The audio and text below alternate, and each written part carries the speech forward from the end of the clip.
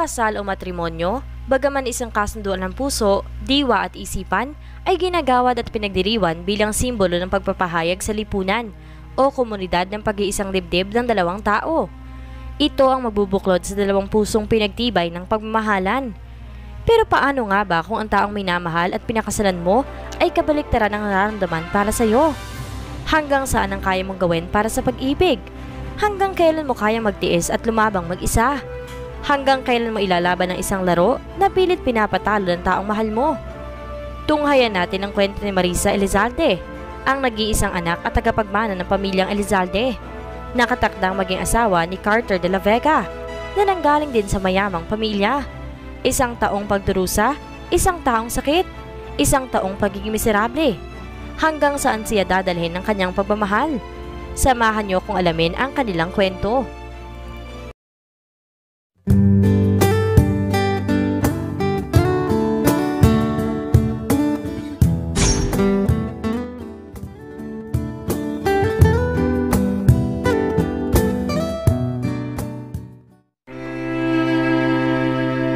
Flashback Bilang asawa ng lalaking pinakamamahal niya ng lubos, hanggang saan nga ba ang kaya niya tinduisin at gawin? Palagi niyang tinatanong sa kanyang sarili ang bagay na yon at pilit na hinahanap ang tamang sagot. Ngunit sa huli, pikit matang iling at isasantabi ang katotohanan at patuloy na uunahin ang kanyang pagmamahal sa asawa. Para sa lalaking kailanman, hindi niya kitaan ng kahit konting pagmamahal sa kanya. Naaalala ko pa, noong mga unang linggo naming magkasama sa isang bahay. Habang nakaupo ako sa sofa, nakita ni Marisa siyang pababa ng hagdan at base sa ayos niya ay aalis ito. Saan ka pupunta? Tanong niya sa kanya na makalapit siya sa kanyang pwesto. Wala kang karapatang tanongin ako kung saan ako pupunta. Wala kang pakialam. Sigaw nito kay Marisa. Nagtanong lang naman ako para malaman ko kung anong oras ka uuwi. Nakayukong sa kanya. Mabilis naman itong naglakad palapit sa kanya at mahigpit na hinawakan ang panga niya. Gusto mo talagang malaman kung saan ang punta ko? Maghahanap ng babae na hindi katulad mong desperada. Ramdam ni Marisa ang pagsakit ng panga niya dahil sa diin ng pagkakahawak nito. Inaamin niyang nasasaktan siya sa mga sinasabi ng kanyang asawa pero wala siyang magawa kung hindi tanggapin ang lahat ng ito dahil mahal niya ang lalaki. Maya-maya pa, napasalampak na lamang siya sa sofa nang marahas siya nitong binitawan at itinulak. Hindi naman niya mapigilan ang hindi mapaiyak dahil sa ginawa niya. Oh, ano? Magdadrama ka na naman? Pwes, hindi bebenta sa akin yung kaartehan mo. Sabi nito. Ganito na lang ba tayo palagi? Hindi ka ba nagsasawa sa ganito nangyayari araw-araw? Kailan ka magbabago? Tanong niya habang humihikbi. Nakita ni Marisa ang pagtagis ng bagang niya dahil sa galit. Mabilis siya nitong nilapitan at hinila siya patayo habang hawak-hawak ang kanyang buhok. Wala kang karapatang pagsalitaan ako ng ganyan. Hindi mo hawak ang buhay ko. Kasal ka na, Carter! Sigaw ni Marisa na mas lalong ikinagalit niya. Shut up! Sigaw nito sa kanya at bigla siyang sinampal. Eh ano ngayon kung kasal tayo? Walang magbabago doon. Kasal lang tayo sa papel pero kahit na kailan hindi kita mamahalin. Pagkatapos niyang sabihin iyon, binitawan niya si Marisa at umalis na. Napahagulhol na lamang siya dahil sa nangyari. Sobrang sakit marinig ang mga katagang iyon mismo sa bibig ng asawa mo. Simula na maikasal sila, ganyan na makitungo sa kanya si Carter. Laging galit at walang pakialam sa kung ano ang nararamdaman niya. Madalas din siyang pagbuhatan ng kamay, lalo na kapag sobrang galit siya o kaya ay lasing. Mahal niya ito, pero hindi siya mahal nito. Hinahamak siya ng lalaki. Pero kahit na ganun, hindi pa rin niya ito kayang iwan dahil mahal niya ang kanyang asawa. Kaya niyang tiisin lahat ng mga ginagawa nito sa kanya, gaya ng pambababae, panloloko at pananakit. Dahil naniniwala si Marisa na darating ang araw na magbabago ang kanyang asawa at matututuhan din siya nitong mahalin. End of flashback. Nagising na lang si Marisa nang bigla niyang maramdaman ang pagkalam ng kanyang sikmura. Agad siyang tumayo at tiningnan ang orasan at nakita niyang alas 10 na pala ng gabi at mukhang napahaba ang tulog niya. Lumabas na siya ng kwarto at dumiretso sa labas para tingnan kung nasa garahe na ang kotse ng kanyang asawa. Ngunit nadismaya lang siya nang wala siya makita. Anong oras na pero wala pa rin siya. Siguro nga wala siyang planong umuwi ngayong gabi dahil kasama na naman niya ang kunsinong babae niya. Nang maisip ni Marisa iyon, bigla na namang nagsisimulang mamasa ang mga mata niya. Hindi na niya alam ang gagawin para lang pakinggan siya ni Carter. Bakit kasi ang hirap niya makaintindi? Sinisisi ni Carter kay Marisa ang kasalanan na kahit kailan hindi naman niya ginawa. Kasal nga sila, pero parang hindi naman sila mag-asawa kung magturingan. Nasa iisang bubong nga sila, pero pakiramdam ni Marisa, nag-iisa lamang siya. Kapag nandito naman si Carter, ay parang hangin lang siya. At kung mapapansin man siya si Marisa, ay makikipag-usap man sila, naghahantong lamang sa away at sakitan. Simula na ikinasal sila, wala na siyang ibang ginawa kundi ang ipakitang kinasusuklaman siya ng kanyang asawa. Nagalit siya sa kanya na ayaw niya sa kanya. Wala na siyang ibang inaatupag kung hindi puro pagiinom at pambababae. Malinaw pa sa isip ni Marisa ang mga salitang binitawan nito nang maikasal sila. Pagsisisihan mong nagpakasal ka sa akin. Pero sa isang taong pagsasama nila bilang mag-asawa, kahit na ganito ang pakikitungo sa kanya ni Carter, wala siyang ni katiting na pagsisising nararamdaman. Siguro dahil mahal talaga niya ang kanyang asawa. Nagtungo na lamang siya sa kusina para maghanda na makakain niya dahil paniguradong hindi na naman yun dito kakain, kaya mag-isa na naman siya. Kumuha lang siya ng kanin sa rice cooker at ininit lang sa microwave ang ulam na niluto niya kanina. Mabilis siyang natapos sa pagkain, kaya agad niya itong niligbit at hinugasan. Habang nagsasabon siya ng pinggan, ay narinig niya ang tunog ng sasakyan. Dali-dali niyang pinunasan ang mga kamay niya at naglakad papuntang pintuan para sana salubungin siya. Pagbukas pa lang ng pinto, Bumungad sa kanyang isang maganda at sexy na babae at akay-akay dito ang asawa niya na halatang lasing. Biglang kumirot ang puso ni Marisa dahil sa nakita. Masakit makita ang taong mahal mo na may kasamang iba. Masakit makita na may ibang kayakap at hawak ang taong mahal mo. Babe, pumasok ka muna dito sa bahay o baka naman gusto mo na dito ka na matulog. Anas ng asawa niya sa babaeng kasama niya. Habang si Marisa, nakatayo lamang sa pintuan habang pinagmamasdan silang dalawa. Hay nako babe, hindi na. Ikaw talaga wala kang kapaguran. Nakailang rounds na tayo kanina tapos gusto mo hanggang dito sa bahay mo? Kahit na gusto pa kita makasama, kailangan ko na kasing umuwi eh.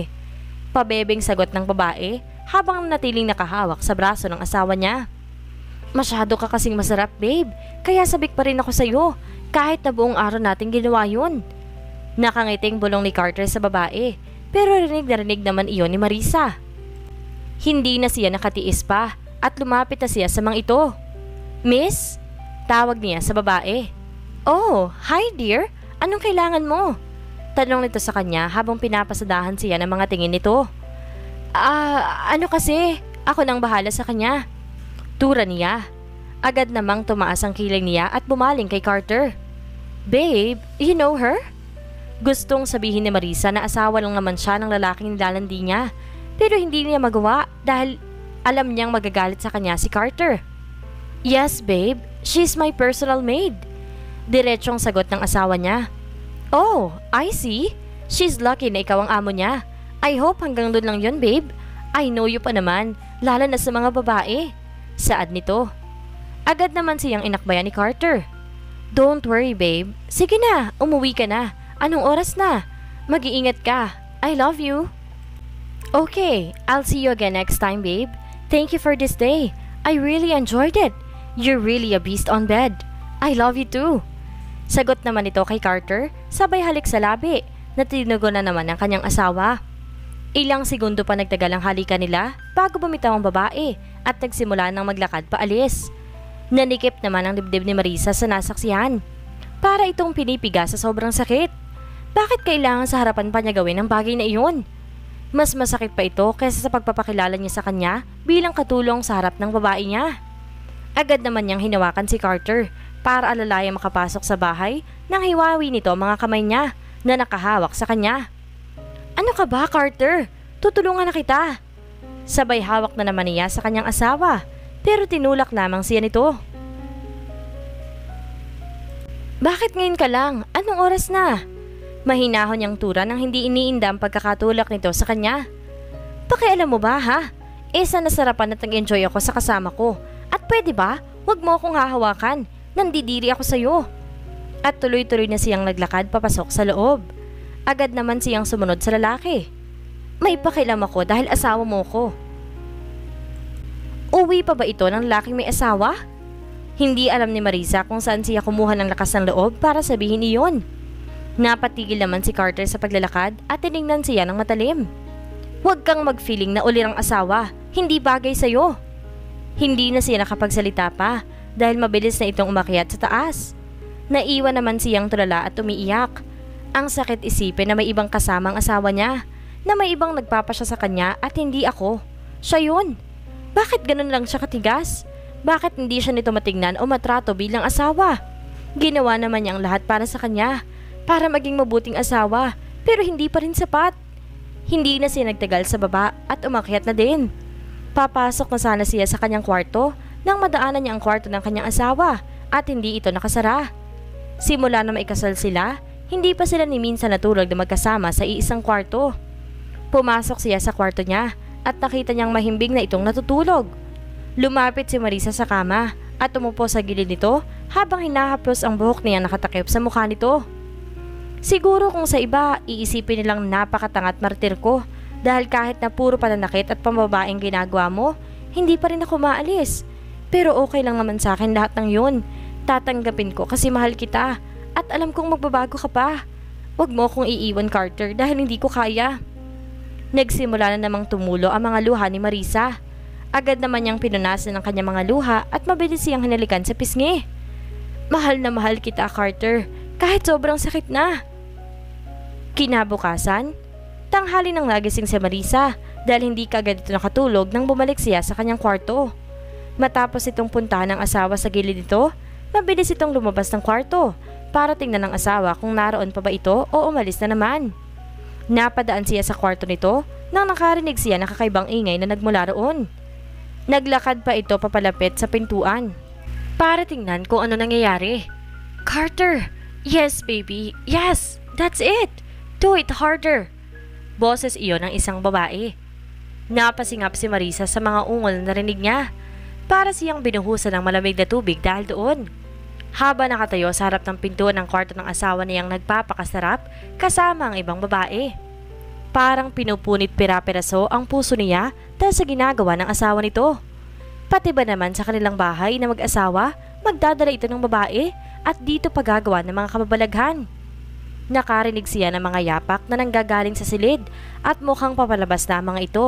Kaya dali-dali siyang naglakad pabalik sa kwarto niya para hindi malaman ng asawa na nandoon siya.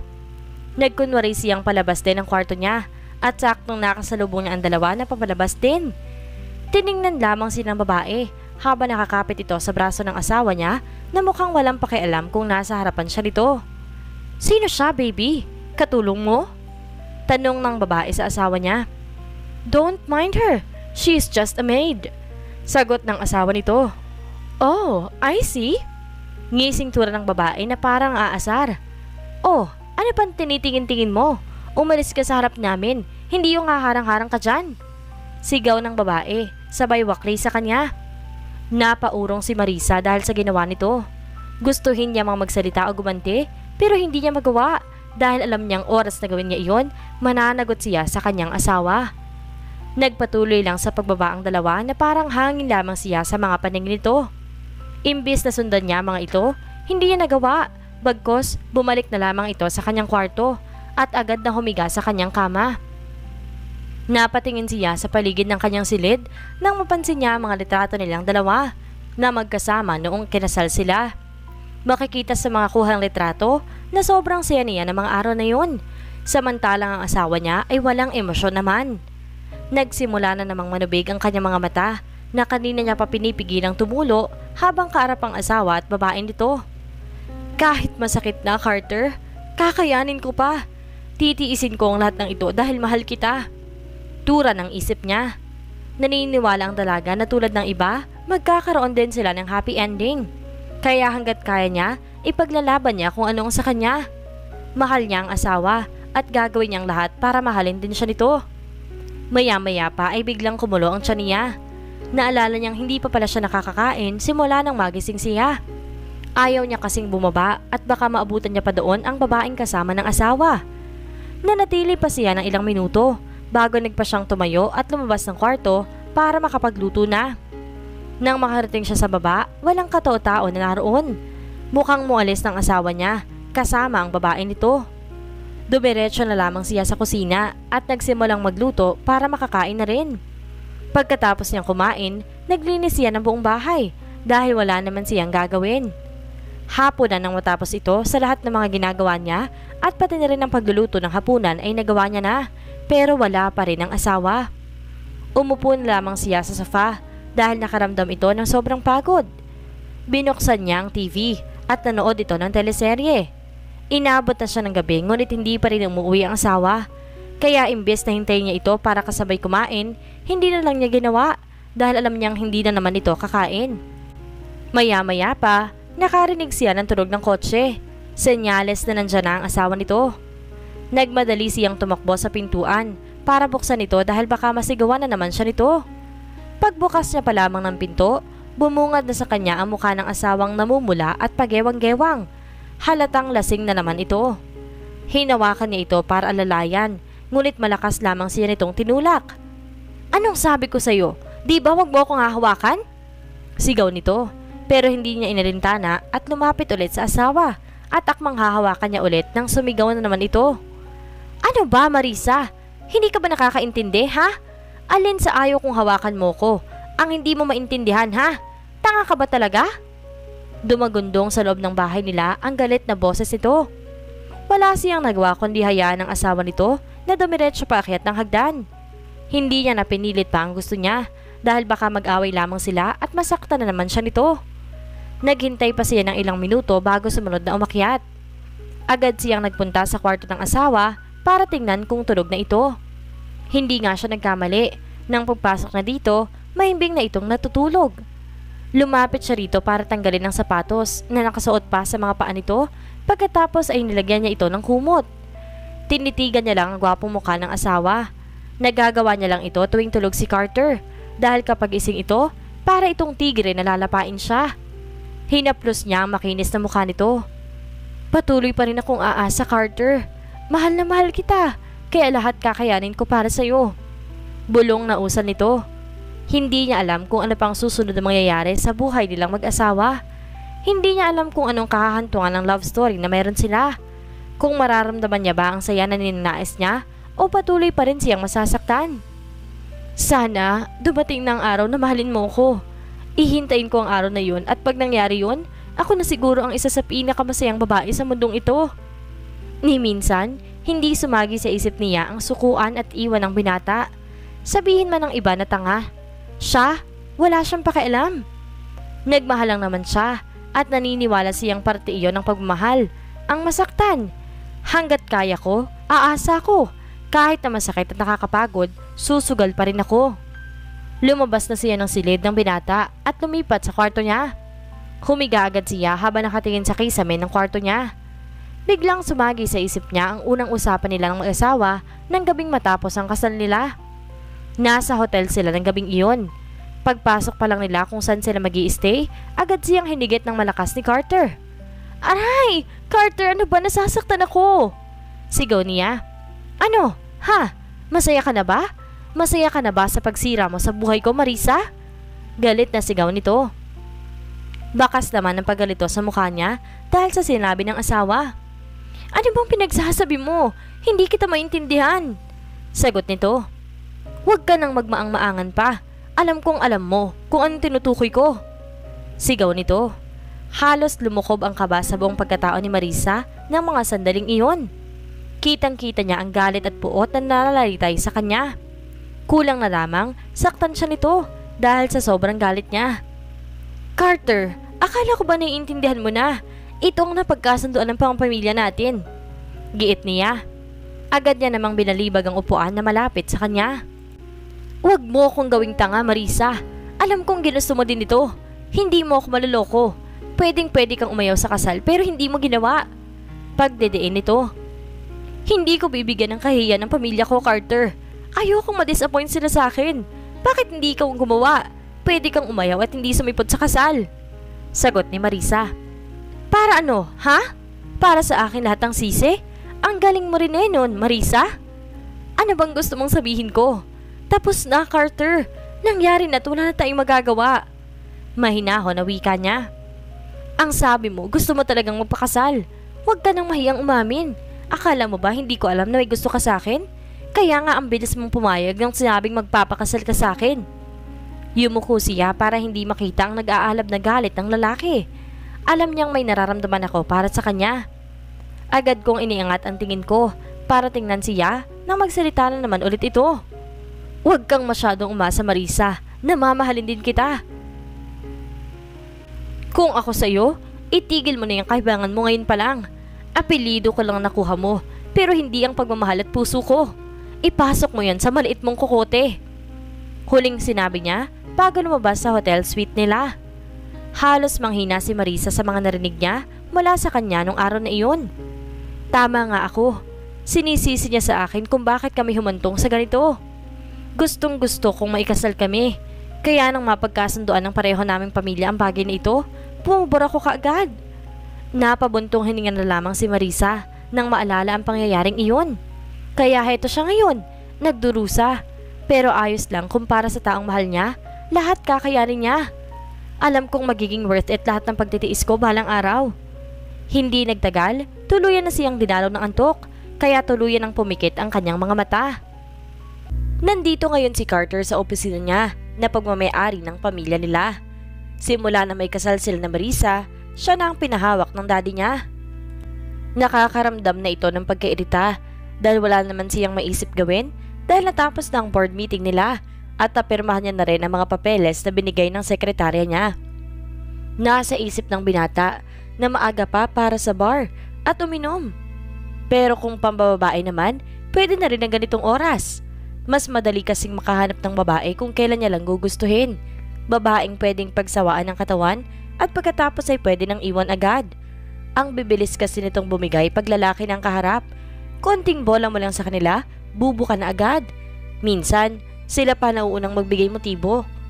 Pero mas gugustuhin pa ng binata na babae o magbar ngayon kesa ang umuwi sa bahay nila. Lalo na kung ganito kaaga. Masisira lang ang araw niya pag makikita nito ang pagmumukha ni Marisa. Hindi niya maiwasan na makaramdam ng galit dito. Nang dahil sa kanya kaya siya nakatali ngayon sa kasal na kahit kailan na hindi naman niya ginusto. Nasa isip niya na plano lahat ito ng dalaga dahil alam niyang mahal siya nito. Kaya hindi niya hahayaan na maging masaya ito at magtagumpay sa nais niya. Tumayo si Carter sa upuan at naglakad malapit sa bintana ng opisina niya kung saan tanaw niya ang ibang mga naglalakihang kumpanya, restaurants, cafe, mga taong naglalakad at iba pa. Nasa ganong posisyon siya nang magring ang kanyang phone. Agad niyang kinuha ito sa kanyang bulsa. Michael calling. Ano na naman kailangan mo, Fontanilla? Bungad niya. So sweet of you, dude. Hindi ba pwedeng tinawagan lang kita? Dapat nga matuwa ka pa eh. Anya rito, habang rinig ni Carter ang halakhak niya. Asshole! You're wasting my time, Michael. Kung wala kang matinong sasabihin, ibababa ko na to. Okay, okay. Chill, dude. Ang init ng ulo mo. Kulang kayata sa diling ngayong araw. By the way, tara sa bar at naghahaya si Diego. Mukhang may problema sa pag-ibig. Hanggang kailan ba siya magpapakatanga sa babaeng yun? Eh wala naman yan dito sa Pilipinas pero patay na patay pa rin siya doon. Psst! Tura ni Carter. Mahal niya. That's it. Kaya kahit malayo si Cindy, loyal pa rin siya dito. Whatever you say, kita na lang sa bar. Bye. Huling sinabi ni Carter bago ibaba ang tawag. Hindi talaga niya maintindihan tong si Diego kung bakit patay na patay siya dun sa kaibigan ni Marisa. Ang dami namang babae nagkakandara pa sa kanya pero sinisiksik niya ang sarili niya sa babaeng walang kasiguruhan. Ang tanga din ng kaibigan ko. I'm sleepy. Naglakad si Carter patungo sa sofa ng kanyang opisina at doon nahiga muna. Nakakaramdam talaga siya ng antok. Siguro dahil wala siyang masyadong tulog kahapon. Paano ba naman? Yung kasama niya mukhang di nakakaramdam ng pagod Halos buong araw nilang ginawa. She's wild in bed. I'm about to close my eyes when I heard the door opened. Sino naman kaya ang lapastangan na pumasok at iistorbohin ako? Nang tingnan niya kung sino ito, nakita niya ang mukha ng kanyang sekretarya. Tiningnan niya ang kabuuan ng babae.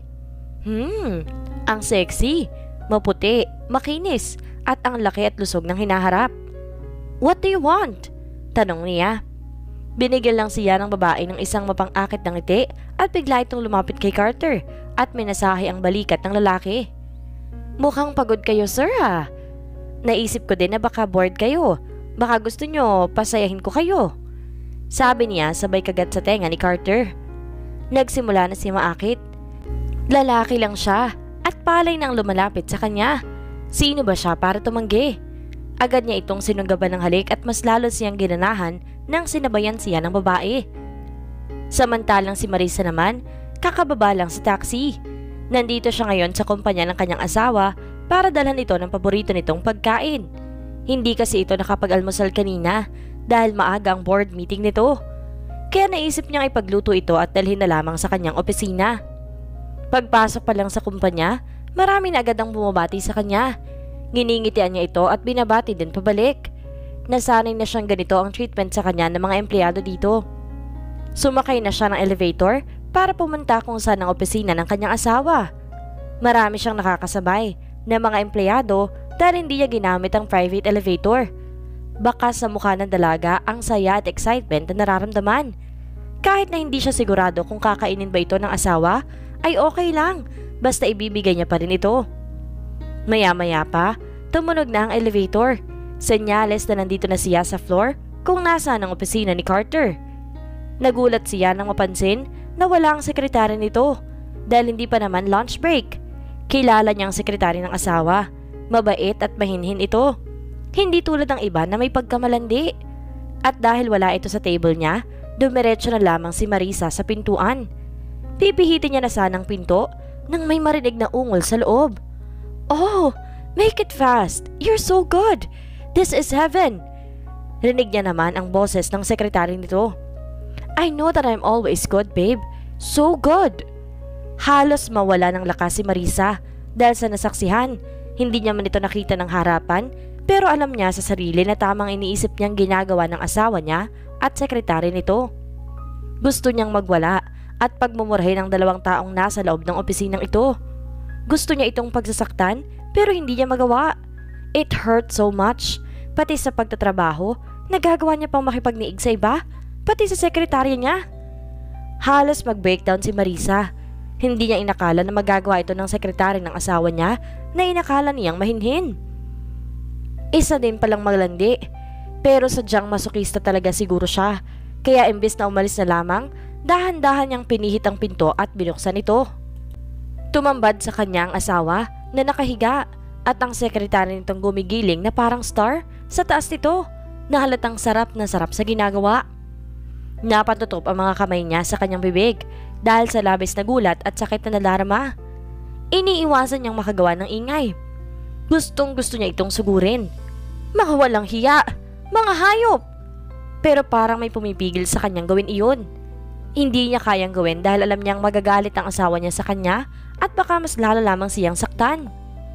Nagsimula ng maglandasan ng mga luha sa kanyang mga mata kaya bago pa siya mapahikbi, dali-dali siyang umalis sa opisina at iniwan ng dalawang nagpapakasarap.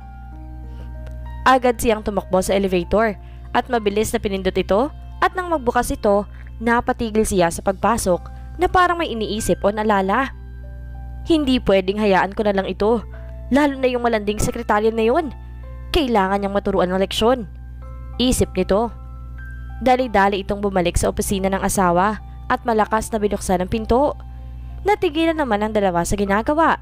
Baka sa mukha ng sekretary nito ang gulat at hiya dahil alam niyang nahuli sila pero ang mukha ng asawa nito ay nanatiling walang emosyon. Mabilis pa sa alas 4 na umalis ang sekretary nito sa kandungan ni Carter at mabilis na pinulot ang damit at isinuot agad ito. Akmang tatakbo siya palabas nang biglang hilain ni Marisa ang buhok nito. Walang hiya kang babae ka. Ang kapal na mukha mo nanday ng boss mo na may asawa na. You are a whore! Sigaw nito at patuloy na hinilang buhok nito at pinagsasampal. Mabilis naman na lumapit sa dalaga ang asawa nito para pigilan siya. Stop it, Marisa! Don't make a scene here! Awat nito pero mukhang wala itong naririnig. Patuloy pa rin siya sa pagsampal at sa bunot sa babae. Nanggagalaiti siya ngayon sa galit. Halo-halong emosyon ang nadarama niya. Napakakati mong higad ka.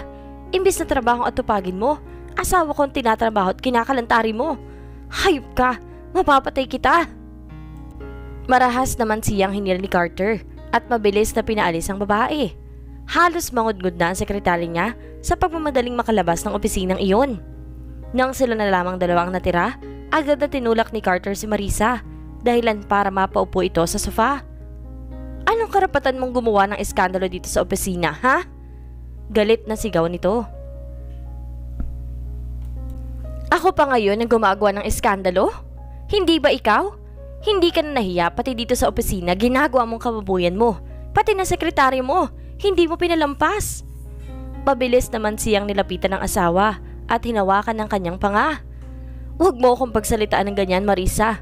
Huwag mong ubusin ang pasensya ko at baka makatikim ka sa akin. Puno ng diin ang wika nito. Napatawa naman ng pagkakang babae kahit naramdam niya ang sakit ng pagkakahawak ng asawa sa panga nito. Bakit?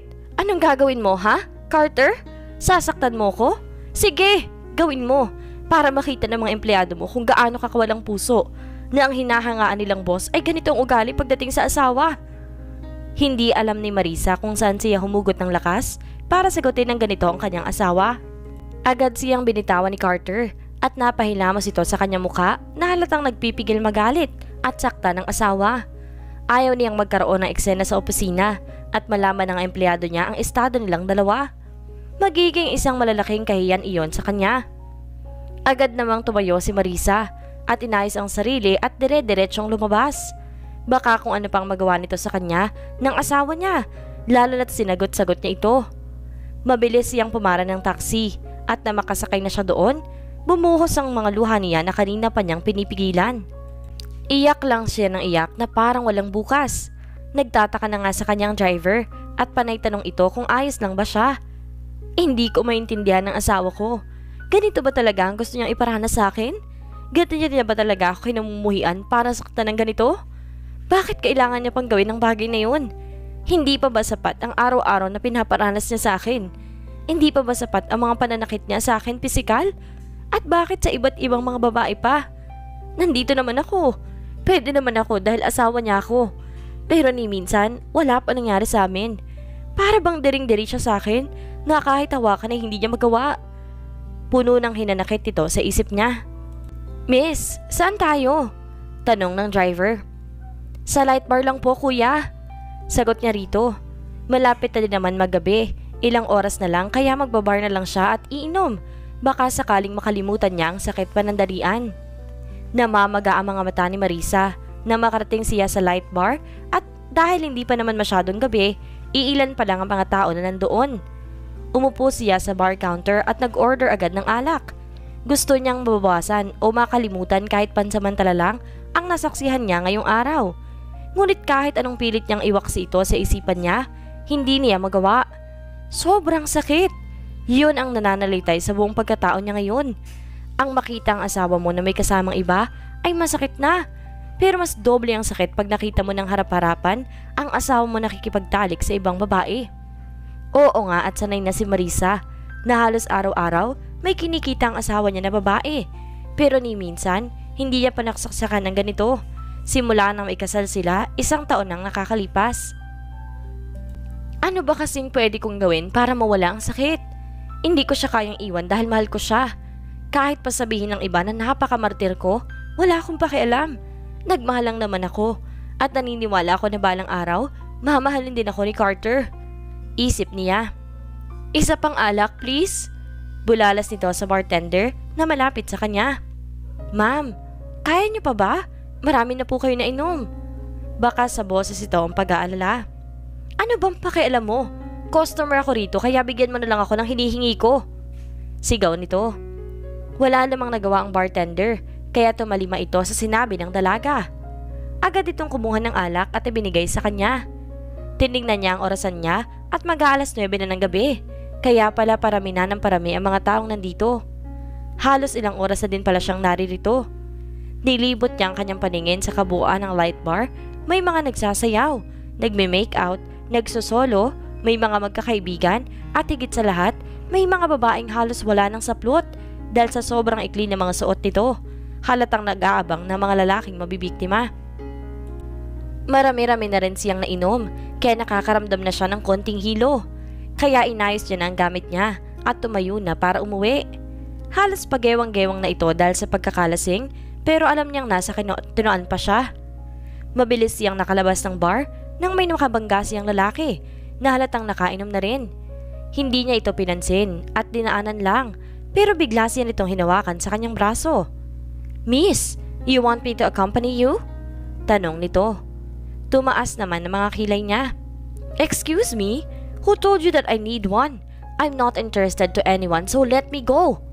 Aniya sa may bawi ng braso niya. Matapang! I really like girls like you. So interesting and I think wild also in bed. Ngisi nito. Hindi na pinansin pa ni Marisa ang sinabi nito at naglakad na. Pero sadyang makulit ang lalaki at tinila ulit siya sa braso. Ano ba? Hindi ka ba nakakaintindi ha? Hindi ako interesado sa kagaya mo. Bitawan mo ko. Madiin na saad niya pero mas lalo lamang umisi ang lalaki. Huwag ka nang magpakipot, miss. Alam ko naman na gusto mo rin to. Huwag kang mag-alala. Pareho tayong masasarapan. Sinampal niya ang lalaki na ikinawala ng ngisi nito. Bastos ka! Sigaw niya. Mukhang nagalit ang lalaki at takmang sasampalin siya nito kaya napapikit na lamang siya. Pero ilang segundo nang lumipas, hindi siya nakaramdam ng sakit o walang kahit anong tumama sa kanya. Dinilat niya ang kanyang mga mata para tingnan kung anong nangyari. Nakita niyang nakabulagta ng lalaking bumabastos sa kanya sa sahig at halatang namimilipit ito sa sakit.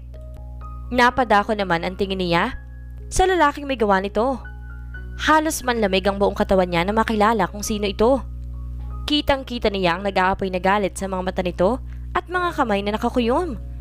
Mabilis siyang hinila ni Carter at halos ihagis siya nito papasok sa kanyang sasakyan.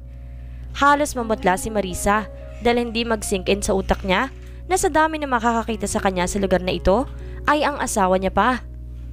Pagdating nila sa kanilang bahay, mabilis na bumaba si Carter at agad-agad hinila ang asawa papasok. Anong ginagawa mo doon ha? Sigaw nito. Halos hindi makahanap ng tamang salita si Marisa kung paano niya sasagutin ang simpleng tanong ng asawa. Nilulukob siya ng kaba dahil sa nakikita niyang galit dito. Bakit hindi ka makasagot? Huwag mong hintayin na ulitin ko pa ang tanong ko sa iyong babae ka. Punyeta! Halos dumagundong ang boses ito sa pamamahay nila. Napasigaw siya nang bigla siyang sinampalang asawa. Halos ramdam niya ang palad ito sa kanyang mukha. Sobrang sakit ng pagkakasampal ito sa kanya. Hindi pa nakontento si Carter. Hinilas niya nito sa kanyang buhok at pilit na pinapaharap sa kanya. Aray! Carter! Nasasaktan ako! Sigaw nito habang hinahawakan ng mga braso ng asawa. Talagang masasaktan ka sa akin. Sagutin mo ang tinatanong ko. Bakit ka nandun? Nakipagkita ka na naman ba sa ibang lalaki? Madiin ang wika nito. Hindi, Carter. Wala akong kasamang iba. Mag-isa lang ako doon. Maniwala ka sa akin. Halos mautal na ito. Mas lalong sumama ang tingin nito sa kanya. Sa tingin mo maniniwala ako sa'yo? Hindi ako tanga Marisa, kaya wag mo akong pinagloloko. Napasigaw na naman si Marisa dahil sinampal na naman siya ulit nito. Halos mamanhid na ang pising niya at ramdam na din niya ang unti-unting paghapdi ng kanyang mukha. Kahit na nanginginig si Marisa, nagawa niya pa rin tumayo at hawakan ang braso ng asawa. Nagsasabi ako ng totoo, Carter. Aniya, ngunit parang walang naririnig ang kanyang asawa at malakas yan itong tinulak dahilan para matumba siya sa lamesa at tumama ang tagiliran niya dito. Impit na napasigaw naman siya dahil sobrang sakit nito. Mabilis naman na lumapit sa kanya si Carter. Hinawakan siya ng mahigpit sa panga. Sinasabi ko sa iyo Marisa, wag na wag mo akong gagaguhin. Madiin naturan nito at mas lalo pang hinigpitan ang pagkakahawak nito sa kanya. Buong lakas niya namang winaksi ang kamay ng asawa para mabitawan siya nito dahil nagsisimula ng kumirot ang panga niya na halatang nagkasugat ito. Kahit kailan, hindi niya naranasan ang ganitong buhay. Mahal na mahal siya ng kanyang mga magulang, kaya kahit kailan, hindi siya napagbuhatan ng kamay ng mga ito. Tinuring siyang prinsesa sa pamilya, kaya masakit para sa kanya na maranasan ito at sa kanyang asawa pa mismo. Mas lalong dumilim ang mukha ni Carter at mabilis na sinakal na naman si Marisa.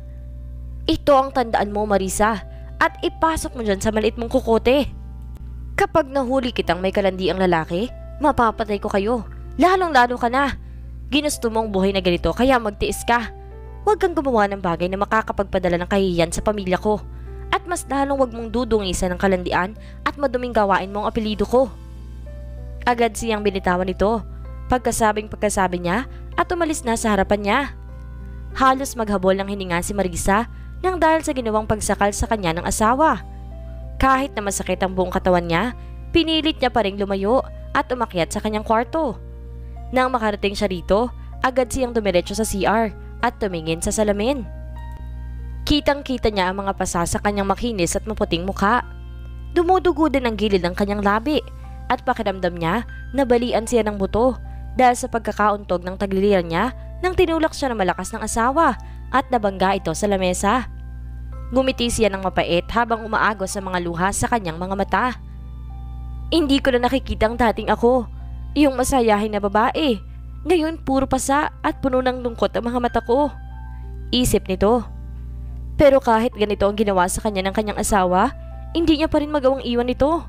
Sabihin man ng iba na sobrang tanga niya para manatili, pero para sa kanya, parte naman ng pagmamahal ang masaktan. Mahal niya si Carter, kaya kakanahin niya ang lahat para dito at mananatili dito kahit na ganito ang nangyayari sa kanila. Tanga kang ang tunay. Parte ng pagmamahal ng masaktan pero hindi ang mabugbog. Kontra ng isip nito. Inayos niya ang kanyang sarili at nagpalit na rin ng damit. Ginamot niya rin ang mga pasa niya kahit papaano at hinilot-hilot ang kanyang tagiliran. Pagkatapos nun, humiga na siya sa kama para matulog. Pero ilang minuto nang nakalipas, hindi pa rin siya makatulog. Bumabalik sa kanyang alaala ang nangyari kanina at ang ginawa ng kanyang asawa. Minsan naiisip niya kung makakaranas pa kaya siya ng kasiyahan sa lalaking mahal niya o habang buhay na siyang magiging miserable. Napapatanong siya sa kanyang sarili kung worth it pa bang lahat ng ginagawa niya o hindi na. Kung hanggang kailan siya magtitiis at mananatili. Ilang minuto pang nagdaan, unti-unti na siyang dinadalaw ng antok hanggang sa tuluyan na siyang lamunin nito at nakatulog. Nagising si Marisa sa sinag ng araw na tumatama sa kanyang mukha. Bumangon siya habang kinukusot-kusot ang mga mata. Ramdam niyang pananakit ng kanyang buong katawan at ang pamamaga ng kanyang pisngi. Nagmadali siyang bumangon para tingnan kung gising na ang kanyang asawa. Pero ilang beses niya itong kinatok at walang sumasagot kaya dahan-dahan niyang pinihit ang pinto. Sumalubong sa kanya ang pabangong gamit ng asawa na naiwan sa loob ng kwarto. Pumasok siya para makasiguradong wala ang asawa nito. Ang nakita niya lang ay ang nakakalat na bote ng alak at ang magulo nitong kama. Agad namang nilinis ng dalaga ang mga nakakalat sa sahig nito at pagkatapos, sinunod na ayusin ang gulugulong kama. Pinalitan niya ang mga yon ng unan at punda, pati ang bedsheet at kumot. Nang natapos sa siya ay lumabas na ito at bumaba para magluto ng almusal. Abala siya sa paghihiwa ng mga sangkap nang lulutuin niyang afritada nang biglang tumunog ang kanyang telepono. Dali-dali niya itong sinagot nang makita na best friend niyang tumatawag. Cindy! Sigaw niya. Tumawa naman na sa kabilang linya. Hey, Marisa! Miss me? So much, best. How's your life? Tanong ni Marisa dito. I think I am the one who need to ask that question to you. How's your life, Marisa? Sandaling napatahimik ang dalaga dahil sa itinanong ng matalik na kaibigan. Hindi niya masabi-sabi dito ang totoong estado niya at ang mga nangyayari sa kanya dito. Of course, I'm fine. Mahinang tura nito. Don't lie to me. I know and I feel that you are not telling the truth. You are not okay, am I right? Nag-aalalang tanong nito. Nagsimula na namang manubig ang kanyang mga mata gusto niyang sabihin lahat-lahat ng nararamdaman, pero mas pinili niya na lamang ang manahimik. Okay, I get it. Ayaw mong sabihin but always remember nandito lang ako para sa iyo kapag kailangan mo ng kausap at kung handa ka na magkwento. And, oh, I forgot to tell you na I'm already here in the Philippines, so see you! Madami pa silang napag-usapang dalawa hanggang sa magpaalam na ito sa kanya dahil may pupuntahan pa ang kaibigan. Kakatapos lamang niyang ligpitin ang pinagkainan na makarinig siya ng pagbukas ng pinto. Agad naman siyang lumabas ng kusina para tingnan kung ang asawa nga ba niya ito. Ngumiti siya na makita ito, ngunit mabilis ding mawala nang nakitang may kasama na naman itong babae. Yumuko siya dahil nahiya siya sa kanyang ayos samantalang ang babae ay napakaganda, sexy at napakaayos ng pananamit. Hanggang kailan kahaharang at tutunga nga dyan? Mataray na untag ng babae sa kanya. Umusog naman ito at nagbigay daan para makadaan ng dalawa. Ni hindi man lang siya tinapunan ng tingin ng asawa dahil busy itong makipaglandian sa kasama. Pero sandaling tumigil ang babae at bumaling ito ulit sa kanya. Are you his maid? Can you get me some water? I'm thirsty kasi eh. Pabebeng saad nito. Hindi na siya nagreklamo at agad tumalima sa inutos ng babae sa kanya nang maramdaman niyang nakatitig sa kanya ang asawa. Mabilis siyang kumuha ng tubig at nilagay ito sa baso. Nang makarating siya kung nasaan ang dalawa, nakita niya itong nakaupo sa sala at naghahalikan animoy sila lamang ang taong nandito. Gustong maiyak ni Marisa pero pinipigilan niya Ayaw niyang maging mahina sa harap nila, lalo na sa babaeng kasama nito.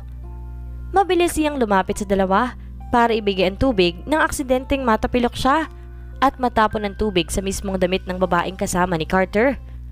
What the hell? Sigaw ng babae. I'm sorry, hindi ko sinasadya.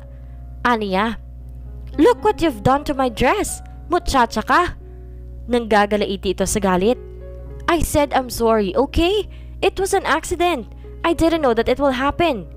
Depensa ni Marisa. Nanlaki naman ang mata ng babae dahil sa narinig. Katulong ka lang, di ba? Bakit marunong ka mag-English?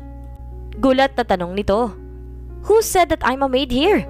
For your information, I am his wife. Diing wika ni Marisa. Bigla naman itong tumawa na may pagkasarkastiko. Stop making me laugh! Hindi ang gaya mong papatulan ng isang Carter de la Vega Keep dreaming, muchacha. Panunuyan ito. And stop saying nonsense, lot. Pabilik niyang sagot. How dare you? At saka mabilis siyang sinampal nito. At dahil sa inis niya, sinabunutan niya ang babae. Binuhos niya lahat ng gigil niya sa pamamagitan ng paghila sa buhok nito. Pero bigla ding natanggal ang pagkakahawak niya sa babae nang may isang malakas na persa ang humila sa kanya at tumulak. Anong karapatan mong saktan ng kasama ko? Wala ka talagang kwentang babae. Sigaw sabay duro sa kanya ni Carter. Ako pa ngayon na may kasalanan? Sino bang nauna kung hindi ang kaladkarin mong babae? Sagot nito. Agad naman siyang nakatikim ng malakas na sampal na halos matanggal ang ulo niya sa lakas. Don't you ever shout in front of my woman. Baka nakakalimutan mong nasa pamamahi kita. Saad nito at hinila na ang kasamang babae paakyat sa kwarto niya. Napaupo na lamang si Marisa habang sapo-sapo ang kanyang namumulang pisngi. Bakit ko kailangan masaktan ng ganito? Am I not enough? May kulang ba sa akin? Ginawa ko naman ang lahat pero bakit hindi pa rin niya ako magmamahalin? Ano ang kulang sa akin? Isip nito. Gusto niyang sumigaw at magwala dahil sa labis sa sakit na nararamdaman. Habang ang asawa nito ay nagpapakasaya sa kanyang babae, siya naman ay nandito lang at tinitiis ang sakit. Umakyat na siya sa kwarto at hindi na niya sinubukan pang huminto sa kwarto ng asawa. Ayaw niyang marinig ang mga ungol at halinghings na nangyayari. Habang tulala siya nakaupo sa kanyang kama, nang magring ang phone niya at may lumabas na mensahe galing sa kaibigan. Hey, Marisa, meet me at Starbucks now. Agad naman siyang naligo at nagbihis para mapunta ng kaibigan. Noong una nagdadalawang isip pa ito kung kakatukin ng asawa niya para magpaalam o huwag na. Pero sa huli, Umalis na lamang ito nang hindi pinaalam kay Carter. Mukhang busy naman yon at baka magalit lang sa kanya kapag naistorbo. Agad siyang sumakay sa kanyang kotse at mabilis na nag-drive papunta sa kung saan naroon ang kaibigan. Nang makarating siya sa Starbucks, mabilis siyang nag-park at bumaba para pumasok dito. Pagpasok niya pa lang, natanaw niya na agad ang kaibigan na nakangiti sa kanya habang kumakaway. Mabilis siyang lumapit dito at yumakap. Mabilis na pumasok sa Starbucks si Marisa dahil excited siyang makitang muli ang kanyang kaibigan. At nang makita niya ito, ay agad-agad siyang lumapit at niyakap ito ng mahigpit. Hindi naman halatang sobra mo akong namiss? Ang tagal mo kayong nasa ibang bansa. Hindi umimik si Marisa. Oh, bakit natahimik ka yata? Tanong nito sa kanya. Matamang tinitingnan siya ng kanyang kaibigan habang sinusuri ng mabuti. Hinawakan pa nito mukha niya Agad niya namang tinanggal ang kamay niya. Hoy! Napapano ka na ba ha? Epekto ba yan ng mahabang biyahe? Pagbibiro nito. Agad na natiling seryoso lang si Marisa na nakatingin sa kanya. Are you sure na okay ka lang Marisa? Look at you now. Ibang-iba ka na. What do you mean, iba? Tanong niya. Tingnan mo ang sarili mo sa salamin para maintindihan mong ibig kong sabihin. Seriously? What are you doing to yourself? Hindi na ikaw ang Marisa na kilala ko. You look like a trash. Prangkang anas nito. Napayuko naman ang ulo si Marisa dahil sa sinabi ng kanyang kaibigan dahil alam niyang may punto ito. Masyado niya nang napabayaan ang kanyang sarili. Ni pag-aayos, hindi niya man lang magawa. Masyado lang akong busy kaya hindi ako nagkaroon ng oras para mag-ayos. Mahinang bulalas ito. Busy? Busy saan? Sa pag-aalala sa asawa mong wala namang pakialam sa'yo? Huwag mo akong patawanin, Bes. Huwag mong hayaan ang sarili mong maging ganyan. You are better than this. Positibong sambit ni Cindy. Hay nako, kung makapagsalita ka ha, bakit kay ni Diego? Maayos na ba? Agad namang umirap ito sa kanya. Paano naman nasalit sa usapan ng lalaking yun? Ikaw at ang asawa mo ang topic dito, hindi siya. Duh! Umiling na lamang siya at hindi na nagsalita pa. Umorder na sila ng pagkain. Marami din silang napag-usapan at makahalata mong sobrang miss na miss nila ang isa't isa. Pagkatapos silang kumain, niyaya niya si Marisa para mag-ikot-ikot at mag-shopping. Pero bago yun, dinala niya muna ito sa isang parlor shop para ipaayos. Halos ilang oras din silang magkasama at hindi na namalayan ang oras. Malapit na magabi na nakalabas sila ng mall. Hinatid na lamang ni Cindy si Marisa pa uwi. Thank you, Bess. I enjoyed this day. Take care! Ngiting tura ni Marisa pagkalabas ng sasakyan. Ngumiti naman si Cindy sa kanya at sumenyas na aalis na. Nakita naman niyang magmadaling pumasok sa loob ng kanilang bahay si Marisa dahil baka nandun na ang asawa nito at hindi pa siya nakapagluto. Pagkapasok ng kwarto, hindi na nag-atumili pang magpalit ng damit si Marisa at tumiretso na sa kusina para magsimulang magluto. Maya-maya pa, narinig ni Marisa ang pagbukas ng pinto Senyales na nandun ang kanyang asawa. Agad niya itong sinalubong na may mga ngiti sa labi. Carter, nagluto ako. Kumain ka na. Ani Marisa. Hindi man lang man siya nito pinansin at nagtuloy-tuloy na sa hapagkainan. Pero kahit ganun, masaya pa rin siya dahil dito ito kakain ngayon na malimit lamang mangyari. Sinundan niya ito at nakita niyang nagsisimula na itong kumain.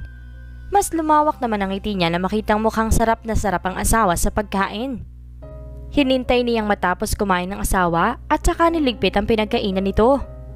Nang matapos na siya, napansin niyang nandun pa rin ito at nakaupo habang tinitingnan siya nito. Nakaramdam naman siya ng hiya. Anong oras ka umuwi? Biglang tanong nito. Ah, mga alas 6 na. Maikling sagot niya. Tumangutango naman ang asawa. Saan ka nagpunta? Sa mall. Nakipagkita ako kay Cindy. Napansin niya naman na nagdilim ang mukha nito. Huwag mo nga akong ginagago Marisa. Paanong si Cindy ang kasama mo? Eh nasa ibang bansa siya. Huwag mo nang gamitin ang pangalan ng kaibigan mo kung nakipagkita ka lang naman sa lalaki mo. Paghihinala nito. Sobrang naguguluhan naman siya sa sinasabi ng asawa. Ano bang sinasabi mo? Bigla naman itong tumayo at naglakad palapit sa kanya. Huwag ka nang magbaang-maangan pa. Sinasabi ko sa iyo Marisa, huwag kang magpapahuli sa akin. Madiin na saad nito. At sinasabi ko din sa iyo na si Cindy ang kasama ko. Nandito na siya sa Pilipinas. Kahit tawagan mo siya at tanungin para sa ikakatahimik ng isip mo. Inis natura ni Marisa. Hindi niya talaga maintindihan ang kanyang asawa. Kung ano-ano ang binibintang sa kanya na hindi niya naman ginagawa. Palibhasa kasi gawain niyang babae kaya napaparanoid na. At bakit ganyan ang ayos mo? Hindi ka naman nakaayos nung umalis dito. Tapos biglang nakaayos ka na pag uwi mo? Sabihin mo nga sa akin kung saan ka pa nagpunta? Hawak nito sa braso niya. Agad niya namang winaksi ang kamay nitong madiin na nakahawak sa kanya. Baka magkasugat na naman ito. Seriously, Carter? Tigilan mo nga ako sa kadumihan niyang utak mo? Bakit? Kasi hindi mo lang aminin na nakipagkita ka sa lalaki mo. At ano pang ginawa niyo, ha? Did you to do it? Nangunot naman ang noon ni Marisa. Gusto niya na talagang sigawan ng lalaki. What are you talking about? Do what? Tanong niya. Ngumisi naman ang asawa nito habang papalapit sa kanya. Sa kama, Marisa. Ganyan ba nagiging epekto sa'yo? Let me ask you this. Since we are married one year ago, hindi pa natin nagagawa ang bagay na yun. Do you want to try it with me? Biglang nabalot ng kaba ang buong sistema ni Marisa at hindi niya napigilan ang mga masampalang malakas si Carter. Anong akala mo sa akin? Katulad ng mga babae mong parausan? Asawa mo ako! Sigaw nito. Ikaw nang nagsabi na asawa kita. Kaya pwede kong gawin sa'yo yun kahit kailan ko gusto. Isa sa obligasyon mo ang puna ng pangangailangan ko bilang asawa mo. Saad nito. Lumapit pa ang asawa nito sa kanya habang sinasabi ang mga katagang iyon. Ramdam na ramdam niya ang init ng hininga nito sa kanyang leeg. Mabilis niya itong tinulak dahil hindi niya kinakaya ang sensasyon na dala ng kanyang asawa. Stop what you're doing! Aakit na ako't matutulog. Aniya. Kahit na isang taon na simula na maikasal sila, wala pa nangyari sa kanila kahit isang beses. Pero bago pa siya makatalikod, marahas siyang hinablot ni Carter. Kitang-kita niya ang galit na namumutawi sa mukha nito. Bakit? Pagod ka ba? Pinagod ka ba ng lalaki mo? Nakailang rounds naman kayo. Magaling ba siya? Mas magaling naman ako sa kanya. We can do it now in here. Madiin na wika ng asawa habang hawak-hawak nito ang kanyang braso. Agad namang nakaramdam ng takot si Marisa. Hindi niya alam kung anong gagawin dahil kinabahan siya sa mga pinagsasabi ng kanyang asawa. Kung sana nasa maayos lamang silang sitwasyon at mahal nilang isa't isa, ito sana ang isa sa magiging masayang pangyayari sa buhay niya. Ngunit sa pagkakataong ito, hindi siya makaramdam ng kasiyahan kung sakaling may mangyari man sa kanila sa estado ngayon ng asawa. Alam niyang galit ito. Matulog ka na lang din, Carter.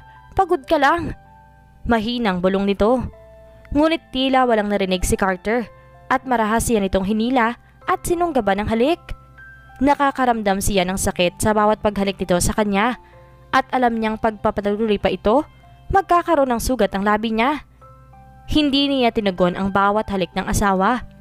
Sinubukan niya itong itulak, ngunit sadyang mas malakas ito kumpara sa kanya. Unti-unti na niyang nalalasahan ng dugo na galing sa mismong mga labi niya. Kaya buong persa niyang itinulak ang asawa at hindi naman siya nabigo dahil natigil ito sa paghalik sa kanya. Mabilis siyang tumakbo paakyat ng kanyang kwarto at inilak ito. Kasabay ng pag-upo niya sa kanyang kama, ang pag-agos ng mga luha sa kanyang mga mata. Sa ginawang ito sa kanya ng asawa, ramdam na ramdam niyang hindi siya nito nirerespeto bilang asawa o kahit bilang isang babae. Pakiramdam niya, isa siya sa mga babae nito na kaya niyang gawin ang nais niya kung kailan niya gusto. Pakiramdam niya ang dumi-dumi niya. Sobrang sakit nito para sa kanya pero wala siyang magagawa. Mahal niya ito. Sinabi ko naman sa iyo, Marisa. Pagsisisihan mong nagpakasal ka sa akin. Bulong ni Carter sa kanyang sarili habang nakatitig sa dinaanan ng asawa. Nung uko na akala niya bibigay na ito agad sa kanya. Pero laking gulat niya nang hindi man lamang ito tumugon sa mga halik niya. At mas kinagulat niya pa nang bigla siya nitong itulak. Kung siguro, kung ibang babae lang ang asawa, hindi ito tatanggi sa kanya. Kusa pa itong magpapaubaya. Hindi si Carter nakaramdam ng katiting na pagsisisi sa ginawa niya. Ang nasa isip niya lang, simula ng kinasal sila na Marisa, ay gagawin niyang miserable ang buhay nito. Lahat ginagawa na niya dito, ang saktan sa mga salita, ang sigawan at pagbuhatan ng kamay para kusa na itong sumuko at pinipiling umalis na lang. Pero sadyang matatag ang babae para manatili pa rin kahit na gano'n ang ginagawa nito sa kanya. Maya-maya pa ay narinig niyang may nag-doorbell. Nagtataka naman si Carter kung sinong pupunta sa bahay nila ng ganitong oras. Agad siyang nagtungo sa pintuan para buksan at tingnan kung sino iyon. Pagbukas na pagbukas niya, bumungad agad sa kanya mga mukha ng magulang. Mabilis niya namang hinalikan sa pisngi ang mga ito. Mom! Dad! Anong ginagawa niyo rito? Bakit di kayo tumawag? Come in! Bakas sa mukha ni Carter ang kaba. Mabuti na lamang at hindi sila naabutan nito na nasa ganoong senaryo. Ito kasing mommy mo nagpupumilit. Gusto daw makita si Marisa. Anang daddy niya. Tumingin naman si Carter sa kanyang ina at tinaasan lang siya nito ng kilay. Oh, bakit? Huwag mong sabihin na bawal na kaming bumisita porket kasal ka na. I just miss Marisa. Where is she? Nasa taas. Tatawagin ko lang muna siya. Wika niya sabay akyat. Ngunit nasa ikalawang baitang pa lamang siya ng hagdan na makita niyang pababa ang asawa. Mabilis niya itong nilapitan at tinawakan na ikinagulat niya naman. Bakit? Utal na tanong nito. Mom and Dad is here, kaya makisama ka. Sa maiksing anas ko, sabay silang bumaba patungo sa sofa at natatanda nila ang magsawa na nakaupo doon. At nang mapansin sila ng ginang, agad siyang tumayo at niyakap si Marisa. I miss you, Iha. Aniya sabay yakap dito. Niyakap din naman ito ni Marisa at ngumiti. Namiss ko din po kayong dalawa. Mommy, Daddy, ginabi yata kayo. Dito ba kayo matutulog? Tanong nito. Agad namang umiling ang ginang. Dumaan lang talaga kami dito. Galing kasi kami sa isang conference. And then, spill it, Mom. Diretsyong tura ni Carter. Your tita Celestine is here in the Philippines. She's inviting us for lunch tomorrow. Sagot ng kanyang daddy. We will be going. Usal ni Carter. Kamusta naman ka? Napahinto naman ang ginang ng sasabihin at matamang nakatingin kay Marisa. Wait, Iha. Umiyak ka ba? Hindi po, Mami. Nakakaiyak kasi yung pinanood ko na k-drama kanina. Bulalas nito. Tumango-tango naman ang ginang. Hindi ka naman sinasaktan nitong asawa mo. Biglang tanong nito. Agad naman siyang napatingin sa asawa niya dahil sa tanong ni Mommy. Nakaramdam siya ng kaba dahil baka magsumbong ito. Nakita ni Carter naman na mabilis umaling si Marisa. Naku mom, hindi po. Sa katunayan nga, maalaga at mapagmahal si Carter. Nagulat naman si Carter dahil hindi niya inakalang pagtatakpan pa rin siya ng asawa kahit na hindi magandang trato nito sa kanya. Mom, ano ba namang klaseng tanong yan? Magagawa ko ba yun sa asawa ko? Siyempre hindi. Right, babe? Segunda niya at agad na hinilikan sa pisngi si Marisa. Napangiti naman na mag-asawa dahil sa narinig. Look at them, hon. They are so sweet, right? Hindi tayo nagkamali na ipakasal sila. Bagay na bagay sila at halatang mahal nilang isa't isa. Anang mami ni Carter at bumaling ulit sa kanilang dalawa. Akala ko sinasaktan ka ng anak ko eh. Malilintikan talaga yun sa akin. Don't hesitate to tell me kapag sinaktan o pa ka ni Carter ha? Dagdag pa nito na pinandilatan pa ang anak. Son? Seryosong tawag ng ama nito kay Carter. Wala pa ba kaming apo? Alam mo na, hindi na kami bumabata. Your dad is right, son. Isang taon na kayong kasal, wala ba kayong balak bigyan kami ng apo? Segunda naman ang inanto. Halos mabilaukan si Marisa sa narinig kahit wala naman itong kinakain. Hindi niya rin maiwasan ang hindi mamula dahil sa mga narinig. Dad, Mom, tingnan niyo ang asawa ko. Nahihiya na tuloy dahil sa pinagsasabi niyo. Don't worry, we are working on it. Sagot naman ni Carter, naralang nagpamula kay Marisa. Natawa naman ang mag-asawa dahil doon. Nagtagal pa sila ng halos isang oras bago tuluyan ang umalis. Nang makaalis na mga magulang ni Carter, agad na siyang pumasok sa loob nang hindi man lang hinihintay si Marisa. Nakita naman niya na agad din itong sumunod. Paakyat na sana si Carter nang bigla siyang tawagin ni Marisa. Agad naman niya itong nilingon. What now? Bored na usal niya. Naiirita talaga siya sa boses at presensya niya. Um, ano kasi? Kailangan ko bang sumama bukas? Nagdadalawang isip na tanong nito. Of course, you need to. We are married, right? Ano na lamang ang sasabihin ni Tita Celestine kapag hindi ka sumama? Gamitin mo nga yung utak mo. Palatak ni Carter at tuluyan ang umakyat sa taas. Napabuntong hininga na lamang si Marisa dahil sa inasta ni Carter at hindi nagtagal, sumunod na rin siya sa kanyang asawa para umakyat. Habang nasa kwarto, hindi siya mapakali. Kanina pa siya nasa harap ng kanyang closet at naghahanap ng may isusuot para sa lunch na gaganapin bukas. Ayaw naman niyang magmukhang basahan sa harap ng pamilya ng asawa niya kahit na close siya sa buong pamilya nito. Ayaw niyang mapahiyang asawa niya kaya gusto niyang paghandaan ang papuntahan nila bukas. Habang naghahanap siya ng babagay sa kanya na damit, nahagip ng mga mata niya ang isang pink na floral dress. Agad niya itong kinuha para isukat. Humarap siya sa salamin. Simple lamang ito at bagay sa kanya, kaya napagdesisyon niyang ito na lamang suotin bukas. Hindi niya alam kung bakit gusto niyang paghandaan ang lunch na magaganap kinabukasan. Nakakaramdam siya ng excitement dahil alam niyang kahit papaano o pagpapanggap lang ay magiging mabait at sweet sa kanya si Carter, lalo na sa harap ng pamilya nito. Kagaya ng plano ni Marisa, maaga siyang nagising para paghanda ng almusal ang asawa. Good morning, Carter. Naganda na ako ng almusal at tinimpla ko na rin ang kape mo. Nakangiting tura nito. Hindi man lamang siya nito pinansin at agad na umupo sa lamesa.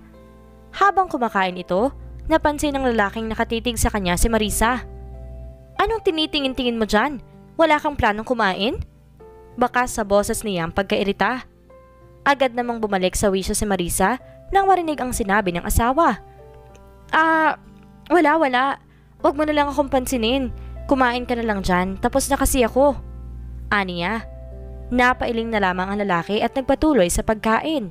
Hindi rin nagtagal, natapos na din ito sa pagkain at agad din itong tumayo at binitbit ang kanyang kape at nagtungo sa sala. Hindi naman mawala-wala ang ngiti sa labi ni Marisa na makaalis si Carter.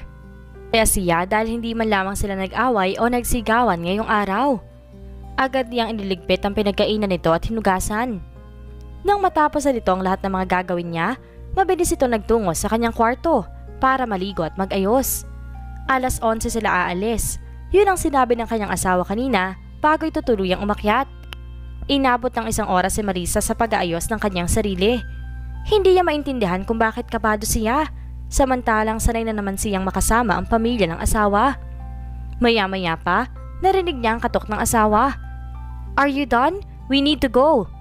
Tanong nito sa labas ng pintuan. Um, oo, tapos na. Lalabas na ako, hintay lang. Sagot naman ito. Hurry up! Ayokong malate. Rinig niyang sabi nito bago tuloy ang umalis sa pintuan ng kwarto. Agad niya namang kinuha ang maliit na sling bag nito at nagmadaling sumunod sa asawa. Habang nasa sasakyan sila, walang ni isa sa kanilang dalawa ang nagsalita. Nakafocus lamang si Carter sa pagmamaneho, samantalang si Marisa naman ay nakatingin lang sa dinaraan nila. Hindi rin nagtagal Nakarating na sila sa restaurant kung saan sila magla-lunch. Pagpasok nila, nadatna na nila ang mga magulang ni Carter, si Tita Celestine at ang anak nitong si Red. Binati lang nila ang mga ito at umupo na sa bakanding upuan na nakalaan para sa kanila. How are you, couple? Biglang tanong ni Red sabay tingin kay Carter na parang nang aasar. We're okay. Tipid na sagot naman ni Carter. Hindi pa rin mawala ang mapang-asar ng ngiti ni Red dito. Nang tingnan niya ang asawa, napansin niyang madilim ang mukha nito na parang nagpipigil na patulan ng pang-aasar ng pinsan. Habang naghihintay sila ng kanilang order, biglang nagsalita ang tita Celestine nito. Kailan niyo balak bigyan ng apoy itong mommy at daddy mo, Carter? Alam mo naman, sabik na ito sa bata dahil nag-asawa ka na at wala ka namang kapatid. Hay nako Celestine, yan din ang tinatanong ko sa kanilang dalawa Isang taon na silang kasal pero hindi pa rin sila nakakabuo. Sabi ng ina nito. Napansin naman ni Marisa ang mahinang pagtawa ni Red at pagkuyom ng kamao ni Carter habang nakatingin ito sa binata. Tita, hayaan nyo na muna sila. Baka hindi pa lang talaga sila handa o baka malay nyo, hindi pa nila ginawa ang bagay na yon. Biglang singit ni Red habang nakangiting ng iinis. Agad namang bumaling ang ginang sa anak nitong si Carter. Totoo ba ang sinabi ni Red, anak? Bakit ba wala pa rin? Isang taon na kayo, dapat may apo na kami. Mas lalong tumalim ang tingin ni Carter sa pinsang si Red. Makahalata mo kasing nang aasar ito. Pero ito namang si Red, parang baliwala lang sa kanya ang pinapataw na masamang tingin ni Carter. Bagkos ay mas lalo pa itong ngumisi. Mom, don't be in a hurry. Maghintay lang kayo at magkakaroon din kayo ng apo. ba diba, babe? Saad ni Carter sabay baling sa kanyang asawa. Hinawakan pa nito ang kanyang kamay at tinilikan. Hindi may pagkakaila ang kilig at sayang nararamdaman ngayon ni Marisa dahil sa inaakto ng kanyang asawa. Hindi na natuloy ang pinag-uusapan nila nang dumating na ang order nilang pagkain. Habang kumakain si Carter, hindi niya maiwasang maalala ang pinag-usapan nila ni Red nung tumawag ito sa kanya. Flashback! Paano ba yan, dude? May lunch tayo bukas. Sabi nito habang kausap niya. Oh, ano ngayon kung may lunch tayo? Tanong nito. Wala naman. Natanong ko lang. Alam mo na hindi naman kayo katulad ng normal na mag-asawa. You know what I mean? Alam mo, maganda at sexy si Marisa. Kung hindi mo lang naging asawa yun, liligawan ko. Anas nito.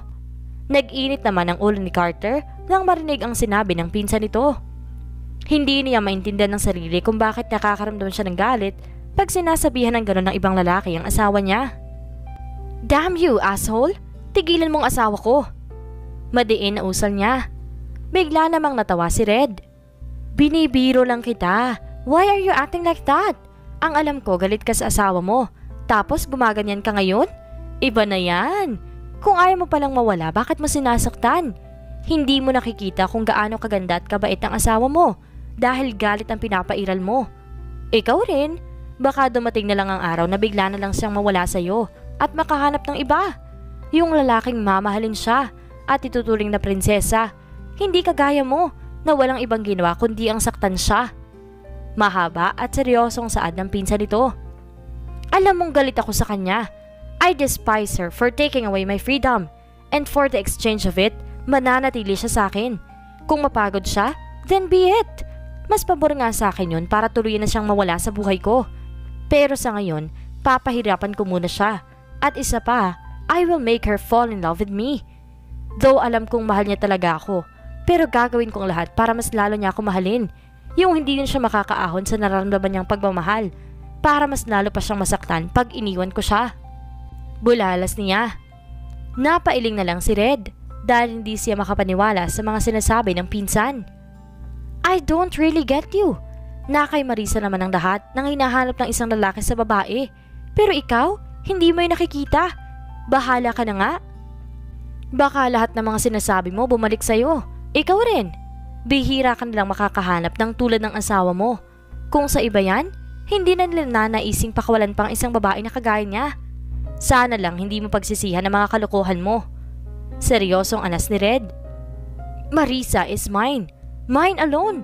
Hindi siya pwedeng maging masaya. Tatlong linggo na nakakalipas simula na mangyari ang lunch nila kasama ang tita at pinsa ni Carter. Noong araw na yon, nakaramdam ng kasiyahan si Marisa dahil sa pinapakitang pagmamahal at pagiging sweet ng asawa nito sa harap ng kanyang pamilya. Kahit na alam niyang puro pagpapanggap lang naman iyon. Pagkatapos mangyari iyon, balik na naman ang asawa nito sa mga ginagawa gaya ng pagiinom, pambababae at higit sa lahat ang hindi na naman pagpansin nito sa kanya. Pero hindi na ito nagdadala ng babae sa mismong pamamahay nila. Nasasaktan siya dahil doon, pero tulad nga ng mga nakarang araw, tinitiis niya at dinadaan na lamang sa pag-iyak ang mga iyon. Minsan iniisip niya na kasalanan niya naman ang lahat kung bakit nangyayari ito sa kanya, kung bakit siya nasasaktan at nagiging miserable. Nung una akala niya magiging maayos at masaya ang pagsasama nila bilang mag-asawa kapag kinasal na sila. Pero kabaliktaran pala ang nangyari. Lahat ng inaasam niyang kasiyahan ay walang natupad. Para siyang nahulog sa isang malalim na butas na walang sumasalo. Kakatapos niya lang maghanda ng tanghalian para sa asawa dahil alam niyang pababa na ito. Maya-maya pa, nakarinig siya ng mga yapak na nasisiguro niyang asawa na niya iyon. Carter, nakapagluto na ako ng tanghalian mo. Kumain ka na. Nakangiting wika nito. Tinignan lang siya nito na magkasalubong ang mga kilay. Hindi man lamang ito sumagot o mingiti. Naglakad lang ito papunta sa dining table at nagsimula ng kumain. Nakaramdam naman ng konting sayang talaga dahil kahit papaano, kinakain na ng asawa ang inihanda niya. Katulad dati na aalis lang ito at hindi papansinin ang hinanda niya. Um, Carter, ano kasi may itatanong sana ako sa iyo. Napahinto naman ito sa pagkain at bumaling sa kanya. What is it? Aalis ka ba? I mean, may pupuntahan ka ba ngayong araw? Diretsong tanong nito. Why did you ask? Wala naman. But I'm going to the company later to sign some files pagkatapos uuwi din ako. Sagot nito. Napangiti naman si Marisa dahil sa isinagot ng asawa. Magluluto kasi ako mamaya. Dito ka na mag-dinner. Total wala ka namang pupuntahan, di ba? Saad nito. Hindi sumagot ang asawa, ngunit nakita niya itong tumango. Mas lalong lumawak ang mga ngiti sa kanyang labi. Sobrang siya niya dahil pumayag ang asawa nito. Umasa ka na naman. Tapos madidisappoint ka lang at masasaktan. Iyak na naman. Kontra ng isip niya. Aalis ako maya-maya para pumunta ng supermarket. Aniya. Ngunit wala na siyang narinig na sagot mula kay Carter. Hindi na lang siya nagsalita pa at baka magalit ito sa kanya. Okay na sa kanya ang pumayag ito na kumain sila mamaya. Pagkatapos kumain ng asawa niya, mabilis niyang nilagpit ang pagkakainan nito at hinugasan. Bumalik naman sa kanyang kwarto si Carter. Agad na nagbihis si Marisa para makapunta ng supermarket para mabili niya ang lahat ng mga kailanganin niya para sa kanyang lulutuin.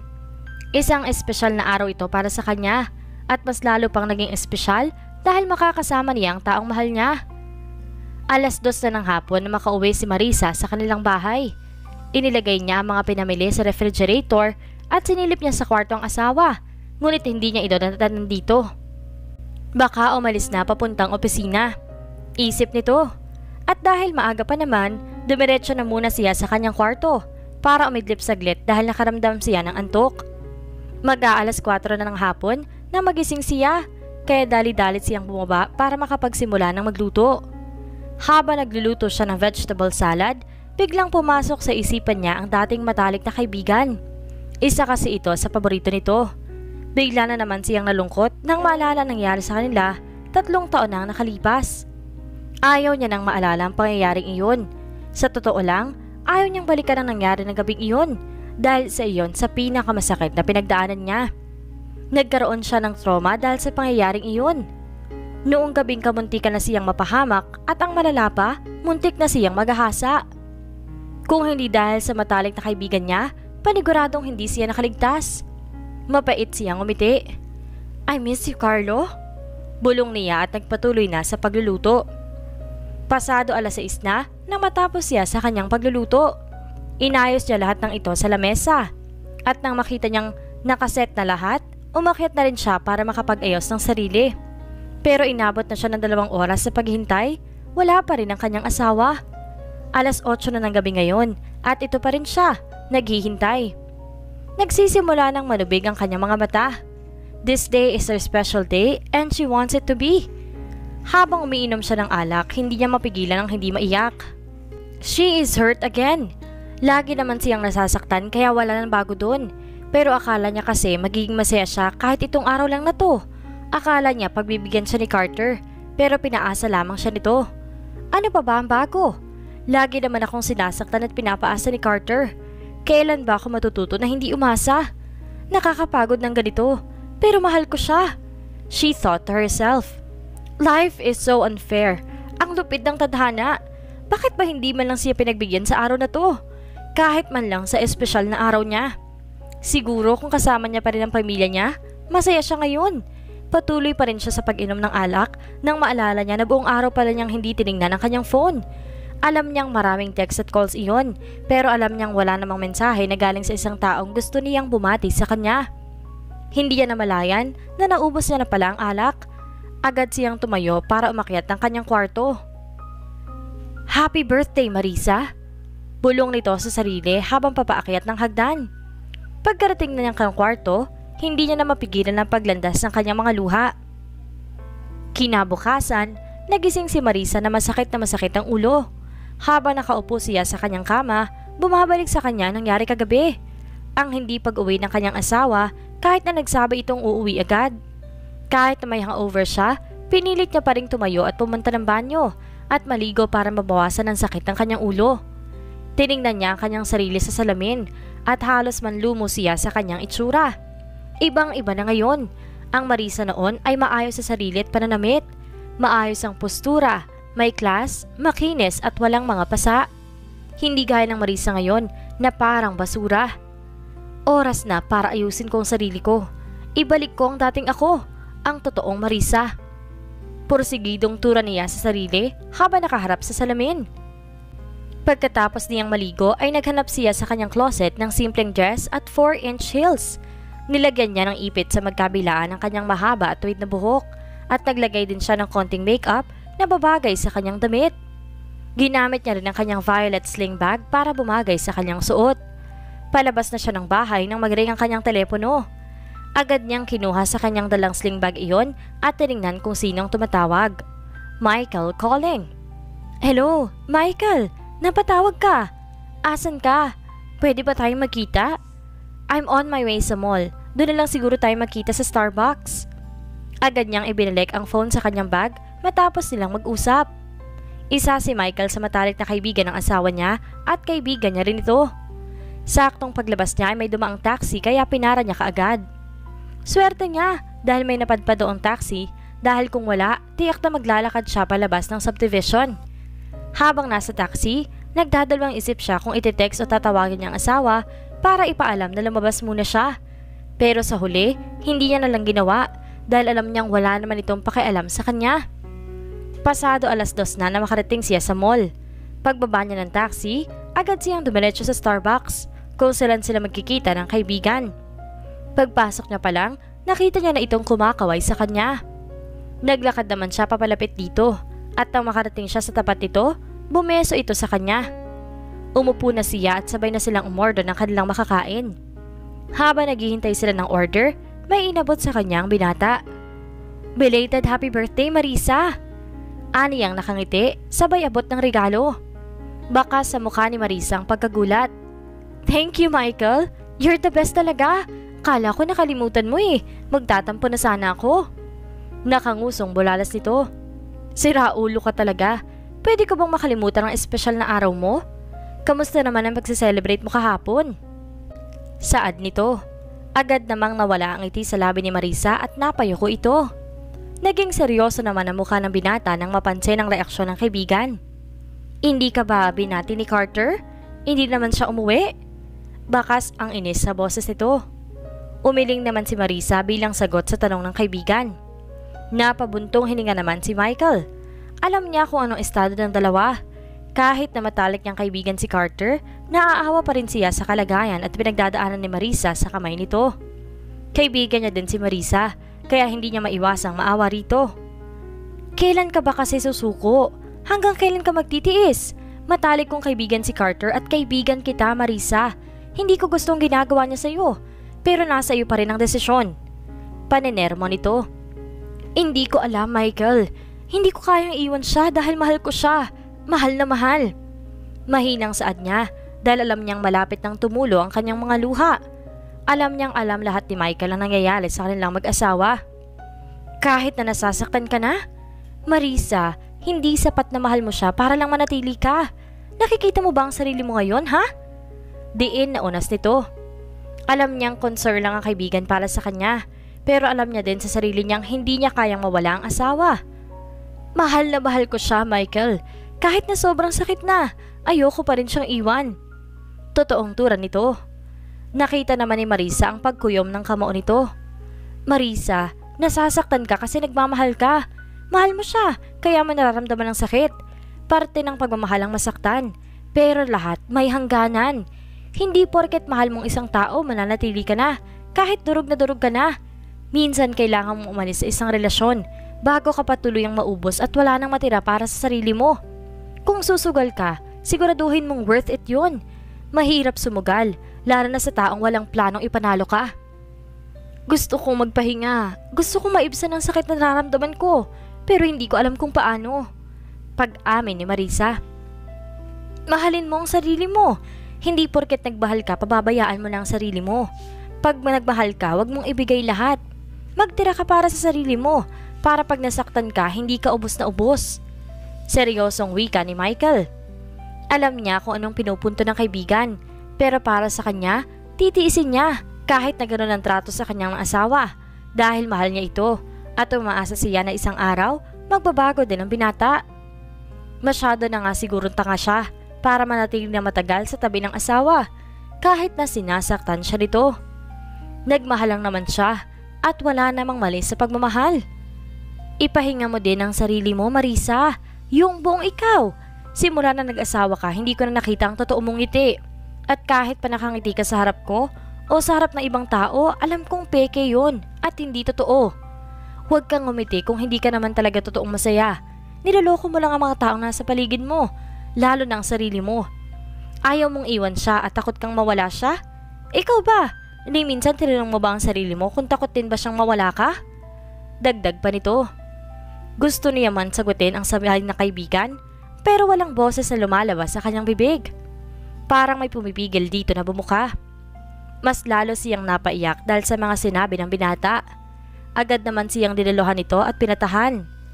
Huwag ka nang umiyak. Hindi bagay sa magandang katulad mo. Hindi ko sinabi ang mga iyon para saktan ka. Sinabi ko yon para makapag-isip ka. Saad nito habang pinupunasan ang kanyang pisngi. Ilang minuto pa, tumahan na rin ito, kaya tinuloy na nila ang pagkain at nagkwentuhan ng ibang mga bagay. Halos dalawang oras din silang nagdagal doon bago lumabas at mag-iikot-ikot muna sa mall. Alas 5 na ng hapon nang mapagdesisyon na nilang umuwi na. Ihahatid pa sana siya ng kaibigan but she declined it. Ayaw niyang abalahin pa ito. Sinamahan muna siya ni Michael habang nag-aantay ng taxi. Um, Michael, thank you for this day. Nag-enjoy ako. Wala yun. Sabi ko naman sa'yo, huwag kang mahihiyang tawagan ako kapag kailangan mo ng kasama at kausap. Sabi nito. Maya-maya pa, may pumarada ng taxi sa harapan nila. Kaya sumakay na si Marisa. Niyakap muna niya si Michael bilang pasasalamat ulit at bumeso din ito bago tuloy ang sumakay ng taxi. Nang makarating si Marisa sa kanilang bahay, agad itong umakyat sa kwarto para makapagpalit. Pagkatapos ay lumabas na siya ng kanyang kwarto para tingnan kung nakauwi ng kanyang asawa. At nang makapasok siya sa silid nito, wala siyang nadatna na Carter. Senyales na hindi pa ito nakauwi, kaya lumabas na lamang ito at bumaba para doon hintayin ng asawa. Habang nasa hagdan siya pababa nang marinig niya ang marahas at malakas na pagbukas ng kanilang pintuan, kaya dali-dali siyang bumaba. Marisa! Galit na sigaw ni Carter. Napapitlag naman siya nang marinig ang boses ng asawa na halatang galit na galit ito. Naabutan niya sa baba na pagewang-gewang ito kung maglakad. Kanina pa kita tinatawag. Bakit di ka sumasagot, ha? Galit na wika nito na makita siya. Nakaramdam siya ng kaba, lalo na ngayon na alam niyang lasing na lasing ang asawa. Umakit ka na sa kwarto, Carter. Magpahinga ka na at lasing ka. Akmang tatalikuran niya na sana ito nang biglang hilahin siya ng asawa sa braso. Kitang-kita niya ang nanlilisik na mga mata nito na nakatingin sa kanya. Ang sabi ko magpahinga ka na, halika at ihahatid na kita sa kwarto mo. Ani pa ni Marisa na hindi pinapahalata ang takot. Ngunit hindi man lamang siya pinakinggan ito at mabilis na hinila ang kanyang buhok at kinaladgad siya paakyat. Baka sa mukha ni Marisa ang sakit sa pagkakasabunot nito sa kanya. Hindi niya alam kung saan siya hawak sa kanyang ulo ba o sa braso nito. Ano ba, Carter? Nasasaktan ako! Pitawan mo ko! Sigaw nito habang namimilipit sa sakit. Nang makarating sila sa kwarto, walang pakundang itinapon siya ng malakas ng asawa sa kama dahilan para mapahiga siya. Hindi niya maintindihan kung anong nangyayari sa kanyang asawa at kung saan nagmumula ang galit nito. Kitang-kita niya mga mata nitong nag-aapoy sa galit na animoy gigil na gigil ito. Nakaramdam siya ng labis na takot dahil doon. Kaya mabilis siyang bumangon, ngunit pinigilan siya ng asawa sa pamamagitan ng mahigpit na pagkahawak nito sa kanyang braso. Carter, ano ba? Palabasin mo na ako! Nauutal na usal niya, ngunit ngumisi lamang ang kanyang asawa, nawari walang naririnig. Huwag ka nang pumalag pa. Alam kong gusto mo rin naman ang bagay na to eh. Total malandi ka din naman at talatang madaming lalaki na nakapasok dyan. Siguro pwede ko namang subukan. Asawa naman kita at obligasyon mo ito sa akin. Halos nanginginig na si Marisa dahil sa inasta ng asawa. Mas lalo siyang kinabahan na makitang nagsimula ng hubarin nito ang kanyang mga suot. Umatras siya ng umatras hanggang sa makaabot na siya sa dulo ng kama at wala nang maaatrasan ang lumapit sa kanyang asawa. Don't do this, Carter! Please! Don't do this to me! Pagsusumamo nito, Oh God, please, help me! Halos maiyak na siya dahil sa nangyayari ngayon sa kanya. Bumalik din sa kanyang alaala ang nangyari sa kanya noon na pilit na niyang kinakalimutan. Huwag ka nang umarte dyan. Magugustuhan mo din ito. Mas magaling naman ako kaysa sa mga lalaki mo. I'm sure of it na masasarapan ka. Sambit ito habang hindi nawawala ang ngiti sa labi. Ibang tao nakikita niya ngayon sa harap niya. Hindi ito ang lalaking pinakasalan niya. Hindi ito si Carter na minahal at mahal niya. Unti-unti niyang ramdaman ang paglandas ng mga kamay nito sa kanyang binti. Kala malasoy siyang umatras palayo. No! No! Napasigaw siya nang bigla siyang hinila ni Carter papalapit sa kanya. Hindi niya napigilan ang paglandas sa mga luha sa kanyang mga mata. Hindi siya makapaniwala ang sa nangyayari sa kanya ngayon. Ang bagay na ayaw niyang maranasan at ang masakit pa, sa kamay pa ito ng kanyang asawa. Please, nakikiusap ako sa iyo, Carter. Stop it! Huwag mong gawin to. Pagmamakaawa niya, ngunit tila walang naririnig ang asawa nito. Impit na napasigaw siya nang punitin nito ang kanyang suot na damit.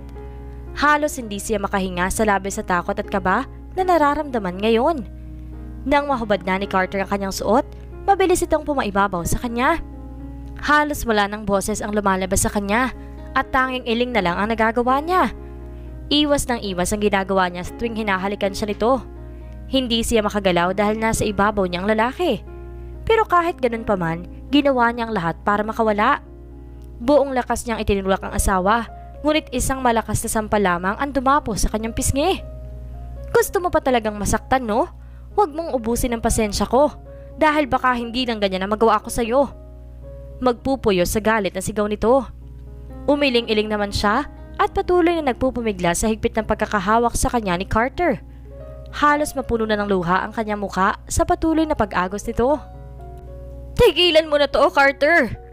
Malakas na sigaw niya sabay tulak na naman dito. Nakita niyang mas lalong nagalit ito kaya nakatikim na naman siya ng sampal. Sa pagkakataong ito, sobrang lakas na sampal na binigay sa kanya ng asawa na halos pakiramdam niya ay namanhid ang kanyang buong mukha. Hindi pa ito nakontento at marahas na hinila ang kanyang buhok. Aray! Carter, nasasaktan ako! Pitawad mo ko! Nasasaktang turan niya. Masyado kang maarte. Akala mo kung sino kang malinis. Alam ko naman na gusto mo rin itong gagawin ko sa'yo. Madiin na saad nito. Pilit siyang nagpupumigla sa abot ng kanya makakaya. Ngunit sadyang malakas ang asawa nito at hindi niya magawang labanan. Hinila siya nito sa headboard ng kama, sabay pinatapa at mabilis na tinali ang kanyang dalawang kamay gamit ang sinturon na nakapatong sa mesa. Walang tigil sa pag-iyak si Marisa na nagsimula ng gawin ni Carter ang gusto nito sa kanyang katawan. Hindi niya mapigilan na makaramdam ng galit sa asawa dahil sa ginagawa nito. Hindi ito ang gusto niyang mangyari.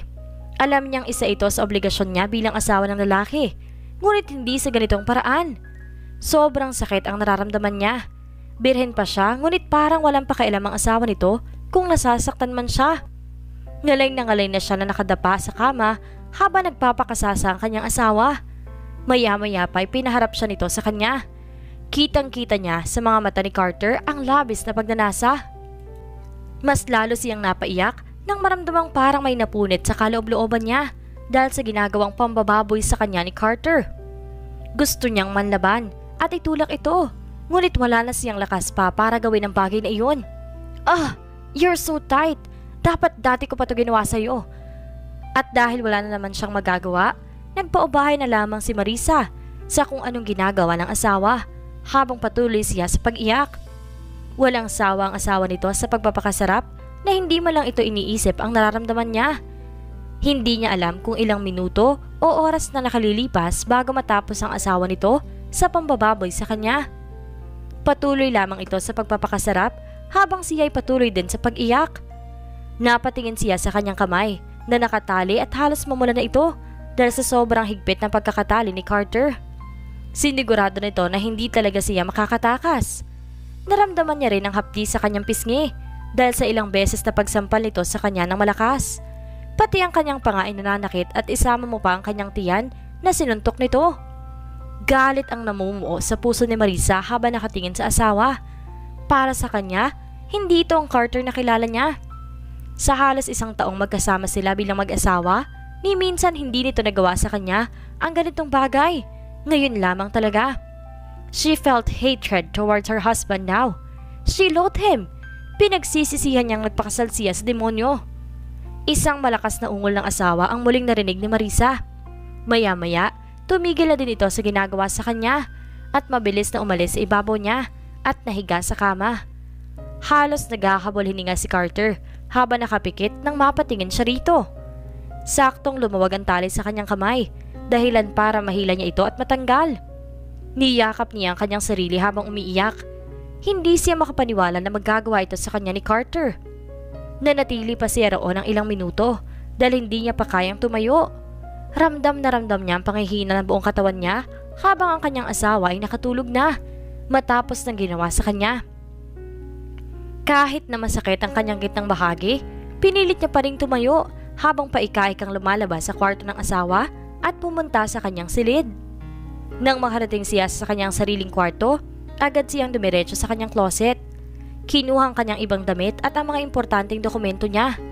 Kumuha din siya ng maleta para ipasok dito ang lahat. Habang nailagay niya ang kanyang mga gamit at patuloy pa rin sa paglandas sa mga luha sa kanyang mga mata. Ngayong gabi, handa na siyang iwan ang lalaking kanyang minahal. Kahit mahirap at masakit ay gagawin niya. Dahil pakiramdam niya ngayon, ubos na ubos na siya. Pati kanyang pagkatao at dignidad ay nawala na. Ang pagmamahal niya sa kanyang asawa, na akala niya hindi mawawala, pero sa isang iglap lang, napalitan ito ng galit, hinanakit at puot. Hindi niya na kayang manatili at makasamang taong dahilan kung bakit siya nagdurusa ngayon at nandidiri sa kanyang sarili. Hindi niya kayang makita ang mukha ng taong nanamantala sa kanya. Mabilis siyang natapos sa pag-ayos dahil ayaw niyang magpaabot pa ng umaga. Gusto niyang umalis ngayon sa impyerong lugar na ito. Bago niya tuluyang lisanin ang kanyang silit, nilibot niya ang kanyang tingin sa loob sa huling pagkakataon. Sinigurado niyang wala siyang maiiwan na importanteng bagay sa kanya. Pinasadahan niya ang tingin na litrato nilang mag-asawa na nakadikit sa dingding. At nang makasiguro siyang wala siyang naiwan pa, mabilis siyang lumabas sa kanyang kwarto Dala-dala ang kanyang maleta at bag. Pero bago siya bumaba ng hagdan, pumasok muna siya sa kwarto ng kanyang asawa na himbing na himbing pa rin sa pagtulog. Ngayong gabi, ibabasura niya na lahat na nangyari. Noong nakilala niya si Carter, hanggang sa pinakasalan niya ito. Tinignan niya ang kabuuan ng lalaki habang patuloy pa rin naglalabasan ang kanyang mga luha. She loved Carter very much. Pero dahil sa ginawa nito sa kanya, hindi niya alam kung makakaya niya pang mahalin ito. Pagsisisihan mo lahat ng ginawa mo sa akin. Pagbalik ko, ipaparamdam ko sa iyo ng doble ang sakit na pinaranas mo sa akin. Simula ngayong araw na to, kakalimutan kong may kilala kong Carter. Puno ng hinanakit na tura niya sa sarili. Mabilis siyang bumaba at umalis sa kanilang bahay nang hindi man lamang lumilingon. Habang sakay siya ng isang taxi, hindi niya maiwasang alalahanin ang lahat ng nangyari sa kanila Simula na magsama sila ni Carter hanggang sa nangyari ngayon. Hindi niya mapigilan ang hindi maiyak dahil dito. Nag-check-in siya sa isang hotel para doon magpalipas ng gabi. Gusto niyang matulog. Gusto niyang ipahinga ang katawan at ang isip niya. Kinaumagahan, maaga siyang nagising dahil may pupuntahan siya at gustong bisitahin ng isa sa pinaka-importanting tao sa kanyang buhay. Nagpa-deliver lamang siya ng pagkain Pagkatapos mabilis siyang naligo at nagbihis. Isang oras ang inabot ng kanyang biyahe bago siya makarating ng sementeryo. Nandito siya ngayon, nakaupo sa harap ng isang lapida. Dinalhan niya din ito ng rosas na kulay puti. Carlo Villaferte, born August 23, 1996, died November 8. Hi! Sorry kung ngayon lang ako nakadalaw. Nahihiya pa rin kasi ako dahil sa nangyari. At hanggang ngayon, sinisisi ko pa rin ang sarili ko dahil sa nangyari sa'yo. Panimula niya. Ang dami kong gustong sabihin at kwento sa'yo. Lahat ng sakit, galit at tinanakit ko. Pero alam kong hindi na mangyayari yon dahil wala ka na dito sa tabi ko. Hayaan mong dito ko na lang sabihin lahat. Alam kong naririnig mo ko. Patuloy niya habang hinihimas-himas ang pangalan nito sa lapida. Nagsimula siyang sabihin dito ang lahat-lahat Simula na makasal siya hanggang sa dinanas niya kagabi. Masakit na masakit para sa kanya dahil ang akala niyang hindi niya kailanman mararanasan, dinanas niya sa kamay pa mismo ng sariling asawa. Pero pinapangako niya sa kanyang sarili na hindi dito magtatapos ang buhay niya. Aayusin niya ang sarili. At babangon muli. Ibabalik niya ang dating siya na nawala simula nang minahal niya si Carter. Sisiguraduhin niya na pagbalik niya, ibang Marisa na makikilala nila magiging malakas at matapang siya at mas lalong hindi niya nahahayaan ang sarili niyang masaktan na muli. Hindi niya maialis sa isip niya ang katotohanang may nangyari na sa kanila ng kanyang asawa, ngunit sa maling paraan lamang. Nanatili pa siya roon ng ilang oras bago tuloy ang umalis at bumalik sa hotel. Nakapagpasya na siya. Aalis siya at pupunta ng Canada. Doon niya sisimulang buuin muli ang kanyang sarili. Kinuha niya ang kanyang telepono sa kanyang bag habang sakay siya ng isang taxi pabalik ng hotel. Tinawagan niya ang kaibigang si Michael dahil hindi niya matawagan si Cindy dahil wala ito at nasa bakasyon kasama si Diego. Michael calling. Hello Marisa? Patanong na sagot ng binata. Michael, can you come here now? I need you and your help, please. Naiiyak na wika nito. Agad namang naalarmang binata nang marinig ang basag na boses ng kaibigan. Are you crying? What happened?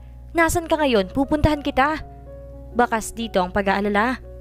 Pagdating mo dito, sasabihin ko lahat. I'm here at the hotel. I'll send you the address. Anas nito sabay baba ng kanyang telepono. Mabilis naman siya nakarating sa hotel kung saan siya tumutuloy ngayon. Dumiretso muna siya sa isang restaurant na nandoon at umorder ng kanyang makakain. Pagkatapos niyang kumain, agad siyang umakyat sa kanyang unit at naupo sa sofa.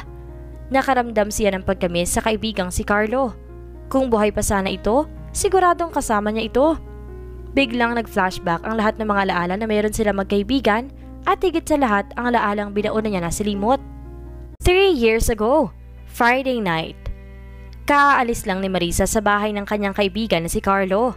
Tatlo silang magkakaibigan ni Cindy simula ng high school hanggang sa magkolehiyo sila. At dahil nagkaroon sila ng proyekto ng araw na yon, kung saan silang dalawa magkapareha, napagpasyahan ni Marisa na sa bahay nila ni Carlo ito gawin. Ihahatid pa sana siya ng binata, ngunit tumanggi ito dahil hindi pa naman masyadong gabi at ayaw niya makaistorbo pa sa kaibigan. Isa pa, Nagpasundo din ito sa kanilang driver sa labasan. Habang tinatahak niyang daan palabas ng subdivision kung saan nakatirang kaibigan para doon maghintay ng kanyang sundo ng araw na iyon, habang naglalakad si Marisa, napansin niya na parang may nakasunod sa kanya, kaya mas binilisan pa niya ang kanyang lakad. Ngunit hindi pa rin nawawala ang mga lalaking nakasunod. Tatakbo na sana siya at sisigaw nang bigla siyang habulin ng lalaki at ang isa naman ay biglang may pinaamoy sa kanyang ilong dahilan para mawalan siya ng malay. Nagising na lamang siya na nasa isang lugar na hindi pamilyar sa kanya. At doon niya napagtanto na nakidnap siya. Sigaw ng sigaw lang ang kanyang tanging ginawa para humingi ng tulong pero mukhang malayo ito sa kabahayan at walang nakakarinig sa kanya. Makalipas ang ilang minuto, biglang nagbukas ang pinto at iniluwan nito ang dalawang lalaki. Ang isa ay may daladalang pagkain. Kumain ka na, para may lakas ka mamaya pagdating ni boss. Wika nito sabay abot sa kanya ng pagkain. Pare, tiba-tiba dito si boss. Maganda, sexy, makinis at halatang sariwa pa to. Hindi niya man masyadong naiintindihan ang pinag-uusapan ng dalawa pero alam niyang hindi ito maganda. Parang awa niyo na. Pakawalan ninyo ako rito. Pakikiusap niya. Ngunit hindi man lamang siya pinakinggan pagkos ay umalis ang mga ito. Patuloy siya sa pagkalampag ng pinto hanggang sa makaramdam siya ng panakit ng kamay pero wala pa rin nagbubukas dito. Lumipas ang isang oras at muling nagbukas ang pinto at may isang lalaking pumasok na natatandaan niya ito. Isa ito sa kasama ng lalaking naghatid ng pagkain sa kanya kanina. Mabilis siya nitong hinatak at dinala palabas. Hindi niya alam kung saan siya nito dadalhin. Nakita niyang paakyat sila sa taas hanggang sa makarating sila sa isang pinto na nakasara. Hindi alam ni Marisa kung bakit nakakaramdam siya ng takot. Pilit niyang tinatanggal ang kamay ng lalaking nakahawak sa kanya, ngunit mas lalo nitong hinihigpitan ng pagkakahawak sa kanya, kaya hindi siya makaalis. Kung ako sa iyo, huwag mo nang nanaising tumakas dahil hindi mo rin naman magagawa. Biglang saad ng lalaki. Pakiusap, hayaan mo na akong umalis. Parang awa mo na, pakawalan mo ko. Pagmamakaawa niya. Ngunit umiding lamang ang lalaki. Ang mabilis na kumatok sa nakasarang pinto at nang bukas ito, tumambad sa kanya ang isang lalaking walang saplot, ang pang itaas nito.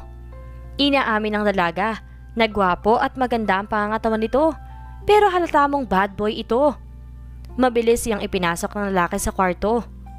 Boss, ito na nakuha namin ngayong gabi. Ngumiti naman ang lalaking kausap nito at pinasadahan siya ng tingin.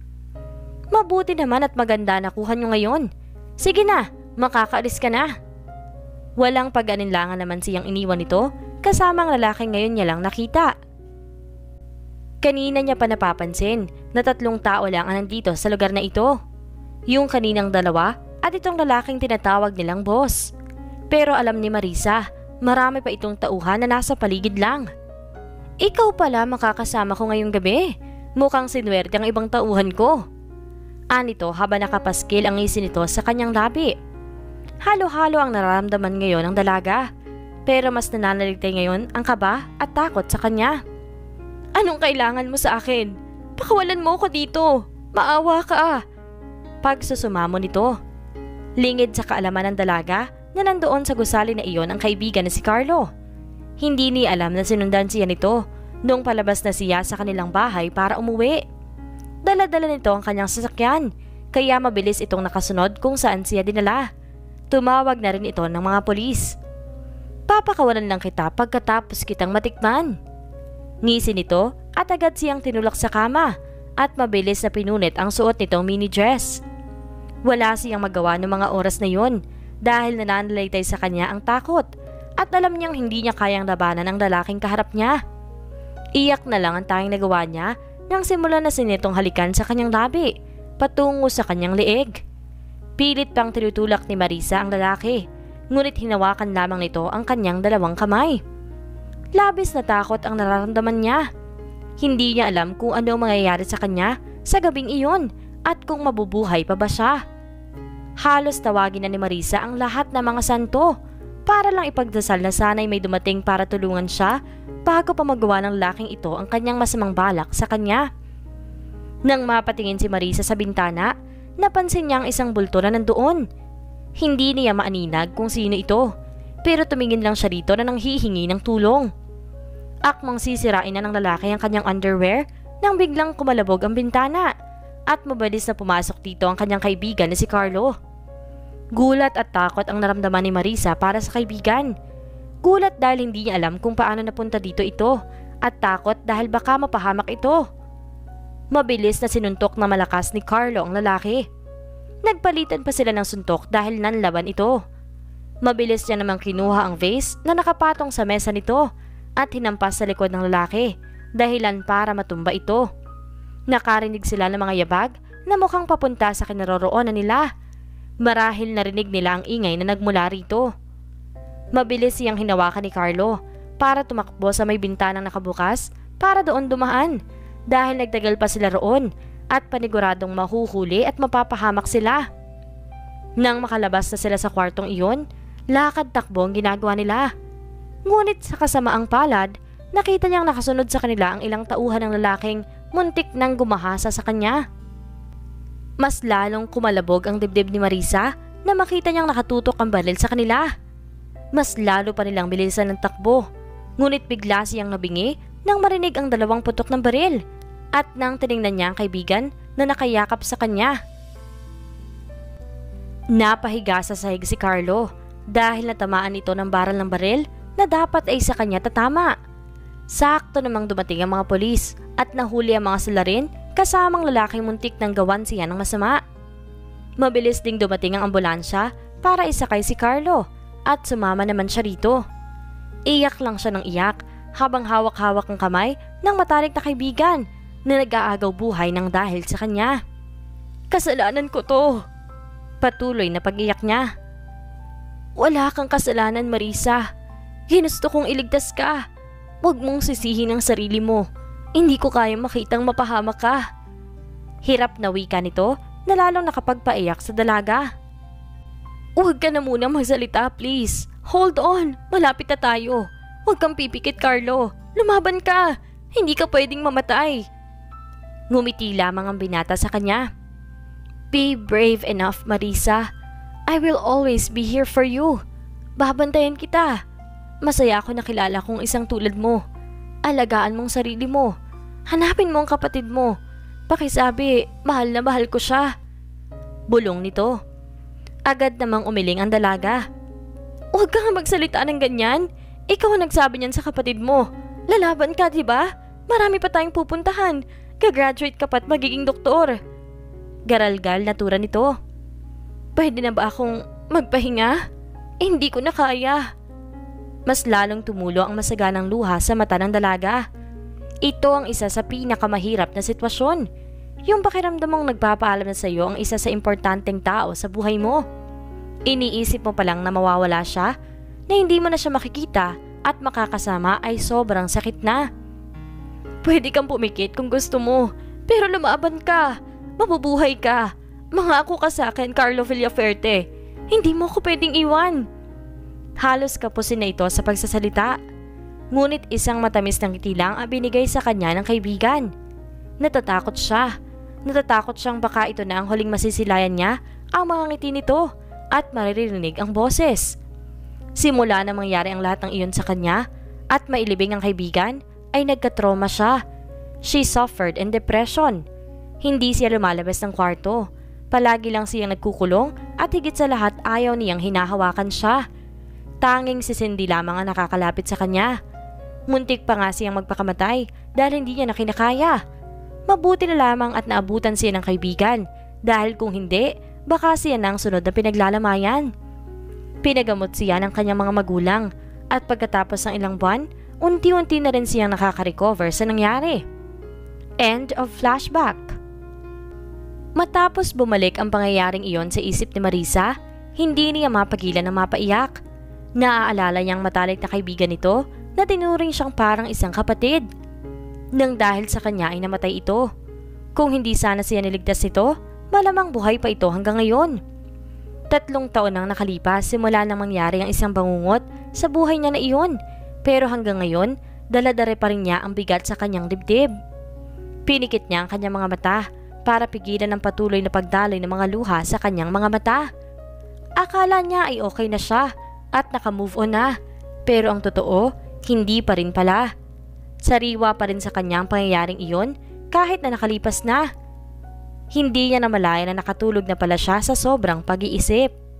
Nagising lang siya nang marinig ang sunod-sunod na katok sa kanyang hotel unit. Malamang ay mga kaibigan niya na iyon na si Michael. Agad siyang tumayo para buksan ito dahil mukhang naiinip na ito. Pupungas-pungas siyang naglakad patungong pintuan at agad na binuksan ito. Bumungad sa kanya ang nag-aalalang mukha ng binata. Ano nangyari? Bakit nandito ka sa hotel? Nasaan si Carter? Bungad agad nito sa kanya. Pwede isa-isa lang? Hindi ka naman siguro nagmamadali, hindi ba? Maupo ka muna at ikukuha kita ng makakain. Natatawang wika nito. Wag na, busog pa ako. So, ano na? Atat na atat na ito. Napabuntong hininga muna si Marisa bago umupo sa tabi niya. Hindi niya alam kung paano sasabihin kay Michael ang lahat lalo na't matalik na magkaibigan sila ni Carter. Ayaw niyang masira ang samahan nila ng dahil lang sa kanya.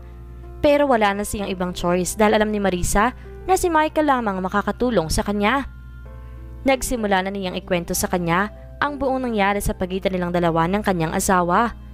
Sa buong pagsasalita ni Marisa, nakikinig lang si Michael at hindi nagsasalita kaya hindi niya alam kung anong tumatakbo sa isip nito. Gago talaga! Mapapatay ko talaga si Carter kahit na matalik ko siyang kaibigan. Nabigla si Marisa sa sigaw nito matapos niya magkwento. Maya-maya pa ay bigla itong tumayo. I immediately grab his hands to make him stop. Mukha kasi itong aalis. San mo balak na pumunta? Tanong niya. Pupuntahan kong gago kong kaibigan. Madiin na turan nito. Agad namang umiling si Marisa. Don't! Ano ka ba naman Marisa? Naiintindihan mo ba yung mga sinasabi mo? Bakit ang tanga mo? Sobra nang ginawa sa'yo ni Carter. Oo, kaibigan ko siya. Pero hindi ko mapapalampas ang ginawa niyang kahayupan sa'yo. Ano, magtatanga-tangahan ka pa rin ba? Galit na saad nito. Asawa ko pa rin siya, Michael. At mahal ko pa rin siya. Depensa niya. That's bullshit! Mahal mo siya. Pero ikaw, mahal ka ba niya? Tingnan mo nga yung sarili mo, Marisa. You are better than this. Wake up! Walang gamot sa katangahan. Tulungan mo ang sarili mo bago ka patuluyang masira. Ramdam ni Marisa na nagpipigil ito base sa kamay nitong nakakuyom. Natahimik siya sa sinabi ng kaibigan. Walang gustong lumabas na mga salita sa bibig niya. Naiyak na lang siya. Agad naman siyang dinaluhan at niyakap ni Michael. Sa loob ng mga nagdaang araw, labis ang paghihirap na pinagdaanan ng dalaga. Hindi siya nakakatulog sa gabi dahil paulit-ulit niyang napapanaginipan ang ginawa sa kanya ng asawa. Grabe ang naging epekto nito sa kanya. Madalas itong tulala o hindi kaya malalim ang iniisip. She has been suffering in depression and trauma. Laking pasasalamat na lang nito dahil hindi siya iniwan ng kaibigang si Michael. Palagi itong nasa hotel kung saan pansamantala siyang nakatira para samahan ito. She has also check up three times a week dahil na nga sa anxiety na dinadanas ng dalaga. Madalas din magising si Michael dahil sa mga sigaw nito. Nandito ngayon si Michael sa kwarto ni Marisa. Ngayon lang ulit ito nakatulog dahil nagising na naman ito kanina dahil sa bangungot nangyayari sa kanya nitong nakaraan dahil nga sa kagagawa ng asawa nito. Naaawa ang binata sa kalagayan ng kaibigan. Madalas niya itong naabutan na umiiyak o hindi kaya tulala sa kawalan. Labis na trauma ang dinulot sa kanya na ginawa ni Carter. And speaking of that bastard, ay hindi pa ulit sila nagkikita. Mas mabuti nga yun dahil baka hindi siya makapagpigil at makalimutan niyang matalik na kaibigan niya ito. Inayos niya ang pagkakahiga ni Marisa at nilagyat ito ng kumot bago ito tuluyang lumabas ng silid. Hindi niya maiwan-iwan ito, lalo na kapag gabi dahil ganito ang nangyayari sa kanya. It's been a week na palagi na lamang ganito kaya sinasamahan na siya ng binatang pumunta sa doktor para magpatingin. She's in deep trauma at the same time natitrigger ang emosyon niya dahil sa masamang pangyayari sa buhay niya. Kaya madalas itong parang wala sa sarili at takot. Sa tuwing nakikita niyang ganito ito, hindi niya alam kung ano ang gagawin. Kagaya na lamang noong unang gabi na maabutan siya nitong nasa ganoong kalagayan. Papalapit si Michael sa kwarto ni Marisa nang marinig niya ang ilang malalakas na sigaw. Patakbo siyang nagtungo sa kanyang silid. Mabilis niyang binuksan ang pinto nito at nakita niya itong nagsisisigaw na animoy nagmamakaawa. Puno na rin ang luha ang kanyang mga mata. Agad siya nitong nilapitan at niyakap para kumalma. Nung una ay nagpupumiglas pa ito na parang takot na takot na mahawakan. Hey, Marisa, calm down. It's me, Michael. Mahinahon na wika niya. Ngunit parang wala siyang narinig at patuloy pa rin sa pagpupumiglas sa pagkakahawak ng binata. Ramdam niyang takot at panginginig ng buong katawan nito. He cannot blame her. Sa naranasan niya sa mga kamay ni Carter, alam niyang hindi iyon madali. Niyakap niya ulit ng mahigpit. Mabuti naman at hindi na ito umalma, pero patuloy pa rin sa paghikbi. Michael, baka makita niya ako. Sasaktan niya ulit ako. Gagawin niya ulit sa akin yun. Namamaos sa saad nito habang nakakapit sa kanya. Agad namang hinimas-himas ng binata ang hibla ng kanyang buhok. No one can hurt you, especially him. Nandito lang ako. Babantayan kita. Hindi kanya malalapitan. Michael assured to her. Hindi niya alam kung ilang minuto sila na nasa ganoong posisyon nang damalayan niyang parang bumibigat na ang balikat ito at tinignan niya ito ay nakatulog na pala ang kaibigan. Simula nung araw na yon, madalas na siyang ganon tuwing madaling araw. Nagigising siya. Naging tahimik ito at hindi masyadong umiimik. Madalas itong tulala sa kawalan o kaya malalim ang iniisip. Madalas niya ring nadadatnan na umiiyak na animoy natatakot ito sa paligid. Kaya dinala na siya ng binata sa ospital para matingnan ang kalagayan niya at doon nila nalaman lahat. Samantala, nasa isang cafe si Diego kasama ang kanyang girlfriend na kanina pa mainit ang ulo. Hinahanap niya ang kaibigan niyang si Marisa dahil hindi raw nito sinasagot ang mga tawag niya. Kanina pa niya pinipilit si Diego na tawagan o puntahan nila si Carter para tanungin. Babe, pwede maupo ka muna? Kanina pa ako nahihilo sa ginagawa mo. Sambit niya na tiningnan lang siya ng masama ng babae. Tawagan mo na kasi yung jablo mong kaibigan. Inis na tura niya. Napabuntong hininga na lamang si Diego at kinuha ang phone niya para tawagan si Carter. Nakailang tawag na siya kay Carter pero hindi man lamang ito sumasagot. Oh, ano na? Anong sabi? Nasaan daw? Atat na tanong ni Cindy. Hindi sinasagot ni Carter. Napairap naman ito at sabay na umupo sa tabi ng binata. Alam ni Diego na nag-aalala si Cindy para sa kaibigan niya. Pero alam naman niya na okay lang yon sa poder ng kaibigan niya. Babe, puntahan na natin si Carter. Pagsusumamo nito. Hindi ko alam babe kung nasa ng kaibigan kong yun. Hindi niya sinasagot ang tawag ko. Huwag kang maparanoid dyan. Baka busy lang si Maritza kaya hindi nasagot sa tawag mo. Saad niya. Seriously, Diego? Busy? Ilang araw na busy pa rin? Eh wala namang ginagawa sa bahay nilang dalawa ni Carter. She burst out. Hindi rin nagtagal, dumating na ang order nila at nagsimula na silang kumain. Babe, hindi talaga ako mapapanatag hanggang hindi ko nakikita o nakakausap man lang si Marisa. Aniya. Huwag kang praning babe. Ang likot-likot kasi ng isip mo kaya kung ano-anong sinasabi mo. Okay lang ang kaibigan mo. Hindi naman yun pababayaan ni Carter. Pangungumbinsin niya. Tumango lamang siya at nagpatuloy na sa pagkain. Kahit si Jeko, hindi rin niya alam kung okay ba si Marisa o hindi. Alam niyang hindi maganda ang relasyon nila ng kaibigan niya.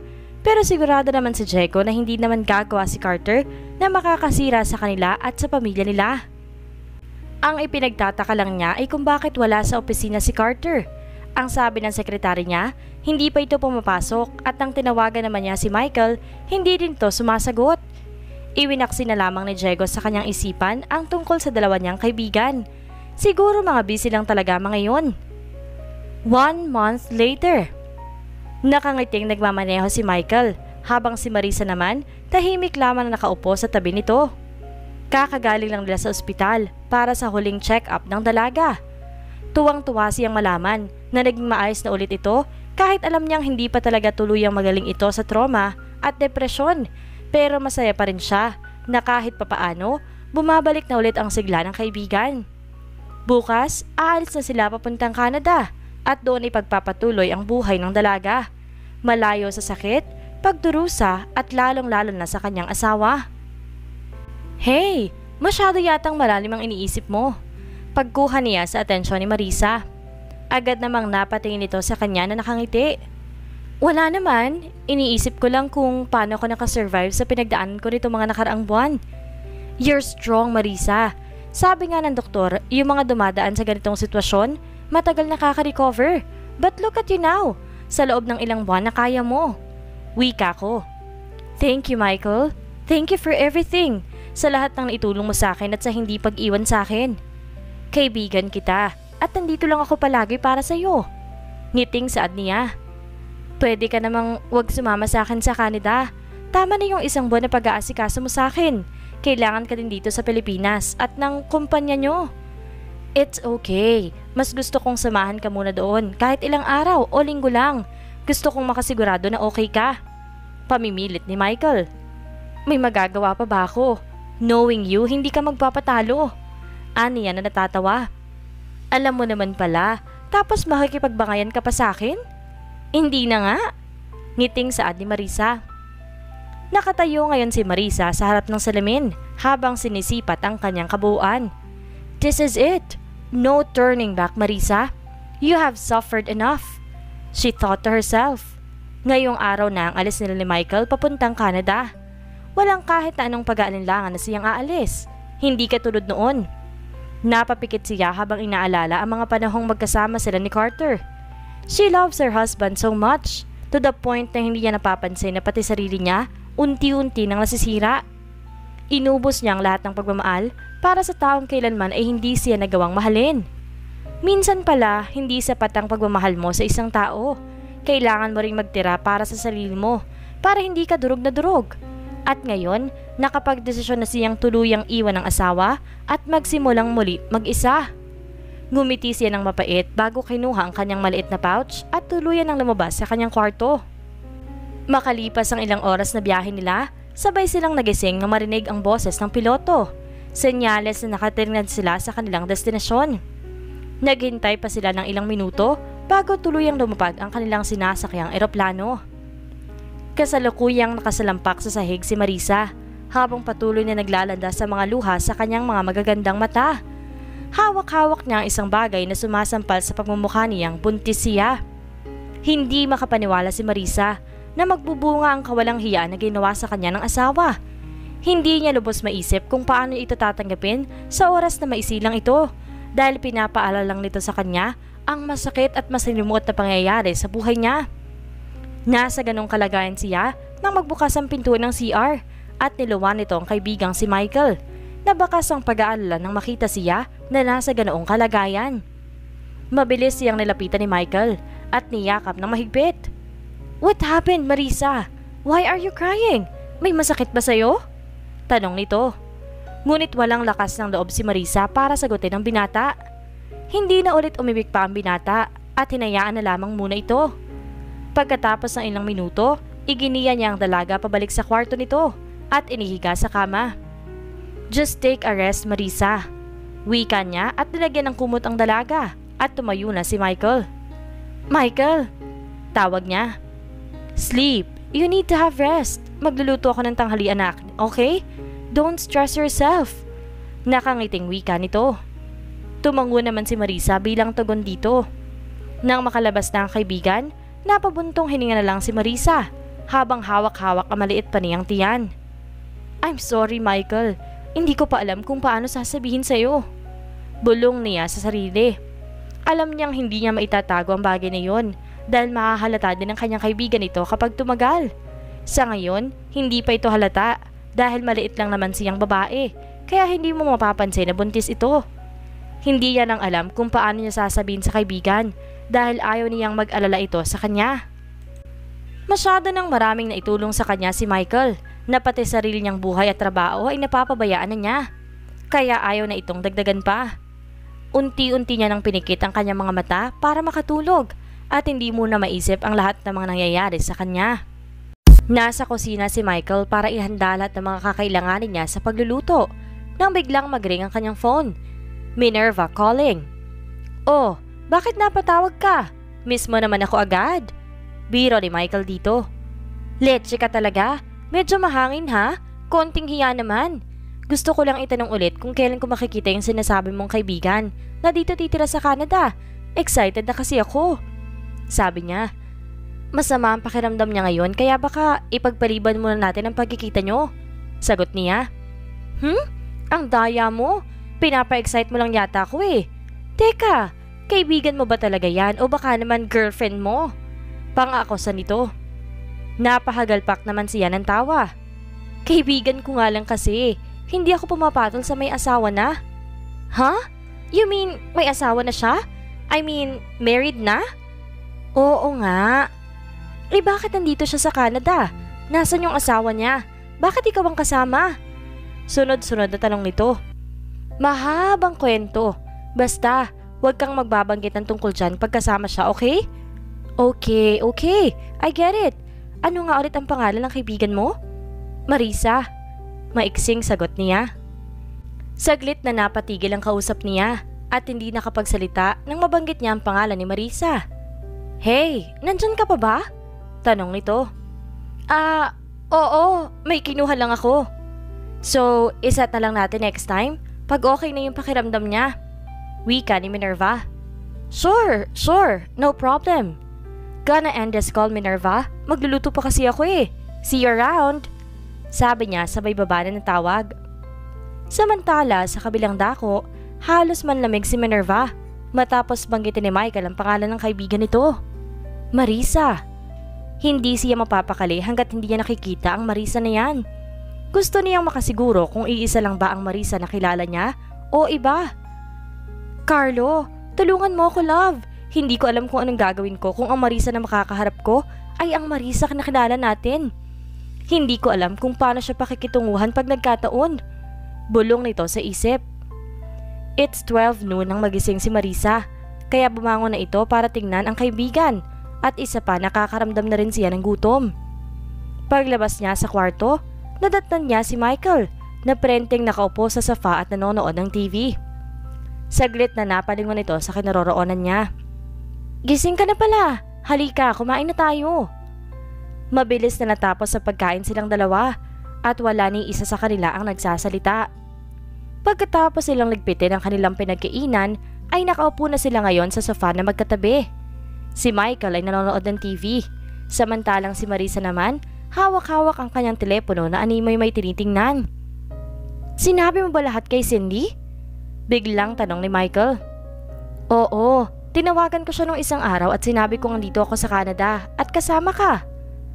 Habang nanonood sila ng TV, biglang tumunog ang phone ni Michael. Mabilis niya itong kinuha at tinignan kung sino ang tumatawag. Nang makita niya ang pangalan ng tumatawag, bigla siyang napatingin kay Marisa pero tinaasan lang siya nito ng kilay. Diego, why did you call? Michael suddenly spoke. Marisa immediately turned her gaze to him when she heard the caller's name. Nasa ibang bansa ako. May business meeting akong pinuntahan. Anas ni Michael na nagbigay lalo ng kuryosidad kay Marisa. Nagkita o nagkausap na ba kayo ni Carter? Ilang linggo ko na siyang hindi nakakausap. Baka alam mo kung nasan siya? Tanong ni Diego. Hindi pa kami nagkikita o nagkausap man lang. Bakit sa akin mo tinatanong yan? Ikaw ang nandyan sa Pilipinas. Aits, wala nga akong balita kung nasan ka. Kahit nga ikaw ngayon ko lang nalaman na nasa ibang bansa. Pareho kayong missing in action. Ismid ni Diego. Wait, what? Anong sinasabi mong missing in action? Nasaan ba si Carter?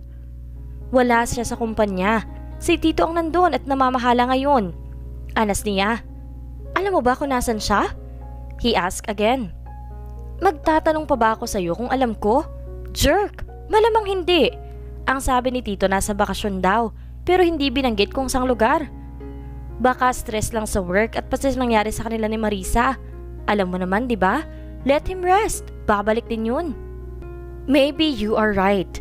Tinawagan lang kita para magtanong. Umuwi kan agad dito. Wala ko nakakasamang uminom.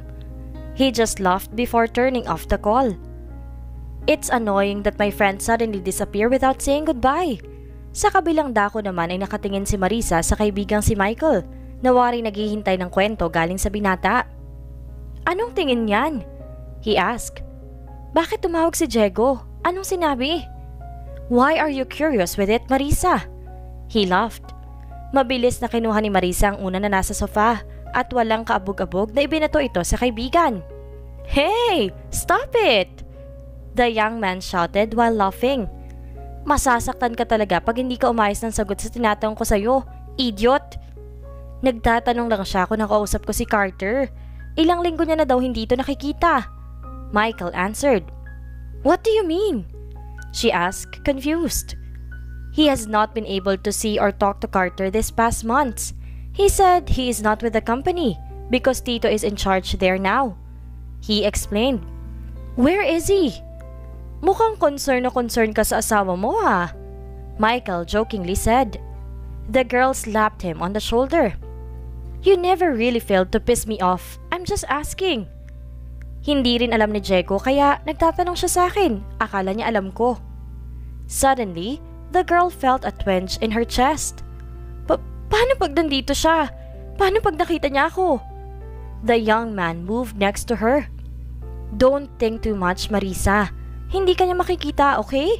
Kasi kung totoong hinahanap ka niya, dapat matagal ka na niyang nakita. Alam mong kayang-kaya niyang gawin yun. Wika ni Michael. She just nodded. Ilang araw na kakalipas simula ng pag-uusap nila ni Michael. Ilang araw na rin siyang hindi nakakatulog ng maayos dahil pinoproblema niya ang pagbubuntis niya. Hanggang ngayon ay hindi niya pa rin matanggap na nagbunga ang kasalanan na ginawa sa kanya ni Carter. Gusto niyang mawala sa landas niya ang bata. Hindi niya lang magawa dahil kasama niya si Michael at hindi ito maalis sa unit kung saan sila nakatira. Kaya mas lalo siya nakakaramdam ng stress dahil alam niyang hindi niya ito maitatago sa kaibigan dahil pag tumagal pa ito, mapapansin na iyon ni Michael. Habang nakaupo siya sa kanyang kama, ay biglang may naisip siyang plano. Agad-agad siyang lumabas sa kanyang kwarto at hinanap ang kaibigan. Nakita niya itong nakatayo sa veranda kaya agad siyang lumapit dito. Michael, pwede bang bilhan mo muna ako ng gamot? Masama kasi ang pakiramdam ko. The young man immediately looked at her. Anong nararamdaman mo? Baka sa mukha ng binata ang pag-aalala. Sumasakit ang ulo ko. Naganap ako ng gamot sa medicine kit natin pero wala na ako makita doon. Nagpapaawang saad nito. Okay, I'll buy you some. Just wait for me here and I'll be right back. Nang makaalis si Michael, mabilis na bumalik si Marisa sa kanyang kwarto para magawa ang kanyang plano. I'm sorry Michael kung nagsinungaling ako sa'yo. Ito lang ang tanging para na naiisip ko. Hindi ko kayang buhayin ang batang ito. Bulong niya. Lumapit siya sa kanyang kama at inayos ang mga unan at tinakpan ng kumot na animoy isang tao ang nakahiga doon. Pumunta siya sa kanyang cabinet at binuksan ito.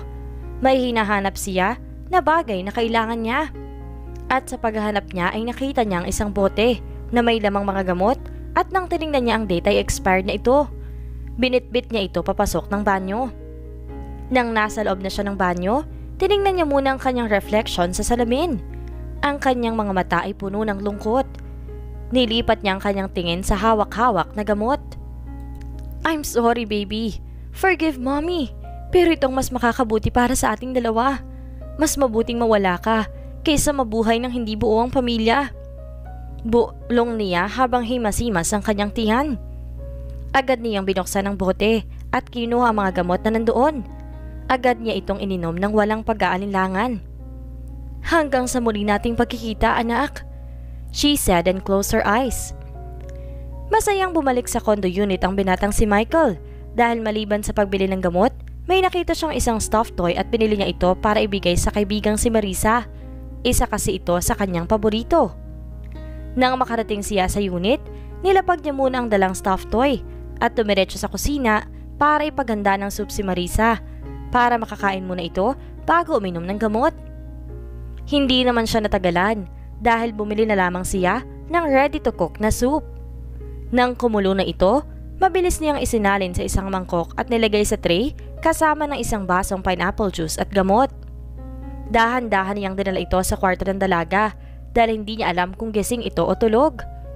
Pagkarating niya sa kwarto, nilapag niya muna sa maliit na mesa ang tray na may lamang pagkain at gamot.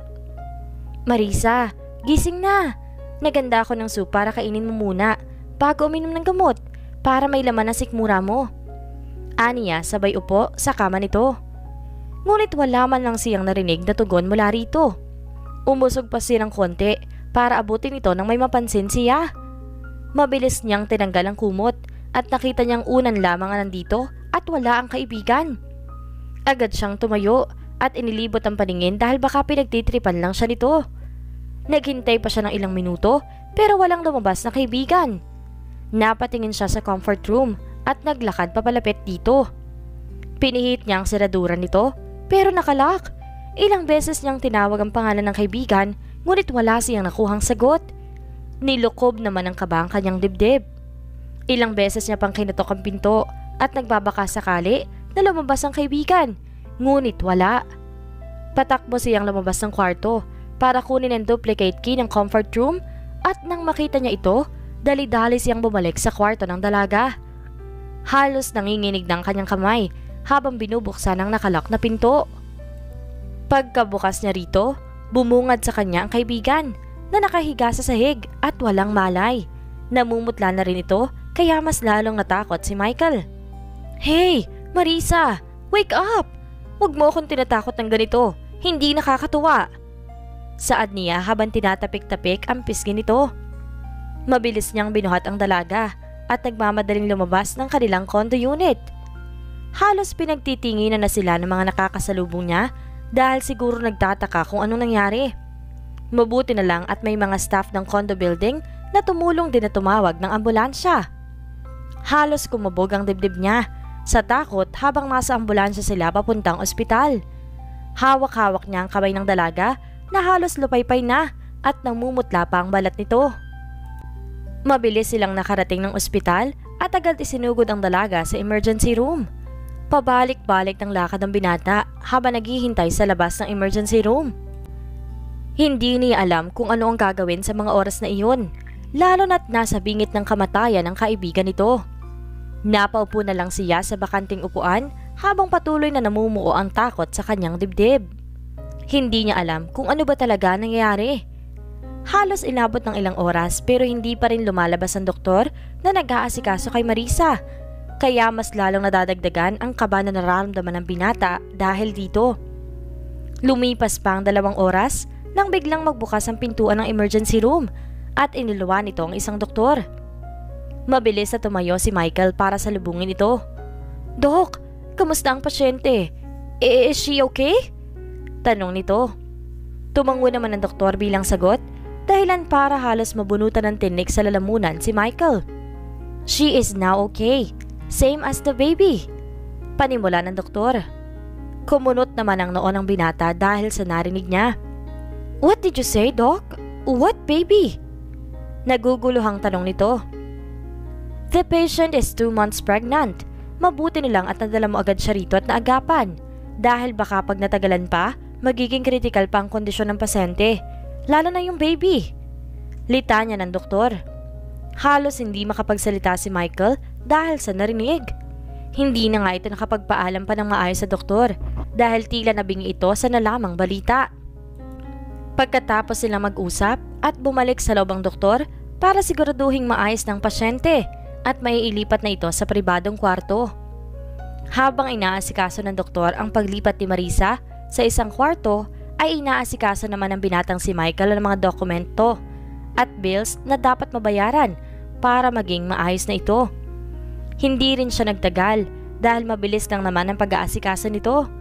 Kaya nakabalik agad siya kung nasa ang kwarto ililipat ang dalaga. Pagkapasok niya pa lang ng kwarto kung nasan ito, naabutan niya ang isang doktor at nurse. Mukhang chinecheck pa ng mga ito ang dalaga. Kamusta na siya, Dok? Tanong nito. Nasa mabuting kalagayan na sila ng baby, Mr. Fontanilla. Kailangan niya lang makapagpahinga. At sana iwasan niya ang stress at pag-iisip ng mga bagay na makakapag-trigger sa kanyang emosyon. Saad ng doktor. I will take note of that, Doc. What about food? Dagdag pa nito. She needs to eat healthy foods. Bibigyan din kita ng reseta ng mga vitamins na kailangan nila ng baby. Agad namang tumango si Michael bilang tugon dito. Hindi nagtagal Nagpaalam din ang doktor na aalis na dahil may iba pa siyang pasyente na kailangan tingnan. Hinila ni Michael ang upuan papunta malapit sa kaibigan na karatay sa hospital bed. Hindi niya alam kung magagalit o maaawa ba siya dahil sa sitwasyon ng kaibigan. Pero hindi niya maalis na makaramdam ng konting galit para dito dahil sa ginawa. Muntik nang madamay ang walang kamuwang buwang lasanggol dahil sa pagiging selfish nito. Naiintindihan niya kung hindi ito agad sinabi ni Marisa sa kanya. Pero ang hindi niya maintindihan ay kung anong pumasok sa utak nito, kung bakit ginawa ang bagay na yun, kung bakit muntik na niyang patayin ang sariling anak nito. Napahawak na lang siya sa sentido dahil sa frustration at pag-iisip. Paano na lang kung wala siya? Paano kung hindi niya naabutan ito? Hindi niya alam kung anong gagawin niya oras na may mangyaring masama sa dalaga. Samantala, Ilang beses nang tinatawagan ni Minerva si Michael pero hindi ito sumasagot. Inaasahan niya na makikipagkita ito sa kanya kasama ang kaibigan na sinasabi nito. Maya-maya, biglang tumunog ang cellphone niya at nakita ang numero ni Michael na siyang tumatawag. Mabilis niya itong sinagot. Hey Michael, I've been calling you multiple times. Bulalas niya pagkasagot ng tawag. I'm sorry Minerva, I rushed Marisa to the hospital. That's why I wasn't able to answer your call. Why? What happened? Hindi ko pa talaga alam kung anong totoong nangyari. Basta nakita ko na lang si Marisa na walang malay. He said, I'm coming over there. Send me the address, okay? Wika ko. Alright. Ani niya sabay baba ng tawag. Maya-maya pa ay nakareceive si Minerva ng mensahe kay Michael na naglalaman ng address ng hospital kung nasaan sila. I know how precious that Marisa to Michael is. Kitang-kita ko kung paano mag-alala ito sa kanya at kung paano siya nito alagaan. Sana lang dumating ang araw na maging ganyan din siya sa akin. Lingid sa kaalaman ng binatang si Michael na may nararamdaman para sa kanya si Minerva. Simula nang mamatay ang kasintahan niya na si Carlo, inaakala niya na hindi na siya magmamahal pang muli. Pero nang makilala niya at maging kaibigan ng isang Michael Fontanilla, Tinapos na lang ni Minerva ang mga kailangan niyang gawin. Nagpa siya siyang ayusin ang kanyang mga gamit at umalis na para pumuntang ospital. Alam niyang kailangan ngayon ni Michael ng karamay. Samantala, nagising si Marisa na puro puti ang nakikita. Ilang beses pa niyang ipinikit ang kanyang mga mata. Pagmulat niya, nakita niya si Michael na matamang nakatingin sa kanya ngayon. Alam at ramdam niya ang galit ni Michael base na rin sa pagkakatitig nito sa kanya. Michael! Tawag niya, ngunit wala siyang narinig mula sa kanya. Michael, I'm sorry. Nakayukong tura niya. Why did you do that? Are you out of your mind? Halata sa boses nito ang pagtitimpi ng kanyang galit. Halos hindi magawang tumingin sa kanya ni Marisa dahil hindi niya alam kung paano sasagutin ang tanong niya. Hindi ko alam na aabot ka sa ganito. Hindi ko alam na aabot ka sa puntong kaya mong pumatay ng insenting bata. Anak mo yon Marisa. Anak mo ang gusto mong patayin. Sigaw nito. Hindi na napigilan ni Marisa ang pagtulo ng mga saganang luha sa kanyang mga mata. Sa ilang taon nilang pagiging magkaibigan, ngayon lang ito nagalit sa kanya at gayon lang din siya nito sinigawan. Hindi ka ba nag-iisip, ha? Sa ginawa mong yan, paano kung hindi nakaligtas ang bata? Sa tingin mo ba, sasaya ka? Sa tingin mo ba, papatulugin ka ng konsensya mo dahil may napatay ka? Kung masama si Carter, ano sa tingin mo ang tawag sa'yo? Wala ka rin pinagkaiba sa kanya. Dagdag pa nito. Intindihin mo naman ako, Michael. Akala mo ba madali sa akin ang bagay na to? Akala mo ba ginusto ko to? Balik na saad niya rito. Oo, Marisa. Ginusto mo. Kaya nga ginawa mo, hindi ba? Simula noon, iniintindi kita. Alam mo yan. Hindi kita iniwan. Pero itong desisyong ginawa mo, sa tingin mo maiintindihan kita? No, Marisa. Hinding hindi ko maintindihan ang dahilan mo ng pagpatay sa inosenteng bata. I'm so disappointed to you. Dahil sa ginawa mong to, hindi ko na alam kung kilala pa ba kita. O kung ikaw pa bang Marisang kaibigan ko. Mahabang pahayag nito sabay talikod. Halos hindi na makapagsalita si Marisa dahil sa naging sagutan nila ni Michael. Narinig na lang niya ang pagbukas at pagsara ng pinto, senyales na umalis na ito. Iyak lang siya ng iyak dahil pakiramdam niya pati kaibigan niya ay iniwan na siya. Nasa ganong posisyon siya na magbukas ang pinto. Akala ni Marisa ay bumalik si Michael, pero hindi. Isang magandang babae ang tumambad sa kanya habang nakangiti. Hi, I'm Minerva, kaibigan ni Michael. May pinuntahan lang siya kaya humingi muna siya ng pabor sa akin para bantayan ka muna dito. Mahinhin na wika niya. Nice meeting you. Pilit ng ngiti ang binigay niya. You don't need to do that. Okay lang ako kahit wag mo nang bantayan. Ayoko makabala sa'yo. Dagdag pa niya. It's okay. I just want also to meet you. Aniya, tumango na lamang si Marisa dahil mukhang wala naman siyang balak na umalis. I heard about what happened to you. Mabuti na lang at ligtas kayo ng baby mo. I know what happened between you. And Michael, biglang sabi niya.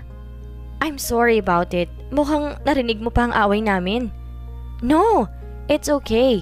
Natural naman sa magkaibigan ng ganon at hindi yun maiiwasan. Don't stress yourself. Makakasama sa'yo yan. Kailangan mong magpahinga.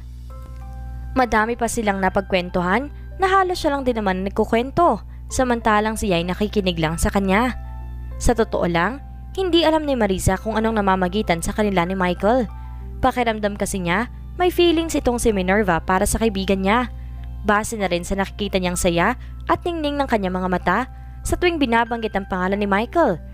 At para naman sa kaibigan niya, halatang gusto din ni Michael si Minerva. Kita iyon kung paano nila tingnan ang isa't isa.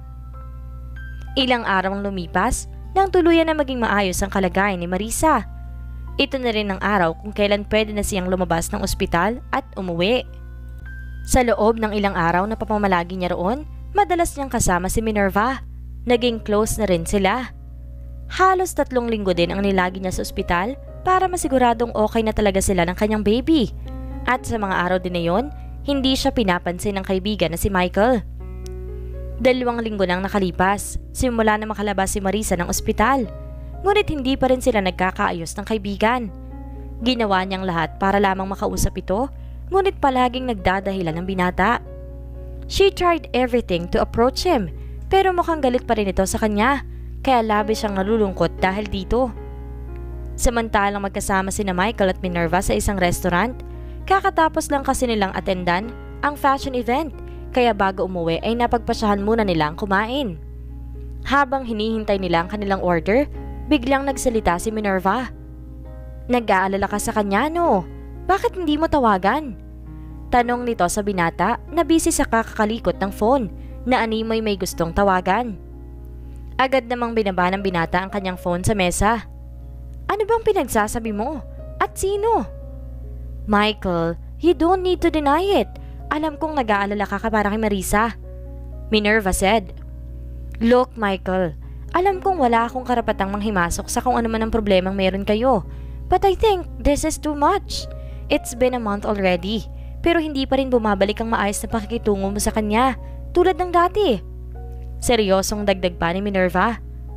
She is doing everything to approach you, to please you. Pero matigas ka. You are punishing your friend. You told me that Marisa is precious to you because she's like a sister to you. But look at what you are doing to her. You're hurting her because of the way how you are treating her. Hindi mo yung napapansin, Michael, kasi mas nangingibabaw sa'yo ang nararamdaman mo. Pahabang pahayag ni Minerva. Pagkarating ng hotel, hinanap agad ni Michael si Marisa para makausap. Marisa, can we talk? I know we have a misunderstanding. Ayoko nang patagalin pa ito. Dagdag ko. Agad naman itong napatingin sa kanya. Naiintindihan kita Michael kung bakit ka ganyan sa akin, kung bakit ka nagalit. Alam ko naman na mali ang nagawa ko at napaka-unreasonable nun, kaya ayos lang. Sabat niya. Pinangunahan lang ako ng emosyon ko. Sobra lang ako nag-alala sa'yo na makita kitang walang malay. Tas nalaman ko pang buntis ka pala. I'm sorry Michael. Hindi ko inisip ang mararamdaman ko. You've been there for me since the beginning. Masyado ako nagpadalas-dalas sa mga desisyon ko at hindi ko inisip yung mga taong madadamay. Muntik ko pang mapatay ang anak ko. Masyado lang ako natakot na harapin ang katotohanan na buntis ako at si Carter ang ama. Lumayo na nga ako pero mismong tadhana ang aayaw. Umusog naman ng konti ang binata kay Marisa. That baby is still a blessing. Kung ano man ang hindi niyang pagkakaunawaan ni Carter, labas na doon ng bata. Binigay sa'yo yan para may makasama ka. Sabi niya. I don't know. Until now, hindi ko pa rin alam ang gagawin. Masyadong mabilis ang pangyayari. Hindi pa ako stable. Hindi pa naghilom ang sugat sa madalim na karaan na nangyari sa akin. Tapos, ito na naman. Pag-amin ni Marisa. Malakas ka at alam kong kaya mo yan. Pagpapagaan ni Michael sa loob nito. Agad naman siyang tumango at ngumiti. Thank you, Michael. Thank you for everything. Thank you for all the things you have done to me. Siguro, kung wala ka, hindi ko na lamang gagawin ko. Aniya, I will always do everything for you. Halos kapatid na ang turing ko sa'yo. Sagot niya na nakangiti. Anyway, Marisa, after three days, I'll be back in the Philippines. I need to attend the board meeting at baka matagalan ako sa pagbabalik dito. Marami kasi akong dapat asikasuhin sa opisina. Saad niya. Sinabi ko naman sa'yo nung nakaraan pa na bumalik ka na sa Pilipinas. Nandun ang trabaho mo kaya hindi pwedeng manatili ka na matagal dito. Nang dahil lang sa akin. Are you sure you will be okay here? Hindi ako mapakali kasing maiwan ka dito. Seryosong wika nito. Ano ka ba naman, Michael? Baliw ka talaga eh. Okay na okay ako dito. Anong gusto mo, bumalik ako kasama ka doon? Minerva will be here to accompany you. Sinabi niya sa akin na palagi kanyang bibisitahin dito just to make sure na okay ka. Agad niya namang hinampas sa balikat si Michael. Ginawa mo pang tagapagbantay si Minerva. Ikaw talagang lalaki ka, hindi ka nag-iisip eh. Okay lang ako dito. Huwag mo na siyang abalahin. May sarili din siyang buhay at negosyo na kailangan tutukan. Basta, you need to update me always kung ano nangyayari sa'yo. At kung may iba kang nararamdaman, pumunta ka agad sa ospital. O kaya tawagan mo si Minerva. You understand? Paalala niya. Oo, Tay. Inaanto ka na ba? Halika, sasamahan na kita sa kwarto mo. Wika ni Michael. Tumango naman ito bilang tugon, kaya agad niya itong inalalayan papuntang kwarto para makapagpahinga na rin ito. Pagpasok nila sa kanyang kwarto, agad itong nahiga. Binuksan niya ang aircon at naupo sa gilid ng kanyang kama. Matulog ka na, Mukhang napagod ka sa paglalakad kanina. Bulalas niya habang nakatingin ito sa kanya. Agad niyang pinikit ang kanyang mga mata. Habang pinagmamasdan niya si Marisa, biglang pumasok sa isipan niya ang kaibigang si Carter. Simula nang umalis siya kasama si Marisa, wala na siyang naging balita pa sa kanya. Kahit na si Diego ay hindi pa niya nakakausap hanggang ngayon. Ang huli nilang usap ay yung tumawag pa ito sa kanya. Gusto din niyang marinig ang side ni Carter kung ano ba talaga ang totoong nangyari at kung bakit nagawa niya ito sa asawa. Kilala niya si Carter. Hindi niya gawain ng manakit lalo na kay Marisa. Oo, alam niyang hindi sila okay bilang mag-asawa pero naniniwala si Michael na hindi niya kayang gawin ang bagay na ito kay Marisa. Mabilis lumipas ang araw at nandito ngayon sa airport sina Marisa at Minerva dahil itong araw na aalis si Michael pabalik ng Pilipinas. So, This is it. Iiwan ko na muna kayong dalawa. Kailangan ko nang bumalik sa trabaho. Huwag niya masyadong mamiss ang kagwapuhan ko, ha? Panimula nito habang kaharap ang dalawa. Napa-facepalm na lang si Minerva dahil sa pagiging mahangin ng binata. Minsan, bawasan mo nga yung kakapalan ng mukha mo, Michael. Aniya, Sus, if I know, mamimiss mo ako, Minerva. Pang-aasar nito. Nag-usap pa silang tatlo ng ilang minuto bago tawagin ang flight ng binata. Ayaw niya man na iwan ng kaibigan pero kailangan niyang umuwi dahil may kumpanyang naghihintay sa kanya. At isa pa, kailangan niya pang kausapin ng mga kaibigan niya, lalo na si Carter. Saglit na nagpaalam ito kay Minerva at Marisa at agad na naglakad paalis. Naiwan naman ang dalawa at nagpa siyang dumaan ng mall bago umuwi ng hotel. Mapapansin talagang sobrang lapit na sa isa't isa ni Minerva at Marisa. Pagkarating ng hotel, dumiretso si Marisa sa banyo para maligo pagkatapos ay naupo sa kama.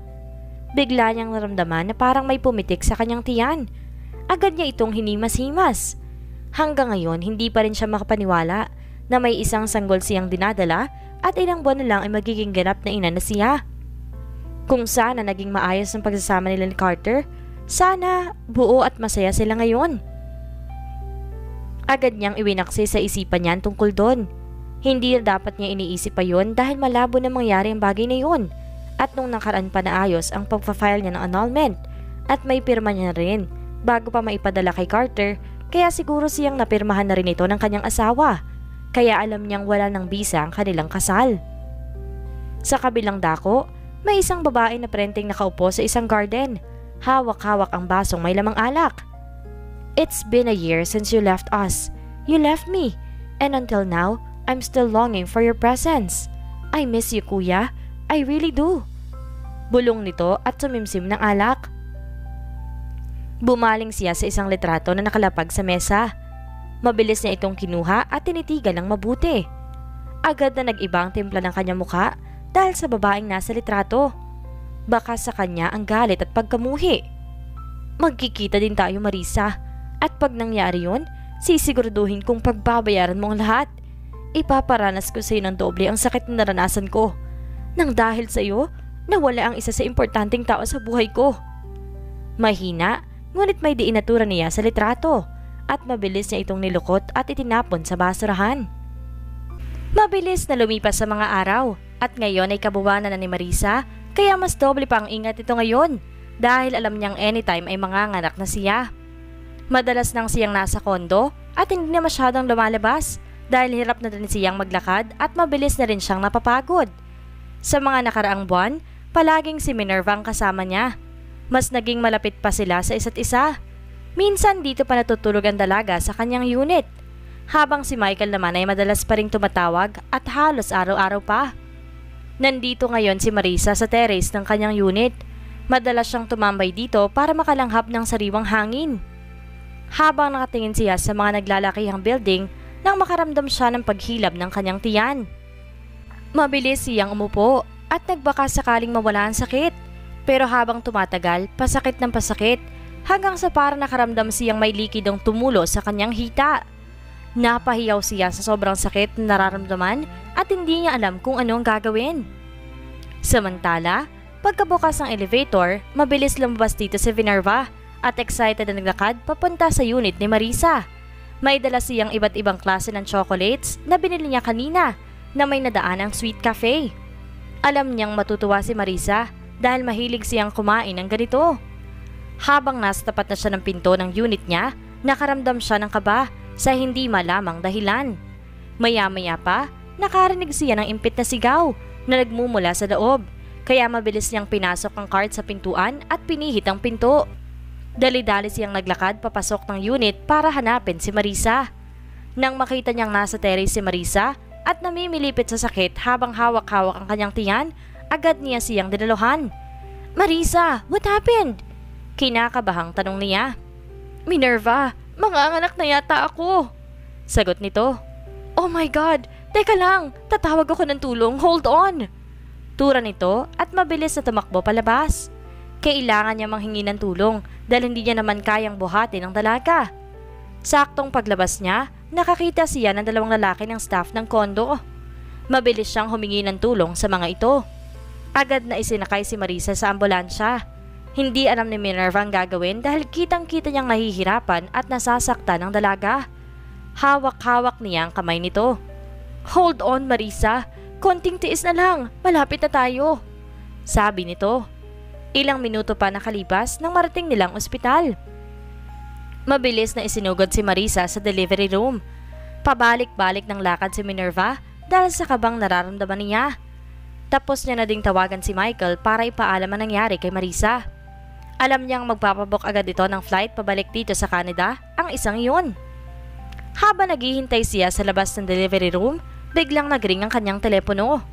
Mabilis niya itong kinuha sa pag-aakalang si Michael ang tumawag, ngunit dismayado siya nang mabasa ang pangalan ng caller. Hello?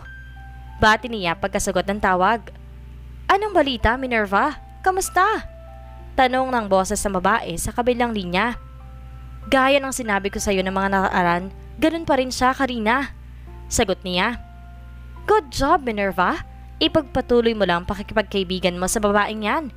Konting panahon na lang at magagawa natin ang matagal na plano. Karina, do you think this is right? Pwede naman na wag na natin ituloy ito. Alam nating pareho na hindi niya kasalanan ang nangyari. Wika ni Minerva. Of course! This is the right thing to do, Minerva. Ano ba nangyayari sa'yo, ha? Siya ang may kasalanan ng lahat. Huwag mong sirain ang matagal na nating binuong plano. You will help me with everything, right? Ah, uh, oo naman, Karina. I will always help you. Mahinang sagot nito. I knew it. Alam kong tutulungan mo ko. Akala ko ipagpapalit mo na ako sa babaeng yan eh. Napabuntong hininga muna si Minerva bago sumagot. Hindi ko yun gagawin, Karina. You know how precious and important you are to me. Aniya. Hindi rin nagtagal ang pag-uusap nila. Pagkababa niya ng tawag, napaupo na lamang siya sa upuan na malapit sa kinaroroonan niya at napahilamos ng mukha. Hindi niya na alam ang gagawin. Sa loob ng ilang buwan na nakilala niya si Marisa, alam niyang mabait ito at hindi niya kayang makitang mapahamak ang dalaga. Ngunit mahalaga din sa kanyang babaeng kausap niya at hindi niya ito kayang iwan sa ere ng basta-basta lang. Gulong-gulo na ang kanyang isipan at hindi niya na alam ang gagawin pa. Alam niyang sa oras na malaman ni Michael ang lahat ay natitiyak niyang magagalit ito sa kanya at baka hindi siya mapatawad ng binata. Sa nakalipas na buwan, nag-improve ang kung anumang meron sila ni Michael. It's been 4 months simula na maging sila. Kaya labis sa takot na lang ang nararamdaman niya oras na malaman ni Michael ang lahat-lahat. Mahal niya ang binata, kaya hindi niya alam ang gagawin pag nangyari ang bagay na nasa isip niya. Dahil pag nagkataon, baka mawala ng tuluyan sa kanya ang binata at yun ang kinatatakutan niyang mangyari. Habang nasa malalim na pag-iisip si Minerva, biglang nagbukas ang delivery room at nilawan nito ang isang nurse na may kasamang sanggol. Mabilis siyang lumapit dito. Miss, yan na bang anak ng pasyente na nasa loob? Kamustang nanay? She asked. Yes ma'am, nagpapahinga na po siya sa ngayon dahil sa sobrang pagod. She's a brave woman. Nakangiting sagot naman ito sa kanya. Nagpaalam muna saglit ang nurse dahil aayusin pa nila ang bata. Nakahinga naman siya ng maluwag dahil alam niyang nasa maayos na kalagayan na ang mag-ina. Matapos ang dalawang oras, nilipat na si Marisa sa isang pribadong silid para mas makapagpahinga pa ito. Hanggang ngayon ay wala pa itong malay. Nandito na rin sa silid ng dalaga si Minerva at karga-karga nito ang baby. Masaya siya dahil nakaya ni Marisa na isilang ang napakagwapong anak nito. Habang nilalaro niyang bata, napansin niyang nagmulat ng mga mata si Marisa. Agad siyang lumapit dito. Kamusta ka? Tanong nito habang karga-karga pa rin ang bata. Ngumiti naman sa kanya ang dalaga. Okay lang ako. Iyan na ba ang baby ko? Tanong nito. Oo, ito na nga. Ang cute at pogi niya. Babalik dito mamaya ang doktor para itanong ang pangalan ni baby. Hindi ko kasi kanina nasagot yun dahil mas mabuting ikaw magbigay ng kanyang pangalan. Wika nito sa may bigay ng bata kay Marisa. Labis na kasiyahan ang nadarama ni Marisa nang makita at mahawakan ang kanyang anak. Kahit masakit man ang pinagdaanan niya, may binigay pa rin sa kanyang blessing. Four years later. Pababa ngayon ng eroplano si Minerva habang nakasunod sa likod nito ang isa pang babae na may hawak-hawak sa kaliwang kamay nito ang isang batang lalaki. Marisa, bilisan nyo na ng inaanak ko. Masyadong excited itong si Minerva. Alam mo naman, ang tagal niyang hindi tayo nakasama.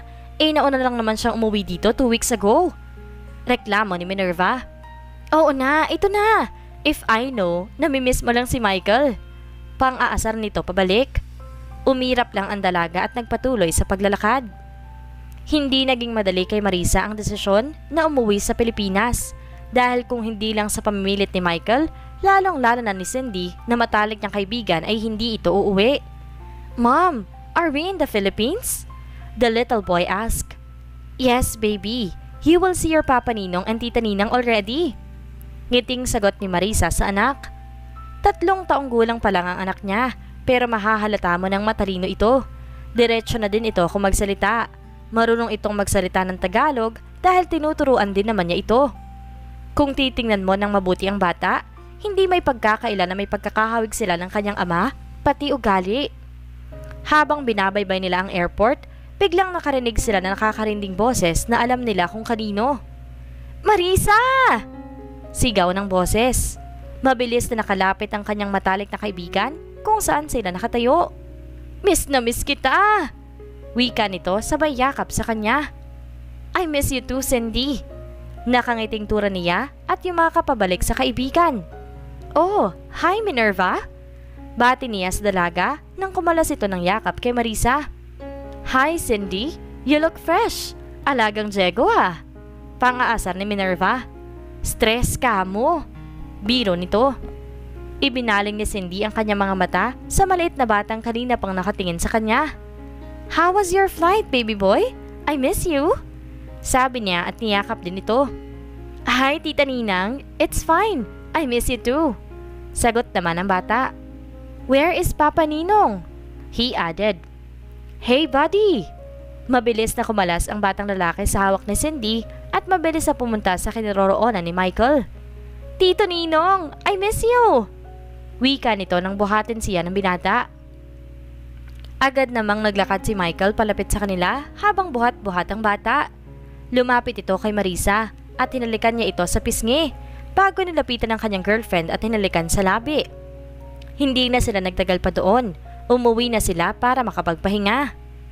Halos hapon na na makarating ang mag-ina sa kanilang bahay.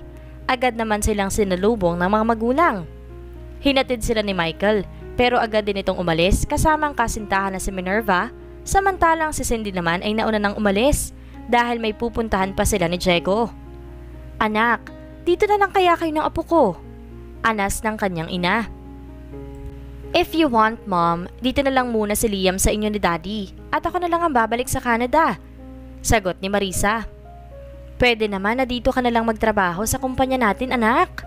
Segunda naman ang kanyang ama. Dad, I love my work there. Alam niyo naman na gusto ko maging successful sa rangan na pili kong trabaho. In my own. Sagot niya sa ama at tumingin sa kanyang anak habang abala ito sa paglalaro. Kamukhang kamukha nito ang kanyang ama. Biglang pumasok sa kanyang isipan ang ginawa niya noon nang malaman na buntis siya.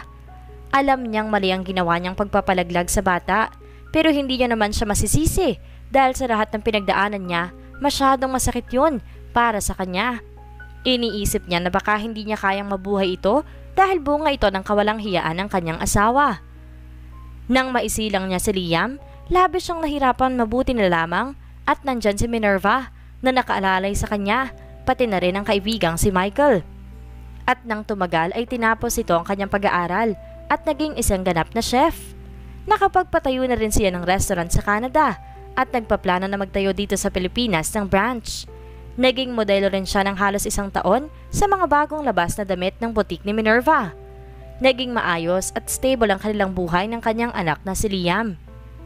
Eh anong sinasabi mong iiwan mo dito ang apo ko? Are you sure about it, Marisa?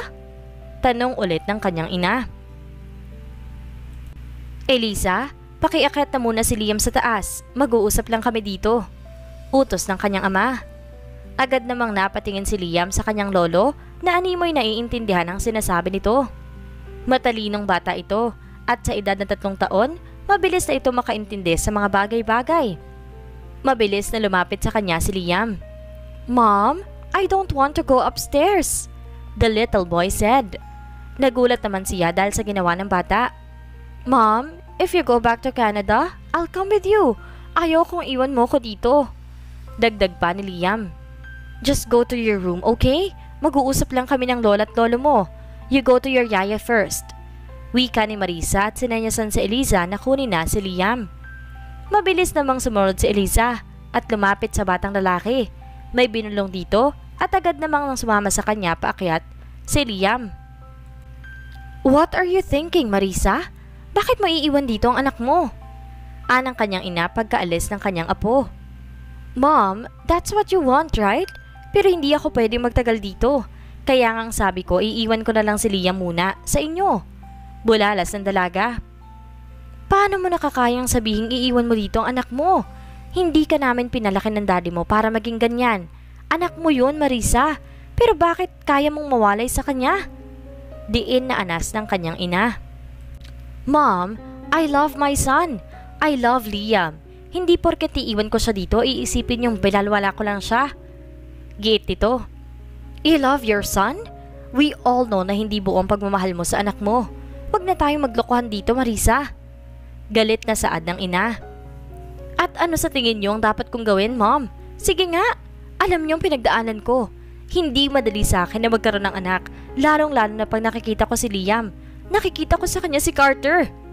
Bulalas nito. I'm so disappointed to you, Marisa. Muntikan mo na siyang ipalaglag noon. Tapos ngayon, plano mo pa siyang iwan dito? Singit ng kanyang ama. I know, Dad. Alam kong mali ang nagawa ko noon. Pero masisisi niyo ba ako ng mga panahong yon? Hindi ko alam ang gagawin ko. Naiisip ko pa lang na nagbuwang ang ginawa sa akin ni Carter. Nahihirapan na ako. Pero tinama ko naman yun, di ba? Binuhay ko ang bata. Inalagaan at minahal ko siya. Paliwanag ng dalaga. Binuhay, pinakain at inayusan mo lang siya, Marisa. Pero alam mo sa sarili mong marami kang pagkukulang sa anak mo. Alam mong kulang ang pag-aalaga at pagmamahal na binibigay mo sa kanya. Inaasa mo lahat kay Elisa. Nayaya niya ang mga bagay na dapat ikaw ang gumagawa dahil ikaw ang ina niya. Mahabang litanya ng kanyang ama. Tandaan mo ito, Marisa. Hindi siya si Carter. Huwag mong idamay ang bata sa kasalanan ng kanyang ama. Kayo ni Carter ang may problema. Labas na doon si Liam. Galit na sabi ng ina. Unti-unti ka na nagbabago. Kinakain ka na naman ng galit mo. Gusto mong bumalik mag-isa sa Canada? Sige, Bumalik ka. Tama ka nga, iwan mo dito si Liam para maramdaman naman ng bata ang totoong pagmamahal na hindi mo na ibibigay sa kanya ng buo. Dagdag pa ng ina bago umalis ng tuluyan at umakyat na sa taas. Napaupo na lamang si Marisa, panayhilot niya sa kanyang sentido. Hindi niya inaasahan na itong bubungad sa kanya pag uwi pa lang. Ayusin mo ang buhay mo anak, hindi deserve ni Liam ito. Kailangan niya ng ina na mamahalin siya ng buong buo. Anas ng ama bago sundan ng kanyang ina. Ano bang nagawa ko? Pinigay ko naman lahat sa anak ko.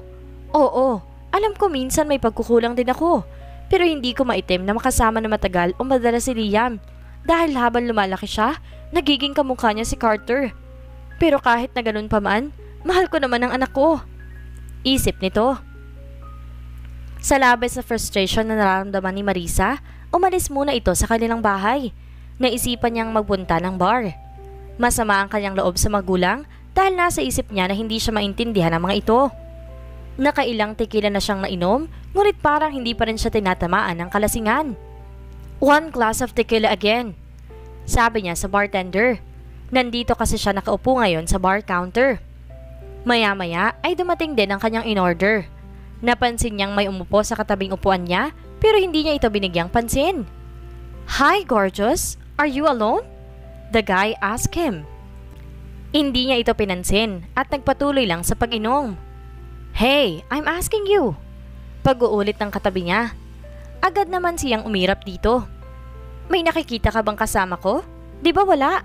So why are you asking the obvious? She said. Natawa naman ang lalaking katabi niya. Ang sungit mo naman. Nagtatanong lang naman ako.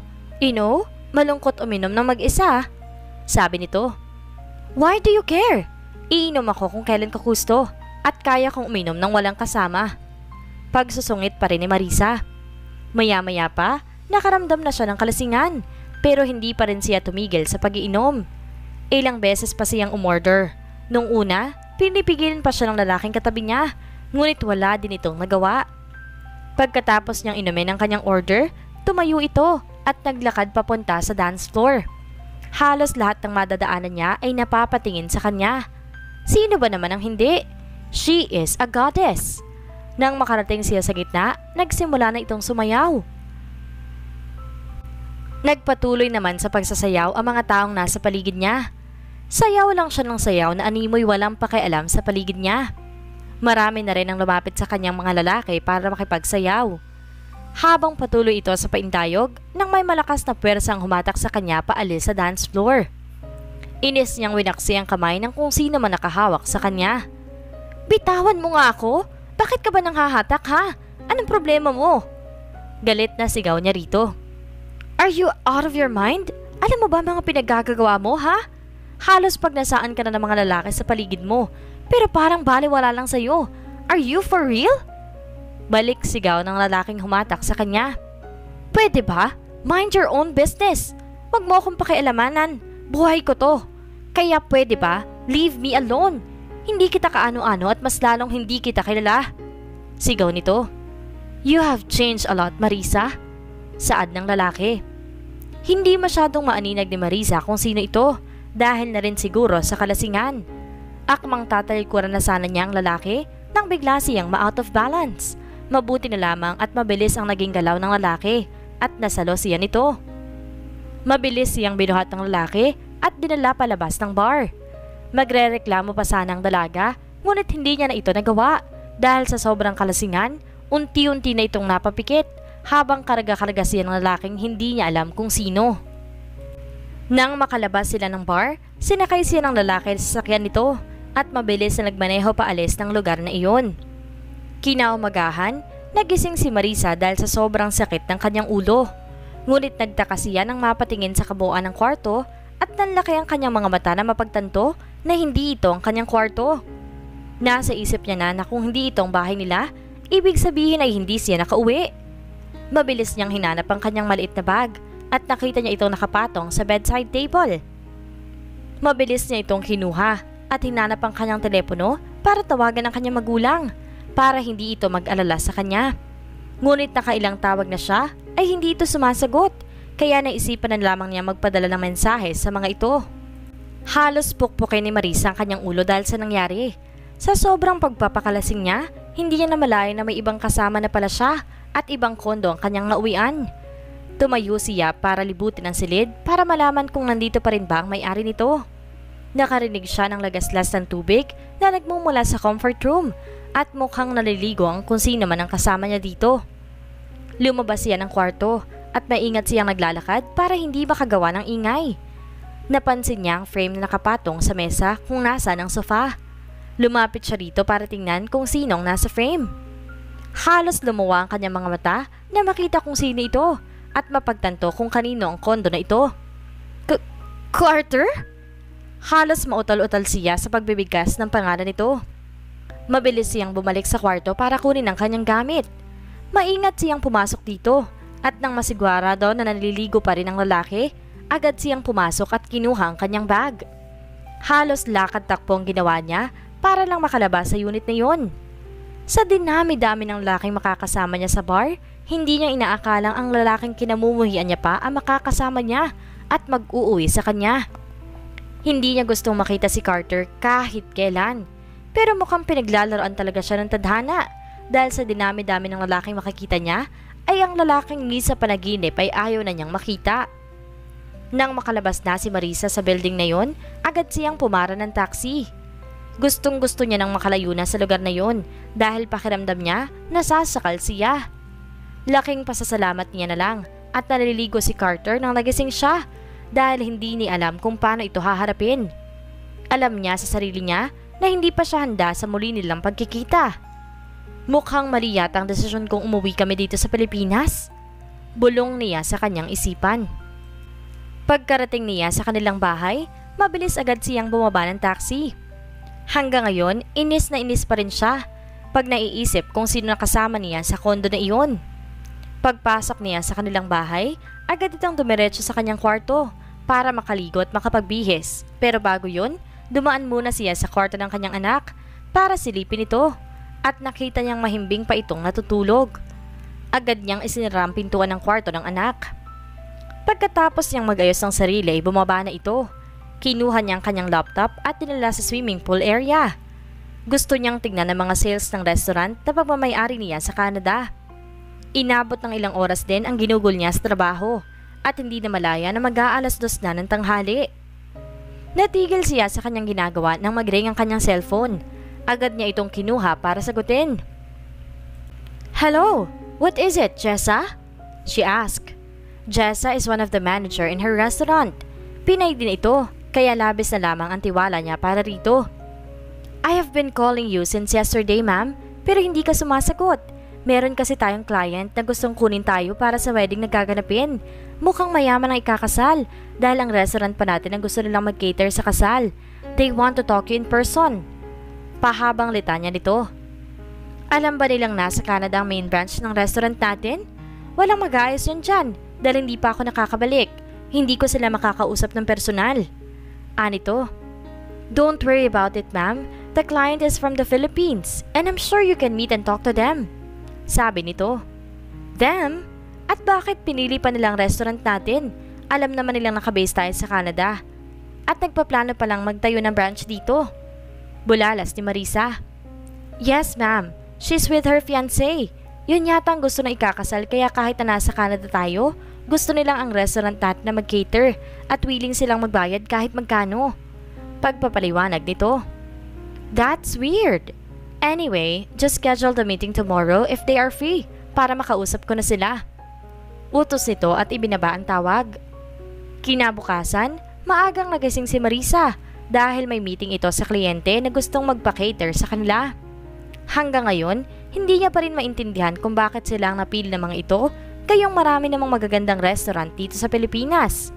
Well, hindi naman lingid sa kaalaman niya. Nakilala din ang restaurant niya, halos puro professional chefs din na nagtatrabaho dito. Kaya hindi na siya magtataka kung pati dito sa Pilipinas ay alam ang restaurant niya. Mas pabor yun sa kanya dahil nagpaplano naman siyang magpatayo ng branch dito.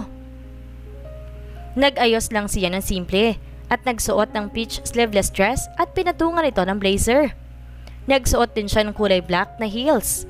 At nang makasiguradong maayos na siya, kinuha niya ang kanyang bag at isang folder na naglalaman ng mga sample menu na pwedeng pagpilian ng ikakasal. Hindi rin nagtagal, nakarating siya sa isang cafe kung saan sila magkikita ng kliyente. Dumiretso siya kung saan ang reservation na sinabi sa kanya ni Jessa. Nang makarating siya roon, nakita niya ang isang magandang babae na nakaupo roon na animoy may hinihintay. Agad niya itong nilapitan. Hi, Miss Alvarez. Good morning. I'm Marisa, the owner of Liam Fancy Restaurant. Nakangiting bati niya dito. Good morning. It's nice to finally meet you. Have a seat. Let's order first before we talk. Pabalik bati naman ang babae. Umupo naman si Marisa at agad na may lumapit sa kanilang waiter. Umorder sila na makakain at hinihintay na lang nito na dumating. I heard so much about your restaurant. My mom used to be in Canada for business, and she said that your dishes and desserts are the best. Panimula ng kanyang kliyente. I think your mom is one of the VIPs there. Kahapon lang din ako tinawagan ng sekretarya ko about sa inyo, and I never thought na nandito ka pala sa Pilipinas. So I was overwhelmed na gusto nyo kaming mag-cater sa kasal nyo. Napapaisip ako kasi mas maraming kilala at sikat na mga restaurant dito pero mas pinili niyo pa rin kami, knowing na nasa Canada ito. Saad naman ni Marisa. Well, I want my wedding to be the best. Kaya nag-research talaga ako ng magagandang restaurant. And it happened na mom recommended your restaurant to me. Anas ng babae. Here's the folder kung saan ang mga bestsellers namin na pagkain at desserts. Nandyan para mas marami kayong pagpipilian. Oh, that's nice. Is it okay kung hihintayin muna natin saglit ang fiancé ko? He will be here in any minute. The girl said. Sure, no problem, Miss Alvarez. Nakangiting sagot naman ni Marisa. Maya-maya pa ay dumating na ang kanilang order, kaya nagpa siya muna silang kumain habang hinihintay ang fiancé ng dalaga. Habang kumakain sila, patuloy nilang pinag-uusapan ang mga pagkain. Nasa kadagitnaan na sila ng pag-uusap nang biglang may magsalita sa likuran ni Marisa. Carter? Gulat na gulat na sambit ni Marisa. Um, Miss Patricia, if you mind, I need to go now. I have something important to attend to. let's just set another meeting for the foods and desserts. Anas niya. Bakit kailangan pa mag-set sa ibang araw kung pwede namang pag-usapan na ngayon? You know, Miss Marisa, I'm a businessman. Busy akong tao so I don't want to waste my time. Singit ni Carter. Halos patayin ni Marisa sa isipan niya ang ex-husband dahil sa sinasabi nito. Mr. De La Vega, if you are a busy person, I am too. Hindi lang po kayo nakaschedule sa akin for the meeting today. Kaya sinasabi kong iset na lang natin sa ibang araw ang meeting na ito dahil may iba pa akong meeting ngayong oras. Giit nito at bumaling kay Patricia na nakatingin din sa kanya. You can call me Miss Alvarez if you are ready to set another appointment. Nakangiting wika niya na agad namang sinang ayunan ng dalaga. Ibenilik niya mga sample na litrato sa folder at mabilis na tumayo para umalis sa lugar na iyon. Hindi na niya kaya pang magtagal doon at baka kung ano pa ang kanyang masabi dahil mukhang walang alam ang Patricia sa kung anong meron sa kanila ni Carter sa nakaraan. Nakakainit ang dugo talagang Carter na yun. Akala mo naman nakakatuwang mga pinaggagawa niya sa harap ko. Isip ng dalaga. Agad siyang pumara ng taxi para umuwi. Ang totoo niyan, wala naman talaga siyang iba pang meeting dahil hindi naman dito nakatayo ang kanyang restaurant. Carter's POV Tatlong araw nang lumipas na mag-cruise muli ang landas nila ng kanyang asawa. Alam ni Carter sa kanyang sarili na naging gago siya noong mga panahon na magkasama pa sila sa iisang bubong. Sa dalawang taon na lumipas, walang araw na hindi niya sinisisi ang kanyang sarili kung bakit tuluyang nawala sa kanya si Marisa. Alam niyang mali ang nagawa niya ng gabing yon. Pero masisisi niyo ba ako? Nadala lang ako ng matinding emosyon dahil sa labis na galit na nararamdaman ko dahil sa nalaman ko nung araw na yon. Isang linggo bago mangyari ang ayar na yun, nakapag-isip-isip na si Carter. Nakakausapin na niya ang kanyang asawa at susubukan nilang ayusin ang pagsasama bilang mag-asawa. Dahil alam ni Carter na hindi naman mahirap mahalin si Marisa. Gumawa pa siya ng isang sorpresa para kay Marisa. Gusto kasi niyang bumawi dito sa mga kasalanang nagawa niya, lalo na sa pananakit nito sa kanya. Paalis na sana siya ng kanyang ospital para sunduin si Marisa nang biglang may natanggap siyang tawag na nagmula sa isang ex-fling niya. Humingi ito ng pabor kung pwede silang mag-usap at pagkatapos nun, hindi na siya manggugulo pa o magpapakita sa kanya. At dahil sa sinabi nito, nagpa siya naman si Carter na makipagkita dito para matapos na rin ang paghahabol nito sa kanya para makapagsimula na sila ng ayos ng kanyang asawa. Nagkita sila sa isang coffee shop. Pagkaupo niya, may nakanda ng pagkain at inumin sa lamesa na mukhang in-order na nito. Sabihin mo na kung anong gusto mong sabihin. Kailangan ko nang umuwi. Seryosong wika ni Carter. Ngumiti naman ng pagkatamis-tamis ang dalaga na mukhang inaakit siya nito pero hindi siya nagpadala. Like what I said kanina, niyaya lang kita para makipag-usap. But before that, let me give this to you. Saad ng dalaga at inabot sa akin ang mga litrato. Nagtataka man, tinanggap pa rin niya ito at tiningnan. Nang makita niya kung sinong nasa litrato, nagtagis ang kanyang bagang. Nasa litrato ang asawa niya, nakasama ang isa sa matalik niyang kaibigan na si Michael, na nagyayakapan. Meron pang isang litrato na naghahalikan ng mga ito. Kaya labis na lang ang galit na naramdaman ni Carter ng panahong iyon. Pakiramdam niya, pinagtaksilan siya ng kanyang asawa at kaibigan. Bago umalis, Pinigilan muna siya ni Divina at binigay sa kanya ang isang baso ng juice. Dahil sa gusto na niyang umalis ay mabilis niya itong ininom. Habang binabaybay niya ang daan pa uwi sa bahay, nakaramdam siya ng kakaiba sa kanyang katawan. Nakaramdam siya ng ibang init o sensasyon, pero tiniis niya ito dahil hindi pa siya nakakauwi. Nang makarating na siya sa bahay, mas lalong tumindi ang kanyang nararamdamang init sa katawan. Kaya na makita niya si Marisa, nagawa niyang bagay na iyon. Labis niyang pinagsisihan ang mga maling nagawa niya sa kanyang asawa, lalong-lalo na ang pagsamantala sa kanya. At noong gumising siya kinaumagahan, hindi na niya makita ang asawa. Nilibot na niya ang buong bahay pero hindi niya ito makita. Huli niyang pinuntahan ang kwarto nito, ngunit ni Anino ni Marisa ay hindi niya nakita. Pati ang mga gamit nito ay wala na rin. Halos hindi niya alam ang gagawin ng mga panahong iyon. Isa lang naman sana ang gusto niya at yun ay maging maayos silang mag-asawa at mamuhay ng masaya. Ngunit kabaliktaran ang nangyari. Nang dahil sa nakita niya mga litrato, nakagawa siya ng malaking pagkakamali na mapagsamantalahan niya ang sariling asawa. Hindi niya hinanap ang asawa niya kahit kaya niya nang gawin dahil hindi ni Carter alam kung ano mukhang ihaharap niya dito. Pagkatapos ng isang linggo, nagpa siya din siyang umuwi sa bahay para kausapin ang mga magulang niya para sabihin ang nangyari. Ngunit nasa pintuan pa lang siya ng kanilang bahay, sinalubong na sila ng suntok ng kanyang ama. Noong araw din na iyon, nandun pala sa bahay ang mga magulang ni Marisa dahil nag-aalala sila sa ilang araw na pagkawalan ng kanilang anak. Ilang beses na din daw nilang sinubukan itong tawagan pero walang sumasagot. At nang magpunta sila sa bahay nilang mag-asawa, hindi rin na nadatandoon si Marisa o kahit si Carter. Nagkaroon si Carter ng pagkakataon ng araw na yon para makausap ang magulang niya at magulang ni Marisa. Inamin niyang nangyari sa pagitan nilang mag-asawa, lalo nang huling nagawa niya rito. Labis na galit ang nadama ng parehong mga magulang nila dahil sa nangyari. Halos ilang bonding nagkaroon ng alitan sa pagitan ng dalawang pamilyang meron sila. Pero hindi ni Carter yon hinayaan na tuluyang magkasira ng dahil lang sa kanya. Ayaw niyang mawala ang pagkakaibigan ng kanilang pamilya dahil sa kasalanan na siya ang may gawa. Nangako si Carter sa kanila na gagawin niyang lahat para mahanap niya si Marisa at makahingi ng tawad. Kadaunan, pumayag na rin ang kanilang mga magulang Hinayaan nila si Carter ang gumawa ng paraan at mag-ayos ng gulong ginawa niya. Ngunit kahit na naging maayos ng problema sa pagitan ng mga pamilya niya, labis pa rin ang disappointment sa kanya ng kanyang ina. Lalo na ng kanyang ama na hanggang ngayon ay malimit pa rin siyang kausapin. Hindi niya masisisi ang mga ito dahil alam ni Carter na anak na ang turing ng mga ito kay Marisa. Nalaman din ni Carter ang katotohanan na nung nagkita sila ng ex-fling niya na si Divina may nilagay itong gamot sa kanyang inumin.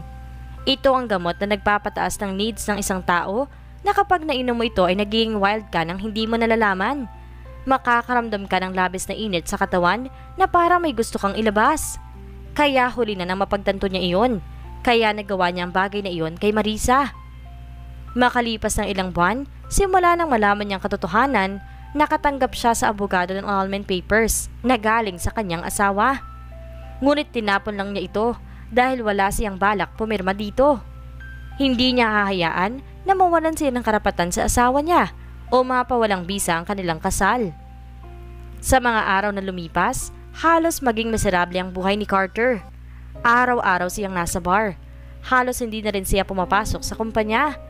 Gabi-gabi niyang naaalala ang nagawa niya kay Marisa. Ang mga iyak at pagmamakaawa nito sa kanya na hindi man lamang niya napakinggan. Para kay Carter, isa itong bangungot. Halos ilang taon siyang walang balita sa asawa niya dahil nang sinubukan niya mag-hire ng mga magaling na investigador, wala itong dire-report sa kanya. Iniisip ni Carter na may pumipigil sa mga ito na malaman niya kung nasa ng asawa niya o kung ano nangyayari dito. Hindi niya lang alam kung sino mga ito, kung pamilya niya ba o pamilya ni Marisa. Hindi na siya nag-atubili pang mag-hire ulit ng private investigator dahil alam niyang magsasayang lang siya ng pera at oras dahil may haharang lang din naman dito. Sa mga taon na wala ang asawa niya, mas na-realize ni Carter kung gaano ito kahalaga sa kanya at kung gaano siya kagago. Naalala niya kung paano siya minahal at inalagaan ni Marisa kahit puro sakit at pagmamalupit ang ginanti niya sa kanya. Hindi mahirap mahalin ng isang Marisa Elizalde Bata pa lang, kilala niya ito. Naging magkaibigan sila ni Marisa noon. Nag-iba lang kanyang pakikitungo dito nang mangyari ang arranged marriage nila. Iniisip ni Carter na kagagawan lahat ito ni Marisa dahil alam niyang matagal na itong may gusto sa kanya. Nasa isip ni Carter na dahil sa kanya, matatalo na siya sa isang kasal at mawawala ng pagiging binata niya. Hanggang sa isang araw, nagising na lamang siya na gusto niyang ayusin ang buhay niya. Ipinatapon kasi siya ng daddy niya sa asyenda nila at doon na muna nanatili dahil napapabayaan na niya ang kumpanya. Gusto ng ama niya na ayusin muna ni Carter ang kanyang sarili para pag nagkita ulit sila ni Marisa, may mukha na siyang maihaharap dito. Lumipas pang taon, nalaman ni Carter sa kaibigang si Michael na uuwi dito sa Pilipinas si Marisa. Labis ang galak na nararamdaman niya ng mga sandaling iyon.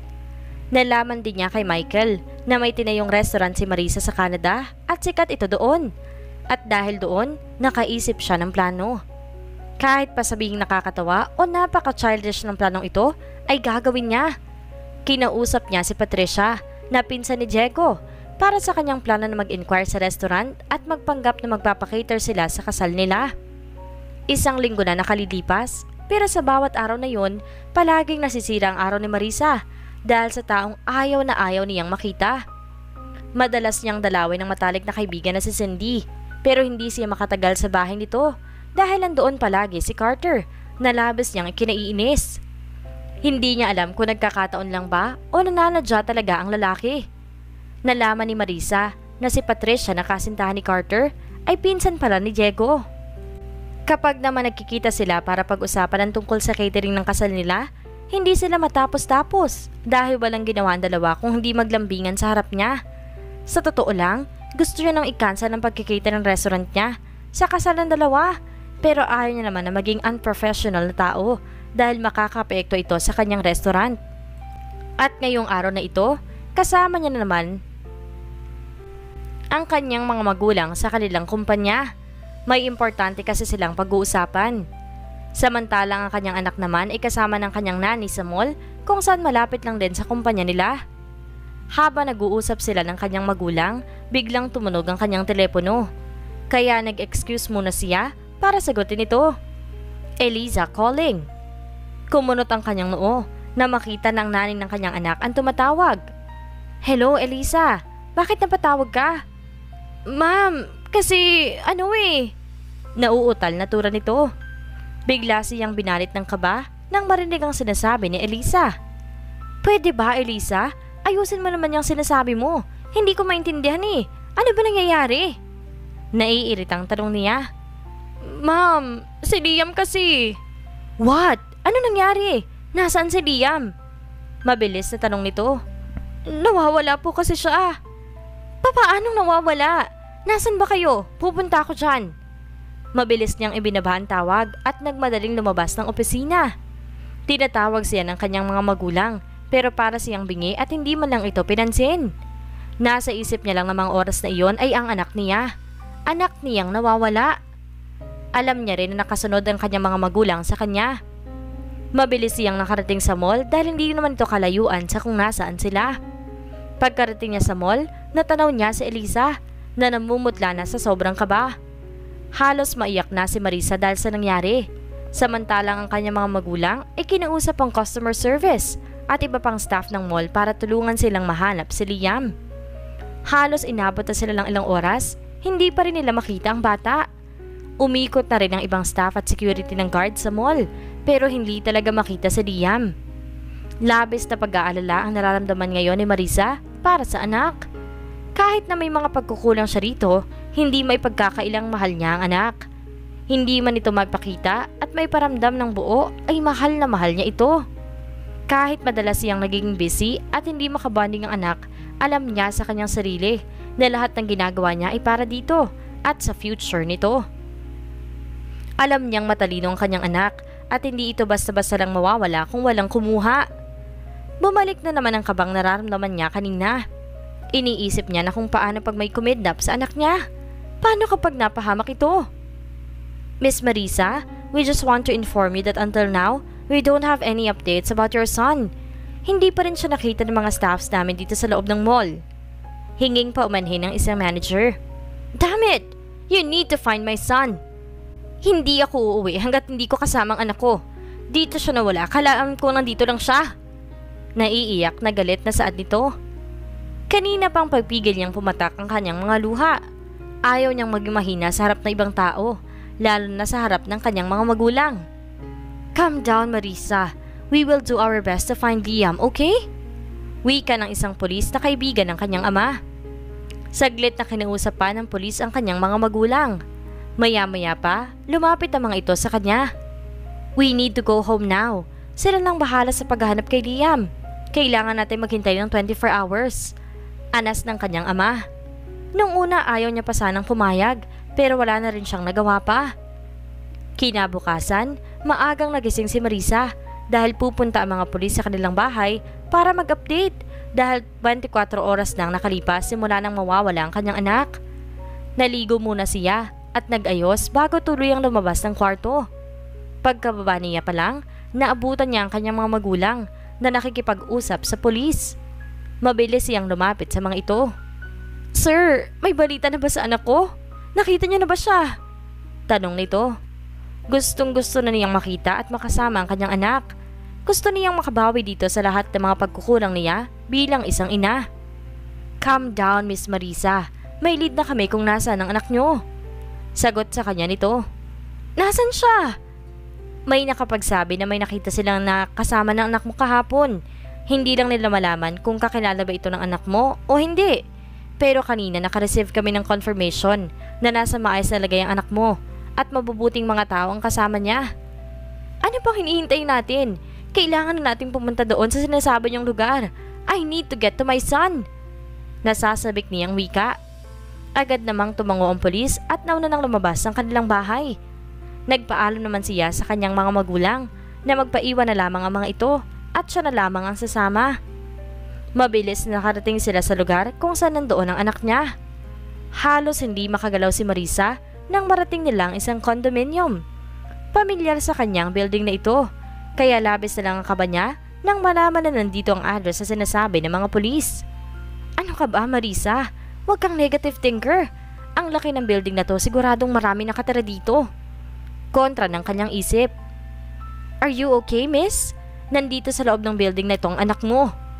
Saad sa kanya ni Kevin, na isang abogado at pinsan niya rin. Oo naman, Kevin. Magkasabay na pumasok sila sa building, kasama pa ang dalawang pulis. Habang nasa elevator sila, labis ang kaba na nararamdaman ni Marisa. Halos pigilin na nga ang ginagawa niya. Maya-maya pa ay bumukas na ito Senyales na nandito na sila sa floor kung nasa ang kanyang anak.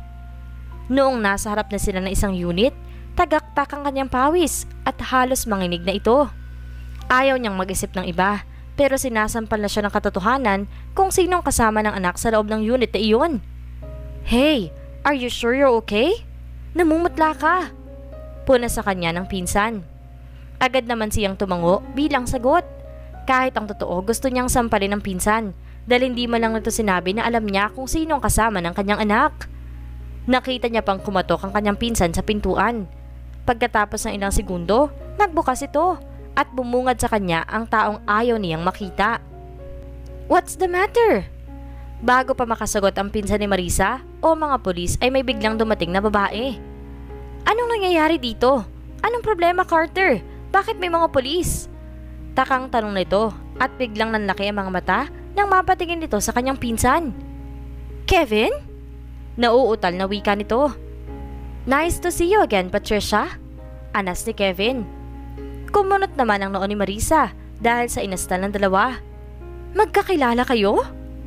Hindi niya mapigilan ng hindi magtanong. Yes! Sabay na sagot ng dalawa. Mas lalong kumunot ang noon ng dalaga. Ngunit nawala din agad ang atensyon nito sa dalawa nang may sumilip sa pintuan ang isang maliit na bata. Liam! Bulalas ni Marisa sabay lapit sa bata at niyakap ito ng mahigpit. Halos lumuwa ang mata ni Carter at Patricia dahil sa gulat. Kilala mo pala siya, Marisa? Tanong ni Patricia. Yes, he is my son. Nauutal-utal niyang sagot. He is your son? Pag-uulit ni Carter na makabawi na sa gulat. Halos manghina si Marisa dahil dito. Nawala sa isip niya, nakaharap nila si Carter, pero hindi siya nagpatinag.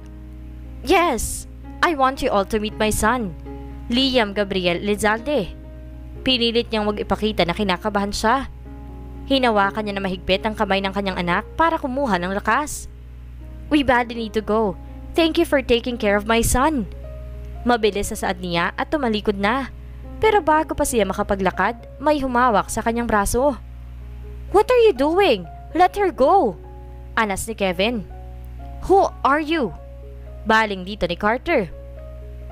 Nagsukatan pa ng tingin ang dalawang lalaki, kaya pumagitna na dito si Marisa habang si Patricia naman ay nilapitan si Carter. Stop it, you two! Huwag kayong gumawa ng iskandalo dito. He is Kevin, my boyfriend. Pagpapakilala ni Marisa dito. Agad na hinilan ni Marisa ang pinsan paalis kasama si Liam Nakasunod din sa kanila ang dalawang kasama nilang pulis. Nang makasakay na sila ng sasakyan, humagalpak ng tawa si Kevin. Why are you laughing, Tito? Liam suddenly asked. Nakakatawa lang kasi tong mom mo, buddy. Mabilis namang hinampas ni Marisa ang braso ng kanyang pinsan. Nahihiya na siya sa sinabi niya kanina, tapos pinapaalala pa nito. Seriously, cuz? You did not inform me na ipapakilala mo akong boyfriend mo. Sana nakapaghandaman lang ako. Pang-aasar nito. Just shut up, kuya. Huwag mo nang ipaalala. Nakakainis. Napasandal naman si Marisa sa upuan ng sasakyan. Mabuti lang at tumahimik ng kanyang pinsan sa pang-aasar. Napahilot siya sa kanyang sentido dahil sa sobrang stress. Mabilis na nakarating sa kanilang bahay sina Marisa. Pagkapasok pa lang nila, sinalubong na agad ng yakap ng kanyang mga magulang ang anak. Halata sa mga ito ang labis na pag-aalala. Habang ang pulis na kasama nila kanina ay umalis na. Pansin ni Marisa ang pagdistansya ng anak sa kanya. Simula na makaalis sila sa kondo ni Carter, hindi pa siya nito pinapansin. Pag tinatanong ito o kaya kakausapin, tanging tango lamang ang sinasagot ng bata.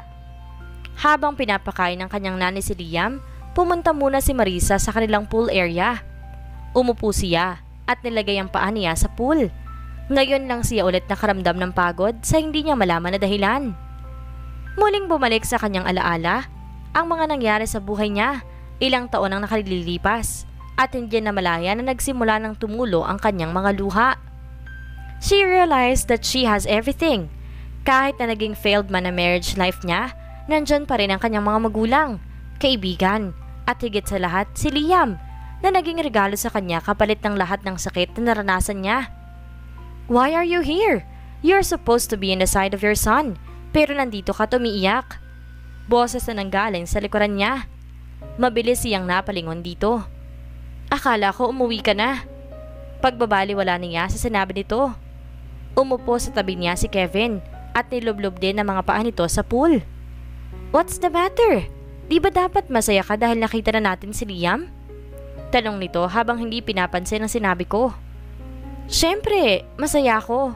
Natatakot lang ako dahil sa nangyari kanina. Paano pag Nalaman ni Carter na anak niya si Liam. Paano pag kinuha niya sa akin ang anak ko? You are thinking so much, Marisa. He will not do that. Sagot naman ito. Napangiti na lang siya sa sinabi ng kanyang pinsan.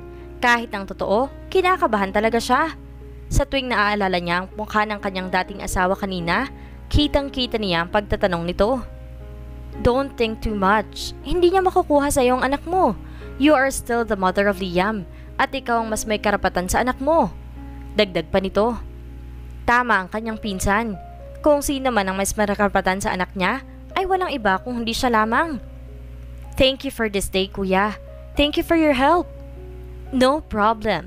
You are my cousin, and Liam is my nephew. I will always help no matter what, okay? O siya, I need to go home na. Magpapaalam lamang ako kay na tita. Pumasok ka na din, masyado nang malamig. Aniya sabay tayo at naglakad pabalik sa loob ng bahay. Napapuntong hiningan lamang siya at nanatili pa doon ng ilang minuto bago tuloy ang pumasok sa kanilang bahay. Pagkapasok niya ng kanilang bahay, naabutan niya ang kanyang mga magulang pero wala na ang kanyang anak. Kaya napagpasya niyang umakit na para puntahan ang anak sa silid nito. Pagbukas niya ng pinto ng kanyang anak, naabutan niya itong nakaupo sa kama. Nang mapatingin sa kanyang anak, bigla na lamang itong yumuko. Naglakad siya papalapit dito. Liam, are you okay? Tanong niya na makalapit na siya rito. Ngunit wala siya nakuhang sagot galing sa anak. Umupo siya sa harap nito. May masakit ba sa'yo? Sinaktan ka ba ni Carter? You can tell me. Pero hindi pa rin ito sumasagot at nanatiling nakayuko lamang. Ayaw mo bang kausapin si mommy? Dagdag nito. Mabilis naman nag-angat ang tingin ng kanyang anak. It's not that I don't want to talk to you, Mom. I really want to talk to you, but I'm afraid. Pag-amin nito. Why are you afraid to talk to Mommy? She asked. Hindi ako bulag, Mom, at hindi rin ako bingi. Narinig ko din ang usapan niya nila Lolo nung isang araw. Nagsimula nang tumulo ang luha ng kanyang anak habang nakatitig sa kanya. I know you love me, And I know also that you hate me. You hate my existence dahil sa tuwing nakikita mo ko, nakikita mo si daddy sa akin. At dahil dyan naaalala mo nakaraan. Dagdag pa nito. Halos mapunit ang kanyang puso dahil sa narinig mula sa kanyang sariling anak. Hindi niya lubos maisip na ganito ang nararamdaman nito. Hindi niya akalain na may alam pala ang anak nito. Alam ko po na bunga ako ng isang pagkakamali. Nabunga ako ng kasalanan ni daddy. I understand if you hate me. Kasi ako, galit din ako kay daddy dahil sa ginawa niya sa'yo. But mom, I am not him. Hindi ako si daddy. Hindi ako nanakit sa'yo. But why do I need to suffer like this? Why do I need to be hated by my own mother? I guess, mali ngang nabuhay ako sa mundong ito. I'm sorry, Mom. I'm sorry kung ako naging anak mo. Mahabang litanya nito habang umiiyak na. Napahagulhol si Marisa dahil sa mga sinabi ng kanyang anak. Hindi niya alam kung anong kanyang sasabihin dahil nasasaktan siya na malaman na nasasaktan ang kanyang anak at dahil iyon sa kagagawa niya. Walang ano-ano, mabilis niyang niyakap ang kanyang anak. Don't think that way, Liam. Kumala siya sa pagkakayakap dito at hinawakan ang mukha ng kanyang anak. I know, marami akong pagkukulang sa iyo and I admit it. Hindi ako naging mabuting ina sa iyo pero wag mong isipin na hindi ka mahal ni mommy dahil mahal na mahal kita. And don't think that I hate you cause I don't.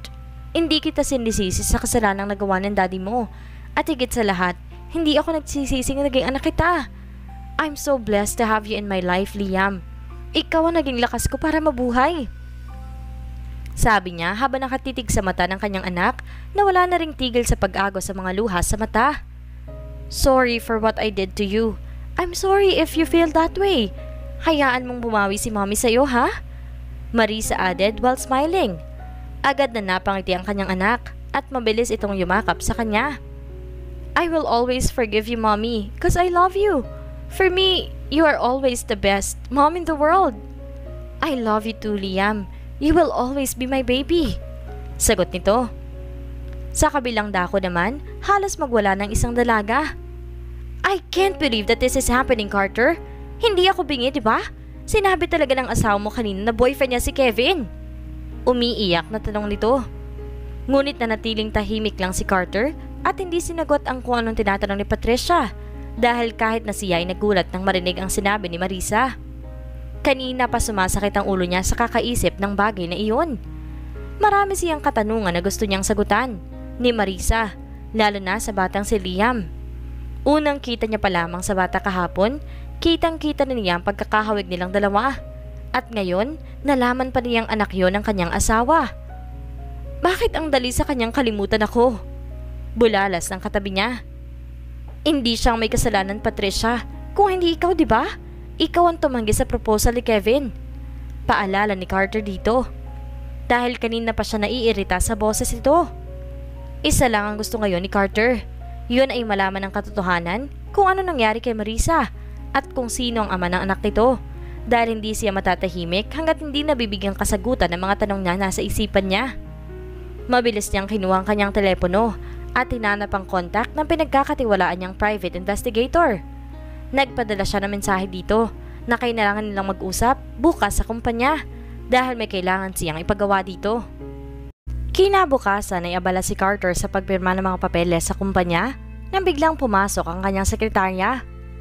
Sir, Mr. Asher is already here. Aniya dito. Let him in. Thank you.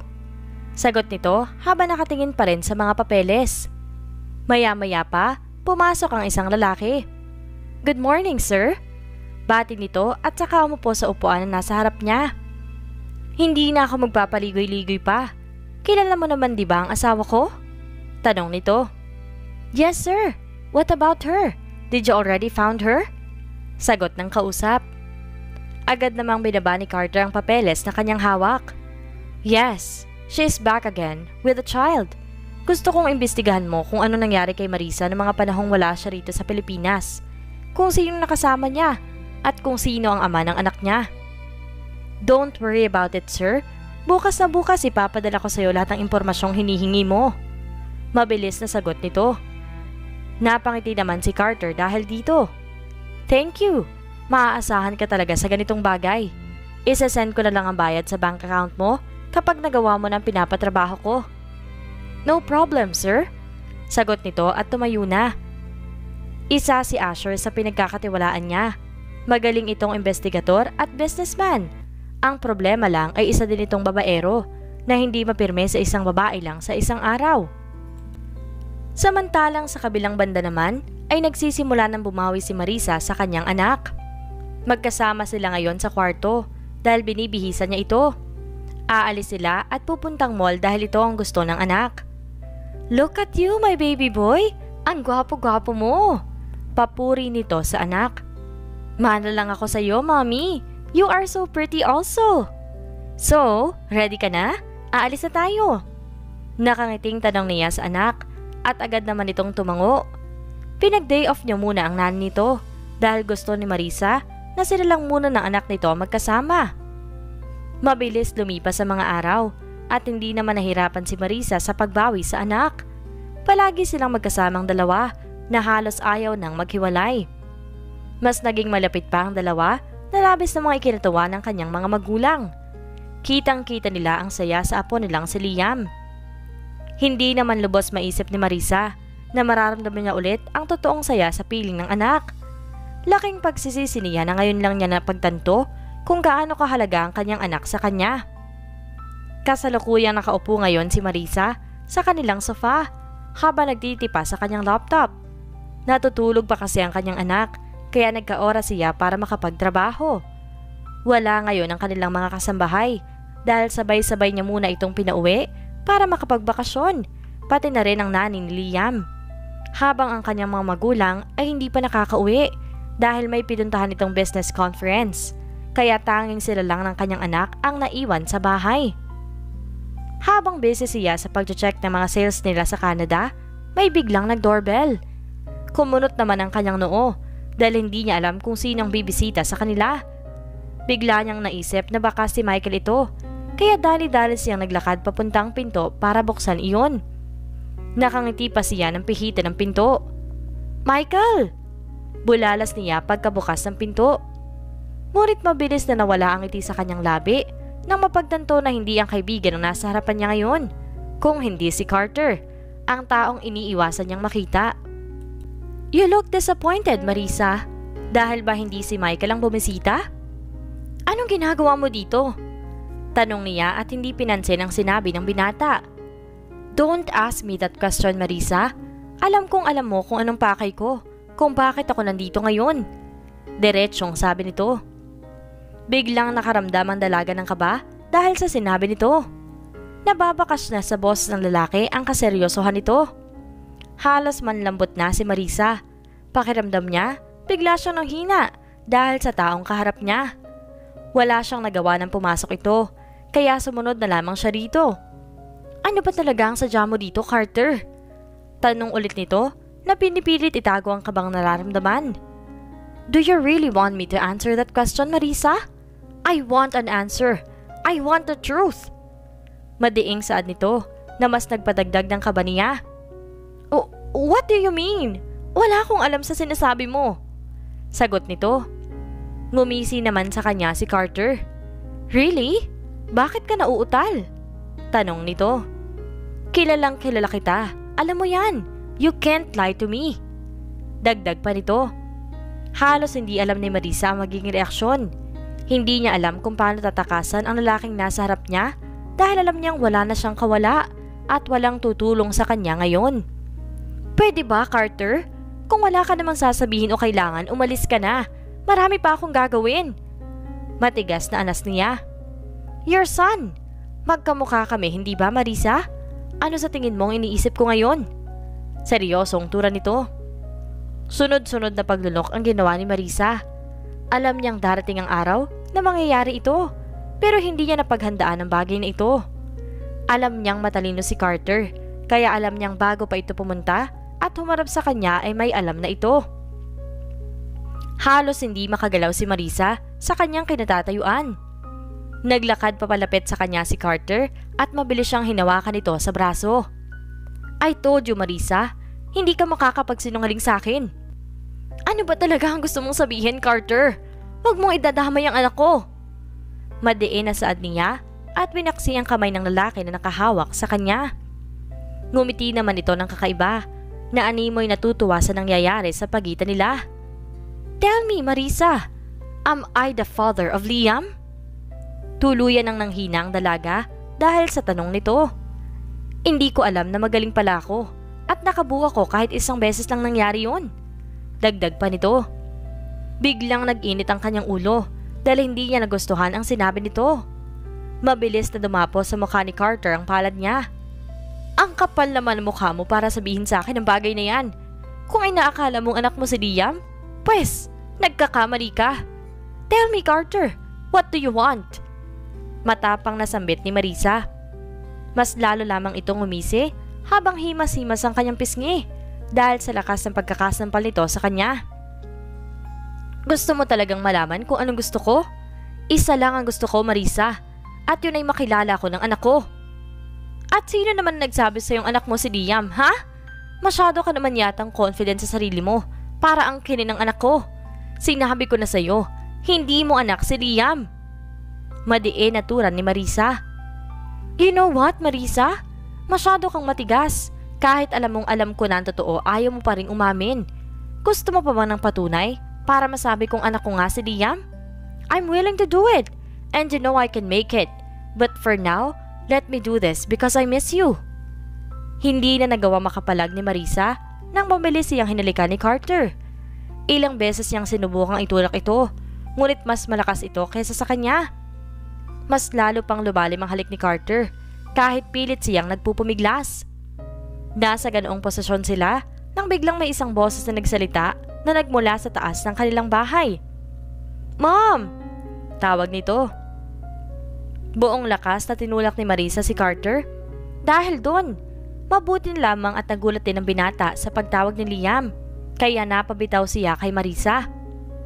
Labis naman ang hiyang nararamdaman ni Marisa nang mapagtanto na nakita ng kanyang anak ang nangyari.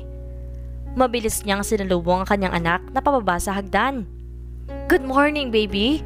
Gising ka na pala! Bungad nito at saka hinalikan ito sa pisngi. Good morning, mommy! Sagot nito bago humalik sa kanyang pisngi. Magsasalita pa sana siya nang tuloy-tuloy na naglakad ang kanyang anak papalapit kay Carter. Tito Carter, why are you here? Tanong nito sa lalaking nakatayo. I'm here to visit you and your mom. Sagot nito. Agad naman siyang pinandilata ng mata ni Marisa. Bakit mo binibisita si mommy? Magkakilala kayo? Hindi ba ako nabanggit ng mommy mo sa'yo? Pabalik tanong ni Carter habang nakatingin kay Marisa na wari ng aasar.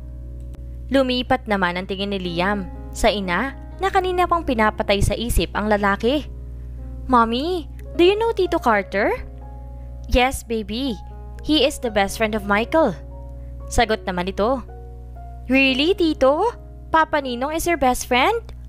Tanong ulit ng bata kay Carter. Mabilis naman nagtagis ang bagang ni Carter sa narinig. Halatang hindi nagustuhan ang narinig mula sa sariling anak. Yes, he is my best friend. He is not your father. Why are you calling him Papa? Tanong nito. Siya naging papa ko nung isinilang po ako. That's why I am calling him Papa. Mabilis na tinignan naman ni Carter si Marisa nang may pagbabanta at inirapan lamang ito ni Marisa. May kaibigan din ba kayo ni Mommy? But why are you two kissing? Agad na nalaki ang mga mata ni Marisa dahil sa tinanong ng anak. Halos mamula na siya dahil sa kahihiyan. Wala namang masama kung hahalikan ko ang mommy mo, di ba? Ganyan naman ang ginagawa ng ta- dalawang taong miss na miss ng isa't isa, Liam. Sagot ni Carter. I know that po. Pero 'di ba, if you are friends, dapat po sa pisngi lang. Bakit yung sa inyo ni mami ko hindi naman ganun? Two people are kissing each other in the lips if they are in a relationship, right?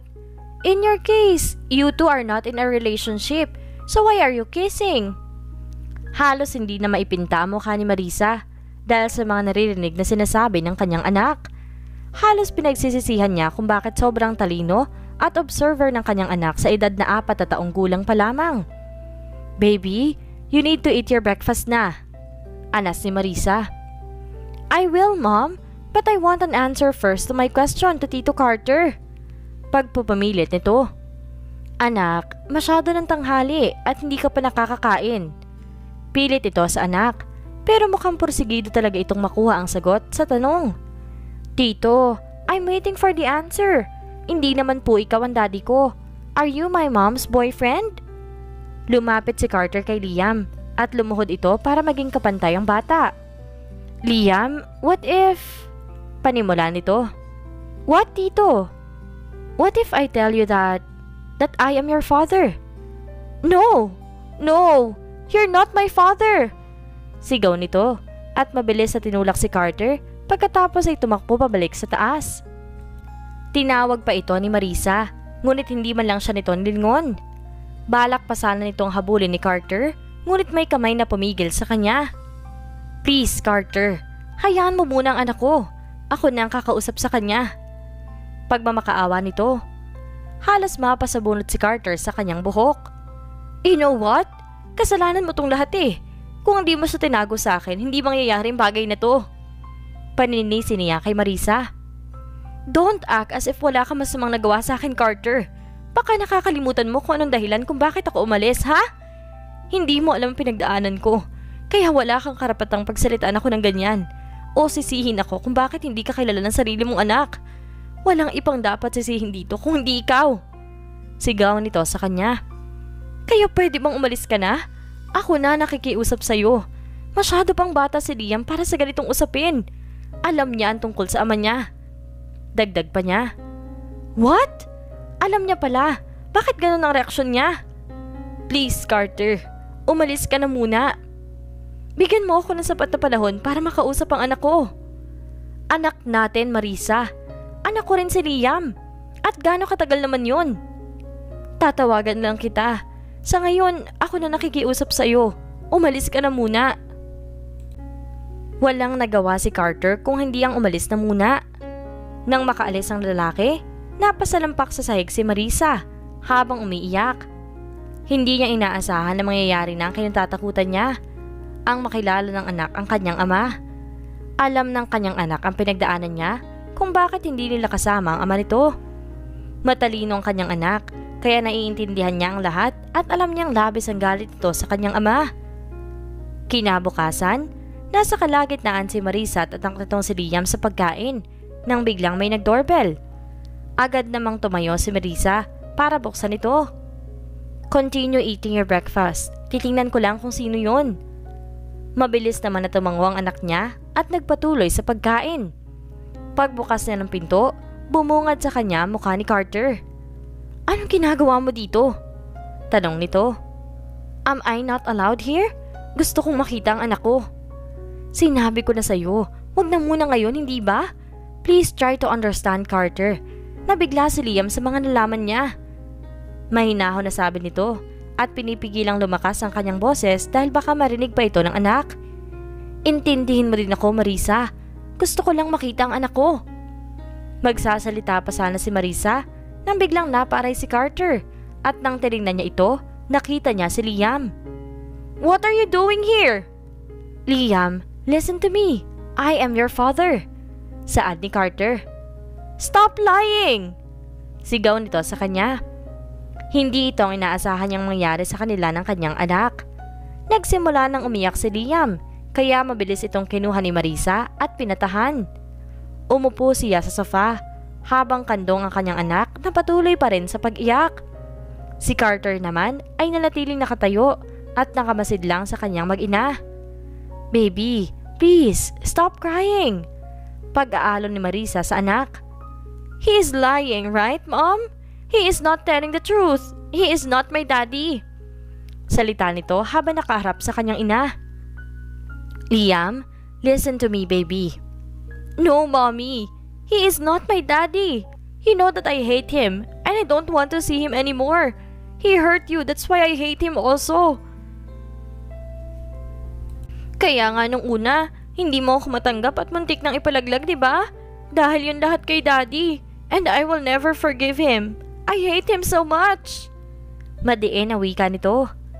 Mabilis namang tumingin si Marisa sa kanya. Kitang-kita ng dalaga kung paano naglandas ang mga luha sa mata ni Carter. Alam niya kung gaano kasakit ang nararamdaman nito ngayon dahil sa mga salitang binitawan ng kanilang anak.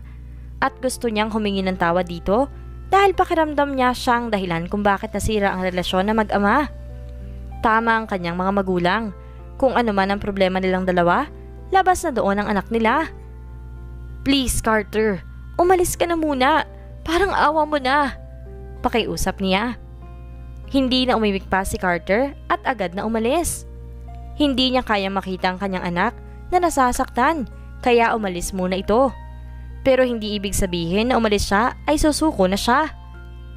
Nang makapasok si Carter sa kanyang kotse, sinuntok niya ng ilang ulit ang manibela nito. Doble ang sakit na nararamdaman niya ngayon dahil kinamumuhian siya ng kanyang anak. Sumisigaw siya habang patuloy sa pagsuntok sa manibela. Hindi niya lubos maisip na darating ang panahon na mararanasan niya ang sakit na ito. Ilang araw nang limupas, sumula na mangyari sa kanilang bahay si Marisa. Mabuti na lamang at hindi na ulit bumalik pa doon si Carter. At tungkol naman kay Liam, naging maayos na ito kahit papaano. At sinusubukan din ni Marisa na kausapin ito tungkol sa kanyang ama. Kasalukuyang nasa mall ngayon si Marisa dahil may binili ito. Kagagaling lang niya sa paaralan kung saan papasok ang kanyang anak kagaya ng gusto ng kanyang mga magulang.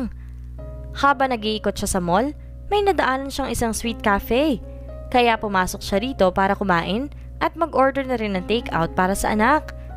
Hindi niya kasama ang anak dahil tulog pa ito noong paalis siya. Naiwan ito sa kanyang nani. Nang makapag-order na siya, naghanap siya ng bakanteng mauupuan. Ilang minuto lang, agad din namang dumating ang kanyang in-order, kasama nakabalot na take-out. Habang kumakain siya, napatingin siya sa dalawang babae, nakakapasok lang. Umorder ang mga ito sa counter. Nang tinitigan niya lang mabuti, nakilala niyang si Minerva ito. Ngunit hindi niya kilala ang kasama. Pero nasa isip niya na parang pamilyar ito sa kanya.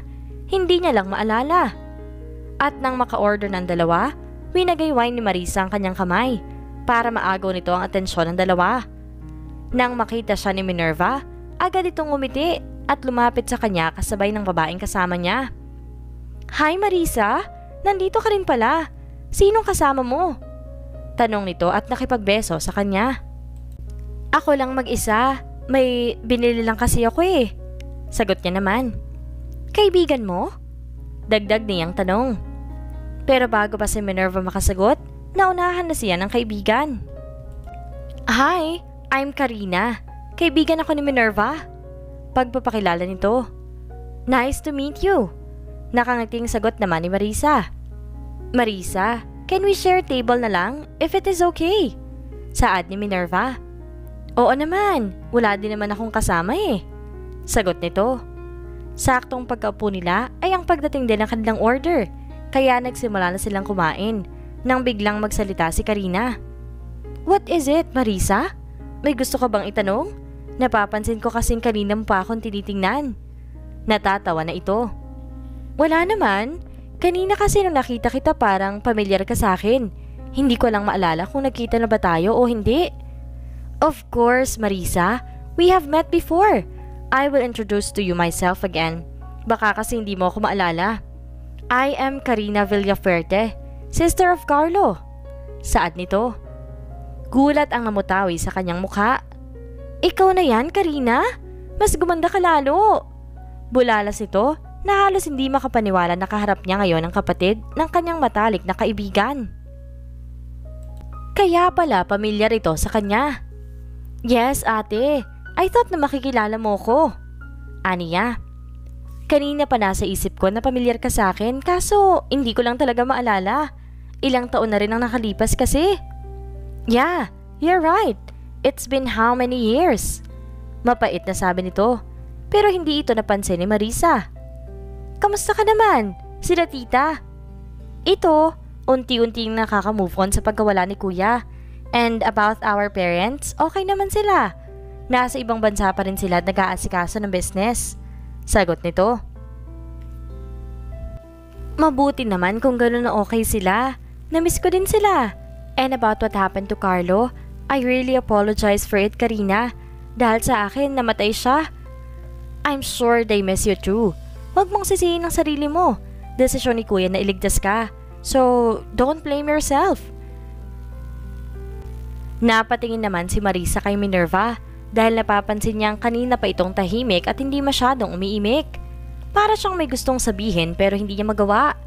Hindi niya na lang din tinanong dahil baka tinatamad lamang itong magsalita. Ilang minuto pang lumipas at nagkukwentuhan lang sila bago niya napagpasyang magpaalam na para umalis dahil baka hinahanap na rin siya ng anak na si Liam. Um, Minerva and Karina, I need to go na. Baka kasi hinintay na ako ng anak ko. Oh, sure. Let's hang out again soon. Wika ni Karina. Sige, Marisa. Ingat ka, ha? Saad naman ni Minerva. Nakatingin lang si Minerva sa upuan na inalisa ni Marisa. Kanina pa siya hindi mapakali dahil hindi niya inaakala na magkikita sila dito at kasama niya pa si Karina. She looks so happy. Biglang saad ni Karina kaya agad siyang napatingin dito. You know what, Karina? Pwede naman na wag mo na lang ituloy ang pinaplano mo. What? Ngayon ka pa ba aayaw kung kailan na okay ng lahat, ha? Sabi nito. Sa tingin mo kung bahay si Carlo, magiging masaya siya sa ginagawa mo? Hindi, Karina. Exactly, Minerva. Kung buhay pa si kuya, eh wala na siya. Madiin na wika nito. Napabuntong hininga lamang si Minerva. This is not the right thing to do, Karina. Paano pag may napahamak? And so, all I need is justice for my brother. Hindi mo kailangan ilagay sa kamay mo ang hostisyang gusto mo. Matagal nang patay si Carlo at nakulong na rin ang may sala. Pero bakit si Marisa ang sinisisi mo? Alam natin na wala siyang kasalanan. Desisyon ng kuya mo na iligtas siya. I don't care. Kasalanan niya pa rin ang lahat kung bakit namatay si kuya. Ano?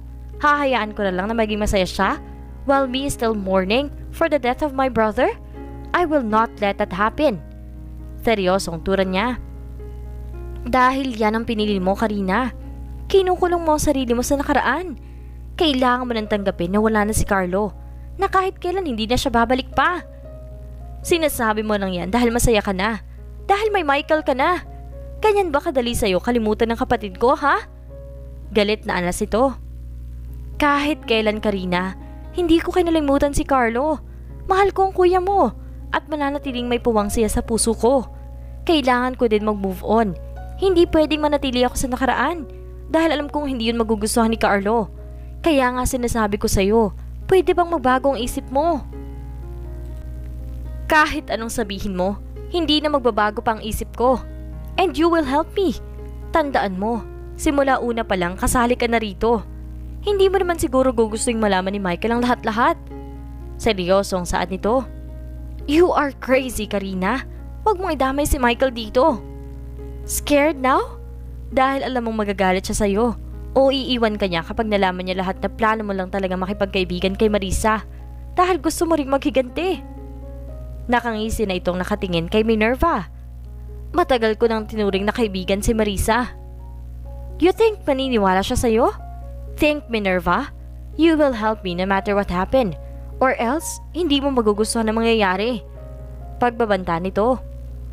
Sa sobrang inis ni Minerva, tumayo na ito at naglakad paalis. Iniwang mag-isa si Karina. Nakatitig lang ang dalagang si Karina sa papalayong si Minerva. Kung sa tingin nito makakalis pa siya, yun ang hindi niya papayagan. Hindi siya papayag na bigla na lang itong aatras sa planong matagal na nilang nasimulan at pinaghandaan. Una pa lang, inaasahan na ng dalaga na hindi ito magiging loyal sa kanya. Pero hinayaan niya pa rin ito. Karina just use her para unti-unti niyang magawa mga plano nito. At pagkatapos nun, aalisin din ito si Minerva sa kanyang landas. Para sa dalaga, isa rin si Minerva sa naging dahilan kung bakit nawala ng oras sa kanya si Carlo. Simula nang pakilala sa kanyang kuya sa kanila, ay palagi na lang ang dalagang kasama nito at bukang bibig na kinaiinis na naman ni Karina at si Marisa na dahilan kung bakit namatay ang lalaking mahal niya. Tama kayo, Mahal ni Karina si Carlo hindi bilang kapatid. Mahal niya ito bilang lalaki. Kinuha niya ang kanyang telepono at may tinawagan ito. Kamusta na ang pinapagawa ko sa inyo? Ayos na po ang lahat, madam. Sagot ng nasa kabilang linya. Good! Siguraduhin nyo lang na hindi kayo papalpak dahil pag nangyari yon, kayo ang una kong papatayin. Areglado, madam. wala na po kayong dapat ikabahala. Sagot ng kausap. Mabuti naman kung ganun. Ipapadala ko na lang sa bank accounts nyo ang paunang bayad. Salamat, madam. Agad na binaba niya ang kanyang telepono at pinakatitigan ng lalaking nasa wallpaper nito. Huwag kang mag-alala, mahal ko. Konti na lang at may paghihiganti na kita. Pagkausap nito sa litrato. Nang makarating si Marisa sa bahay, wala siyang naririnig na ingay na ipinagtataka niya. Bigla din siyang nakaramdam ng kakaibang kaba sa hindi malamang dahilan. Kaya dali-dali siyang pumasok sa loob at nadatan niya ang kanilang dalawang maid kasama ang nani ng anak niya na nakagapos. Mabilis siyang kinalaga ng mga ito at tinanggal ang tape na nakatakip sa mga bibig nito. Ano nangyari dito? Nasaan ang anak ko? Mabilis na tanong niya. Hindi din namin alam ma'am. Nagulat na lang kami, may biglang kumatok at pagbukas ko tinutukan ako ng baril. Kaya wala ako nagawa. Lima silang mga lalaki. Wala naman silang kinuhang gamit o pera. Ginapos lang nila kami ma'am. Nung una, hinahanap ka nila. Kaso ang sabi namin wala ka dito. Hinalaghog pa nila ang bahay para makasiguradong wala ka nga dito. Segunda pa ng isang katulong namin. Si Liam po, tinago ko sa kabinet. Sabi ng nani nito. Dali-daling nagtungo si Marisa sa silid ng anak niya. Mabilis siyang naglakad papunta sa kabinet at binuksan ito. Bumungad kaagad sa kanya ang anak niyang umiiyak, kaya niyakap niya ito ng mahigpit. Hmm, baby, mommy is here. Pagpapakalma niya rito. They are bad, mom. Hinahanap ka po nila.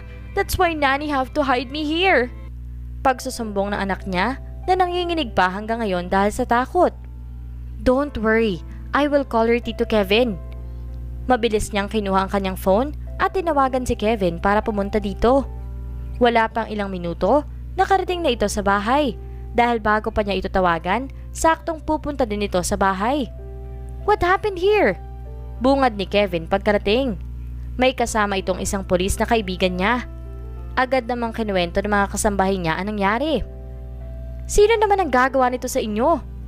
Base sa sinabi nila, ikaw ang hinahanap Marisa. May nakaaway ka ba? O may naalala ka ba na may taong galit sa'yo? Mukhang ikaw ang kailangan nila. Mabuti na lang at wala silang ginawang masama dito. At mabuti na lang hindi din nila nakita si Liam. Paglilita niya ni Kevin. Mukhang may masamang bala ka ngayon sa pinsan mo, Kevin. Saad naman ang kaibigan niyang pulis. Nasa kalagitnaan sila ng pag-iisip nang biglang tumunog ang phone ni Marisa. Sabay silang lahat na nagkatinginan. Sinenya sa ni Kevin ang pinsan na sagutin ito dahil baka konektado ito sa nangyari sa kanila.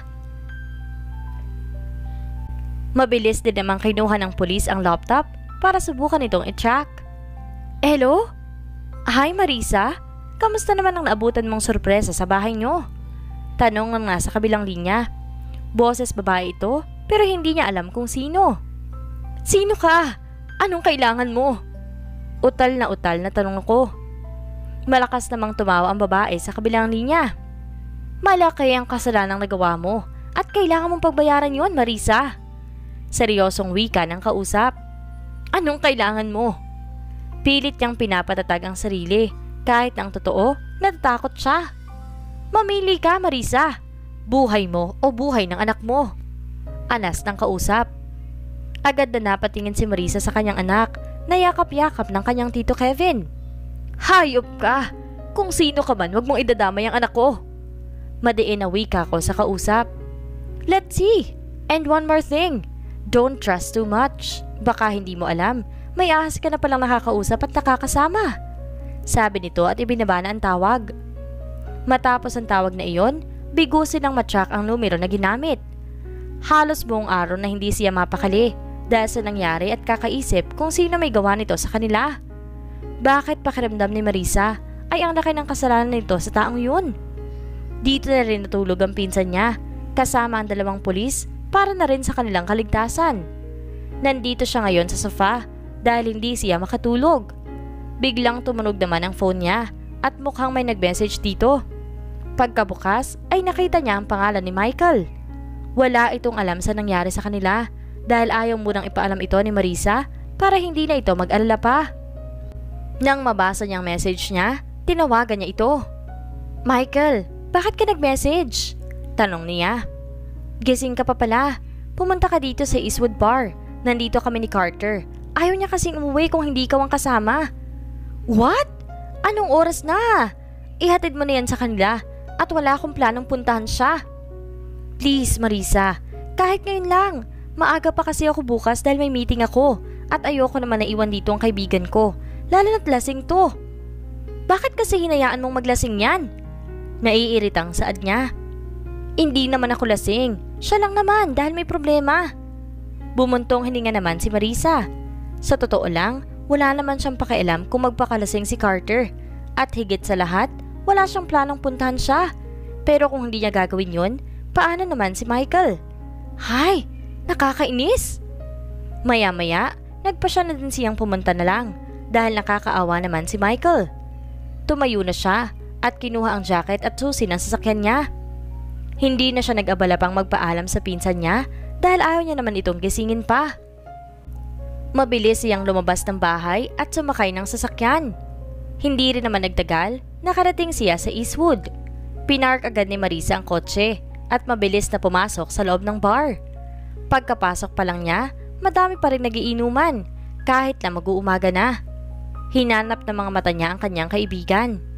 Maya-maya pa, napansin niya kung saan nakapwesto ang mga ito, kaya agad siyang lumapit sa dalawa. Wala si Diego dahil nasa ibang bansa ito kasama ni Cindy. Michael, ano nangyari? Bakit naman lasing na lasing to? Madami kasi siyang nainom. Mukhang problemado sa inyong mag-ina. Niyaya kong umuwi dahil mag-uumaga na. Pero ayaw niya din naman. Kanina pa kita tinatawagan pero ngayon ka lang sumagot. Sagot nito. Napailing na lamang si Marisa. May nangyari kasi kanina sa bahay. Nandun din sila Kevin, kasamang kaibigan niya. Bakit? Ano nangyari? Baka sa tono nito ang pag-aalala. Bukas ko na sasabihin sa'yo lahat. Umuwi na muna tayo. Sige, iuwi mo na lang yan sa kondo niya. Sabi nito. Agad silang umalis sa bar. Si Marisa na ang nagmaneho ng kanyang kotse habang si Michael naman ay nakasunod lamang sa kanila. Halos 20 minutes din lumipas bago nila narating kung nasa ng kondo ni Carter. Mabilis nilang inakay ito, papasok sa kanyang unit. Pinahiga nila si Carter sa kanyang kwarto pagkatapos ay tumalikod na si Marisa para umalis. Nang magsalita si Michael. Saan ka pupunta? Siyempre, aalis na. Kailangan ko nang umuwi. Baka hanapin ako sa bahay. Hindi pa alam ni na Kevin na umalis ako. Ako na ang bahala. Doon na lang ako uuwi para masabi ko kay Kevin. At isa pa na miss ko na rin si Liam. Kaya doon na muna ako didiretso at bukas na ako uuwi. Aniya. Tinitigan niya ang kanyang kaibigan na waray sinusuri ito. What now? Dito ka na lang matulog at na makapag-usap din kayo. Dagdag pa ni Michael at tuluyan ang lumabas. Nang makaalis ang kaibigan na si Michael, naglakad na ito pabalik sa kwarto ni Carter. Napag-isip-isip niya na rin na kailangan nga nilang mag-usap ng dalawa at ayusin ang problema nila para sa anak, lalo na ngayon na nasa panganib ang buhay niya. Pagpasok niya sa kwarto, naglakad siya papalapit sa kama. Kumunot ang noon niya nang hindi niya makita si Carter na ang pagkakatanda niya tulog na nang lumabas sila ni Michael. Maya-maya pa, nakaramdam siya ng mga bisig na yumakap sa kanya. Hindi siya agad nakagalaw dahil sa gulat. Carter, akala ko tulog ka na. Aniya, nandito ka talaga. Akala ko nananaginip lang ako. Sabi nito habang hindi ko makakalas sa pagkakayakap sa kanya. Tinawagan kasi ako ni Michael kanina. Kaya yun, nandito ako. Ayaw mo daw kasing umuwi. Hindi naman siya agad nito sa kama at pinaupo sa kanyang kandungan. Bigla namang namula si Marisa dahil dito. Anong ginagawa mo? Anong gagawin natin dito? Nauutal na tanong ni Marisa. Ano bang gusto mong gawin? O baka may gusto kang gawin natin? Pang-aasar nito.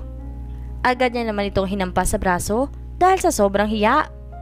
Pisit ka talaga kahit kailan. Ang sabi ni Michael lasing ka. Bakit parang hindi naman yata? Ang mabuti pa, aalis na ako at uuwi. Mukhang okay ka naman. Akmang aalis siya nang mabilis naman itong hinila ni Carter. What? I'm just asking. At hindi naman ako lasing talaga. Anito. We're just going to talk. Matagal na kitang gustong kausapin pero iniisip kong huling sinabi mo na kailangan mo ng tamang panahon at bigyan muna kita ng oras. Pwede naman tayo mag-usap sa labas itong kwarto mo o kaya pwede ka namang dumalaw sa bahay. Mas gusto kong magkausap tayong dalawa muna. Gusto ko na kapag humarap ako kay Liam, okay na ako. Mas gusto ko muna makuha ang pagpapatawad mo dahil alam kong malaki ang kasalanan na nagawa ko sa iyo noon. Ayoko na habang buhay magalit sa akin ang anak ko, Marisa. Sabi nito. Hindi napigilan ni Riz, Marisa ang hindi umiyak dahil sa sinabi ni Carter. At nang tingnan niya ito, nakita niyang umiiyak din ito. Labis na pagsisisi ang nararamdaman ngayon ni Marisa dahil naamin niya na may kasalanan din siya. Kung bakit humantong sila sa ganito. Kung bakit nagalit ang anak niya sa kanyang sariling ama. Niyakap niya na mahigpit si Carter na siyang kinagulat nito. Pero kalaunan, niyakap niya din ito na mahigpit na parang ayaw na itong pakawalan. I'm sorry, Carter. Ako ang dahilan kung bakit naging ganun ang asta sa'yo ni Liam. Alam kong mali ako dahil tayong may problema. Pero dinamay ko pati ang anak natin. Kaya naiipit siya sa sitwasyon na meron tayo. Aniya, kumalas naman ang lalaki sa pagkakayakap at tinawakan ng pisngi niya. You don't need to say sorry. Malaki ang kasalanang nagawa ko sa'yo. Kaya dapat lang yun sa akin. Pero wag kang mag-alala dahil gagawin ko ang lahat para mabawi lang kayo. To be honest with you, Carter, hindi ko pa masasabi kung napatawad na kita. Nandito pa rin hanggang ngayon yung sakit ng nakaraan. Hindi pa rin naghihilom. I have suffered too much to the point na muntik na ako mabaliw. Mabuti na lamang at hindi ako iniwan ni Michael at tinulungan niya ako. Pero nakaraan na yun. Tapos na at hindi na natin maibabalik. Ang mas mahalaga ngayon ay si Liam. Kailangan niya ng ama. Kailangan ka niya. Pero paano? Galit siya sa akin. Ani Carter. Ngumiti naman si Marisa sa kanya. Everything will be alright. Mabait si Liam at alam kong maiintindihan niyang lahat. How about you? Us? Huwag na muna nating pag-usapan ng bagay na yon. Ang mahalaga ngayon ay si Liam. Seryosong sambit ni Marisa. Tumango naman si Carter. Nire-respeto niya ang desisyon ni Marisa. I understand. Alam ko naman na hindi mo ako matitiis. Biro nito. Medyo makapal ang mukha mo sa part na yan. Irap naman ni Marisa. Just telling the truth. Tulad ng unang nakita tayo, nakulang na lang kainin mo ko ng buhay sa restaurant. At isa pa, wala ka naman din dapat ikaselos kay Patricia. Sabi nito. Tumaas naman ang kilay ni Marisa sa tinura nito at bigla niyang naalala si Patricia. She is a good person at alam niyang fiancé siya ni Carter. Pero ano tong ginagawa niya ngayon? Speaking of her, di ba ikakasal na kayo? Listen to me Marisa, we are not getting married at wala kaming relasyon ni Patricia. Pinsan siya ni Diego at pinakaisapan ko lang siya na tulungan ako at magpanggap na ikakasal kami para makausap ka. Pagpapaliwanag nito. You jerk! Sa tingin mo nakakatuwa yon? Nakakainis ka! Pinaghahampas niya ito sa braso dahil ang kala niya talagang magpapakasal na ito sa iba. Hey! Stop it! Stop, Marisa! Eh si Kevin, di ba boyfriend mo siya? No, Kevin is my cousin. Maya-maya pa, tumayo si Carter at naglakad papunta sa isang cabinet na malapit sa kanila. Binuksan niya ito at may kinuha doon na maliit na box at naglakad pabalik ulit sa kama. Umupo siya sa tabi niya at kinuha ang kanyang isang kamay. Binuksan niya ang box na hawak at napasingap si Marisa sa nakitang laman. Ahaw! Tanong niya habang sinusuot niya sa daliri ni Marisa ang isang diamond ring. Hindi alam ni Marisa na nasa kanya pa rin pala ang wedding ring nila. Iniwan niya ito sa mesa ng kanyang kwarto bago siya umalis noon. Ang akala ni Marisa, tinapon niya na ito. Mabilis siyang yapayakap kay Carter habang umiiyak. Hindi man naging maganda ang una nilang pagsasama ni Marisa, pero ngayon gusto na niyang ayusin ang lahat. Gusto kong maging buong pamilya tayo. Ikaw, ako, at ang anak natin. Alam kong hindi madaling kalimutan ang kasalanang nagawa ko, pero gagawin ko ang lahat para mapatawad mo ko. Hindi man ngayon, pero sa tamang panahon. Aniya habang hinahagod ang likod ni Marisa na patuloy pa rin sa pag-iyak. But, how? Matagal ko nang pinirmahan ng annulment papers. Mahinang saad niya habang humihikbi. Kinalas naman ni Carter ang pagkakayakap ni Marisa at hinarap ito sa kanya habang umiti na labis namang ikinataka ni Marisa. Who told you that I signed it? Hindi ko pinirmahan ang pinadala ng abogado mo sa akin. So, that means we are... Yes, we are married. We are still married, Marisa. Si Carter na ang nagtapos ng gustong sabihin nito. Pagkatapos ng pag-uusap nilang dalawa, natulog na sila dahil maaga pa silang pupunta sa bahay nila Marisa. Isang buwan na nakakalipas, simula na magkausap silang mag-asawa. Sumama na rin silang mag-ina kay Carter, pabalik sa dati nilang bahay. Nung una, ayaw ni Liam. Pero sa katagalan, napilit din siya ng ina. Ito kasi ang paraan na naisip ni Marisa para magkalapit ang kanyang mag-ama. Samantala, Kasalukuyan nakaupo si Michael sa isang restaurant, kaharap ang isang babae. Nakatanggap siya ng mensahe mula dito na may kailangan daw siyang malaman.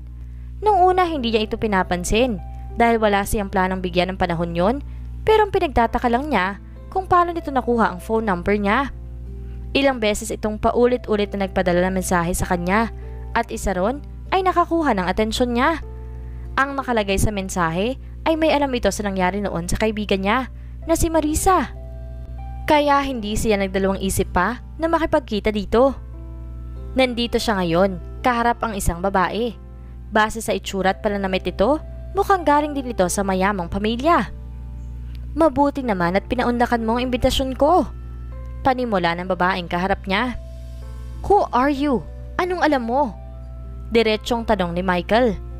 Natawa naman ang babae dahil dito. Nagmamadali ka naman yatang malaman.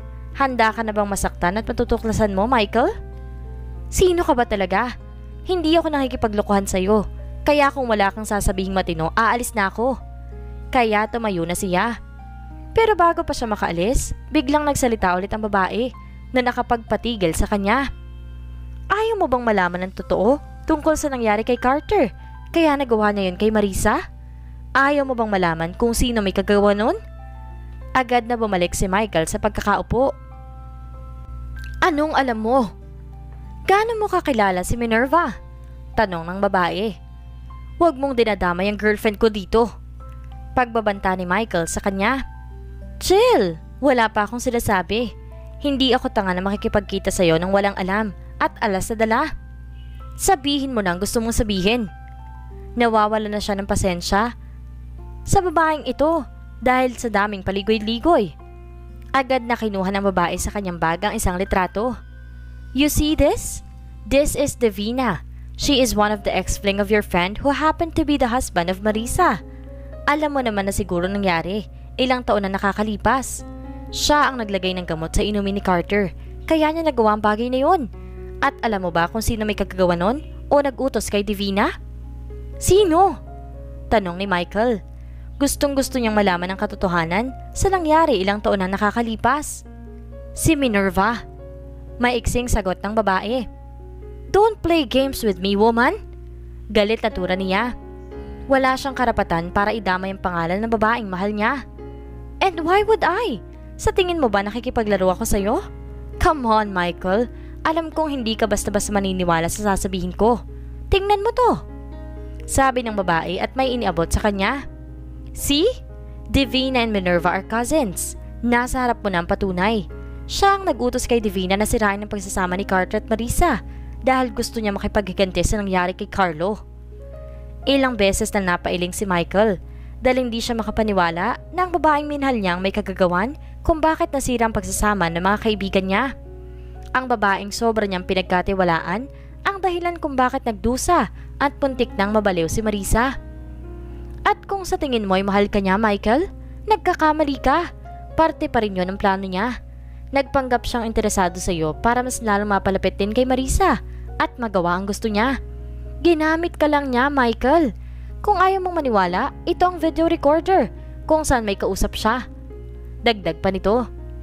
Tinanggap naman ito ni Michael at pinindot ang play button.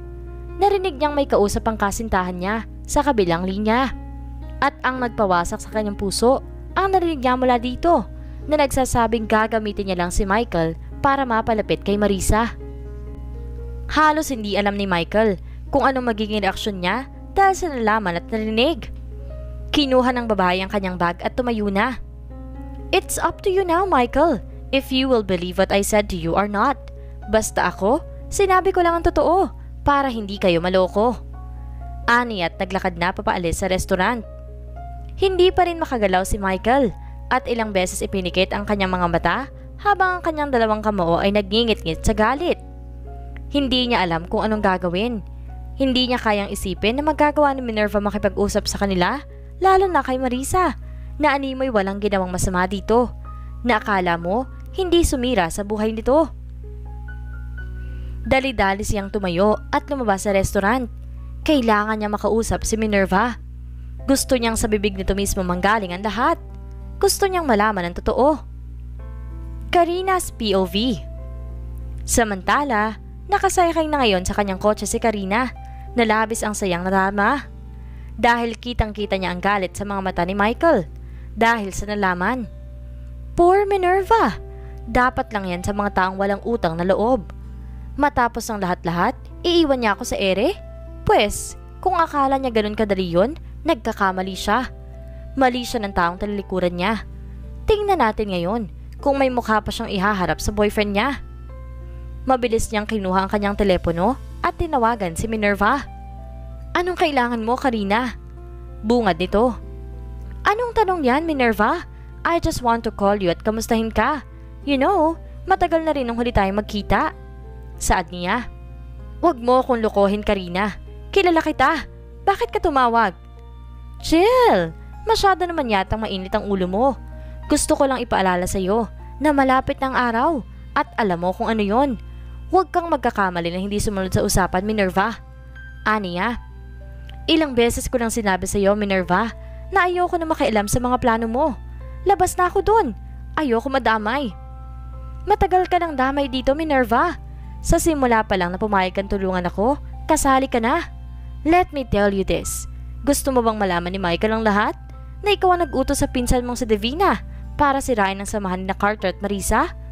Hmm, ano kaya magiging reaksyon niya pag nalaman na ang taong minahal niya ay ang dahilan kung bakit nagdusang kaibigan niya na tinuturing niyang kapatid? Pagbabanta niya sa kanya. Bakit natahimik ka yata? Sinabi ko na sa'yo, masama akong kaaway Minerva. Kaya kung ayaw mong mawala sa iyong pinakaiingatan mo, sumunod ka sa plano. Dagdag pa niya at ibinabahan ang tawag at hindi na niya hinintay pa ang kung anong sasabihin niya. Sumilay ang matagumpay ng ngiti sa labi ng dalagang si Karina. Inaakala niya na naaayon ang lahat sa kanyang kagustuhan at plano. Una na doon ay ang sirain ng relasyon na Michael at Minerva na mukhang nagawa niya naman ng maayos. I told you, Minerva, mahirap akong kalaban at alam ko na hindi na kita magagamit ngayon. Aniya sa isip niya at mabilis sa pinandar ang makina ng kanyang kotse at nag-drive paalis sa restaurant. Nanatiling nakaupo si Michael sa loob ng kanyang sasakyan. Nandito siya ngayon sa labas ng building kung saan nakatira ang kanyang kasintahan. Nanatili pa siya ng ilang segundo bago tuluyang lumabas at pumasok sa building. Habang nakasakay siya ng elevator, hindi pa rin mawala ang galit niya. Akala niya hindi siya makakaramdam ng ganito sa kasintahan pero ngayon hindi niya na alam. Pagkabukas ng elevator, dali-dali siya naglakad hanggang sa makaabot siya sa pintuan ng unit ng dalagang si Minerva. Kumatok siya ng tatlong beses bago ito nagbukas. Hi babe! Nakangiting bungad sa kanya ng dalaga at akmang hahalikan siya nito nang umiwas siya at diretsyong pumasok sa loob. Labis ang pagtataka ng dalaga sa inasta ng kanyang kasintahan. Pero hindi niya na lamang ito pinahalata at sinara na lamang ang pinto bago sumunod dito. Nakita niyang nakatayo lang ito habang hinihilot ang sentido. Are you okay? What do you want to eat, babe? Pagtatanong nito, ngunit wala siyang marinig na sagot. Naglakad siya papalapit dito at niyakap. What's wrong? May problema ba? Tinanggal ni Michael ang pagkakayakap at hinarap siya. We need to talk. Seryosong tura nito. Tungkol saan? Bago kami pumuntang Canada, nakauwi ka ba dito? Pagtatanong nito. What? Are you serious asking me that question? Of course not. Alam mong nasa Canada lang ako. Pumikit ng mariin ang binata. Who is Divina? Biglang namutla si Minerva dahil sa pagkakarinig ng pangalan na binanggit ng kanyang kasintahan. Sinong Divina? Wala akong kilalang ganyan, babe. Utal-utal na sagot nito. Bumuntong hininga ang binata na animoy nagpipigil sa galit. I'm giving you a chance, Minerva. Who is Divina? Ano ka ba? Sinabi ko nang hindi ko kilala sa Divina. Depensa dito. Really? May pagkasarkastikong saad ng binata at tumawa pa. How come na hindi mo kilala si Divina kung pinsan mo naman siya? Lumaki ang mga mata ni Minerva dahil sa narinig. Bigla siya nakaramdam ng kaba dahil dito. Ilang taon na nakalipas nang umalis si Marisa sa poder ni Carter dahil nakagawa ito na hindi maganda sa kanya. Marisa suffered in so much pain, stress and depression. Nagigising siya tuwing gabi dahil sa napapanaginipan niya nangyari sa kanya. She suffered big time. At nung naging okay na siya, pumunta kami sa Canada to continue her life. At dumating ang araw, nalaman niyang buntis siya. She got depressed again at muntik nang ipalaglag ang bata. Pati buhay niya nalagay sa panganib. At alam mo yon Minerva. Mahabang litanya ni Michael. And you know what I found out? Tumawa ito na mapakla. Si Divina ay isa sa naging ex-fling ni Carter. Ang may gawa kung bakit nangyari ang lahat ng iyon sa kanilang mag-asawa. Dahil siya ang naglagay ng gamot sa inumin ni Carter. Kaya nagwa niyang bagay na yun kay Marisa. But you know what's more painful, Minerva? Is when I discover who is behind that. Michael, ano bang pinagsasabi mo? Nanginginig na tanong ng dalaga. Stop this drama of yours, Minerva. Damn it! I know you know what I mean. Don't act stupid in front of me. I know already the truth. I know everything. Alam kong ikaw may pakana ng lahat ng yun. Ikaw ang nag-utos kay Divine ang gawin yon para maghiwalay ang mag-asawa. Galit na sigaw nito. Sa kanya. Babe, let me explain, please. Anas ito at tumakbang papalapit pero umiling ang binata. Don't come near me. What will you explain, ha? That you succeed in your plan? Na nagawa mong paghiwalay ng mga kaibigan ko? Well, congrats! You did well. Panunuyan ito. It's not like that, Michael. Please, hear me out. Pakikipag-usap nito. Marami kang pagkakataon, Minerva. Pero hindi mo sinabi ang totoo. Nakipagkaibigan ka kay Marisa dahil may plano ka. At hindi na ako magtataka kung bakit ka naging malapit sa akin. Wait! Let me rephrase it. Kaya mo ako ginawang boyfriend. Babe, hindi yun totoo. Mahal kita. Mahal na mahal. Hindi kita ginamit. Nagsimula na itong umiyak pero hindi nakaramdam ang binata. Tanging nananalaytay sa kanya ngayon ay galit para sa babaeng kaharap niya. Lumapit si Minerva dito para yakapin siya pero umatras ito. Michael, maniwala ka sa akin. Totoo ang pagmamahal ko sa iyo.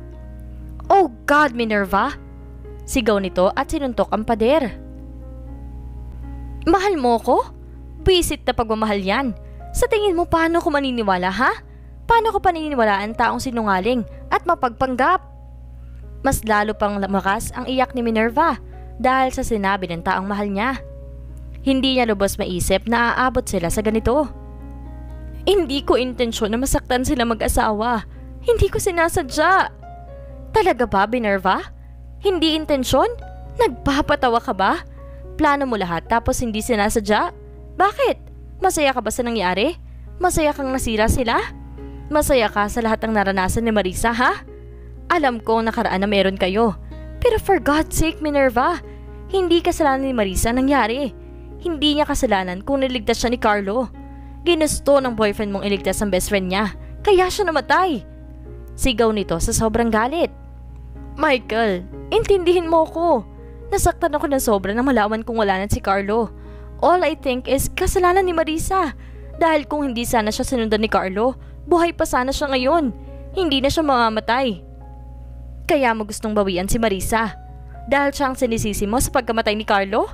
Hindi siya ang pumatay. Nakakulong na may gawa nito pero gusto mo pa rin sirain si Marisa. At pati ako, dinamay mo pa. Michael, please, ayusin natin to. Pagmamakaawa nito. Ayusin? Hindi na maayos ang bagay na nasira na. Hindi na mababalik ang tiwalang nawala, Minerva. You know what? Akala ko, Iba ka sa mga babaeng nakilala ko. Pero hindi. Mas malala ka pa pala. Madiin na wika nito. Halos mapaluhod si Minerva sa tinura ng taong mahal niya. Nakagawa man siya ng kasalanan pero alam niya sa isip at puso niya, totoong mahal niya si Michael. Michael, mahal na mahal kita. Huwag mo kong iwan. Umiiyak na tura nito. Hindi ko kayang pakisamahan ng tao na kasing sama mo. Nagsisisi ako kung bakit ikaw pa minahal ko. Nagsisisi ako kung bakit pinagkatiwalaan kita. Mabilis sa tumayo si Minerva at lumapit sa binata. Niyakap niya ito na mahigpit na animoy ayaw niyang pakawalan pero hindi rin ito nagtagal dahil mabilis na kinalas ni Michael ang pagkakayakap niya at tinulak siya nito. Trust is like a piece of paper. Once it's crumpled, it will never be the same again. Minahal kita, Minerva. I've been honest with you all the time. Pero ang hindi ko alam, puro lang pala pagpapanggap ang lahat ng pinapakita mo. Dahil sa labis sa pagmamahal ko sa'yo, nadurog ako. Binuo kita para sirain ako. Ang sakit mong mahalin. Sana hindi na lang kita nakilala. Sana hindi na lang ikaw minahal ko. Madiin at seryosong anas ng binata at naglakad papalabas. Napaluhod na lang si Minerva nang marinig niya ang pagbukas at pagsara ng pintuan. Senyales na umalis na ito at tuluyan na siyang iniwan. Halos manikip ang dibdib niya sa mga salitang binitawan ni Michael. Wala nang masasakit pa ang marinig mismo sa taong mahal mo na pinagsisisihan niyang makilala at mahalin ka. Parang silang plaka na paulit-ulit sa kanyang isip ang mga katagang iyon. Iniisip niya na kung hanggang dito na lang ba talaga sila. She loves Michael so much, kaya mas pinili niyang wag nang tulungan si Karina dahil ayaw niyang mawala sa kanyang binata. Ngunit sa pagkakataong ito, parang nabaliwala lamang ang lahat. Alam niyang magagalit ito ng sobra pag nalaman ng lahat, kaya ito rin ang dahilan kung bakit hindi niya masabi dito ang nagawa niyang kasalanan. She knows that Marisa is like a sister to Michael, kaya hindi niya ito masisisi kung bakit ganito na lang ang naging reaksyon nito. At alam niyang oras na malaman din ito ni Carter at Marisa, baka magalit din ang mga iyon sa kanya. Ilang tao ang nasayang sa dalawa nang dahil sa kagagawa niya. Ilang taon na walang kinilalang ama si Liam nang dahil sa kanya. Pero kanina pa pumapasok sa kanyang isipan kung paano nangyaring nalaman ni Michael ang tungkol dito nang biglang may pumasok sa isip niya na isang tao. Naikuyom niya ang kanyang dalawang kamay dahil dito. Hayop ka kanina. Alam kong ikaw lang ang may gawa nito. Ikaw ang nagsabi kay Michael. Bulong nito sa sarili. Mabilis na umalis sa kanyang unit ang dalagang si Minerva dahil pupuntahan niya si Karina. Hindi niya lubos maisip na matapos ang lahat-lahat ng ginawa niya para dito, pati ang pagtulong niya ay magagawa siya nitong traidorin. Mabilis siyang sumakay ng kanyang kotse at nagbaneho papunta sa bahay ng kapatid ng dating kasintahan. Hindi niya matanggap na sinira ni Karina ang relasyon nila ni Michael. Galit ang tanging nararamdaman niya ngayon para sa dalaga. Pagkalipas ng halos 30 minutes, narating niya ang bahay ng kaibigan. Mabilis siyang bumaba at dumiretso ng pasok sa loob. Naabutan niya si Karina na prenteng nakaupo sa kanilang veranda habang may hawak-hawak itong alak. Naglakad siya papalapit dito. How dare you, Karina? Bulalas niya sa harap nito. Hey, Minerva! You're here! Wait, ano ba sinasabi mo? Pagkukunwari nito. Mabilis na dumapo ang kanyang kamay sa pisngi ng dalaga dahil sa sobrang galit. Huwag ka nang magkunwari pa. Alam ko nang ginawa mo. Alam kong ikaw nagsabi kay Michael. Galit na sigaw niya. Sapo-sapo ni Karina ang kanyang pisngi dahil sa sampal na ginawa ng dalaga. Pero hindi niya ito ininda dahil maya-maya pa ay ngumiti ito na nakakaloka. Alam mo na pala, bakit ka pa nagtatanong? Wait, let me guess. Wala na kayo ni Michael?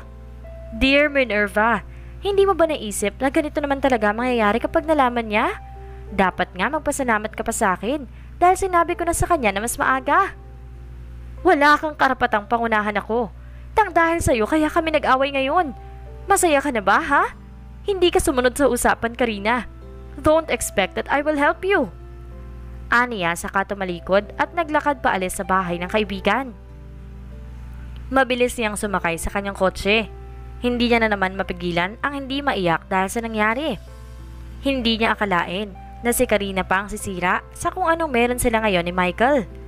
Hindi niya alam ang gagawin dahil kitang-kita niya sa mga mata ng binata ang labis na galit.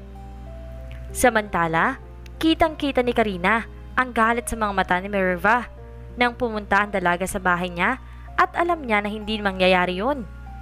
Mahal ni Minerva si Michael kaya alam niyang ganyan na magiging reaksyon nito. But she don't care. Wala na siyang kailangan sa dalaga kaya wala na itong pakialam kung ano ba na mangyari dito. I told you Minerva, hindi ka pwedeng maging masaya. Isip nito at tinungga ang baso na may lamang alak. Naglakad ito papasok at umupo sa sofa. Tuwang-tuwang nararamdaman ng dalaga dahil akala niya lahat ay naaayon sa kanyang plano. Mabilis niyang kinuha ang kanyang telepono na nakapatong sa ibabang mesa at may tinawagan. Hello, madam! Bungad ng boses sa kabilang linya. Is everything okay? Yes, madam. Okay na lahat ng pinaaayos mo at wala ng problema. Sagot nito. Mas lalong lumapad ang ngiti ng dalaga dahil sa sobrang galak. That's good to hear. Maghintay lang kayo sa susunod kong tawag para magawa ng plano. Paalala nito at ibinaba na ang tawag. Isang linggo na nakalilipas at wala naman masyado nangyari sa kani-kanilang mga buhay. Tungkol naman kay Michael at Minerva ay hindi pa rin sila nagkakausap o nagkakaayos. Kasalukuyang nasa bahay ni Marisa si Minerva dahil ilang araw na rin niyang pinag-isipan na sasabihin niya ng lahat-lahat sa mag-asawa at ito ang tamang panahon para rito. Labis ang disappointment ni Marisa to the point na napaiyak pa ito nang malaman niya ang totoo. Grabe ang pagsisisi ni Minerva dahil dito humingi siya ng tawad dahil nabulag siya sa paghihiganti. At dahil sa kabaitang taglay ni Marisa, napatawad niya ito. Mas lalo siya nakaramdam ng konsensya dahil dito. Alam niyang hindi magpadali ang magpatawad dahil sa ginawa niya ilang taon na nakalilipas. Nakasira siya ng isang pamilya. Kung si Marisa ay nagawang magpatawad, si Carter naman ay hindi. Sobrang nagalit siya kay Minerva nang malaman ng lahat. Kung hindi lang babae si Minerva, nabugbog niya na ito at gusto niya ding ipakulong ito dahil hindi niya matanggap na isang plano lang ang naging dahilan kung bakit iniwan siya ni Marisa at ilang taon niyang hindi nakasama ang kanyang anak. Naiintindihan ni Minerva kung bakit galit si Carter dahil alam niya sa sarili niya na mali ang ginawa niya. Hindi rin siya nagtagal sa bahay ng mag-asawa at agad din itong umalis. Samantalang si Marisa naman ay umakyat sa taas para kausapin ang kanyang asawa. Dahan-dahang binuksan ni Marisa ang pinto ng kanilang silid. Wala ngayon dito ang kanilang anak dahil hiniram ito ng mga magulang ni Carter. Lumapit siya sa kanyang asawa na tahimik na nakaupo sa kama. Still angry or not in the mood? She asked. Hindi ito kumibo at nanatiling tahimik lang. Wala kang bala kausapin ako? Pagsasalita nito ulit. Bumuntong hininga muna ito at saka tumingin sa kanya. Hindi ko lang alam kung ano magiging reaksyon ko dahil sa nalaman ko. She is Michael's girlfriend at hindi ko alam kung paano ko pakikitunguhan ang taong sumira sa atin. Tapos ikaw, ang dali mo lang siya napatawad. Pag-amin ito. Hinawakan ni Marisa ang kamay ng asawa. Han, I know it's hard for you at hindi kita pinipilit na patawarin si Minerva. Ayoko lang magkimkim na sama ng loob o galit dahil para sa akin okay na ako dahil kasama ko na kayo ng anak natin. Hindi porket pinatawad ko na siya eh, bali wala na sa akin ang ginawa niya. Nandito pa rin ang sakit na nakaraan. You are really a kind-hearted woman. I know in time I can forgive her, but not now. Kung hindi lang dahil sa iyo at kay Michael, ipapakulong ko siya. Wika ni Carter sa kanyang asawa. Alam niyang hindi madali kay Carter ang nalaman. Kahit siya, hindi rin alam ang magiging reaksyon sa sinabi ni Minerva. Pero hindi niya rin nakakalimutan ang mga naitulong nito sa kanya nang nasa Canada pa sila. At isa pa, kahit papaano, tinuring niya na itong kaibigan. At naiintindihan niya na nagawa lang yun ng dalaga dahil sa nangyari kay Carlo. At nakita niya kung gaano ito nagsisisi. Ang isa sa iniisip niya ngayon ay ang kaibigan na si Michael dahil pag nalaman niya na alam na din ito ang lahat, labis ding masasaktan ng binata. I just hope na maging okay pa silang dalawa. Isip ng dalaga. Ang lalim yata ng iniisip mo. Tanong ni Carter. Iniisip ko lang si Michael. Alam kong hindi siya okay ngayon matapos malaman ng lahat. Hindi naman natin masisisi si Michael.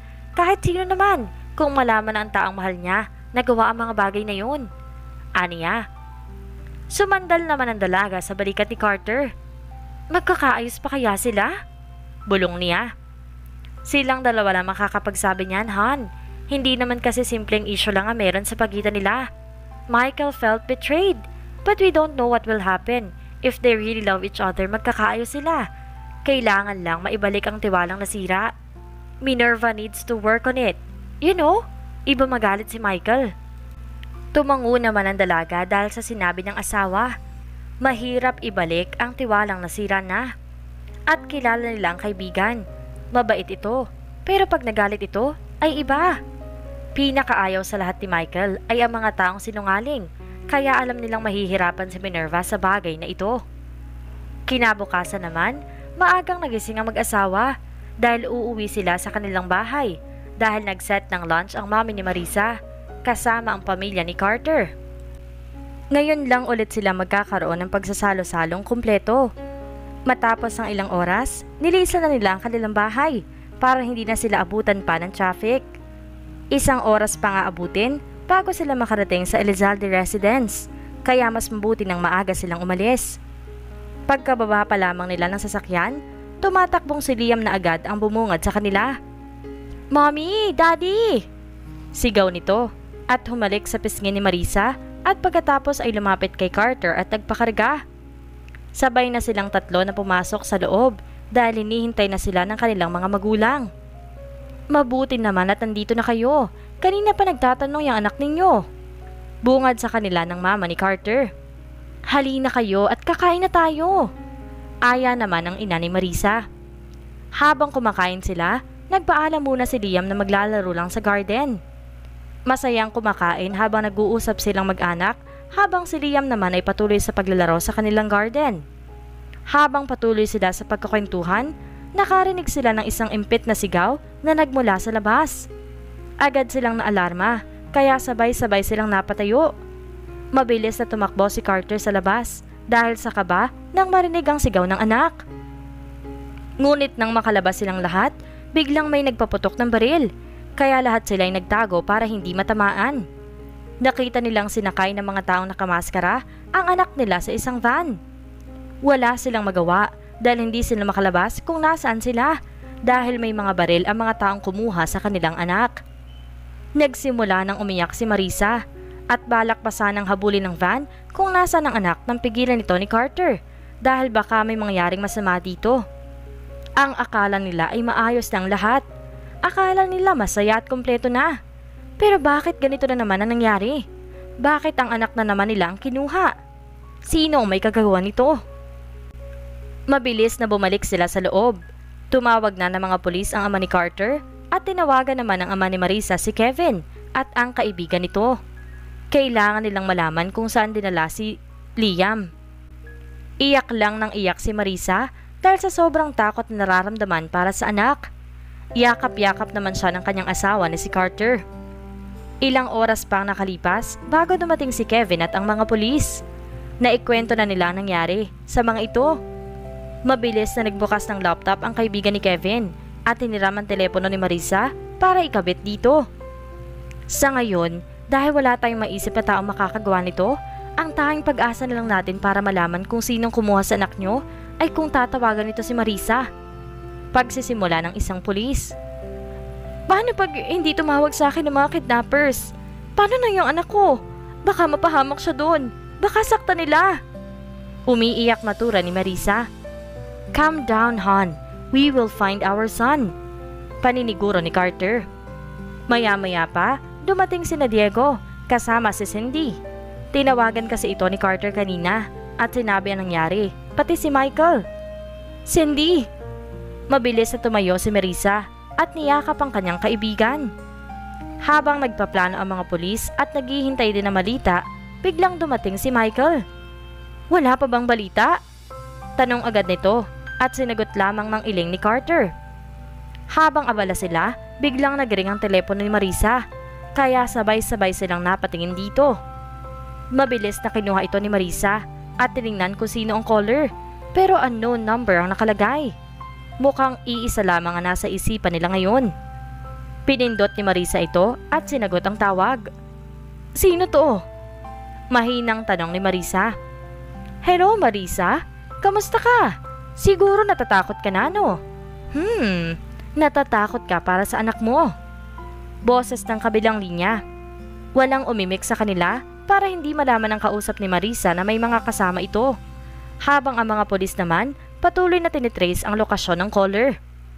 Anong kailangan mo? Nasaan ang anak ko? Ibalik mo siya, parang awa mo na. Nagsimula na namang umiyak si Marisa. Hindi mo na kailangan malaman kung sino ko dahil alam kong kilala mo ko Marisa. Madiin na saad ng boses. Narinig nila ang boses ng kanilang anak na sumisigaw para humingi ng tulong kaya halos mapahagulhol si Marisa dahil dito. Don't hurt him please. Sabihin mo kung anong kailangan mo. Ibalik mo lang ang anak ko. Maawa ka. Pagsusumamo ng dalaga. Hindi mo ako pwedeng turuan sa anong dapat o hindi ko dapat gawin. Kulang pa ito sa lahat ng ginawa mo, Marisa. Naniningil lang ako sa mga kinuha mo sa akin. Ipaparamdam ko sa iyo ang sakit. Ikaw ang dahilan kung bakit siya nawala. Sigaw ng kausap nito na mahihinigan mo ang labis na galit. Saglit siyang napatigil dahil sa sinabi nito.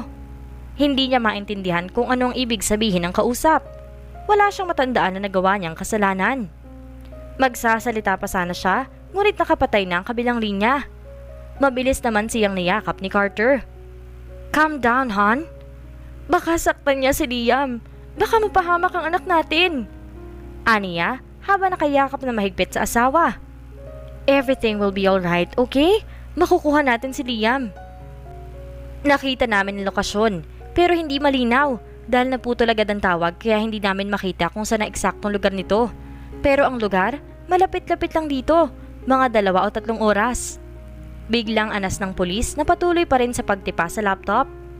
Maya-maya pa, may kumatok sa pinto nila at mabilis na binuksan naman ito ni Diego. Iniluwa nito si Minerva. What are you doing here? Tanong ni Michael. I heard about what happened. Gusto ko lang makatulong. Sagot nito. At sa tingin mo may maitutulong ka? Paano magagawin yon? Pananuya ni Michael. Alam ko kung sinong pwedeng gumawa nito. Si Karina. At alam ko kung saan niya pwedeng dalhin ang inaanak ko. Diretsyong tura ni Minerva. Paano alam mo? Nagtatakan tanong ni Diego. Paano hindi niya malalaman, Diego? Eh kaibigan niya yang si Karina. At hindi niya ako magugulat kung alam niya rin na mangyayari to. Sarkastikong tura ni Michael. Masakit man para kay Minerva ito, pero kailangan niyang tiisin para makatulong sa mag-asawa. Eh, hindi ako ganun kasama, Michael. Matagal na akong tumigil sa pagtulong kay Karina. Alam ko lang noon ang plano niya. Mahinahong depensa nito, kahit alam niyang hindi naman siya paniniwalaan ng binata. Kung gusto mong makatulong, sabihin mo kung anong alam mo, para makabawi ka naman sa mga kasalanan na gawa mo sa pamilya ko. Biglang sabi ni Carter. Tumango naman siya rito. Alam niya, hanggang ngayon ay galit pa rin ito sa kanya. Han, please, not now. Pakiusap ni Marisa sa asawa. Hindi naman na umimik si Carter dahil dito. Mabilis na naglakad si Minerva papalapit sa mga polis para sabihin ang nalalaman niyang impormasyon. Are you sure miss na dito talaga dinala nung sinasabi mong babae ang pamangkin ko? Tanong ni Kevin. I'm sure of it. Sagot naman ng dalaga. I hope that this is true. We trust you this time kahit may ginawa kang mali sa pinsan ko. Let her, Kevin. Kaibigan niya si Karina, kaya siguradong alam niya kung nasan yun. After all, plano naman nilang lahat ito. Pagsingit ni Michael. Masakit man para sa dalaga, pero pinagsawalang bahala niya na lamang ito. Alam niya sa sarili niyang gusto niyang tumulong kay Marisa at para na din sa anak nito. We need to prepare. Pupuntahan na natin ang lugar na sinabi ni Minerva para maligtas na si Liam. Sabi ng isa sa leader ng mga pulis. Let's go! Sabat naman ni Kevin. Mabilis na tumayo ang mga kalalakihan para mag-asikaso sa pag-alis nila. Hindi na sila nagsayang pa ng oras at sabay-sabay na lumabas. Han, Huwag ka nang sumama. Kami nang bahala sa anak natin. Pagpipigil ni Carter sa asawa nito. No! Gusto kong sumama. Hindi mapapanatag ang loob ko kapag nandito lang ako at maghihintay. Please, Carter, hayaan mo akong sumama. Walang nagawa si Carter at tinayaan na lamang na sumama ang asawa. Halos isa't kalahating oras ang naging biyahe nila. Labis ang kabang nararamdaman ng mag-asawa. At ngayon, narating na nila ang gusali na sinasabi ni Minerva. Stay here, hon. Huwag na huwag kayong lalabas dito ni Minerva. Masyado mapanganib. Habilin ni Carter sa dalawang babae na nasa sasakyan. Tumango naman si Marisa habang si Minerva ay tahimik lamang. Agad na lumabas si Carter kasabay ni Michael. Pagkalipas ng sampung minuto, binuksan ni Marisa ang sasakyan. Where are you going? Tanong ni Minerva. Hindi ako mapakali kasi. Kailangan kong sundan sila Carter. Sagot nito. What? Nasisiraan ka na ba ng bait? Ang sabi ni Carter, maiwan tayo dito. Pigil sa kanya ng dalaga. Sandali lang ako. Babalik din ako kaagad. I will come with you. Anas ni Minerva at bumaba na rin ng sasakyan. Maingat ay nanahak nila ang daan kung saan dumaan si na Carter. Habang naglalakad sila, nakarinig sila ng putukan. Kaya hinila siya ni Minerva para magtago sa gilid. Maya-maya pa, natigil ang putukan. Kaya naglakad na naman sila ulit. Bawat madaanan nila ay may mga nakahandusay. Maya-maya pa, nagsimula na naman ang putukan. Kaya napatakbo silang dalawa at hindi nila namalayan na nagkahiwalay na sila ng landas na tinatahak. Nadaanan niya ang isang silid na nakasara at hindi niya na sana ito papansinin nang bigla siya makarinig ng iyak. Agad siyang lumapit sa pinto at napagtanto na boses iyon ng kanyang anak. Mabilis na binuksan niya ang kwarto para hanapin kung nasaan si Liam. Pagbukas niya pa lang, tumambad sa kanya ang anak na nakaupo sa isang upuan at nakatali ang mga kamay at paa nito. Hindi niya mapigilan ang kanyang luha na makita ang kalagayan ng anak. Halata sa mga mata nito ang labis na takot at alam niyang magkakaroon ito ng epekto sa kanyang anak. Wala na siyang sinayang pa ng mga oras at lumapit sa kanyang anak at kinalagan ito. Pagkatapos niyang matanggal ang tali, niyakap niya ito ng mahigpit. It's okay baby, mommy is here now. Mahinang bulong nito sa anak na patuloy pa rin sa pag-iyak. Hinawakan niya ng mahigpit ang kanyang anak. Kailangan na nilang makaalis sa kwarto na ito dahil baka maabutan pa sila ng kumuha dito. Dahan-dahan silang naglakad papalabas sa kwarto. Akmang tatakbo na sila nang mapansin niyang may papalapit sa kanilang tao. Hinila niya ang anak nito at nagtago sa gilid. Halos tawagin na ni Marisa ang lahat ng santo para lamang mailigtas sila ng kanyang anak. Marisa, I know you are here. Huwag ka nang makipaglaro ng tagutaguan sa akin. Anas ng boses na pamilyar na pamilyar sa kanya. Mas lalong humigpit ang kanyang hawak sa anak dahil sa labis sa kaba at takot na nararamdaman. Kung sa tingin mo makakatakas ka, pues, nagkakamali ka. Hindi ako papayag na makaalis ka sa lugar na ito. Madiin na sabi ulit ng babae. Huminga ng malalim si Marisa dahil sa narinig. Ngayon, alam niya na siya talaga ang habol nito. At ayaw niyang mangyari sa kanyang anak, kaya lumuhod siya para maging kapantay nito. Baby, listen to mommy. Nakikita mo ba yon? Gumapang ka papunta doon. Hanapin mo si daddy o kaya si Tito Michael. Utos niya dito. Ah, how about you, mom? Tanong ng anak. I will be fine, baby. Mommy will follow you. Tumango naman ito sa kanya at nagsimula ng gumapang. At nang makasigurado siyang nakalayo ng anak, lumabas siya sa kanyang pinagtataguan. Halos lumuwa ang kanyang mga mata na makilala kung sinong babaeng nasa harap niya. Hindi siya makapaniwala. Karina? Gulat na saan nito. Yes, ako nga Marisa. Masaya ako nakilala mo agad ako. Hindi kagaya nung nagkita tayo. Anong kailangan mo sa akin? Bakit mo ba to ginagawa? Tanong niya. Why am I doing this? Because I want you to die. Ikaw ang dahilan kung bakit siya namatay. Galit na sigaw nito. Karina, alam natin na wala akong kasalanan sa nangyari sa kuya mo. Hindi ko ginustong mamatay siya. Naiiyak na tura ni Marisa. At sino? Kaninong kasalanan Marisa? Kay Carlo? Kung hindi dahil sa'yo, buhay pa siya ngayon. Kaya tama lang na mamatay ka. Madiin na wika nito. Desisyon ni Carlong iligtas ako, Karina. Wala akong kinalaman doon. Nasaktan din ako sa pagkawala niya. Pagpapaliwanag ni Marisa. Wala akong pakailam sa nararamdaman mo. Dahil kahit pa nang sabihin mo, hindi magbabago ang katotohanan na ikaw ang naging dahilan kung bakit siya namatay. Kung bakit nawala ang lalaking mahal ko. Galit na saad nito. What are you talking about, Karina? Itigil mo na to. Biglang saad ng isang boses sa likuran ni Marisa. What a nice reunion indeed. Tama nga ang hinala ko. Hindi ka mapagkakatiwalaan, Minerva. Ikaw ang nagdala sa kanila dito. Traitor ka. Duro niya sa babaeng kararating lang. Ito ang tamang gawin, Karina. Hindi ang gusto mo. Hindi matutuwa si Carlo dito. Pabalik na tura nito sa kausap. Karina, may pagkakataon pa. Pwede ka pang magbago. Dagdag pa ni Marisa. Wala akong pakailam sa sinasabi nyo. Maganda nang nandito kayong dalawa para sabay-sabay na kayong mamatay. Kayo ang dahilan kung bakit nawala ang atensyon ni Carlo sa akin. Kung bakit hindi niya na ako mahal. Magkapatid kayo, Karina. Hindi mo pwedeng mahalin si Carlo. Akala mo ba hindi ko alam, ha? Alam kong mahal mo siya hindi bilang kapatid, kundi bilang isang lalaki. Pero alam mong hindi pwedeng gusto mo. Magkadugo kayo. Sabi ni Minerva na ikinagulat naman ni Marisa. Wala kang pakialam kung sinong mahalin ko. Maayos ang samahan naming dalawa bago ka pa dumating. Pero simula na sumingit ka sa buhay namin, nagbago ng lahat. Palagi na lang siyang wala dahil magkasama kayo. At nang umalis ka naman papunta Canada, madalas pa rin kayo mag-usap. Ikaw namang babae ka, wala ka nang ginawa kundi ang magpasama na magpasama sa kanya. Lahat na lang ng galaw mo, kailangan magkasama kayo. Baling nito kay Marisa. Alam mong magkaklase kami at matalik na magkaibigan.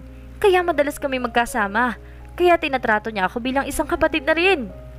Depensa ni Marisa. Wala akong pakailam sa sasabihin mo. Mga mga agaw kayo. Kaya dapat lang na mamatay kayo para maging patas sa tayo. Aniya sabay kalabit ng gatilyo. Ngunit bago pa man ito pumutok, ay biglang natumba ito. Nakita nila sa likod nito ang pinsang si Kevin. Binaril niya sa paa si Karina, kaya ito natumba. Mabilis naman itong ikadinlapitan ng mga pulis para hulihin. Karina! Sigaw ni Minerva dahil sa gulat sa nangyari. Pagkatapos ng ilang minuto, sabay-sabay nilang nilisan ang lugar na iyon. Matapos ang gabing yon, dinala si Karina sa ospital para ipagamot ang kanyang sugat. Masaya naman si na Carter dahil sa wakas, nabawi nila ang kanilang anak. Pero nakaranas ito ng trauma, kaya kailangan nila itong dalhin sa isang psychiatrist para mapatingnan at maging maayos ang kanilang anak. Alam nilang hindi madali sa anak nila ang nangyari ng gabing yon. Kasalukuyang nasa bahay ng mga Elizalde ang mga magulang ni na Carlo at Karina. Labis ang paghingi nila ng tawad dahil sa ginawa ng kanilang anak. Nang marinig nila ang balita, agad silang kumuha ng flight para makauwi agad dito. Mare, pasensya na talaga kayo sa ginawa ng anak namin. Hindi namin alam na aabot siya sa ganito. Anas ng ina ni Karina. Okay na yon, Mare. Ang importante walang nasaktan. Kamusta na po pala si Karina? Nasa na siya? Hindi mapigilang tanong ni Marisa. Kahit na nakagawa ito ng masama sa kanila, hindi maipagkakailang mahalaga pa rin ang dalaga sa kanya dahil kapatid ito na matalik niyang kaibigan. Okay na siya at nakalabas na ng ospital. Napagdesisyonan din namin ng tita mo na ipasok mo na siya sa rehab para magamot siya. Sagot ng ama ni Carlo. Bakit tito? Kailangan namin yung gawin para sa kanya. She is not well. Karina is sick. Dugtong ng ina ni Carlo. Nagsimula ng ikwento ng ginang ang tungkol kay Karina. Matagal na pala nilang napapansin noon na iba ang trato nito sa kanyang kuya na si Carlo. Nagiging matampuhin ito, pero nung una, pinagsawalang bahala lamang nila dahil natural naman sa magkapatid ang ganoon. Ngunit isang araw, nang ipinakilala ni Carlo si Minerva bilang kasintahan nito, maraming nag-iba sa dalaga. Naging mainte ang ulo nito at nagiging possessive na din sa kanyang kuya. Kaya napagpasyahan nila na paglayuin muna ang dalawa. Naging maayos naman ang lahat dahil bumalik sa dati si Karina. Kaya ang akala nila, mali lamang sila ng hinala. Hanggang sa isang araw, narinig nila itong kausap ang isa sa kaibigan nito at nalaman nila na may lihim na pagtingin ng dalaga sa kapatid nito. Kinausap nila si Karina tungkol dito at naging maayos naman ang lahat. Minsan na lang umuwi si Carlo dahil naging busy din ito sa pag-aaral. Hanggang sa isang araw, mabalitaan nila ang nangyari kay Carlo. Naging malaking epekto ito kay Karina. Nagkaroon siya ng depresyon. Naging tahimik ito at madalas magkulong sa kwarto. Mabuti na lang ay nandoon si Minerva para kausapin ito at samahan hanggang sa bumalik ang dating sigla niya. Akala niya magaling na ito dahil wala naman itong sinasabi sa kanila ng kung ano. Hanggang sa napag-alaman nito na uuwi ng Pilipinas ay pinayagan na nila. Lingid sa kaalaman nila, may pinaplano pala itong iba. Matapos ang ilang oras, nagpaalam na din ang mga ito dahil bibisitahin pa nila si Karina. Habang ang mga magulang naman ni Marisa ay umalis din dahil may aasikasuhin pa sa kumpanya. Naiwan naman na magkakaibigan. Wala dito ngayon si Liam dahil may check-up ito at kasama nito ang mga magulang ni Carter. I knew it! Sinasabi na nga ba eh. Baliw talaga ang babaeng yun. Bulalas ni Cindy. She's not crazy. Don't judge her. Mabait si Karina. Sabat naman ni Minerva. Oh, come on, Minerva. Don't defend her. We all know the truth. Kung mabait siya, sana hindi ito nangyari. Dinamay niya pang bata na walang kamuwang-muwang. Look what happened to Liam. He is suffering from trauma because of her. Wika ulit ni Cindy. She has a reason. She is also a victim here. Hindi ko siya kinakampihan dito. Ang sa akin lang, intindihin natin ang side niya kung bakit niya nagawa ang bagay niyon. Depensa ni Minerva. Whatever reason she has, mali pa rin ang ginawa niya. Walang kasalanan si Marisa sa pagkamatay ni Carlo. Sana inisip niya din yun. Enough, babe. Don't stress yourself about it. Saway ni Diego, kaya natigil sa pagsasalita si Cindy. No matter what will you say, Cindy, it won't matter to Minerva. She will defend that girl because they are friends. Parunuyan ni Michael. Agad na pumagitna na si Marisa dahil ayaw niyang magkaroon pa ng away. Tigil na yan guys. Ang mabuti pa kumain na lang tayo. Yaya nito. Mabilis naman na tumango silang lahat. Ang sabay-sabay na pumuntang hapagkainan. You know what guys? I think we need some vacation. Ani Cindy. Tumango naman si Diego. You are right babe. Ang tagal na din simula na magkaroon tayo ng bonding na magkakasama. Sang-ayon naman ni Diego. Bumaling naman si Carter sa kanyang asawa. What do you think, hon? Yeah, sure. Siguro naman kailangan natin lahat makapag-refresh din. It's been a stressful week for us. Sagot naman ni Marisa. How about you, Michael? Minerva? Tanong ni Cindy. Um, I'm not sure pa. Sagot ni Minerva. Ay, ano ba naman yan ang daya? Wika ni Cindy. Count me in. Sabihan niyo lang ako kung kailan. And about her, if she doesn't want to let herself enjoy and go, hindi naman tayo mga kaibigan niya. Anas ni Michael. She is part of the circle, Michael. She is not your friend naman talaga kasi she is your...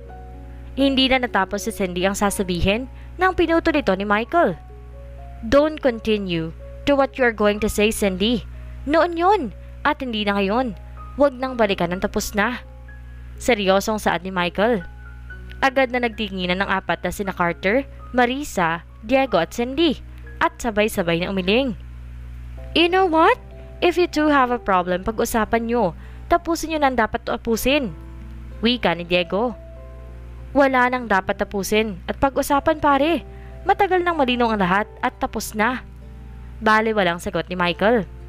Si Minerva naman, nanatiling tahimik lang habang kumakain. Tama na muna yung usapang mga ganyan. Magplano lang tayo ng tungkol sa bakasyon natin. Bulalas si Marisa. Dumating ang araw na pinakahihintay na magkakaibigan. Aalis sila at pupunta sa isang resort sa Batangas para makapag-relax. Ginamit nila ang sasakyan ni Michael para isahang kotse nila ang gagamitin nila dahil malaki naman ito kaya kasya silang anim dito at pati ang kanilang mga gamit. Plano nilang magstay doon ng tatlong araw para naman maging sulit ang kanilang bakasyon. Ilang oras din ang tinagal ng kanilang biyahe at halos pagabi na din na makarating sila sa resort. Kinuha lang nila ang kanilang mga gamit at dumiretso na sa kwarto na kanilang ipinareserve. Bale, apat na kwarto ang kinuha nila. Isa para kina Carter at Marisa, isa para kina Diego at Cindy, at dalawa para kina Minerva at Michael. Sa kabilang banda naman, nanggagalaiti ang isang babae dahil sa nakikita niyang larawan na naka-upload. Hindi niya matanggap na ang mga taong kinamumuhian niya ay nagsasaya habang siya ay nakakulong. Iniisip niya na hindi pwedeng ganito na lang. Kailangan niyang gumawa ng paraan para makatakas sa lugar na ito. Hindi siya pwedeng maging talunan. Kung iniisip nyo na papayag akong ganito, pwes, nagkakamali kayo. Hindi kayo pwedeng maging masaya habang ako nagdurusa. Isip nito. Maya-maya pa, tinago niya ang kanyang hawak na phone dahil pumasok ang isang nurse. Sumilay naman ang iti sa kanyang labi na may nabuo sa kanyang plano. Miss Karina, kailangan mo nang uminom ng gamot. Nakangiting tura ng isang nurse. Habang abala ito sa pag-ayos ng gamot ng dalaga, hindi niya napansin na tumayo si Karina. Mabilis niyang kinuha ang isang flower vase at pinakpok sa ulo ng nurse. Nawala agad ito ng malay. Hinila niya ang nurse papunta sa loob ng banyo at saka siya pinapalit ng kanilang suot. Agad niyang iniwan sa loob ang walang malay na nurse habang siya ay dali-dali lumabas ng silid at naglakad na parang wala lang. Mabilis na nilisa ni Karina ang rehabilitation Mabuti na lang, sinuot niya ang damit ng nurse, kaya hindi siya nahirapang makalabas ng lugar. Agad siyang pumara ng taxi at sumakay ng walang pag-aalinlangan. Hindi siya dumiretso sa bahay nila dahil alam niyang nandun pa ang kanyang mga magulang, kaya mas pinili niya na lang ang mag-check-in sa isang hotel. Nang makapasok siya sa kanyang suite, agad na sumilay ang ngiti sa kanyang mga labi. Nasa isip niya na maitutuloy niya na ang kanyang plano. Hinding hindi siya papayag na maging masaya ang mga taong naging dahilan kung bakit siya miserable hanggang ngayon. Magpakasaya lang kayo ngayon dahil yan ang huling beses na magkakasama kayo. Aniya sa kanyang isip. Sa kabilang banda naman, nag-aayos na magkakaibigan dahil napagpasyahan nilang mag-dinner ng 6pm para makapunta sila kaagad sa bagong bukas na bar. Gusto nilang masulit ang huling gabi dito sa resort.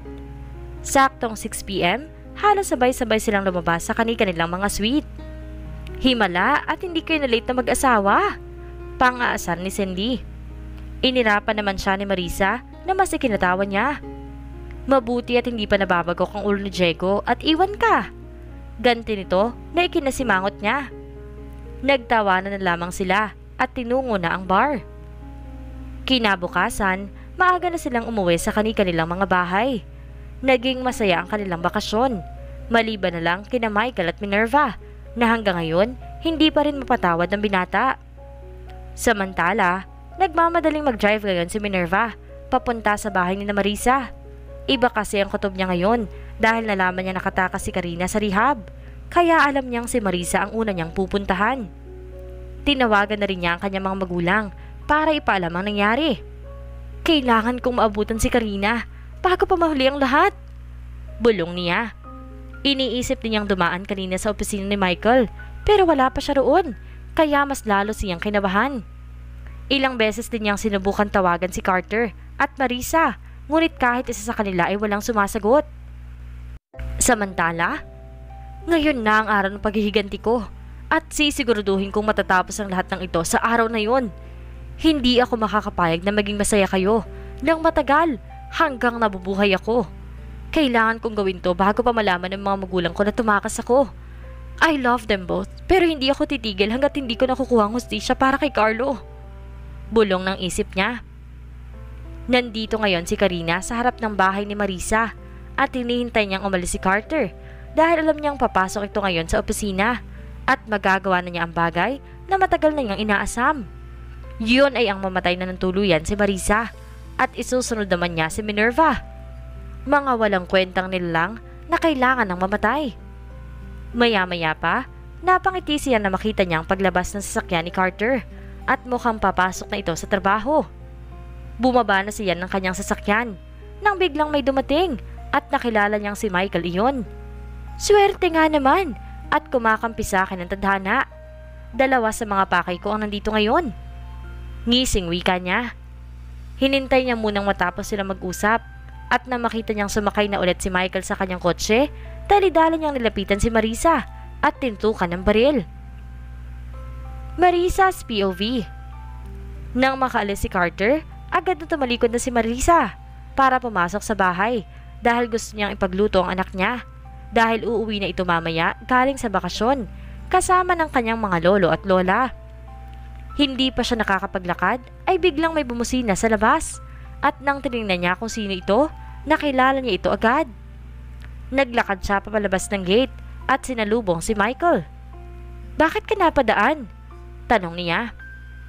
Hi Marisa, nandyan ba si Carter? May kailangan kasi ako sa kanya eh.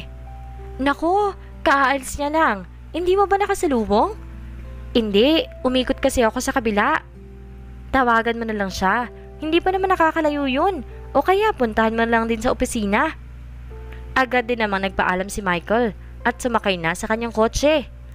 Akmang tatalikod na si Marisa nang biglang may humila sa kanya at makita niya kung sino ito. Kinabahan siya.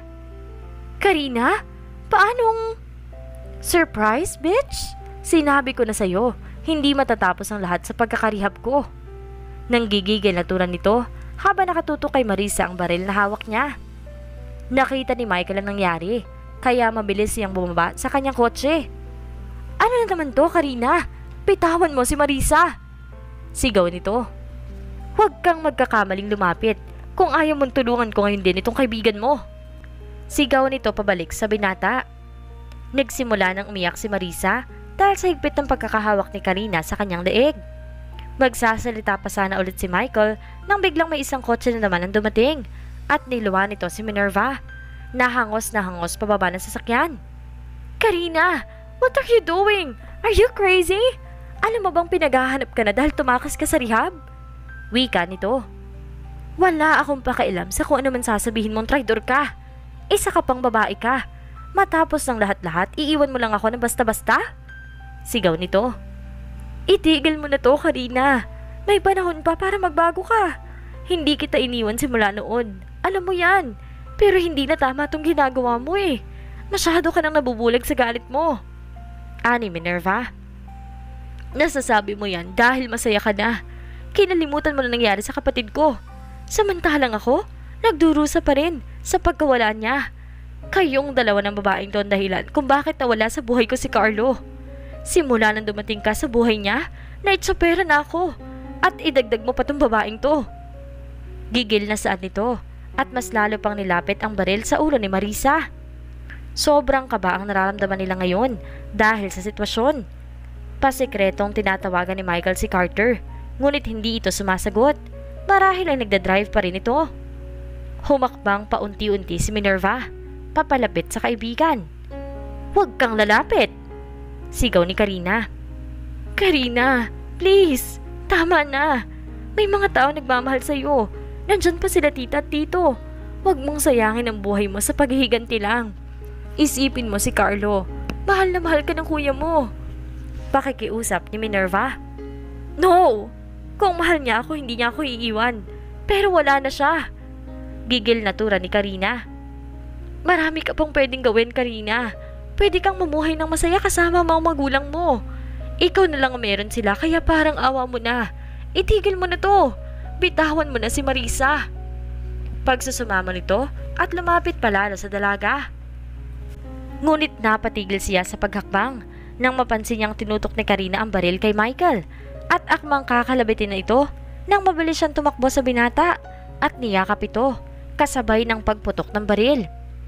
Napahiyaw si Marisa sa nasaksihan at si Michael naman labis ang pagkagulat habang yakap-yakap si Minerva ng tamaan. Halos hindi makapaniwala si Michael dahil mas pinili siyang iligtas ng dalaga. What a great drama indeed! Masyado kang nagpaka-hero para iligtas sa lalaking ilang beses ka nang pinagtatabuyan. Ani Karina. Ano ba Karina? Bitawan mo ako! Pagpapamiglas ni Marisa. Manahimik ka kung ayaw mong mamatay ng maaga, tonta. At hinila si Marisa pasakay sa kotse. Samantalang si Michael naman, hawak-hawak si Minerva. Bakit mo ginawa yun ha? Dahil alam kong yun lang dapat. Nakangiting saad nito Napansin niya ang pagharurot ng kotse, kaya pilit siyang bumangon sa pagkakahawak ng binata. Anong ginagawa mo? Dadalhin kita sa ospital. Umiling naman si Minerva. Okay lang ako. Kaya ko pa naman. Sa balikat lang to. Kailangan kong sundan sila Karina. At ikaw, tawagan mo si Carter. Naka-on naman ang GPS ko at kay Marisa. Mabilis yung kami matatrack. Alam ko kung saan niya dadalhin si Marisa. Pero, wala nang pero-pero. Sundin mo na lang ang sinasabi ko sa'yo. Kahit dito man lang magawa ko iligtas si Marisa. Wala nang nagawa si Michael kundi ang sundin ang sinabi ng dalaga at dalidaling tinawagan si Carter. Samantalang si Minerva naman, sumakay na sa kanyang kotse at sinundan kung saan nagtungo si Karina. Halos aligaga si Michael dahil ilang beses niya nang tinawagan ng kaibigan pero hindi pa rin ito sumasagot at isa pa kinakabahan na siya kaya mas pinili niya na lang nasundan kung saan nagpunta si Minerva. Nang makasakay siya sa kanyang kotse, saktong nagring ang kanyang telepono at nakita niyang si Carter na ang tumatawag. Mabilis niya itong sinagot. Why? Nagda-drive kasi ako. Kanina pa kita tinatawagan. Nasa panganib ang buhay ng asawa mo. Aniya. What? Ano nangyari? Nasaan ka? Nasaan ang asawa ko? Nandito pa ako sa bahay niyo. Umuwi ka na dito ngayon din. Natatarantang anas niya. Pabalik na ako. Hintayin mo ako dyan. Tawagan mo na din si Kevin. Halos hindi na inaalintala ni Carter ang nadadaanan niya. Ang importante ngayon, makarating siya sa bahay para malaman kung ano ang nangyari. Binalot ng kabang buong sistema niya nang sabihin ni Michael na nasa panganib ang asawa niya. Ang pagkakatanda niya, halos isang oras pa lang nang umalis siya sa bahay. Tapos ito na ang kanyang mababalitaan. Kung alam lang sana niya na mangyayari ito, hindi na siya umalis at iniwan si Marisa. Mabilis siyang nakabalik sa bahay. Pababa pa lamang siya ng sasakyan ay natanaw na niya si Michael kasama si Kevin at ang mga pulis. Agad siyang lumapit sa mga ito. Ano nangyari? Nasaan ang asawa ko? Nung umalis ka kanina, naabutan ko siya. Hinahanap kita. Ang sabi niya naman umalis ka na. Kaya sabi ko pupuntahan na lang kita sa opisina. Sumakay na ako ng kotse at siya naman ay tumalikod na para pumasok sa loob. Kaso, nagulat ako nang bigla siyang hinatak ni Karina at tinutukan ng baril. Hindi ako makagalaw kasi binilaan niya ako.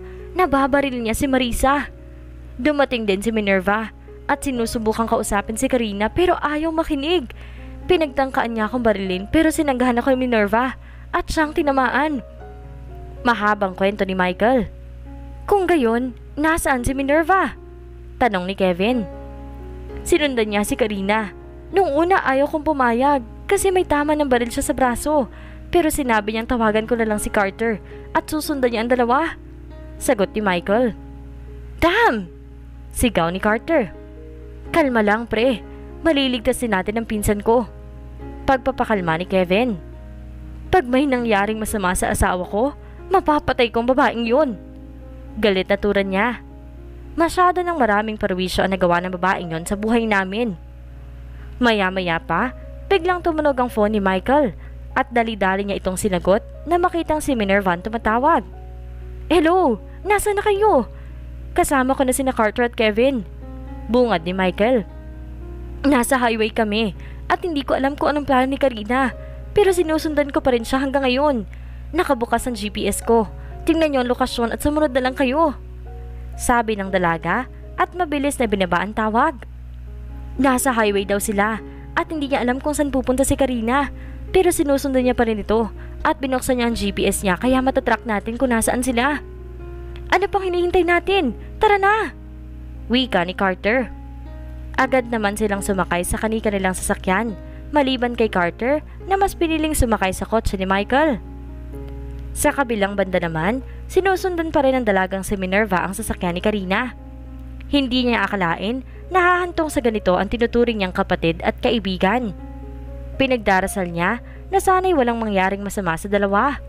At kahit na kumikirot na ang kanyang balikat, hindi niya ito iniinda. Ang importante ngayon sa kanya ay ang mailigtas ang dalawa. Samantalang patuloy sa pag-aaway ang dalawang babaeng nasa iisang kotse. Karina, parang awa mo na. Itigil mo na to. Walang maidudulot na magandang paghihiganti mo. hindi magiging masaya ang kuya mo dahil sa ginagawa mo. Pakiusap ni Marisa. Tumigil ka. Huwag mong idamay si kuya dito dahil wala kang karapatang pangaralan ako sa ganyang bagay. Tumigil ka. Huwag mong idamay si kuya dito dahil wala kang karapatan ng pangaralan ako sa ganyang bagay. Please, Karina. Nandyan pa sila tita. Na mahal na mahal ka. Halos kapatid na rin ang turing ko sa'yo. Alam kong nasaktan ka sa pagkawala ni Carlo. At alam ko, hanggang ngayon ako pa rin sinisisi mo. Kasi kahit ako, sinisisi ko rin ang sarili ko. Dahil kung hindi nangyari sa akin yun, sana buhay pa siya. Pero Karina, hindi ko ginusto yun. Umiiyak na turan niya. Kailangan mong pagbayaran pagkawala ni Carlo. Kahit sa anong paraan. At ako ang sisingil nun sa'yo.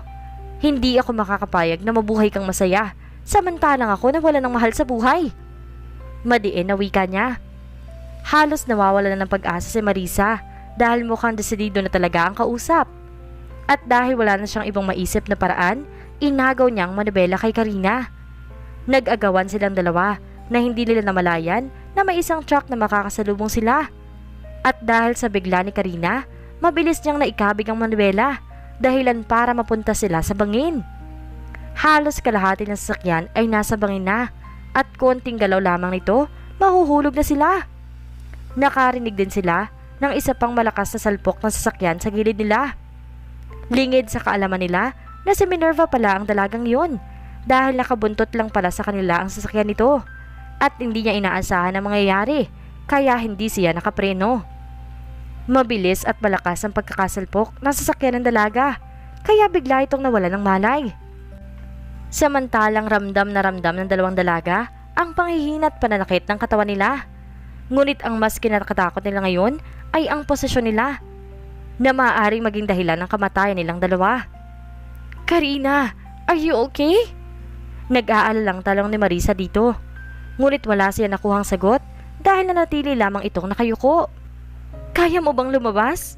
Dahan-dahan tayong lalabas para hindi gumalaw ang kotse. Kailangan natin makalis dito bago pa ito malaglag. Dagdag niya, ngunit hindi pa rin ito nagtataas ng ulo. Pilit ay naabot ni Marisa ang kamay ng dalaga. Kahit na nakagawa ito ng masama sa kanya, naiintindihan niya kung saan nanggagaling ang galit ng dalaga at ayaw niyang may mangyaring masama dito. Kailangan niyang iligtas ito sa abot ng kanyang makakaya kahit hindi niya alam kung makakalabas pa ba sila ng buhay ngayon. Inisip ni Marisa na hindi sila pwedeng basta-basta na lang mamatay. Gusto niya pang makasama ang kanyang mag-ama at mabuo ang pamilya nila. Kaya kailangan niyang lumaban para mabuhay. You can go now. Iwan mo na ako dito. Biglang salita ni Karina. Hindi kita pwedeng iwan dito, Karina. Pareho tayong lalabas ng sasakyan to. Tumingin sa kanya ang dalaga. Paano mong naiisip ang bagay na yan? Alam mong kaya ka nandito sa sitwasyong ito ay dahil sa akin. Dahil mahalaga ka sa akin. Dahil kapatid ka ni Carlo. Hindi ko hahayaang mapahama ka. Biglang tumulo ang mga luha sa mata ni Karina. Hindi niya lubos maisip na ganito kabait ang dalaga. Na kahit nasa ganitong sitwasyon sila, ayaw siya nitong iwan. Kahit na hindi maganda ang ginawa niya sa pamilya nito. Ngayon, naiintindihan niya na kung bakit nagawang isakripisyo ng kapatid niya ang buhay nito para mailigtas lang ang dalaga. Si Marisa ang taong gugustuhin na maging kaibigan ng lahat, kaya alam niya kung bakit naging matalik na magkaibigan ang dalaga at ang kuya niya. Too bad at ngayon lamang niya na-realize ang lahat ng yun kung kailan nasa panganib na sila at pati si Minerva na hindi siya nagawang iwan simula nang mamatay si Carlo ay nagawa niyang saktan. Alam niya sa sarili niya na baka hindi na siya makaligtas sa araw na ito. Ilang minuto na nakakalipas pero hanggang ngayon, nasa loob pa rin ang sasakyan sina Marisa at Karina at wala silang kaalam-alam sa nangyari kay Minerva. Halika na Karina, kailangan nating makalabas dito bago pa tuluyang mahulog ang sasakyan sa bangin. Anas ni Marisa. Umiling lang ang dalaga. I can't ate. Karina answered. What do you mean? Kailangan natin makaalis dito. Pamimilit niya. Mauna ka nang lumabas. Susunod ako. No! Hindi kita iiwan dito. Sabay tayong lalabas sa kotse. Pamimilit ni Marisa. Masasayang na ang oras kapag pinilit mo pang hintayin ako ate. Kailangan ka ng pamilya mo. lalo na ni Kuya Carter at Liam. Tiningnan ni Marisa ang kalagayan ng dalaga at halos manlumo siya sa nakita. Kaya pala kanina niya pa napapansin na hindi masyadong gumagalaw si Karina dahil naipit ang paa nito. Karina! Nanlulumong tawag niya sa dalaga. I'm sorry ate for what I have done to you and for ruining your family. Alam ko na kung buhay pa si kuya, ikakahiya niya ako sa ginawa ko sa'yo. Please ate, do me a favor. Lumabas ka na sa kotse bago pa tuluyang mamatay tayong dalawa. I can sacrifice my life to save you, just like what my brother did. Mahabang litanya ng dalaga. Ilang beses na umiling si Marisa habang tumutulo ang kanyang luha. Matagal na kitang pinatawad. Alam kong kinain ka lang ng galit mo. Kaya natin to, Karina. Pareho tayong makakaalis at makakaligtas. Positibong saad nito. Biglang unti-unting gumalaw ang sasakyan na animoy konting kibot na lang ay mahuhulog na ito ng tuluyan. Go ate! Go out now! Sigaw ni Karina habang tinutulak si Marisa. Hintayin mo ko ha! Huwag kang masyadong magalaw. Hihingi ako ng tulong para makalabas ka. Tandaan mo, mahal ka ni ate. Huling sinabi ni Marisa at dahan-dahan gumapang papalabas para hindi gaanong magalaw ang kotse. Nang akala ni Marisa ay nakalabas na siya ng tuluyan, bigla naman siyang napatid, kaya nahulog siya. Mabuti na lang at nakakapit siya sa isang kahoy. Ngunit alam niyang pag tumagal pa siya, hindi niya na din kakayanin ng pagkapit dahil mababali na din ito at malalaglag siya. Halos maiyak na siya dahil hindi niya alam ano ang gagawin. Kailangan niya makahingi ng tulong at mabalikan si Karina. Pero paano niya magagawa yon kung pati siya ay nanganganib ang buhay? Carter, nasan ka na ba? Mahinang sambit niya. Halos nawawalan na rin siya ng lakas, gawa ng pagkakapit niya sa sanga. Maya-maya pa, nakarinig siya ng ingay na nanggagaling sa sakyan, kung saan siya lumabas. Halos mapasigaw siya, dahil kitang-kita ng dalawang mata niya ang unti-unting pagkahulog nito sa bangin. Karina! Sigaw niya habang umiiyak. Maya-maya pa, Nakarinig siya na parang may mga sasakyan na dumating, kaya kahit nahirap-hirap na siya, nagawa pa rin niyang sumigaw. Samantala, habang nagdadrive si Michael para hanapin kung nasaan sila Marisa, may napansin siyang parang may nagbanggaan, kaya mas binilisan pa niya ang pagmamaneho. Nakarating sila malapit sa isang bangin, kung saan may isang sasakyan na nabangga sa isang malaking puno. Mas lalo pa siyang kinabahan nang makilala niya ang kotseng iyon. Minerva? Mahinang bulong niya. Mabilis siyang bumaba ng kotse at lumapit sa sasakyan ni Minerva. Nakita niya itong walang malay, kaya mabilis niyang binuksan ang pinto ng sasakyan at binuhat siya. Halos manlumo si Michael sa nakita. Naliligo sa sariling dugo ang babaeng mahal niya. Hindi niya alam kung anong gagawin habang hinihintay ang ambulansya. Ihiniga niya muna ito sa kanyang paanan at kahit siya ay punong-puno na rin ng dugo ang damit. Maya-maya pa ay dumating na ang ambulansya at mabilis na isinakay si Minerva. Kailangan niya ng madala agad sa ospital dahil marami ng dugo ang nawala sa kanya. Sinenyasan na din niya siya ni Kevin na sumama na rin. Hold on Minerva, malakas ka, kaya mo yan. Hindi pa tayo nakakapag-usap ng maayos. Wika nito habang nasa biyahe sila papuntang ospital. Samantala, nang may parada ni Michael ang sasakyan, mabilis na bumaba si Carter para hanapin ang asawa niya. At hindi nga siya nagkamali dahil narinig niya ang boses niya na humihingi ng tulong. Halos kapusin siya ng hininga na makitang nasa panganib ang buhay ni Marisa dahil nakakapit lamang siya sa isang sanga at pag naputol yon, tuluyan siyang malalaglag sa bangin. Mabilis ang naging takbo ni Carter, palapit sa tinig na kanyang narinig. Han, kumapit ka sa kamay ko.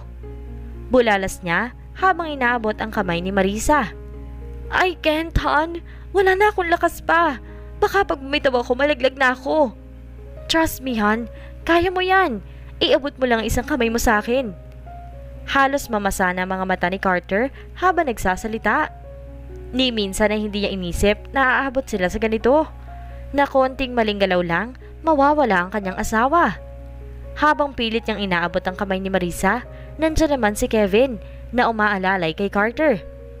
Halos mamawis na din si Kevin dahil sa tensyong nararamdaman at the same time ay kinakain din siya ng kaba dahil nasa panganib ang kanyang pinsan. Si Liam, alagaan mo siya! Naiiyak na sambit ni Marisa. Huwag kang magsalita ng ganyan. Ililigtas kita. Sige nahan, hawakan mo na ang kamay ko. Pagsusama mo nito. Kahit hirap na hirap na si Marisa at hindi niya alam kung anong kalalabasan nito, mas pinili niyang pagkatiwalaan ng kanyang asawa. Masyado na siyang pagod at marami na rin siyang sugat na natamo sa kanyang buong katawan. Napapikit siya ng mariin at pumasok sa kanyang isipan ang mukha ng kanyang anak. Nakaramdam siya ng lakas ng loob dahil dito. Hindi siya pwedeng mawala ng pag-asa dahil naghihintay sa kanya ang anak nila. Idinilat niya ang kanyang mga mata at tumingin kay Carter na halos umiiyak na. Dahan-dahan niyang iniabot ang kamay ni Carter na nakalahad gamit ang isang kamay niya. Nang makasigurado siyang nakahawak na siya sa binata, nabawasan ng konti ang kanyang kaba. Ramdam niya ang higpit ng pagkakahawak ni Carter sa kanyang kamay na parang takot na takot itong mabitawan. Go on, Han. Iabot mo pa sa akin ang isa mong kamay. Umiiling-iling pa si Marisa at tumingin sa baba. Alam niyang pag nalaglag siya ay hindi na ito mabubuhay. Muli siyang tumingin sa kanyang asawa at kitang-kita niya ang paglandas sa mga luha sa mga mata nito. Maya-maya ay unti-unti nang inabot pa ni Marisa ang isang kamay niya kay Carter at umaasang maiiligtas siya nito. Ibinigay naman ni Carter ang buong lakas niya nang mahawakan ng dalawang kamay ng asawa. Hindi siya pwede magkamali dahil baka mabitawan niya ito at tuluyang malaglag ang dalaga. Hindi siya pwedeng makapante hanggat hindi niya pa nahihila pataas ang dalaga. Mabuti na lang at nandyan si Kevin sa tabi niya at tumutulong para umalalay sa kanila. Pagkatapos ng ilang minuto, Tuluyan na nilang nahatak paakyat si Marisa. Agad na niyakap nito ang asawa. Han, si Karina! Iyak ni Marisa habang nakayakap kay Carter. Sa kabilang dako naman, abala ang mga pulis sa pagpaplano para makababa sa bangin para makuha ang bangkay ni Karina na tuluyang nalaglag sa bangin. Iyak lang ng iyak si Marisa habang yakap-yakap ito ng asawa niya. Labis ang takot na namumutawi sa kanya dahil sa nangyari. Matapos ang ilang minuto, kumalma na rin ito. Lumapit sa kanyang pinsang si Kevin. Thank God you're safe! Bulalas nito. Napabitaw naman siya sa pagkakayakap sa asawa at mabilis na niyakap ang pinsan. Don't worry, everything will be alright. Pagpapagaan nito sa kanyang loob. Han, we need to go now. Kailangan mo magpa-check up sa ospital. Anas ni Carter. Mabuti pa nga dalhin mo na yan para mas maging maayos ang kalagayan niya. Kami na ang bahala dito. Tura naman ni Kevin. Inalalayan na ni Carter si Marisa na bigla itong nahimatay. Mabuti na lamang at maaga pang binata kaya nasalo niya agad ito. Mabilis niya itong binuhat at isinakay sa sakyan ni Michael. Alam niya na din kung ano nangyari kay Minerva pero hindi niya pa pinapaalam sa asawa dahil baka mas lalong maapektuhan pa ito. Mabilis siyang nag-drive papuntang ospital.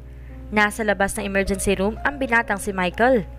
Kanina pa siya pabalik-balik ng lakad simula na makarating sila dito at naipasok ang dalagang si Minerva sa loob.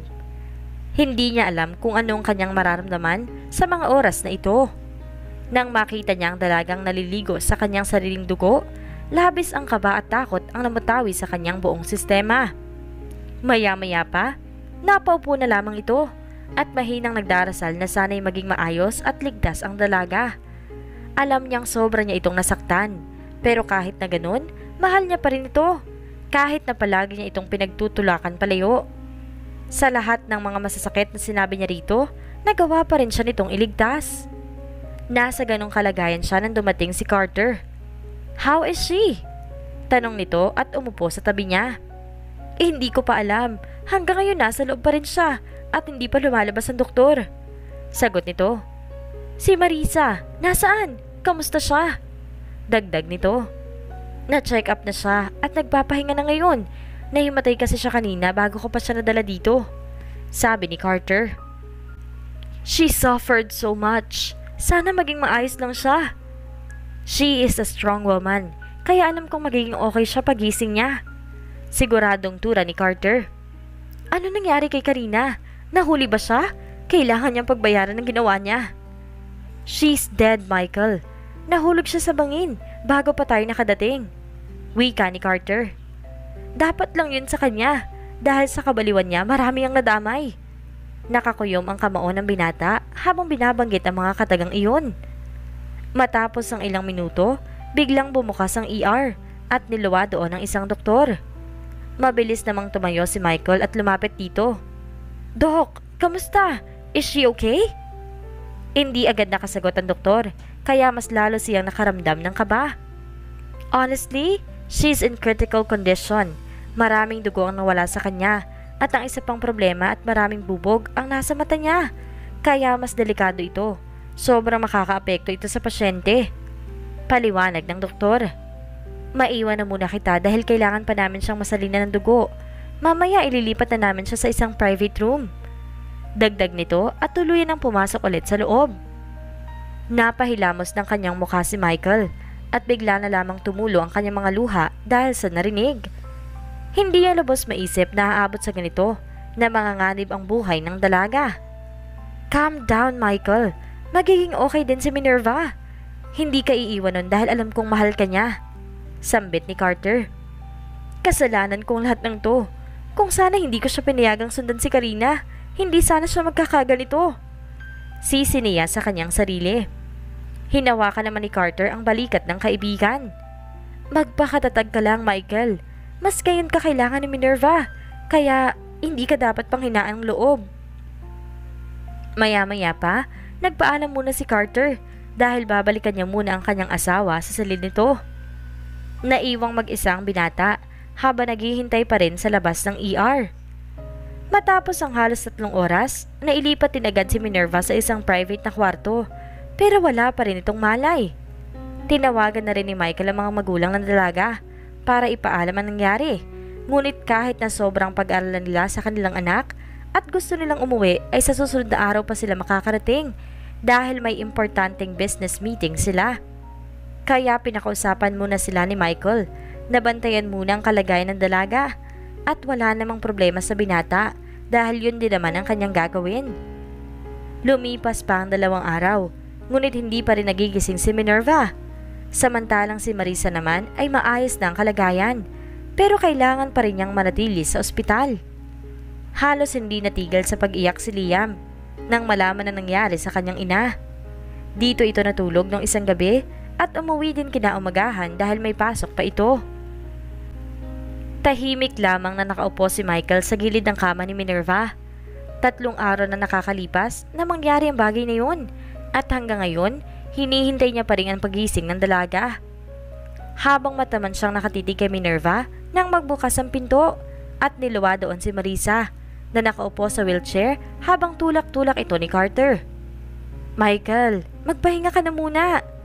Ani Marisa, ngunit umiling lang ang binata. Don't worry about me, Marisa. Okay lang naman ako. Mahinang sambit nito.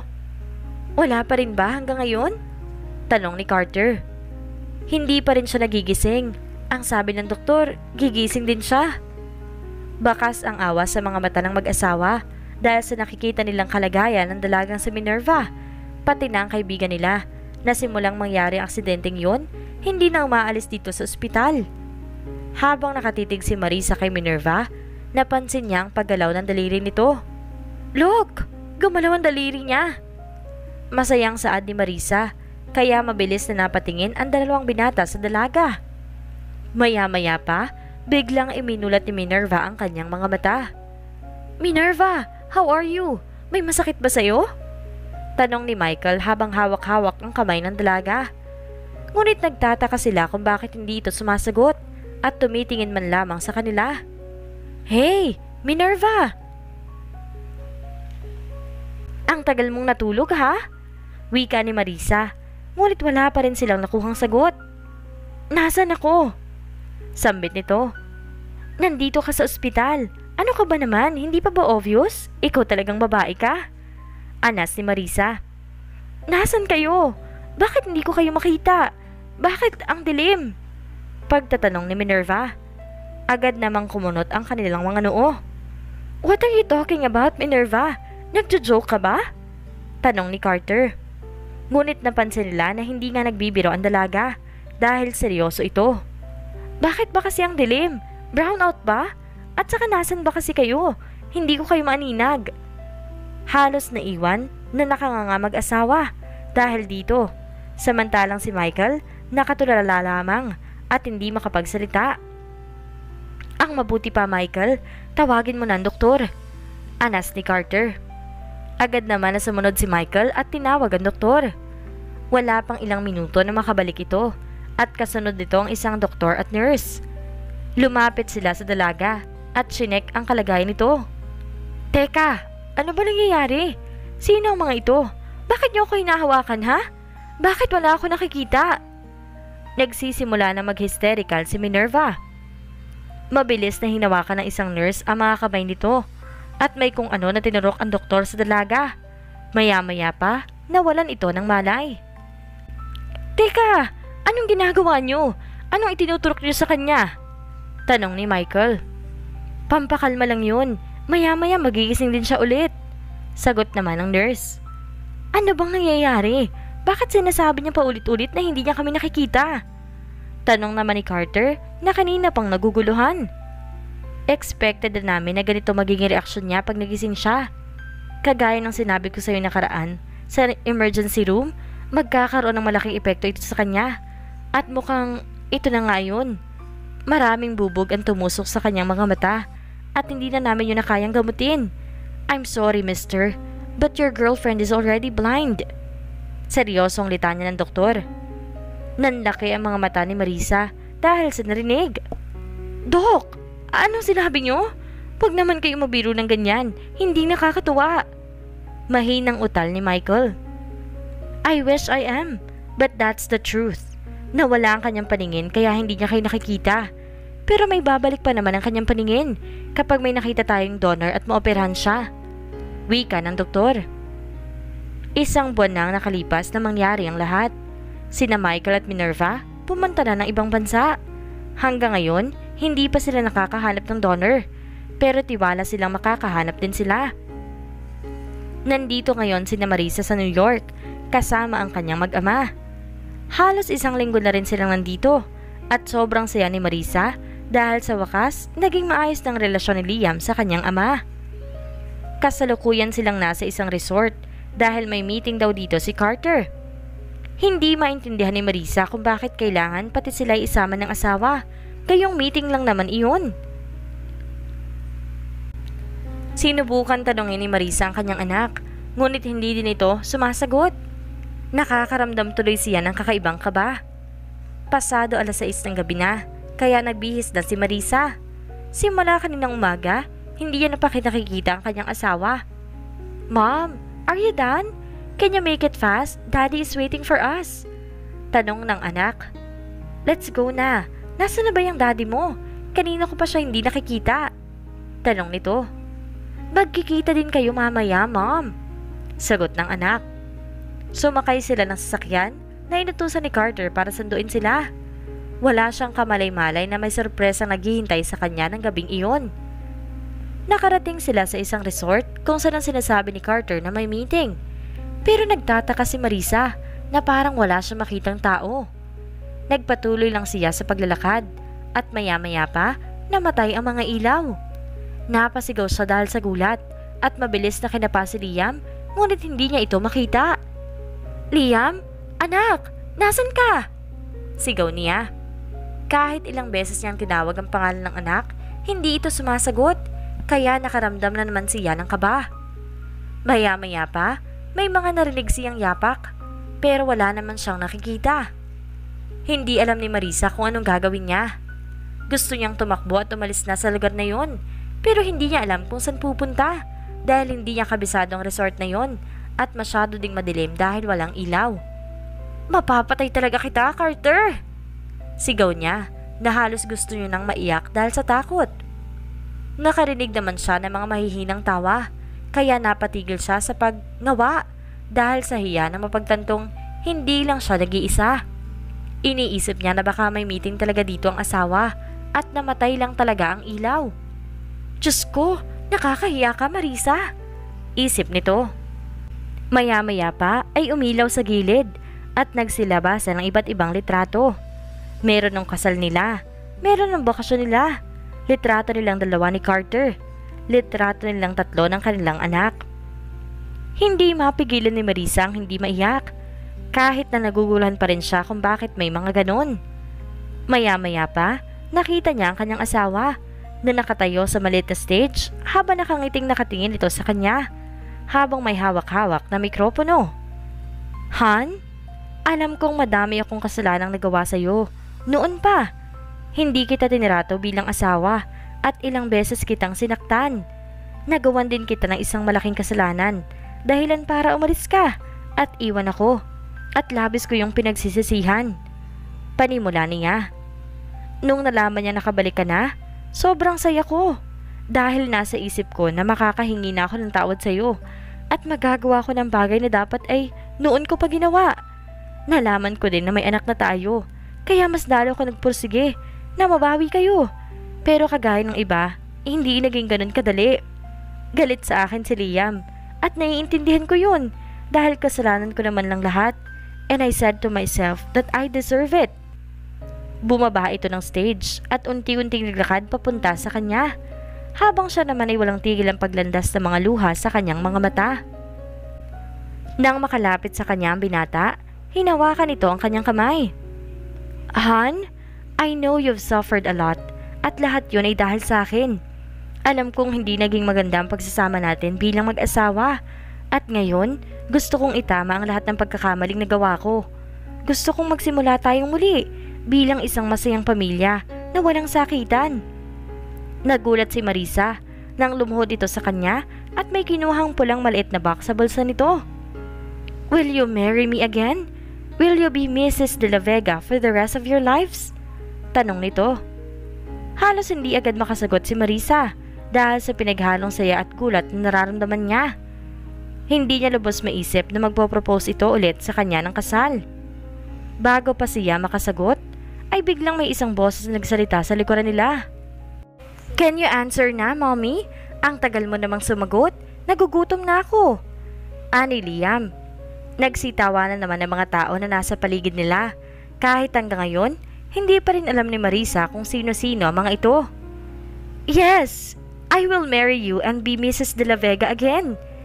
Nakangiting sagot ni Marisa habang patuloy pa rin sa pagtulo ng kanyang mga luha.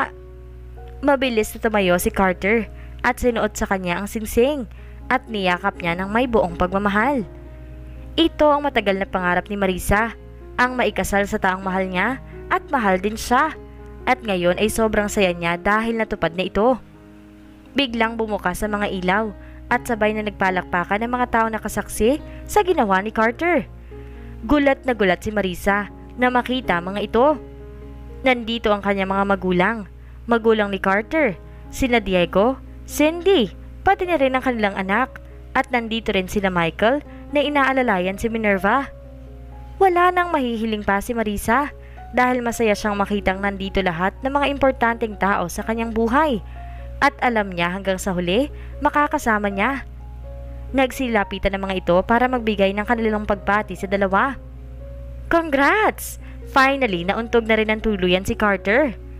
Wika ni Michael habang nakahawak kay Minerva na nakangiti rin. Congrats sis! Bati niya din sa dalawa. Oy, ang sama mo talaga Michael. Matagal naman ang nagbagong asawa ko. And thank you Minerva. Mabutit nakapunta kayo. Kamusta ka na pala? Paano ba naman na hindi pupunta kung makapanakot ang anak ang asawa mo, wagas? Natatawang saad ni Minerva. At isa pa, may good news din kami. Nakakita na kami ng donor. Next week na ang schedule ni Minerva para sa kanyang operasyon. Masayang balita ni Michael. Lumapit naman si na Cindy at mahigpit na niyakap ang matalik na kaibigan. Congrats, Marisa! I'm so happy for you! You deserve all the happiness in life. Ito na ang hinihiling mo. Natupad na. Sana lang hindi na maging gago tong asawa mo. Baling naman ito kay Carter na ikinatawa ng lahat. Matapos ng batian, agad na silang nagsalo-salo sa pagkain. Limang buwan ang nakalilipas na ikinasal ulit sina Carter at Marisa. Naging maayos at masaya naman ang pamilya nila. Pero hindi pa rin maiiwasan na may mga araw na nagtatampuhan o nag-aaway sila dahil hindi pa rin nawawala ang pagiging siloso at possessive nito. Nandito siya ngayon sa dining table dahil inaayos niya ang hinanda niyang pagkain para sa asawa niya bilang peace offering dahil nagkaroon sila ng hindi pagkakaunawaan nung isang araw. Wala din si Liam dito dahil nasa ibang bansa ito kasama ng mga magulang ni Carter. Samantalang ang mga magulang ni Marisa naman abala sa kanilang business sa New York. Tiningnan niya ang orasan at mag-aalas 10 na ng gabi pero wala pa rin si Carter. Nalabas niyang ikipinagtataka dahil hindi naman ganito kagabi ito um- kung umuwi. Umupo muna siya sa sala para doon na lang maghintay. Kinuha niya ang phone at tinawagan ito. Hello? Bati ng nasa kabilang linya. What time are you going home? I ask. Baka mamaya pa. Marami pa kasing inaasikaso dito. Sagot naman ni Carter. Pero nagtaka si Marisa kung bakit maingay sa lugar kung nasaan siya. Nasaan ka ba? Wala ka sa opisina, di ba? Bakit ang ingay ng background? Pag-uusisa ko. Nasa bar ako kasama ng ibang empleyado. Na-close kasi ang isang deal kaya as thankful gift, I treat them here. Ganun ba? Akala ko kasi uuwi ka ng maaga. Ang sabi mo kanina. Baka sa boses niyang lungkot. Dinig ni Marisa ang pagbuntong hininga niya. Hindi ko naman kasi sila pwedeng iwan, Han. Ako nagdala sa kanila dito. I know, and I understand. It's okay. Mahinang saad niya. I'm going home after a few hours, okay? Pagkatapos nila mag-usap, binabana ni Marisa agad ang tawag. I feel disappointed kasi ito ang unang beses na hindi tumupad si Carter sa usapan namin. Dati-rati kasi, pag sinabi nitong uuwi ng maaga, umuuwi agad ito sa tamang oras kahit pagaano ito kabisi. Wala naman siyang nagawa at umakyat na lang sa taas para matulog dahil alam naman niya na wala na siyang hihintayin pa dahil siguradong uumagahin na ng uwi si Carter. Samantala, napabuntong hininga lamang si Carter pagkatapos nilang mag-usap ni Marisa. Alam niyang malungkot ang asawa nang sinabi niyang hindi siya makakauwi agad. Hindi kasi niya pwedeng iwan ang mga empleyado niya ng basta-basta lang. At alam ni Carter na may kasalanan din siya kasi hindi niya nasabi sa kanya ang tungkol sa lakad nila ngayon.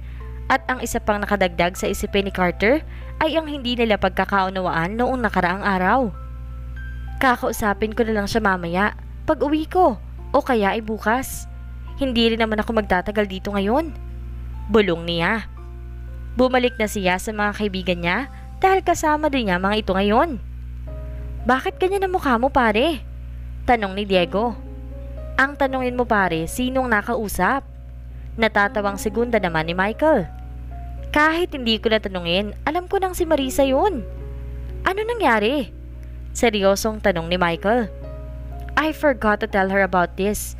May usapan kasi kami kanina na uuwi ako na maaga ngayong araw. Wika niya. Uh-oh, you are in big trouble man. Anas ni Diego. Mas lalong dumukot ang mukha ni Carter dahil sa sinabi ng kaibigan niya. I know Marisa. Tatahimik lang yon pero alam ko sa sarili ko na may dinadamdam yon. Kakausapin mo na lang pag uwi pare. Alam mo naman si Marisa, madali naman niyang kausap. Basta babaan mo na lang ang pride mo para magkaayos kayo agad. Michael said as he drank his beer. Tumango naman si Carter at tinungga ang baso na hawak niya na may lamang alak. Nagpatuloy lang sila sa pag-inom at nagkwentuhan pa ng kung ano-ano. Hindi niya namalayan ng oras at nakakaramdam na siya ng hilo. Mukhang nasobrahan yata siya sa alak kaya ganito ang nararamdaman niya. Tiningnan niya ang paligid at kita ni Carter na patuloy pa rin sa pagsasaya ang empleyado niya. Samantalang ang dalawang kaibigan naman niya mukhang mga lasing na rin. Tumayo na si Carter at nag-ikot-ikot muna hanggang sa dance floor.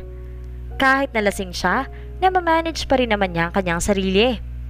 Nang makarating siya ng dance floor, bigla siyang hinila ng isa sa mga empleyado niya. Sir, dito muna kayo. Sabayan niyo kaming sumayaw. ba diba, guys?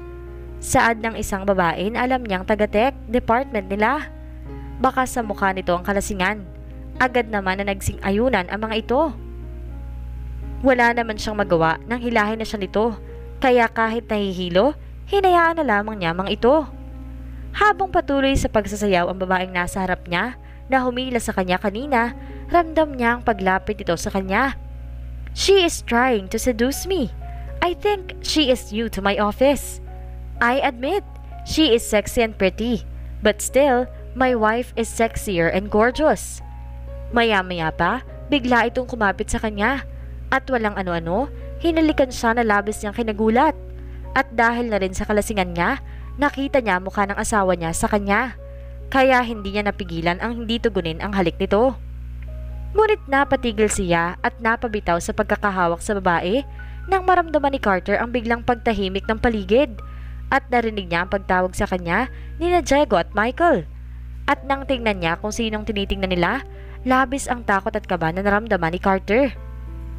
Ang nakatayo lang naman at nakatingin malapit sa pwesto nila ay walang iba kung hindi ang asawa niya. Marisa's POV Nagising sa pagkakatulog si Marisa. Pagtingin niya sa orasan, wala pa rin si Carter. Kaya ang ginawa niya, nagsuot lang siya ng jacket at kinuha ang susi ng kanyang sasakyan para puntahan kung saang bar sila. Ang alam niya, nandun din sina Diego at Michael. Hindi naman naging matagal ang biyahe dahil hindi naman ito kalayuan sa bahay at dahil madaling araw na kaya walang traffic. Nang makarating siya sa bar, pinark niya ang kotse at mabilis sa bumaba. Sa labas pa lang, maririnig mo na ang ingay na nanggagaling sa loob. Naglakad siya papasok sa loob at nilibot ang kanyang paningin para makita niya kung nasa ang asawa niya. Hindi din naman nagtagal, nakita niya sina Michael at Diego na nakapalimbaba sa isang mesa at biglang nag-angat ang tingin ni Michael at nakita siya nito. Agad niyang tinapik si Diego. Ngunit nawala ang atensyon ni Marisa sa kanila nang marinig niya ang ingay na nanggagaling sa dance floor. Naglakad siya papalapit dito at tinignan niya kung ano nangyayari. Labis ang gulat niya dahil sa kanyang nakita at para siyang na-estatwa na hindi makagalaw sa kung saan siya nakatayo. Narinig pa niya ang pagsigaw ni na Michael pero para siyang nabibingi dahil hindi na niya maintindihan kung anong sinasabi nila dahil ang mga mata niya nakapokus lang sa taong nasa harapan niya. I saw my husband kissing one of his employee. Halos hindi siya makagalaw sa kanyang nakita. Pati ang ingay sa loob ng bar ay biglang nawala. Kitang kita niya ang takot sa mga mata ng kanyang asawa at ang babae naman ay nakayuko, nawari nahihiya dahil sa nangyari. Base sa mga bulungan ng ibang mga empleyado, mukhang baguhan lamang ito dahil hindi yata alam na may asawa na ang kanyang kinakalantari. Hindi alam ni Marisa kung ano magiging reaksyon niya dahil sa nasaksihan. Hindi niya lubos maisip na magagawa pang magtaksil ni Carter sa kanya matapos na mga pinagdaanan nila. Napangiti na lamang ito ng mapait. Bakit tumahimik kayo bigla? Come on, continue the party. Dumaan lang si Marisa para tingnan kung ayos lang ba ang asawa niya at mukhang maayos naman siya kaya makakatulog na siya na mahimbing. Saad niya at sinenyasan ng DJ na muling i-play ang music. Han, let me explain. Saad ni Carter habang papalapit sa kanya pero hindi na niya hinintay pa si Carter at tumalikod na para makalabas. Lakad takbo ang ginawa niya para makarating agad sa sasakyan niya at hindi niya napigilan ng paglandas ng kanyang mga luha na kanina pa niyang pinipigilan. Papasok na sana siya ng sasakyan nang may humila sa braso niya. Han, it's not what you think it is. Please, hear me out. Pagmamakaawa ni Carter. Nakita ko na ang dapat ko makita, Carter. Kaya wala ka nang dapat ipaliwanag. Tama nang nakita ko. Hindi ka man lang ba nahiya sa mga empleyado mo? Alam nilang may asawa ka, pero nakipaglandian ka pa. Madiin naturan niya. Hindi ako nakikipaglandian. Nagulat na lang ako nang bigla niya na lang akong hinalikan.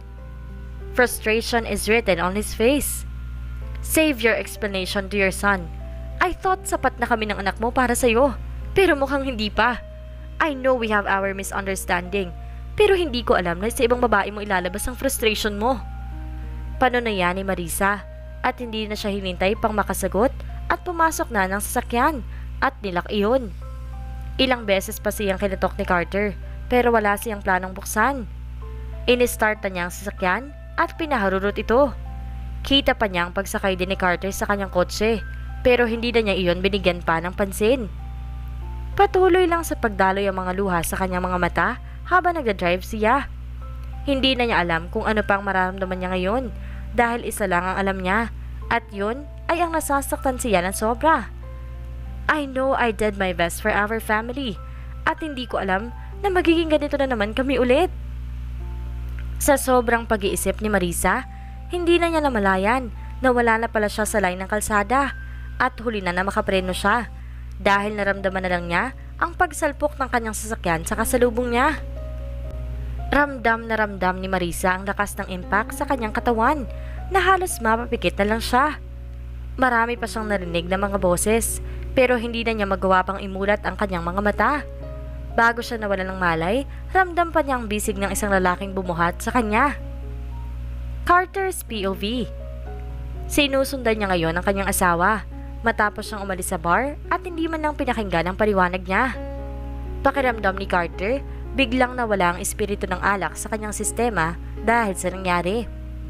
Habang nakasunod siya kay Marisa, napansin niya ang pagkawala niya sa linya kaya bigla siyang nakaramdam ng takot dahil doon. Maya-maya pa, nakita niyang may sasakyan na pasalubong sa kanya. Ang akala ni Carter ay maiiwasan nito Marisa, pero nagkamali siya. Kitang-kita niya kung paano sumalpok ang kotse ng asawa niya dito. Dali-dali siyang bumaba sa kanyang sasakyan at mabilis na naglakad papunta sa kotse ng asawa niya. Agad niyang binuksan ang pinto ng kotse niya at saka siya binuhat papalabas.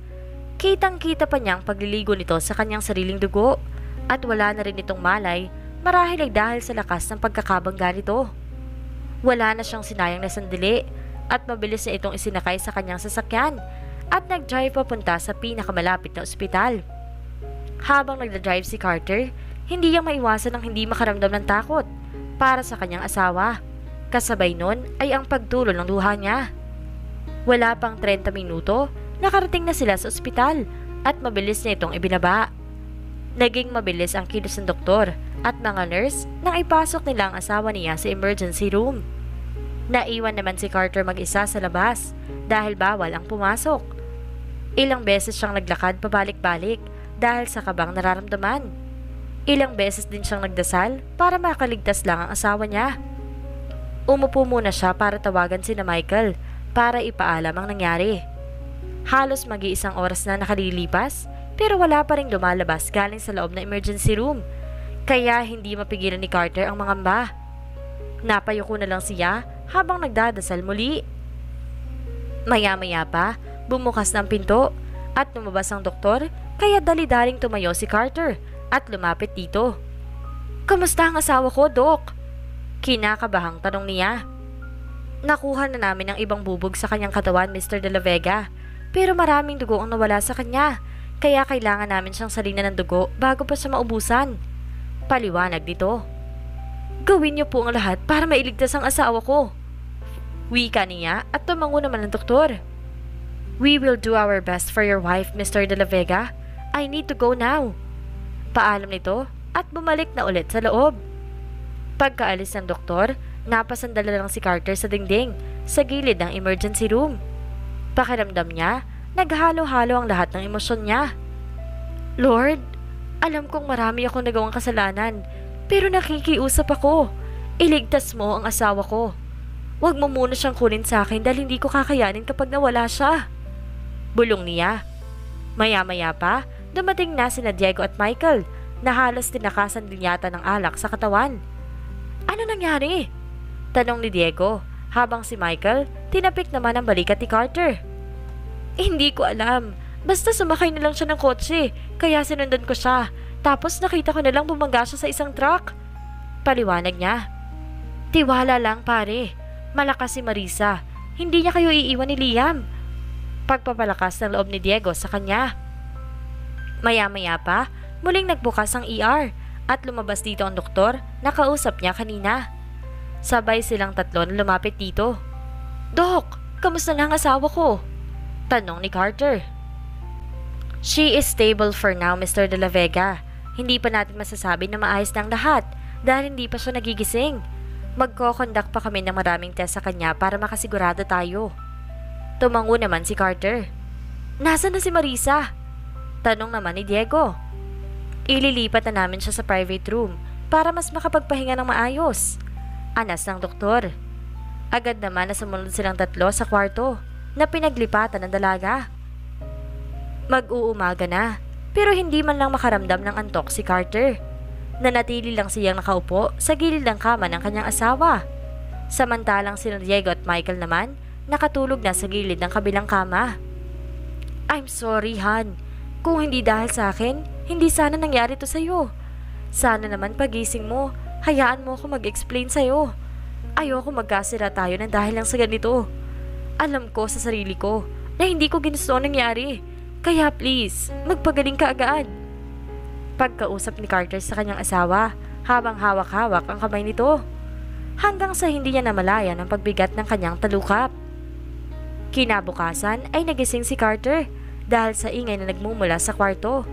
At nang tiningnan niya, nakita niya si Cindy na nakaupo katabi ng kanyang asawa na si Diego. Samantalang si Michael naman ay umiinom ng kape.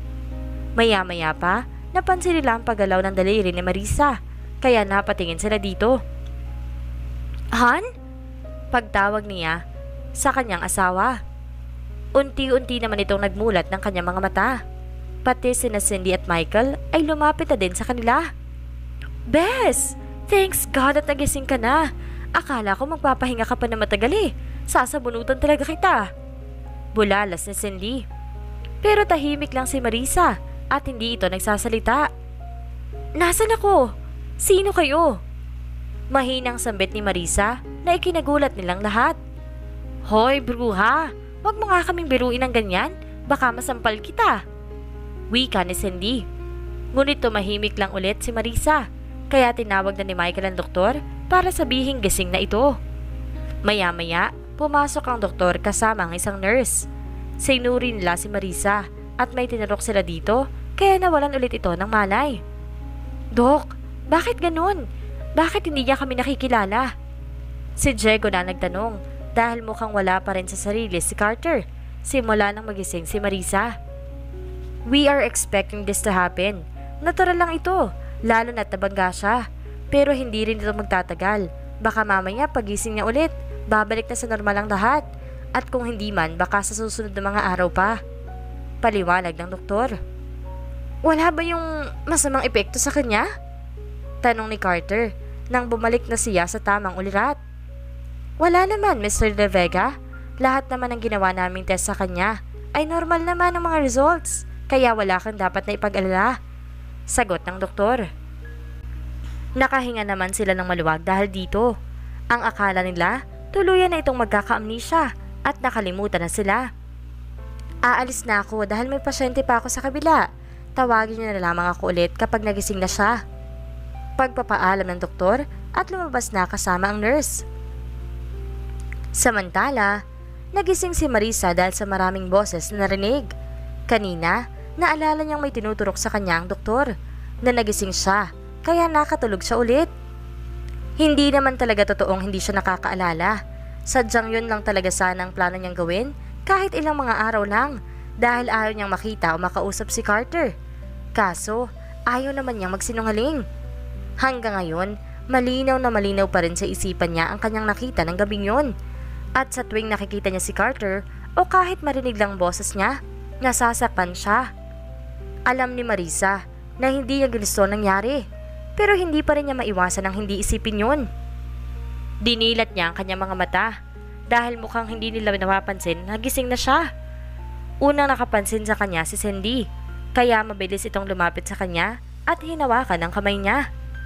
Marisa, mabuti naman at nagising ka na. Kamusta ang pakiramdam mo? May masakit pa ba sa'yo? Naaalala mo pa ba ako? Sunod-sunod na tanong dito sa kanya. Agad naman na lumapit si Diego sa kanya para pigilan. Ano ka ba naman, babe?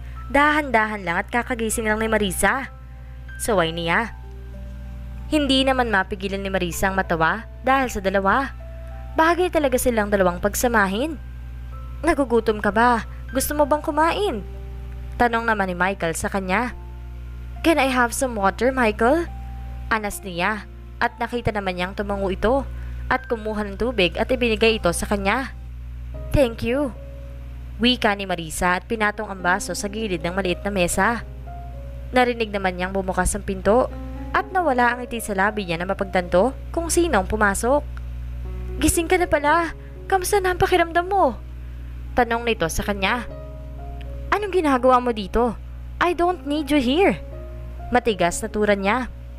Marisa, let me explain. Alam mong hindi ko ginusto yun. Bulalas naman ito. Kahit ano pang sabihin mo, hindi na ako maniniwala. So please, get out! Ilang beses niya pang tinangkang hawakan si Marisa, pero iwinawakli lang niya ang kamay ni Carter. Please get out, Carter. Ayaw kitang makita. Pakiusap ni Marisa. Nilapitan naman siya ni Michael at parang may binubulong dito at lumabas na sila ng silid kung saan siya nakakonfine. Agad naman na nagpaalam si Diego para puntahan ng dalawa. Samantalang si Cindy naman ay naiwan dito sa tabi niya. Halos ilang oras ding nanatili ang mga kaibigan nila dito sa ospital at sa tagal ng oras na yon, hindi man lamang umiimik si Carter. Marahil sinisisi niya na naman ang sarili niya dahil sa nangyari kay Marisa. Maya-maya pa, nagpaalam na din ang mga ito. Naaalis na dahil may check-up pa si Cindy. Samantalang si Michael naman, susunduin si Minerva na pauwi pa dito galing Paris para sa isang event. Paano? Aalis na muna kami Marisa ha? Magpagaling ka, huwag matigas ang ulo. Bulalas ni Cindy at bumaling naman ito kay Carter. At ikaw naman umayos ka dahil baka sa susunod makalmo na kita. Natawa naman sina Michael at Diego dahil sa sinabi ni Cindy. Kahit kailan talaga ang babaeng to, hindi may preno ang kanyang bunganga. Naiwan silang dalawa sa silid pero hindi pa rin kumikibo si Carter. Wala ang anak nila ngayon dahil nasa ibang bansa ito kasama ang mga lola niya. Tumikhim muna si Marisa bago nagsalita. Wala ka bang bala kausapin ako? Anas niya. Tumingin naman ito sa kanya at yumuko ulit. At dahil mukhang wala siyang planong magsalita, dahan-dahan siyang bumangon sa pagkakasandal niya. What are you doing? Saan ka pupunta? Bawal pa sa'yong magagalaw. Inis na wika nito sa kanya na makalapit ito at pinigil siya sa pagtayo. Ayaw mo kasi akong kausapin at isa pa ang layo mo kaya ako na lang sanang lalapit sa'yo. Nakangusong turan niya. Nakita naman ni Marisa ang pagbuntong hininga nito. Hindi sa ayaw kitang kausapin. Hindi ko lang alam kung paano ka pakikitunguhan dahil sa nangyari. Pag-amin nito. Hindi mo naman kasalanan ang nangyari sa akin. Ako may kasalanan dahil hindi ako tumingin ng maayos sa kalsada. Wika niya. Kahit ano pa ang sabihin mo, kasalanan ko na din. Ako ang dahilan kung bakit ka na-aksidente. Maiintindihan ko kung magagalit ka sa akin o hindi ako kakausapin. Pero Han, trust me, hindi ko gusto ang kinakita mo. Huwag na muna nating pag-usapan ng bagay na yan. Maiksing tura niya. Kailan pa? Gusto kong pag-usapan ito ngayon, Marisa. Dahil ayaw kong mag-isip ka ng kung ano-ano. I married twice at hindi ako gagawa ng bagay na ikakasira ng pamilya natin. I know I made a mistake in the past at hindi ko nahahayaang maulit pa yun. I know. It's just that hindi mo maiaalis sa isip kong bagay na yun, Carter. Hindi madali para sa akin yun. Lalo na sa tuwing ipinipikit ko ang mga mata ko. Nakikita ko ang senaryo na yun. At alam kong naiintindihan mo ko. Dahil kung sa'yo nangyari ang bagay na to, alam kong hindi mo rin matatanggap. Paliwanag ni Marisa. I'm serious, Marisa. Hindi ko kayang mapahamak ang asawa ko dahil sa kagagawan ko. Huwag mo nang isipin yon. Okay na naman ako eh. Wika ni Marisa sa kanya. Nagulat na lang si Marisa nang bigla siya nitong niyakap na mahigpit kaya ginantihan din niya ito ng yakap. Someone's POV Nandito siya ngayon sa veranda ng kondo niya kung saan sila nakatira ng anak niya. Matagal silang nanirahan sa US at bumalik lang siya para ipakilala ang anak niya sa kanyang ama. Hindi ako papayag na maging anak sa labas ang anak ko. Tingnan natin ngayon Carter kung anong gagawin mo oras na malaman mong may anak ka at paano ito tatanggapin ng asawa mo. Sigurado kung iiwan ka dyan ng tuluyan kagaya ng ginawa niya sa'yo noon. Kung sa tingin nyo isasaya na kayo, pues sisiguraduhin ko na hindi mangyayari yun. Bumalik ako para sirain ng maayos na buhay mayroon kayo. Hindi ako papayag na masaya at buo kayo habang kami ng anak ko ay nagdurusa. Ipaparamdam ko sa iyo ang sakit na dinanas ko. Kinuha niya ang picture na nakapatong sa maliit na mesa na katabi niya. Kitang-kita niya sa larawan ang masayang litrato ni Marisa at Carter. Ang ganda ng buhay mong babae ka. Kung hindi ka lang sana pinakasalan ni Carter, wala akong magiging problema. Pero sadyang humarang ka sa landas ko at hindi ako makakapayag na mapunta lang sa'yo si Carter. Gagawin ko ang lahat para makuha lang siya sa'yo. Wika niya, sabay na pinulit ang litrato at tinapon ito sa basurahan. Isang buwan na ang nakalipas na mangyari ang aksidente at masaya si Carter dahil naging maayos naman sila ng asawa niya. At hindi na nagkaroon pa ng away sa pagitan nila dahil sa pangyayaring yun. Nagising si Carter nang wala na sa tabi niya si Marisa, kaya alam niyang nasa baba na ito. Tumayo na si Carter at bumaba para puntahan ang mag-ina niya. Nang makababa, dumiretso na si Carter agad sa dining table at naabutan ng dalawa na nandoon. Good morning, Daddy! Bati ng kanyang anak na si Liam habang kumakain ng cereals. Good morning, buddy! Pabalik na bati niya sa anak at ginulo pa ang buhok nito. Lumapit naman siya kay Marisa at hinalikan ito sa pisngi. Good morning, wife! Ngumiti naman ito sa kanya Good morning, hubby. Umupo ka na at nang makakain na tayo. Wika niya naman. Umupo na si Carter at sabay-sabay na silang kumain ng almusal. How is the restaurant? Tanong niya sa asawa niya. Okay naman so far. Wala naman naging problema. Mas dumadami pa nga mga clients. Good to hear that. Baka naman masyado mong pinapagod ang sarili mo. Anas niya. Hindi naman. Ikaw, kamusta ang company? Maayos naman. Mas tumataas pa ang sales kada buwan. Parami ng parami na din ang mga nagiging investors natin. Sagot naman ni Carter. You deserve it, hubby. Cause you are a good CEO. Pero wag mo masyadong isagan ang sarili mo. Baka magkasakit ka pa. Di ba dapat sa'yo ko yan sabihin? Ikaw ang dapat na kailangan ng pahinga. Hindi rin nagtagal, natapos na nila ang pagkain.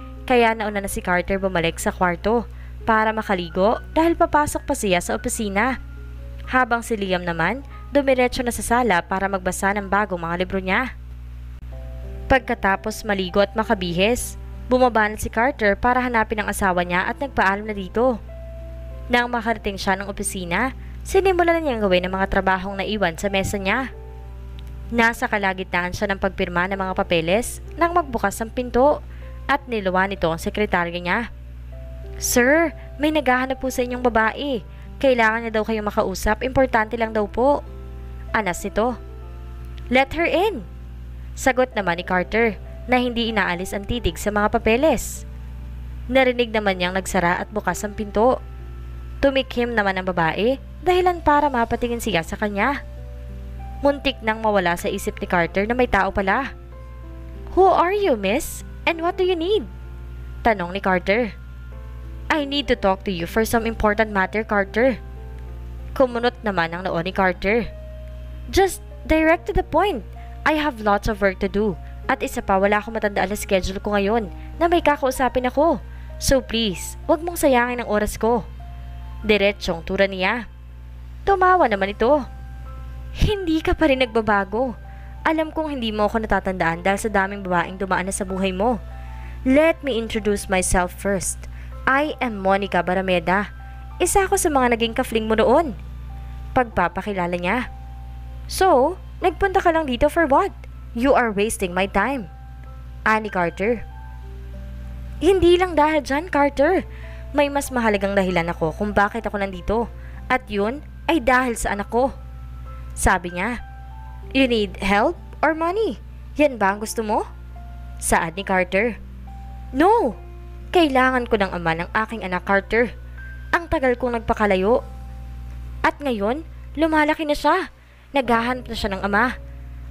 Anong ibig mong sabihin? Ikaw ang ama ng anak ko, Carter. May nabuo sa mga gabing pinagsaluhan natin noon. Seryosong saad niya. And you think paniniwala ako? Miss, kung wala ka magawa sa buhay mo, huwag mong idamay ang iba. Mas magandang hanapin mo na lang ang ama niyan. Bulalas ni Carter. Hindi na siya natutuwa sa mga sinasabi nito. Nilapag niya kay Carter ang envelope na naglalaman ng DNA test result at nang basahin niya iyon, positive ang nakalagay. At sa tingin mo, pupunta ako dito kung hindi ikaw ang ama ni Joaquin? O baka naman gusto mong sabihin ko pa sa asawa mo tungkol dito? Nagpantig naman ang mga tenga ni Carter dahil sa narinig. Huwag mong isasali sa usapang to ang asawa ko. Huwag mong sirain ang pamilyang meron ako. What do you need? Pagkano at ibibigay ko? Madiin na wika nito. Hindi ko kailangan ng pera mo. Ang kailangan ng anak ko ay ama niya. Kaya panindigan mo ang anak mo, Carter. Dahil anak mo siya. Kung ayaw mong malaman ng asawa mo na may anak ka sa labas. This is the address kung saan kami nakatira. Aniya at may nilapag na papel at umalis na. Napahilamos naman si Carter ng mga palad sa mukha niya. How come na nakabuntis ako ng iba? Gayong maingat naman ako noon at palagi akong gumagamit ng proteksyon. Kung akala ng babaeng yon, mapapaniwala niya ako ng basta-basta dahil lang dito sa papel na pinakita niya? Pwes, nagkakamali siya. Sa tingin niya ba itang ako para paniwalaan ang dala niyang DNA? Lalo na't hindi ko alam kung kanino ito at saan ito galing. Sa ngayon, hahayaan kita sa mga ilusyon mo. Pati bata idadamay mo pa. Pero isa lang nasisigurado ko. Yun ay wala akong ibang naanakan. Kinuha niya ang kanyang phone at tinawagan ang pinagkakatiwalaan niya. Hello, Carter! Boses sa kabilang linya. I need you to investigate this Monica Barameda and I need a sample of DNA ng anak niya at ng sa akin. Utos niya. What? May naanakan kang iba maliban kay Marisa? Sa tingin mo ba pa iimbestigahan ko yun sa'yo kung alam ko? Pagkatapos nilang mag-usap, binaba na niya agad ang tawag. Mas nakaka-stress pa ang araw na ito dahil sa babaeng yun.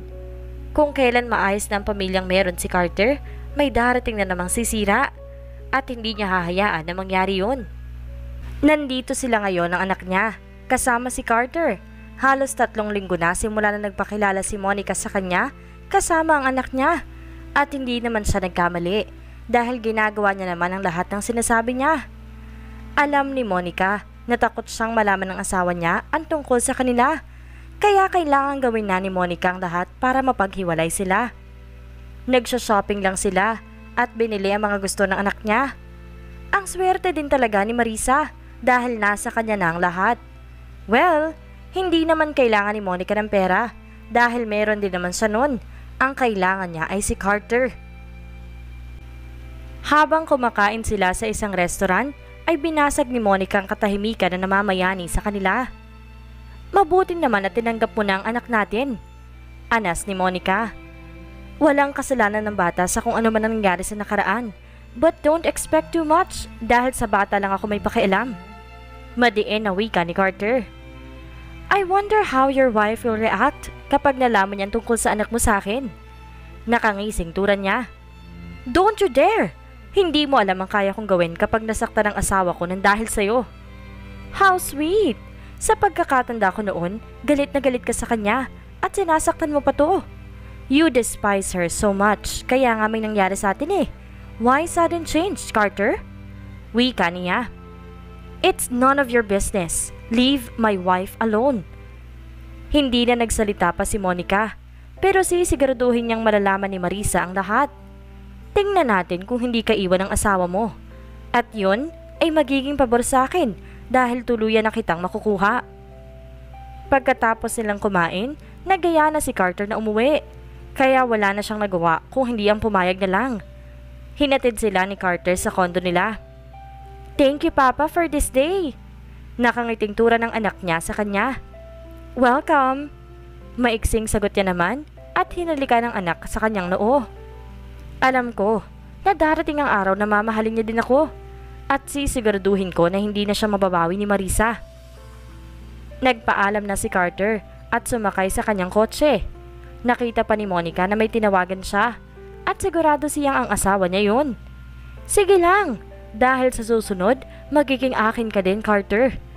Kung inaakala niya na makukontento ako sa ganito, hinding hindi. Kailangan kong makuha si Carter ng buo. At mangyayari lang yon kapag nawala na sa landas namin si Marisa. At may naisip na ako kung paano mangyayari yon. Kailangan niyang malaman na may anak sa ibang asawa niya. Bulong ni Monica sa kanyang sarili. Kahahatid lang niya kina Monica sa tinutuluyan nilang kondo. Sa totoo lang, naiirita siya sa kanya. Lalo na sa kinikilos niya kapag magkasama sila. Umaakto na kala mo ay asawa ni Carter. Ilang beses na siyang tinawagan ng kaibigan niya na inutusan ni Carter sa pag-iimbestiga sa babaeng ito. Pero hindi pa siya tapos kumalap ng impormasyon. Mukhang pinagplaplanuhan ng babaeng ito ang lahat bago magpakita sa kanya. Alam niyang may kaya din si Monica. Kaya nahihirapan ang inutusan niya. Kaya kahit na ayaw man niya, pinagbigyan ni Carter ang gusto ni Monica at hinahayaan niya na tawagin siyang papa ng anak niya. Mas mabuti na itong nakakasama niya mga ito para mabantayan ni Carter ang bawat kilos ni Monica at para na rin masigurado na hindi niya kakausapin ang asawa niya. Gusto man niyang sabihin kay Marisa ang lahat pero ayaw muna niya hanggat wala siyang hawak na patunay na hindi niya nga anak ang batang yon. Ayaw ni Carter na mas magkagulo pa at madamay ang pamilya niya. Ipinark niya sa garahe ang kotse niya at pumasok na. Naabutan niya si Marisa na nakaupo sa sala. Nang makita siya nito, ngumiti ito at tumayo para halikan si Carter. Mukhang pagod ka ha. Anas ito. Madami lang ginawa sa office, Han. Sagot ni Carter. Baka naman kasi masyado ka nagpapakapagod. Magpahinga ka rin minsan, Han. Hindi naman naalis ang trabaho mo. Gusto mo bang kumain? May niluto ako tapos imamassage na lang kita mamaya. Ngumiti naman si Carter at niyakap siya. Hindi ko kayang mawala ang asawa ko. Minsan na ako nagkamali noon at hindi ako papayag na masira pa ang pamilya ko. Why? Tanong ni Marisa nang kinalas ni Carter ang pagkakayakap sa kanya. Nothing. I just miss you. Are you sure? Nito mga nakarang araw napapansin ko na parang ang lalim ng iniisip mo. May problema ba? You can tell it to me. Huwag ka nang mag-isip ng kung ano-ano dyan. Sadyang marami lang ginagawa sa opisina. Ikaw talaga? Halika na at ipaghahain kita. Pumunta naman si Carter sa dining at umupo habang siya ay dumiretso ng kusina at kinuha siya na makakain. Nang matapos makapaghain ni Marisa, nagsimula ng kumain ng kanyang asawa.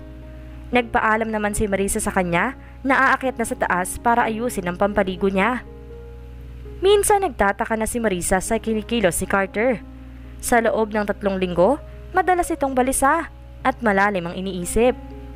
Ilang beses na rin niyang sinubukan tanungin kung may bumabagabag ba sa kanyang isip pero palagi niya namang sinasabi kay Marisa na wala at dahil lang sa trabaho. Pagkatapos niyang maghanda ng pampaligo ni Carter, naisipan niyang tawagan ang kaibigan niya na si Cindy dahil ang tagal na nilang hindi nagkakausap. Hello? Hoy babae, kamusta ang buhay mo? Tanong ni Marisa dito. Maganda pa rin naman ako at walang pinagbago. Ew ha, mabuti hindi ka pa iniiwan ni Diego pang-aasar ni Marisa. Nag-usap pa sila ng ilang minuto bago tinapos ang tawag. Maya-maya pa, bumukas na ang pinto at nilawa noon si Carter. Pwede ka nang maligo, nakahanda na yun. Saad niya. Thank you, Han. Sagot naman ito at dumiretso sa banyo. Naupo lang si Marisa sa kama habang hinihintay ang asawa niyang matapos. Hindi rin nagtagal ay lumabas na ito sa banyo nang nakatopless at tanging ibaba niya lang ang natatakpan ng tuwalya. May damit ka sa banyo ha. Bakit hindi mo pa sinuot? Tanong ni Marisa sa kanya. Ngumiti naman ito ng nakakaloko. Hindi ko na kailangan magdamit kung huhubarin din naman. Anas niya. Tinaasa naman ang kilay ni Marisa ang asawa. Parang gusto ko ng dessert, Han. Wika ni Carter at sabay halik kay Marisa. Sino ba naman ako para tanggihan ang asawa ko, hindi ba? Bulong ni Marisa. Isang buwan na naman ang lumipas at ang masasabi ni Marisa, naging maayos na ang pagsasama nilang mag-anak. Maliban na lang sa asawa niya na madalas malalim ang iniisip. At isa pa, madalas din itong umaalis kahit wala pa siyang pasok sa trabaho. Nahuhuli niya ito minsan na may kausap sa phone na parang galit o kaya'y naiinit sa kanyang kausap. At kapag tinatanong naman niya, madalas na lang isasagot ay sa trabaho. Kaya hindi na niya inuulit-ulit. Kahit ang totoo ay nagtataka na siya. At ngayon, Nasa kwarto sila at tahimik na namang nakaupo si Carter sa may mini sala nila. Nilapitan ni Marisa ang asawa at tinanong, Ayos ka lang ba? Tumingin naman ito sa kanya. Okay lang ako. Maiksing sagot niya. Ilang linggo na kitang napapansin na parang stress o may problema. Pwede mo namang sabihin sa akin yun. Ani Marisa. Wala to, Han. Masyado lang maraming trabaho sa kumpanya kaya ganito. San ka nga pala nagpunta kahapon? Dumaan ako sa opisina mo pero wala ka dun. At sabi naman ng sekretarya mo, hindi ka pumasok. Wika ni Marisa. Nakita niya ang pag-awang ng labi ni Carter. Ah, ano kasi, may inasikaso lang ako sa isang kliyente kaya hindi na ako pumunta sa kumpanya. Ganun ba? Huwag mong masyadong pinapagod ang sarili mo. Baka mamaya magkasakit ka niyan. Bilin ni Marisa sa kanya. Ngumiti naman si Carter at niyakap ng mahigpit ng asawa. Kahit magkasakit ako, nandyan ka naman para alagaan ako. Mahinang sambit niya. Mas maganda pa din ang walang sakit.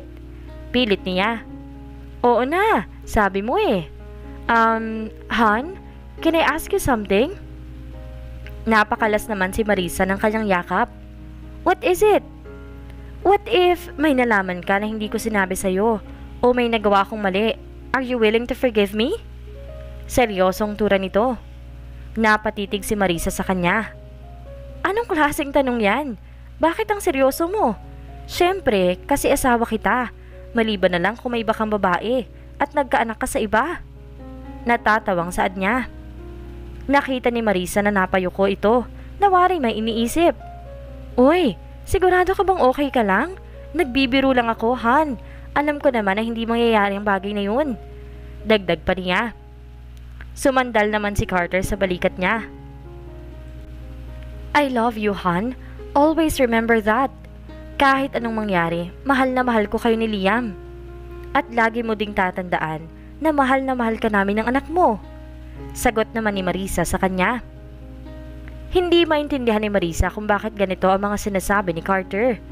Bigla siya nakaramdam ng kakaiba sa kanya. Una sa mga kinikilos niya nitong mga nakaraang linggo at ngayon naman sa mga tanong niya.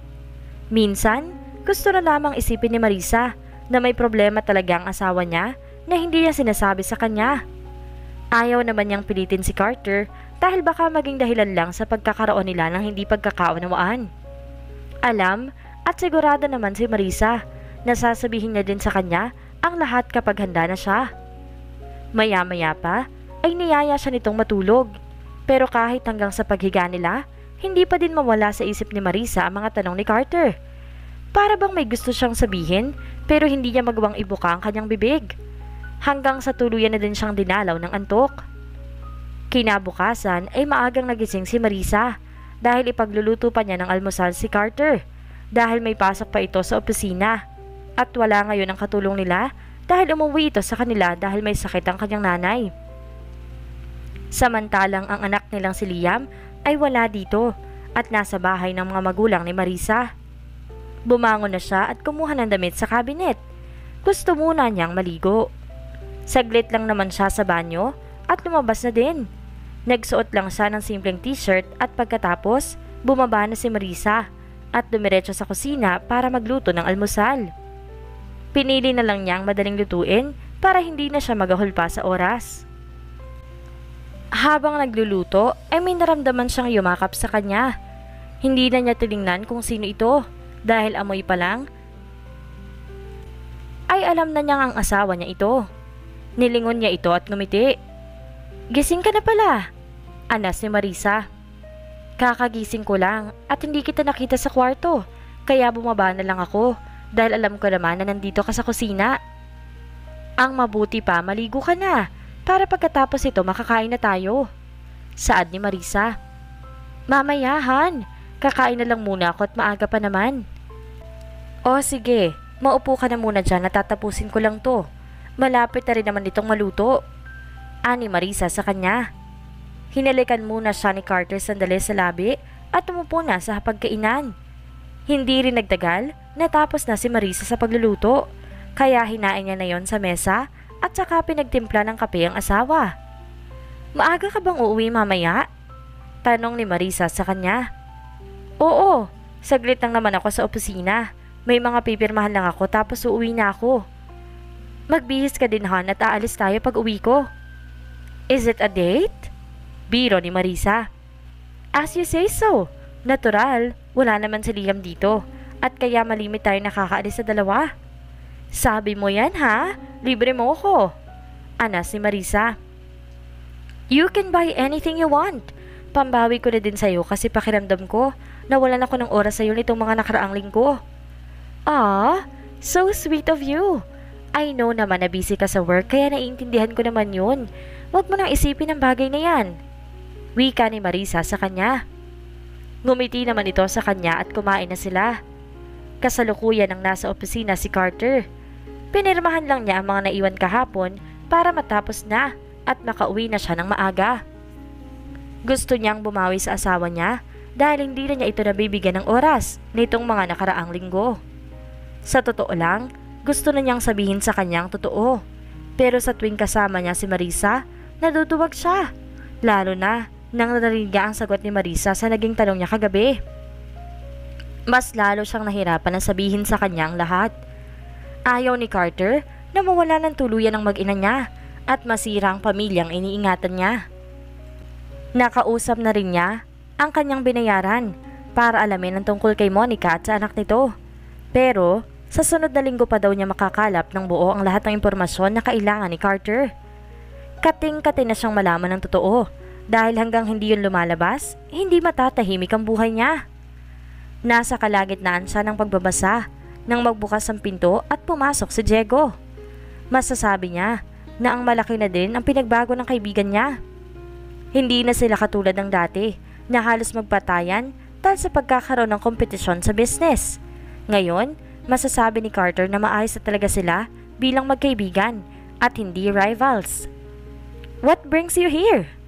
Tanong ni Carter sa kanya. Wala naman. Binisita lang kita dahil ramdam kong stress ka. At dahil nasa ibang bansa pa naman si Michael kaya ako na lang nagpunta dito. Sagot niya. At kailan ka pa natutong hindi mag-focus sa pagtatrabaho na dati halos hindi mo maiwan ang kumpanya mo? Biro ni Carter sa kaibigan. Ngayon lang, mahirap din maging masyadong mayaman, sikat at pogi. Mayabang natura nito. Ulol! Kung katulad lang tayo ng dati, sigurado kung hindi ka lalabas ng opisina mo ngayon sa kakaisip kung paano mo ko hahadlangan. Ani Carter. Noon yun, at iba naman na ngayon. Magkaibigan tayo kaya dapat nagtutulungan lang. Nakakapagod ka kaya maging rival. Natatawang anas nito. Binato naman ang papel ni Carter si Diego. Kahit kailan talaga, ang kahanginan niyang taglay ay hindi mawawala. Mabuti na lang at natatigal nito ni Cindy. Sa bagay, mabumanga din naman ang babaeng yun. Maiba ako pre, kamusta na pala yung isang problema mo? Tanong niya. Alam niya ang tungkol sa problema ni Carter. Wala kasi dito si Michael kaya siyang nasabihan niya. Nung una ay nagulat din si Jeko sa nalaman at hindi makapaniwala. Kilala nila si Carter at hindi siya basta-basta makakabuntis ng kung sino lang na babae. Kahit na hindi maganda ang pagsasama nila ni Marisa noon, ay sigurado si Carter na wala siyang naanakan na iba. Ang sabi ng binayaran ko, baka sa sunod na linggo pa niya mabigay ang kailangan ko, pati ang result ng DNA. Sagot naman ni Carter sa kanya. Sana lang maayos mo na yan, bago pa malaman ni Marisa. Sigurado akong malaking gulo yan pag nagkataon. Iyan ang ayaw ko mangyari.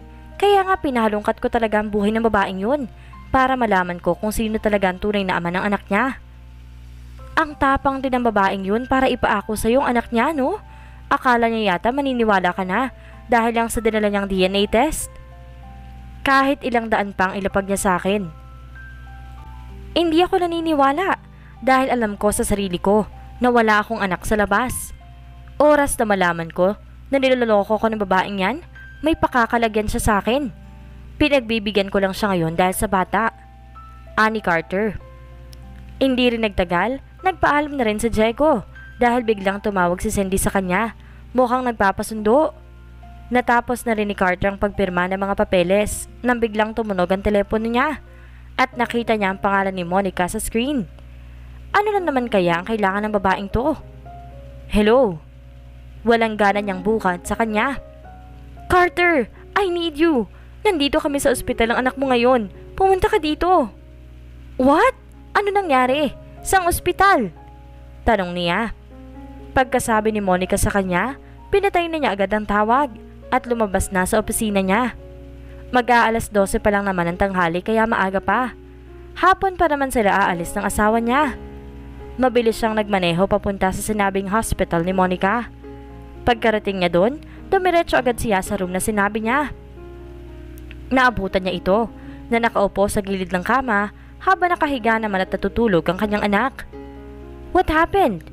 Tanong ni Carter. Napatingin naman si Monica sa kanya.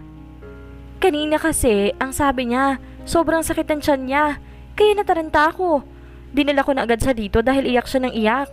Ang sabi ng doktor, hindi lang siya natunawan. Binigyan na rin siya ng gamot at mamaya pagising niya, kailangan niya lang kumain.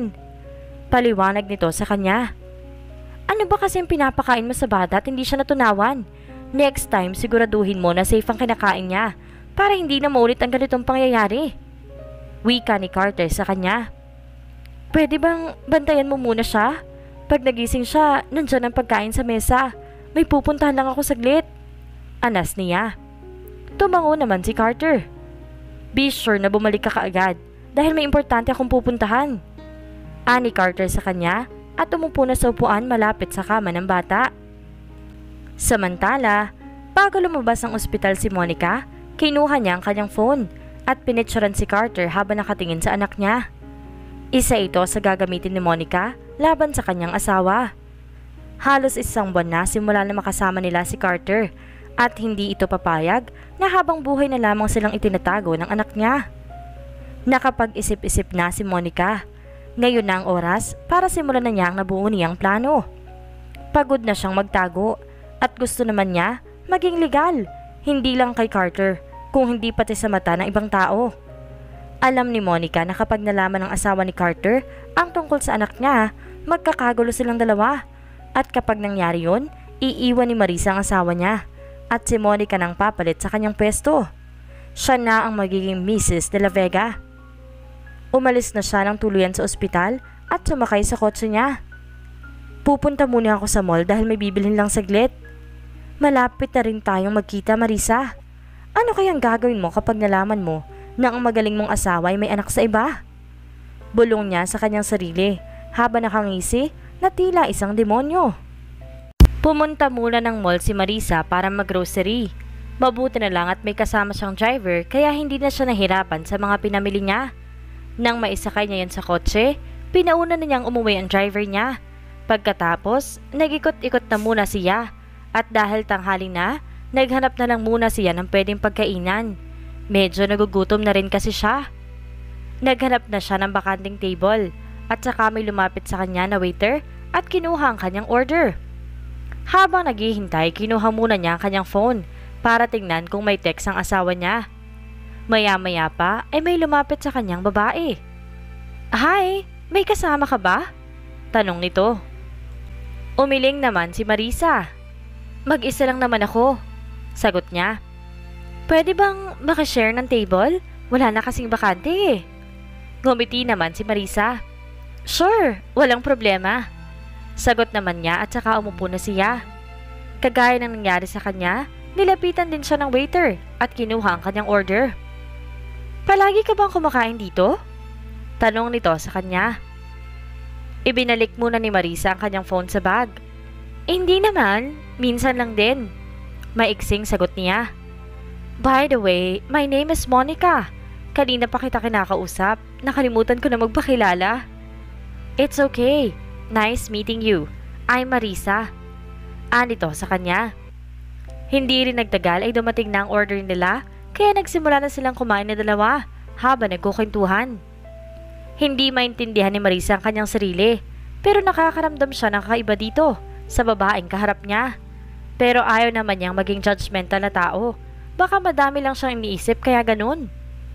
Habang tumatagal naman ang pag-uusap nila, masasabi ni Marisa na mabait naman siya. Ito, itry mo. Masarap yan. Madalas akong gumawa niyan sa bahay namin Lalo na pag nandun ang asawa ko. Nakangiting tura ni Marisa. Talaga? Okay, I'll taste it. May asawa ka na pala? Hindi halata ha? Aniya. Tumango naman si Marisa. Actually, may anak na rin kami. Wow! Happy family na pala. Ngumiti naman si Marisa sa kanya. Ikaw, may asawa at anak ka na ba? Tanong niya. Meron na akong anak. Minsan nakakasama namin ang daddy niya.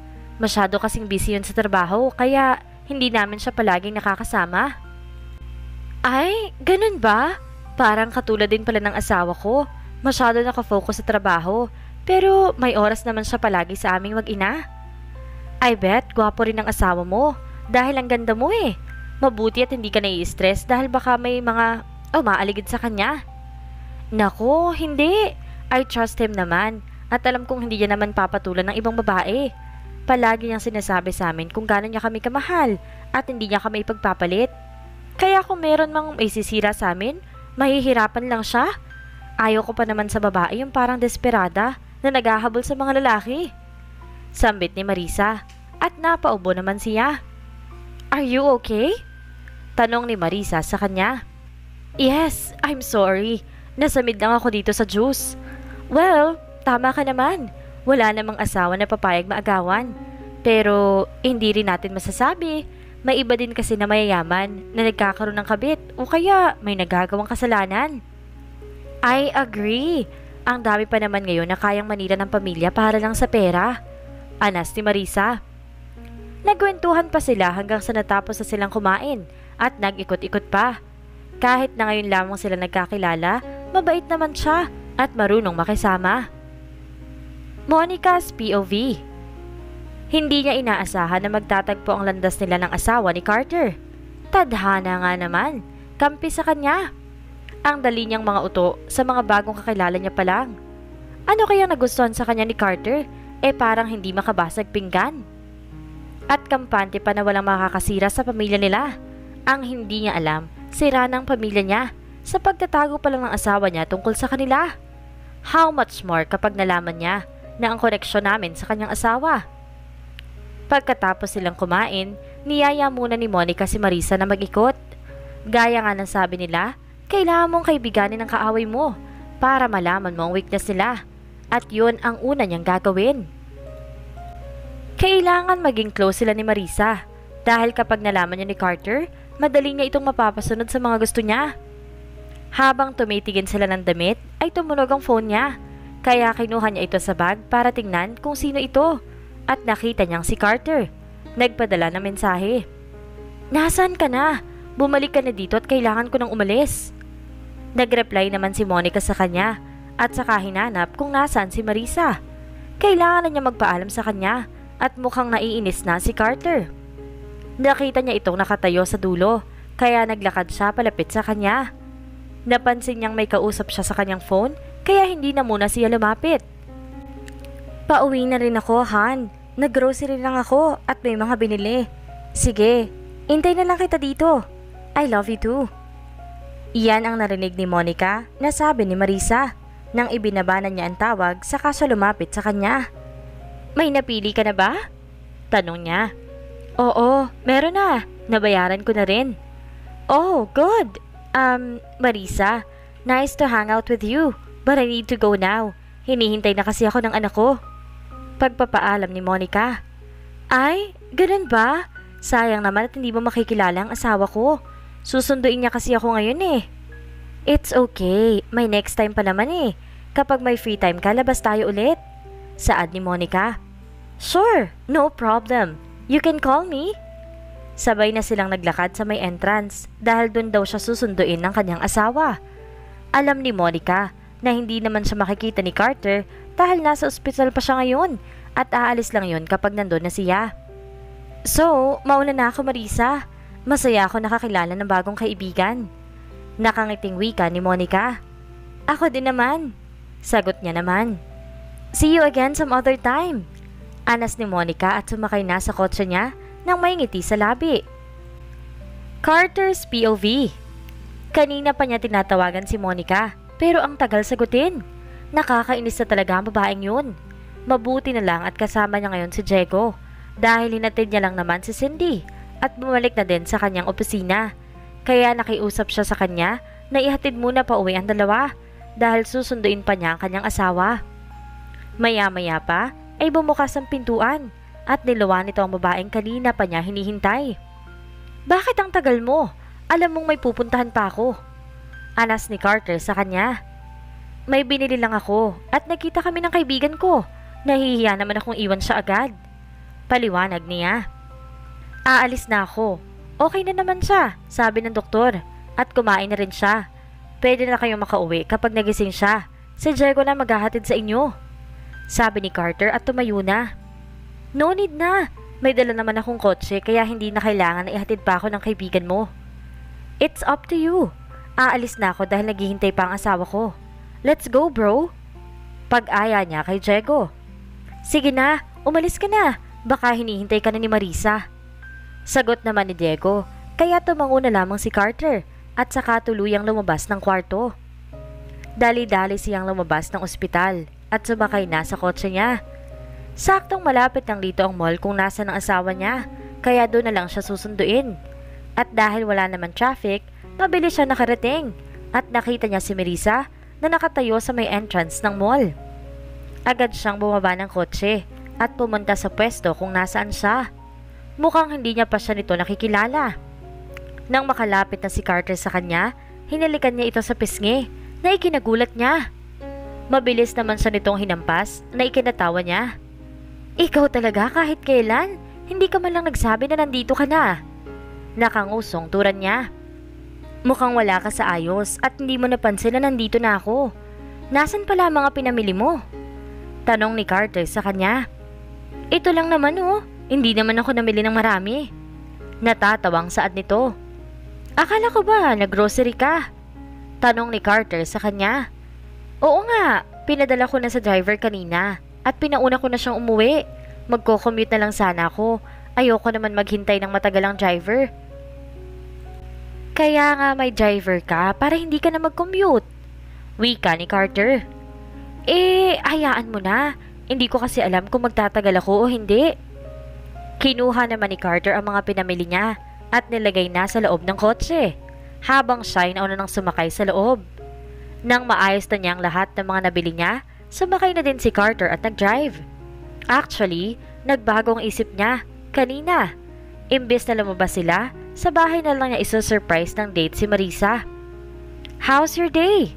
Tanong ni Carter sa kanya habang nagda-drive. Okay lang naman at isa pa palahan, may nakilala akong bagong kaibigan. Kwento niya. Kumunot naman ang noo ko. Kaibigan? Nakilala mo lang? Tanong niya na ikinatango niya naman. Huwag ka nga basta-basta nakikipag-usap kung kani-kanino, baka mamaya masamang tao yan. Ani Carter sa kanya. Mabait naman siya eh. Pagpupamilit pa niya. Minsan talaga nasusobrahan ng kabaitan ng asawa ko. Ang bilis niya magtiwala sa mga tao kahit kakakilala niya pa lang. Be careful, always. Bili niya sa kanya at nagpatuloy na sa pagdadrive.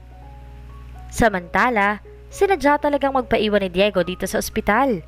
Wala talaga siyang tiwala sa babaeng to. Kahit hindi pa lumalabas ang report ng inutusan ni Carter, alam niyang hindi naman talaga anak ng kaibigan niya ang batang ito. Ano kaya ang motibo ng babaeng to? Bakit kailangan niya magpanggap at ipakaako sa kaibigan niya ang anak niya. Bakit ganyan ka makatingin? Tanong ni Monica sa kanya. Masama ba? Tinitingnan ko lang na mabuti ang ina ng batang to, na anak ni Carter.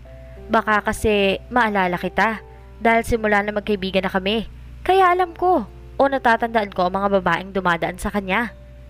Diretsong saad ni Diego. Matagal na kasi yun at sigurado ko na nung nagkakilala kami ni Carter, hindi kanya kasama o ang mga kaibigan niya. I see. Eh bakit ngayon ka lang nagpakita? Ilang taon na ang anak mo? Anas si Diego. Matagal kaming nasa ibang bansa at ayaw ko makasira ng pamilya dahil alam kong kasal na kaibigan mo.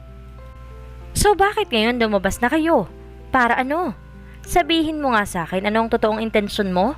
Malinaw ang sinabi mong ayaw mo makasira ng pamilya. Saad niya? Gusto talaga niyang tingnan kung hanggang saan ang babaeng ito. Dahil malaki na ang anak ko at naghahanap na siya ng ama. Ayoko naman ipagkait sa kanya yon. Wala naman siyang kasalanan. Kung inaalala mo na maghahabol ako, ay hindi. Gusto ko lang na makilala ng anak ko ang ama niya. I hope so, kasi masaya at maayos na ang pamilya nila. Marami na silang napagdaanan, kaya sana wala nang sumira doon. Ani Diego. Like what I said, hindi ako maninira ng pamilya. Hindi ko ugali ang bagay na yan. Hindi rin naman ako makikigulo sa buhay nila ng asawa niya. Ginawa ko lang to para sa anak ko na naghahanap ng ama. Mabuti nang malinaw. Alam ko naman kung gaano kamahal ang kaibigan ko ang asawa niya na kahit may sumira dito, naniniwala pa din ako na magkakaayos sila. Saad ni Diego at tumayo na. I have to go now. Total hindi na naman kailangan ihatid pa kayo dahil ang sabi mo may dala ka namang sasakyan. Dagdag pa niya. Nakita naman niyang tumango siya kaya tuluyan na siyang lumabas ng pinto. Alam ni Diego na may masamang binabalak ang babaeng yon sa mga kaibigan niya at kailangan niyang malaman kung ano yon. Kailangan niyang malaman kung sino ang totoong ama ng anak niya. Tuluyan na siyang lumabas ng ospital at sumakay sa kanyang kotse at dahil malapit na din naman magabi ay uuwi na siya. Kakarating lang sa bahay ni Marisa. Tinulungan na niya ang kanyang asawa na dalhin ang mga pinamili niya para hindi na siya mahirapan pa. Sabay na silang pumasok sa loob na dalawa. Inilapag muna ni Marisa ang mga bag sa sala dahil nakaramdam siya ng pagod gawa ng kakaikot kanina sa mall. Maya-maya pa ay lumapit sa kanya ang kanyang asawa at nilahad ang kanyang kamay na ikinata kanya. Why? Tanong ni Marisa sa kanya at tumayo habang inaabot sa kanya ang kamay niya. Basta! Yan lang ang sagot niya at saka tinakpan ng mga mata ni Marisa. Hey, Carter! Ano na naman to? Anas ni Marisa at tumawa lang siya. Inalalayan siya dito na maglakad kung saan. Hindi niya alam. Dahan-dahan lang ha? Wika niya. Kapag ako nadapa, malalagot ka talaga sa akin. Easy, Han. Hindi ko naman hahayaan na mangyari yun. Sagot niya naman. Hinayaan na lamang ni Marisa si Carter sa kung ano man ang plano niya at sinundan na lang niya ang bawat sinasabi niya. Maya-maya pa ay huminto na sila. Wala pa rin alam si Marisa kung nasa na silang parte ng bahay dahil wala pa rin siyang makita. Pagkatapos ng ilang segundo, unti-unti na niyang tinatanggal ang kanyang mga kamay na nakatakip sa kanya. Nang imulat ni Marisa ang kanyang mga mata, hindi niya mapigilan ng hindi mapasinghap sa tumambad sa kanya.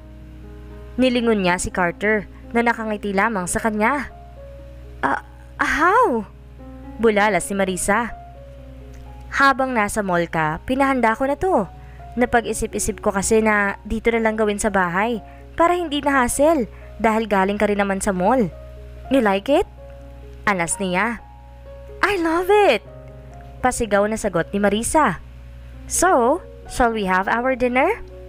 Saad niya at inabot muna sa kanya ang kanyang hawak-hawak na rosas. Hindi naman napigilan ni Marisa ang sarili at mabilis niyang niyakap si Carter at doon na siya napaiyak. Alam niyang madala silang lumalabas ni Carter na silang dalawa lang pero ngayon lang kasi ang unang beses na ganito ang ginawa niya. Hey, what's wrong? Did I make you cry? Tanong niya nang kumalas na si Carter sa pagkakayakap sa kanya. Mabilis namang umiling si Marisa. Masaya lang talaga ako. Nakangiting sagot niya. Iginiya naman siya ni Carter sa upuan at pinaupo. May pagkain na rin nakahanda sa mesa na mukhang pinaghandaan talaga. Nagsimula na kaming kumain. Mukhang in-order ang mga pagkain na nakahain. Halos lahat ng paborito ni Marisa ay nandito. Hindi niya alam kung sinong tumulong o kinontak ni Carter para sa ganitong bagay, gayong nasa opisina naman siya. Pagkatapos silang kumain, ay tumayo si Carter at lumapit sa kanya. Can I have this dance with my beautiful wife? Wika niya. Inilahad naman ni Marisa ang kamay niya at tumayo na. At dahil napaka-romantic ng music, nasasabay nila ito ng pagsayaw. Thank you for this night, hon. Mahinang tura ni Marisa habang nagsasayaw silang dalawa. You don't need to say thank you, basta para sa'yo. Sagot niya naman. Hindi mapigilan ni Marisa ang hindi kiligin. Hindi niya lubos maisip na ang dating magulo nilang pagsasama na puro sakitan lang ay hahantong sa ganito kasayang pamilya. Nagulat si Marisa nang hinawakan ni Carter ang mukha niya. I love you Marisa. Always remember that. No matter what happened, ikaw at ikaw lang ang babaeng mahal ko at gusto ko makasama hanggang sa pagtanda. Kahit na nagkamali ako noon, binigyan mo ako ng pagkakataong makabawi at hindi ko yun sasayangin. Seryosong tura niya. Alam ko naman yun at lagi mo ding tatandaan na nandito lang kami ng anak mo, nakasuporta sa'yo. At tungkol sa nangyari noon, nakaraan na yon at tapos na. Ang mahalaga ay yung ngayon. Ani Marisa. Matapos niyang sabihin iyon, niyakap siya ni Carter ng mahigpit at ganon din ang ginawa niya. Sana Ganito na lang kami palagi, yung walang problema. Nagpatuloy lang sila sa pagsasayaw at nang mapagod ay bumalik sila sa pagkakaupo at nagkwentuhan tungkol sa mga nangyari sa buhay nila noon at hanggang ngayon. Samantala, kakauwi lang ni Monica at ng anak niya sa kondong tinitirhan nila. Nakakainis talaga yung kaibigan ni Carter. Halatang ayaw niya sa akin dahil sa mga sinasabi niya kanina. Kung hindi lang siya kaibigan ni Carter, hindi ako magpipigil na sagutin siya. Pero kailangan kong magtiis. Mukha kasing naghihinala pa din siya sa akin at kailangan kong makuha ang loob niya. Kailangan ko ding maging kaibigan ng kaibigan ni Carter. At ngayong magkaibigan na kami ni Marisa, tingnan ko lang kung ano magiging reaksyon ni Carter kapag nalaman niya ang bagay na yun. Sa totoo lang, hindi naman talaga kasama sa plano ni Monica ang agawin ng posisyon ni Marisa sa buhay ni Carter. Pero nagbagong isip niya dahil mukhang maganda ang buhay ng isang Mrs. De La Vega. I can't wait to see Marisa crying in pain. Gusto kong makitang nasasaktan siya, kagaya ng ginawa nila sa isang taong mahalaga sa akin. Lahat sila na nanakit dito, sisingilin ko. Mommy, are you okay? Tanong sa kanya ng anak niya. Yes, baby. May iniisip lang si mommy. Gusto mo pa bang kumain? Umiling naman ito. I'm still full, mommy. Wala na bang masakit sa'yo? Tanong niya dito. Wala na po. I'll go to my room first to take a bath, mom. Sure, ani Monica. Hindi ko ginusto na idamay ang anak ko sa plano ko, pero ito lang ang alam kong paraan para mas mapadali ang plano ko. Bago pa kami makita ng kanyang ama, dahil alam kong hindi rin magtatagal ay mahahanap niya kami. I'm sorry baby kung inilayo kita sa ama mo. Bulong niya sa kanyang isip. Nilagay na lang ni Monica sa kusina ang ibang pinamili niya kanina sa mall. Naggrocery din kasi siya dahil paubos na ang stock ng pagkain nila. Pagkatapos niyang ayusin ang lahat, pinuntahan na niya sa kwartong anak niya para tingnan kung tapos na siyang maligo. Pagbukas niya ng pinto, nakita niya ang kanyang anak na nakaupo sa kanyang kama. Mukhang tapos na ito dahil nakabihis na siya ng pantulog. Are you sure na hindi na masakit ang tummy mo? Pagtatanong niya ulit. Yes, mommy. Hindi na masakit. Okay, you go to sleep na. Ani Monica at saka siya kinumutan. Ang bilis lumipas ng mga araw at ngayon ay Sabado na naman.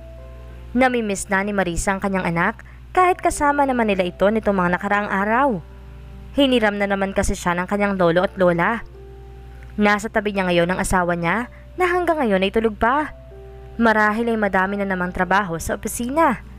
Pero ayos lang kasi sa susunod na linggo magbabakasyon silang mag-anak. Yun kasi ang gusto ni Carter. Dahan-dahan niyang tinanggal ang kamay nitong nakayakap sa kanya at bumangon na. Dahil maaga pa naman, siya na lamang ang magluluto ng almusal. Hahayaan na lang muna niya na matulog ang asawa niya. Dahil pagod din ito, kaya mas mabuting makapagpahinga muna siya. Naalala din pala niya, kagabi, na tumawag sa kanya si Monica at nangangamusta. Niyaya pa niya itong dumalaw dito sa bahay at pupunta yun dito mamaya kaya kailangan niya makapagluto at makapag-ayos. Lumabas na siya ng kwarto at bumaba na. Pero pagpasok na ng kusina, nagsisimula na magluto ang isang kasambahay nila. Good morning ma'am, ang agyo namang nagising. Bati nito sa kanya. Maaga rin kasi ako nakatulog kaya maagang nagising. Akala ko tulog ka pa. Ako na sana magluluto ng almusal. Ani Marisa. Maaga din kasi ako nagising kaya nagluto na ako. Gusto niyo po ba ng kape? Tanong nito sa kanya. Tumango naman si Marisa. Ako na magtitimpla, manang. Ituloy niyo na lang ang ginagawa niyo. Magkakape lang muna ako at mamaya na ako kakain. May darating kasi akong bisita. Tumango naman ito at nagpatuloy sa kanyang ginagawa. At si Marisa naman ay kumuha ng tasa at nagtempla na ng kape. Pagkatapos ay nagpaalam na siya na aakyat pabalik sa kwarto dahil maliligo na siya. Dinala na lamang niya ang kape niya para mainom niya ito. Pagpasok sa kwarto, pinatong niya muna sa tasa sa mini table at kumuha ng damit sa kabinet. Akmang papasok na si Marisa sa banyo nang tumunog ang phone niya. Tiningnan muna niya ito at nakita niyang may message mula kay Monica. Hi Marisa, I'm on my way na. Pagkabasa nun, nireplyan niya lamang ito at pumasok na sa banyo. Binilisan lamang niya ang pagligo dahil baka dumating na si Monica.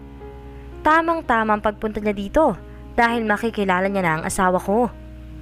Halos limang minuto lang ang ginawa niyang pagligo at lumabas na sa banyo. Naglagay lang siya ng light makeup at saka lumabas na ng kwarto. Umupo lang siya sa sala habang hinihintay ang pagdating ni Monica. Binuksan muna niya ang TV para manood ng K-drama. Maya-maya pa ay may nagdoorbell na sa pinto, kaya tumayo na siya para pagbuksan ito. Bumungad sa kanya ang nakangiting si Monica. Ang laki ng bahay niyo, ha? Iba talaga ang laking mayaman at isama mo pa na mayaman din ang asawa mo. Anas niya. Ano ka ba? Akala mo naman, ikaw hindi mayaman. Halika, pasok ka na. Aya ni Marisa sa kanya. Dumiretso na sila sa may pool area at nagpadala na lamang siya kay Manang ng makakain. Nasa kalagitnaan sila ng pagkukwentuhan na makita ni Marisa ang kanyang asawa kaya agad niya itong tinawag at lumapit naman ito sa kanila. Han, may bisita pala ako. Yung sinabi ko sa iyo nung nakaraan na kaibigan ko? Ani Marisa sa kanya at bumaling naman sa karap niya. Monica, ito pala ang asawa ko, si Carter. Pagpapakilala niya. Nakita ni Marisa ang pagkabigla ng kanyang asawa habang nakahawak sa kamay niya. Hi Carter, ikaw pala ang asawa ni Marisa. Nice meeting you. Wika ni Marisa kay Carter. May problema ba, Han? Tanong ni Marisa dahil hindi pa rin ito umiimik. Wala, Han. Inaantok pa rin kasi ako. Sagot naman ito. Nagpaalam muna si Marisa saglit dahil may kukunin lang si Marisa sa loob. Naiwan naman silang dalawa dahil kasabay na nilang kumain ng asawa niya. Nang makaalis ang asawa ni Carter dahil may kukunin ito sa kwarto, mabilis niyang hinila ang braso ni Monica. Hindi niya alam na siya pala ang tinutukoy ng asawa niya na nakilala niyang kaibigan. Ayaw niyang maging close sila sa isa't isa dahil wala siyang tiwala sa babaeng ito. Aray, Carter! Masakit! Reklamo niya. Anong ginagawa mo dito? Madiin na tanong ni Carter. Inimbitahan lang ako ng asawa mo dito. Hindi ko naman pwedeng tanggihan yun. Sagot naman ni Monica. Layuan mo ang asawa ko. Seryosong turan niya. Why? Magkaibigan lang naman kami. You don't need to worry dahil wala akong sasabihin sa kanya kung yan ang inaalala mo. I don't trust you. Sana, ito na ang huling magkikita kayo. Anas ni Carter. Hindi mo ako kailangang utusan ng gagawin ko. O hindi ko gagawin, Carter. Hindi mo ako mapapalayo sa buhay ng asawa mo. Kung ako sa'yo, sabihin mo na lang sa kanya na may anak ka sa iba. Shut up! Itiko mo yung bibig mo. Baka nakakalimutan mong nasa pamamahay kita, Monica. Siguraduhin mo lang na wala kang sasabihin sa asawa ko. Dahil kung hindi, ako makakalaban mo. Madiin na wika ni Carter. Are you threatening me? Oh, I'm scared. Kahit ano pang gawin mong pagtatago, lalabas at lalabas din ang totoo. Malalaman din yan ng asawa mo. Tama ka. Lalabas din naman ang totoo. Kaya maghintay ka lang. Ako ang magsasabi sa asawa ko at hindi ikaw. Saad ni Carter at binitawan ang kanyang braso. What's wrong? Rinig ni Carter na tanong ng asawa niya. Nakabalik na pala ito. Wala naman Marisa. Natapon lang yung juice kaya napatayo ako. ba Carter? Sagot naman ni Monica. Ah, nabasa ka ba? Gusto mong magpalit? Wika ni Marisa. No need na. Hindi naman ako nabasa. And also Marisa, Aalis na din ako. May kailangan kasi akong puntahan na importante. Pagpapaalam ni Monica. Ay, ganun ba? Sayang naman. Sige, next time ulit. Sure, sagot niya naman. Ihahatid na kita sa labas. Sabi pa ni Marisa. No need, hon. Si Manang na maghahatid sa kanya. Right, Monica? Singit ni Carter dahil nakita niya ang katulong nila na palapit at may dalang tray ng almusal niya. Ayaw ni Carter na makapag-usap pa sila. Oo nga naman, Marisa. Para sabay na kayong kumain ng asawa mo. Segunda naman ni Monica at sumabay na kay Manang paalis. Umupo na si Carter at ganon din ang kanyang asawa. Huwag kang masyado makikipag-usap sa kanya. Biglang saad ni Carter. Why? Wala lang akong tiwala sa kanya. Kagaya ng sabi mo, nakakakilala mo pa lang siya sa mall. Hindi natin alam kung saan siya galing. Kung mabuti siya o masama. Baka mamaya mapahama ka pa. Paliwanag ni Carter. Mabait siya, Han. No need to worry. Just follow me, Han. Pagpapumilit pa niya. Oh, ang aga. Huwag magsalubong ang kilay mo. Huwag na nga natin pag-usapan yun. Nagpatuloy na lang sila sa pagkain. Kailangan ko na makaisip ng paraan para mailayo ang asawa ko kay Monica. Hindi ako magiging panatag kapag nasa paligid lang siya ni Marisa. Bulong ni Carter sa kanyang sarili. Isang linggo pa ang hihintayin niya para malaman ang buong background ng babaeng yun. Dalawang linggo na nakalilipas, simula na mas maging close pa si Marisa at Monica, dahilan para madalas din silang magbangayan ni Carter. Hindi maintindihan ni Marisa kung bakit mainit ang dugo niya kay Monica, gayong mabait naman ito. Katulad na lamang kahapon, naniyaya siya ni Monica para mag-mall at nung makauwi si Marisa at nalaman ni Carter kung sinong kasama niya, ay nagkasagutan na naman sila. Madalas ding itanong ni Marisa sa kanya kung bakit ayaw niya na maging kaibigan niya si Monica. Pero ang sinasagot niya lang lagi ay wala siyang tiwala. Minsan na rin niyang nahuli sila na parang may pinag-uusapan o kaya nagtatalo. Hindi naman malaman ni Marisa kung ano ang dahilan dahil kapag nagtatanong naman siya, pareho silang iiwas. Minsan iniisip ni Marisa na nagiging unreasonable na ang asawa niya pero ayaw naman niya na baliwalain ang mga sinasabi at nararamdaman niya. Kaya minsan, mas pinipili na lamang niyang manahimik para hindi na sila magbangayan. Kasalukuyan siyang nasa banyo dahil nagising siya na parang bumabaliktad ang kanyang sikmura. Simula ng isang linggo, madalas siyang nasusuka at nakakaramdam ng pagkahilo. Hindi na lang din niya ito sinasabi sa asawa niya dahil ayaw naman niya na mag-alala pa ito. Nang medyo umayos na ang pakiramdam ni Marisa, ay naligo na siya. Pupunta kasi siya sa doktor para magpa-check up. Gusto niyang malaman kung bakit ganito ang nararamdaman niya. Baka may sakit na siya, tapos hindi pa niya alam. Wala dito ngayon si Carter dahil may pinuntahan sila ni Michael. Kakabalik lamang din kasi ng lalaking yon nung isang araw. Matapos niyang maligo ay nagbihis na siya ng simpleng dress at naglagay ng konting makeup. Kinuha niya ang maliit niyang bag na nasa mesa at nilagay sa loob ang wallet at phone niya. Wala naman siyang ibang dadalhin. Nang makaayos na, lumabas na siya ng kwarto at tinawag ang driver.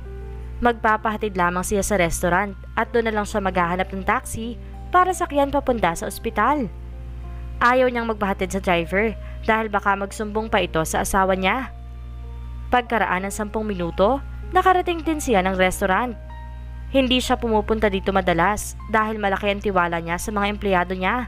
Kaya kahit nawala si Marisa, ay alam niyang nasa maayos na lagay ang business niya. Bumaba na si Marisa at hinintay na makaalis ang driver nila. Pagkatapos ay pumara na siya ng taxi at nagpahatid sa ospital. Ma'am, I already have your result. Anas sa kanya ng doktor na tumingin sa kanya. What is it, Doc? May sakit ba ako? Kinakabahang tanong niya. Ngumiti naman ito sa kanya.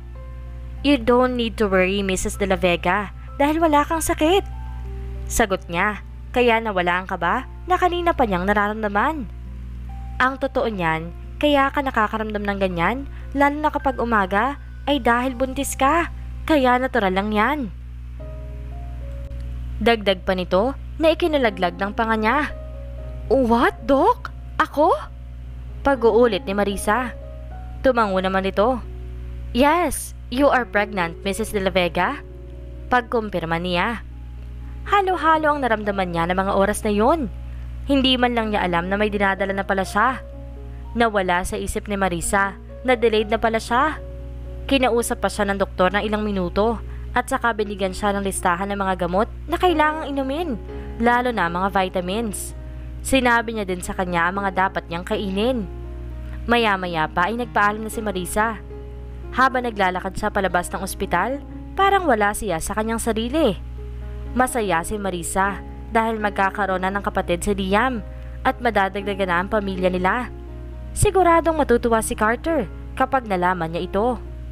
Habang naghihintay siya ng taxi para makauwi, ay tumunog ang phone niya. Kinuha naman niya ito at binasa ang mensahe na galing kay Monica. Hey, Marisa, meet me at Starbucks.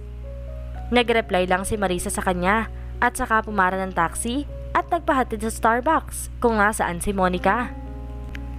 Nang makarating siya doon, ay pumasok na siya agad at naabutan niya si Monica na nakaupo sa hindi kalayuan kung saan siya nakatayo. Nang mapansin siya nito, ay kumaway ito sa kanya, kaya naglakad na siya palapit sa babae. Sabay na silang umorder at pagkatapos, nag-excuse muna ito sa kanya na magbabanyo muna. Habang hinihintay ni Marisa ang order nila, tumunog ang phone ni Monica na naiwan sa mesa. Tiningnan niya ito at nanlaki ang mata ni Marisa na makita ang asawa niya ang tumatawag sa kanya. Bakit tatawag sa kanya si Carter? Ano naman ang dahilan? Hindi niya maiwasan ang hindi mapaisip kaya kinuha niya ang phone ni Monica at tinignan ito. Dahil hindi naman nakalock o wala namang password ay malaya niya itong nabuksan. Mas nagulat siya nang makita na ang wallpaper niya ay ang kanyang anak na kasama ang asawa niya. Tinignan niya ang nasa call logs niya at nakita ni Marisa na halos asawa niya ang nandoon. Hindi mapigilan ni Marisa ang hindi mag-isip ng kakaiba pero hindi maiwasan ang utak niya dahil sa mga nakita nito. Posible kayang may namamagitan sa kanila ng asawa ko? Kaya ba ayaw ni Carter na maging malapit ako kay Monica dahil may tinatago sila?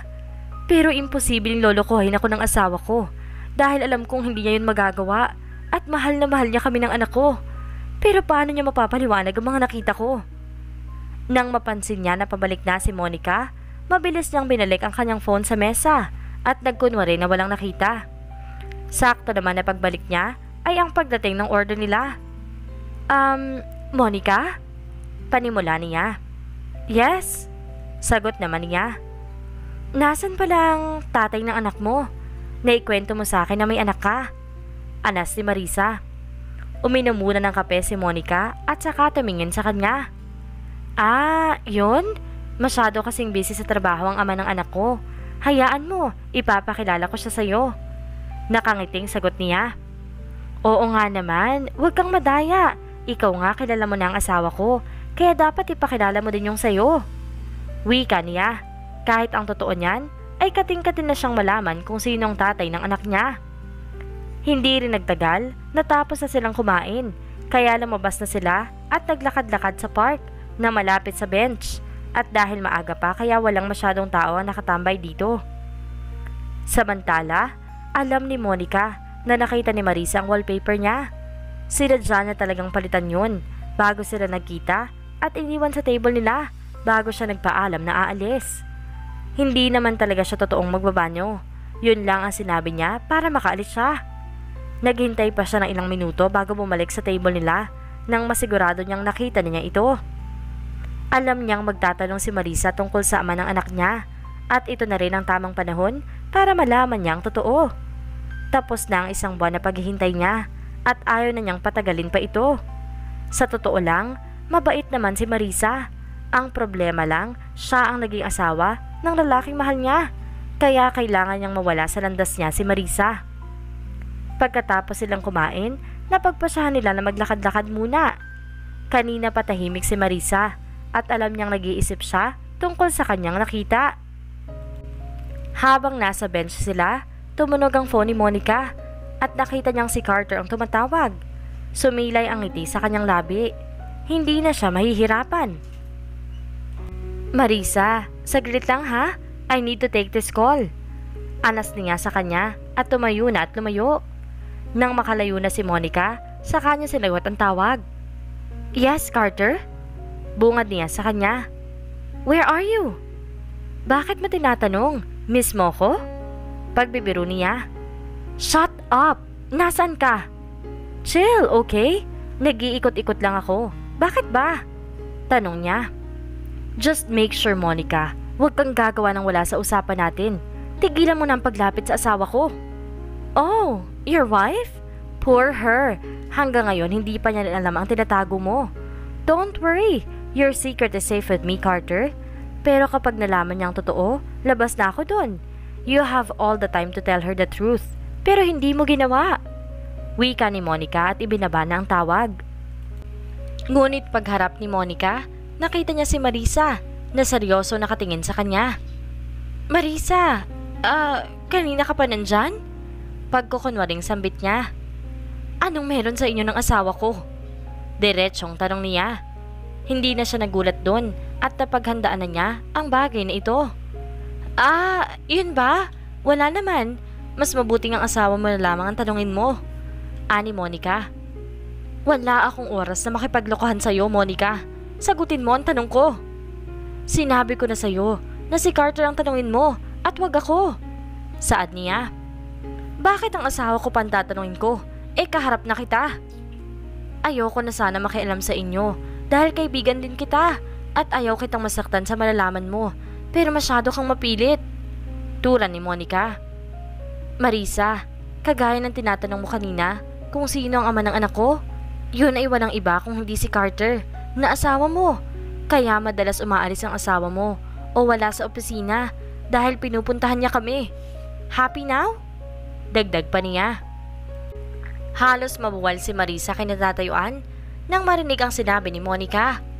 Hindi niya lubos maisip na may ganitong dadaanan na pamilya nila. Mabilis na naglandasan ng luha sa mga mata niya. No! This can't be! Hindi magagawa ni Carter sa amin yan. Hindi siya maglilihim sa akin. Sambit niya. You want to know the truth, right? Well, that's the truth, Marisa. May anak sa akin ang asawa mo. Nakabuntis siya ng iba. Matapang naturan niya. Mabilis na dumapo ang palad ni Marisa sa pisngi niya. Hayop kang babae ka. Pinagmukha niyo akong tanga. Kaya pala nakikipagkaibigan ka sa akin. At kaya pala ayaw ni Carter na nakikipagkaibigan ka sa akin. Dahil may mga kagaguhan kayong tinatago. Galit na sigaw niya kay Monica. Huwag ako ang sasihin mo. Ang asawa mo ang ayaw pumayag na sabihin sa iyong totoo. Ano? Masakit bang malaman na may anak sa labas si Carter? Ganyan din ang naramdaman ko nang hindi niya kilalanin nung una ang anak namin. Ang tagal kong hinintay ang pagkakataon na to, Marisa. Alam mo ba yun? Nagtiis kami ng anak ko na manahimik at itago sa ibang tao. Samantalang kayo ng anak mo ay masaya at nakakasama ang ama ng anak mo. Wala kang kasing sama, Monica. Nagtiwala ako sa iyo. Tinuring kitang kaibigan. Pero hindi ko inakala na may ibang plano ka pala. Hindi ko inakala na ikaw magiging lamat sa pamilya namin. Magsama kayo! Madiin na wika ni Marisa at tumakbo na paalis. Mabilis siyang pumara ng taxi at nagpahatid sa bahay. Iyak lang siya ng iyak habang nasa taxi. Hindi niya naisip na aabot sila sa ganito. Na magagawa siyang lokohin ni Carter at worst, may naanakan pa siyang iba. Pakiramdam ni Marisa, pinaglaruan siya ng dalawa dahil alam nilang may itinatago sila sa kanya. Hindi alam ni Marisa kung paano nila naaatim na humarap sa kanya, gayong may nililihim ang mga ito sa kanya. Mga manluloko sila, mga hayop! Nang makarating siya ng bahay, dali-dali siyang pumunta sa kwarto nila ni Carter. Pinaghintay na lang niya ang taxi sa labas. Hindi niya kayang magtagal pa dito sa bahay na hindi niya alam kung mapagkakatiwalaan pa niya ang mga kasama niya. Kinuha ni Marisa ang malaking bag at naglagay ng mga damit at dahil sa buntis siya, hindi siya pwedeng magbuhat ng mabibigat. Mabilis ang naging kilos niya dahil baka maabutan pa siya ni Carter. Nang matapos siya sa pag-ayos, saglit siyang napaupo sa kama. Nilibot niya ang kanyang paningin sa buong kwarto. Madami silang naging masasayang alaala sa lugar na ito. Napadpad ang tingin niya sa mga litrato nila na nakasabit sa pader. Napangiti ng mapait si Marisa dahil ang mga masasayang kuha na iyon ay magiging alaala na lamang. Hindi na siya nagtagal pa doon dahil mas dumadagdag lamang ang sakit na nararamdaman niya. Hindi niya matanggap na may ibang anak at pamilya ang asawa niya. Hinawakan ni Marisa ang singsing na nasa daliri niya at unti-unti iyong tinanggal. Matapos na itong matanggal ay ipinatong niya ito sa mini table na meron sila sa kwarto. Gumawa rin siya ng sulat para sa asawa niya pero hindi niya sinabi ang tungkol sa pagbubuntis niya. Aalis si Marisa dahil nasasaktan siya. Ang akala niyang buong pamilya ay hindi na pala mangyayari dahil may kahatid sila ng anak niya. Sabihan man siyang duwag dahil aalis siya at hindi lalaban kahit na siyang legal na asawa. Kung siya lang ay gagawin niya pero hindi niya ilalagay sa panganib ang buhay na magiging anak niya. Masaya lang ang pagbubuntis ni Marisa at ayaw naman niyang mapahamak ang magiging anak nila dahil lamang dito. Hindi porket aalis siya ay sumusuko na siya at bibitawan na niya ang pamilyang meron siya. Hindi pa lamang niya kayang harapin ang asawa niya sa ganitong sitwasyon. Pero babalik siya. Kinuha ni Marisa ang bag niya at lumabas na. Sa bawat hakbang na ginagawa niya ay siyang pagbigat ng kanyang dibdib. Hindi niya lubos maisip na darating na naman ang araw na lilisanin niyang muli ang bahay na ito. Jago's POV Napadaan siya sa Starbucks dahil bumili muna siya ng kape. Pupunta kasi siya ngayon sa opisina ni Carter dahil may pag-uusapan sila at nabanggit din ito sa kanya na baka bukas ay malaman na niya ang katotohanan. Pagkakuha niya ng order, agad siyang lumabas at sumakay sa kotse niya. Pero bago pa siya makaalis, nakita niya si Marisa na pasakay ng isang taxi at kasunod nito ay si Monica na nakangiti hindi alam ni Diego ang nangyari, pero iba ang pakiramdam niya ngayon. Kinuha niya ang kanyang phone para tawagan si Carter, pero hindi dito sinasagot. Kaya in-start na lamang niya ang kanyang kotse at nag-drive papunta sa kanyang kumpanya. At dahil hindi naman kalayuan ito sa lugar, kung nasaan siya ay mabilis siyang nakarating. Nag-park lang siya at dumiretso na sa pagpasok. Hindi na siya nag-abala pang magtanong sa kanyang sekretarya at dumiretso na siya sa opisina ng kaibigan niya. Pagpasok, ay nakita niyang seryoso ito nakatingin sa kanyang laptop at mukhang hindi napansin ang pagpasok niya. Ang busy natin na. Anas ni Diego at saka lamang ito tumingin sa kanya. May binabasa lang ako. Bakit ang aga mo yata? Tanong niya. Tinapos ko na kasi ang kailangan kong pirmahan sa opisina. Kaya nakaalis ako agad ng maaga. Maiba nga ako bro. Nasaan si Marisa? Tanong ni Diego. Napatingin naman ito sa kanya. Kanina nang umalis ako, nasa bahay siya. Hindi ko lang alam ngayon kung lumabas siya. I saw her kanina nang dumaan ako sa coffee shop. Mukhang pauwi na, pero mukhang magkasama sila ni Monica. Pagkwento niya. What? Nakausap ko kanina si Monica. Ang sabi niya nag-iikot-ikot lang siya. Imposible na kasama niyang asawa ko dahil hindi niya naman yun nabanggit sa akin. Trust me bro, Nakita mismo ng dalawa kong mata. Mukhang kailangan mong kausapin si Marisa. Iba talaga ang pakiramdam ko ngayon. Saad ni Diego. Nakita niya na kinuha ni Carter ang kanyang phone at mukhang tinatawagan si Marisa. Pero halata sa mukha nito na hindi sumasagot ang kanyang asawa. Why? Tanong ni Diego. Hindi siya sumasagot. Shit! Sambit niya. Napahilamos siya sa kanyang muka. Maya-maya pa, Sinira niya ang kanyang laptop. I need to go home now. Hindi ako mapapakali hanggat hindi ko alam kung may sinasabi bang babaeng yun sa asawa ko. Aniya, I'll come with you. Saad ni Diego at tumango naman siya. Mabilis ang pagdadrive ni Carter. Sana lamang ay mali ako sa hinala ko. Sana'y wala pang sinasabi sa kanya si Monica dahil malaking gulo ito pag nagkataon. Pagdating nila sa bahay nila, mabilis na bumaba si Carter sa kanyang sasakyan. Kaya sinundan na lamang ito ni Diego at pumasok na rin sa loob. Ilang beses niyang tinawag ang pangalan ni Marisa pero walang sumasagot. Kaya kahit si Diego, tinulungan na rin siya na hanapin ito.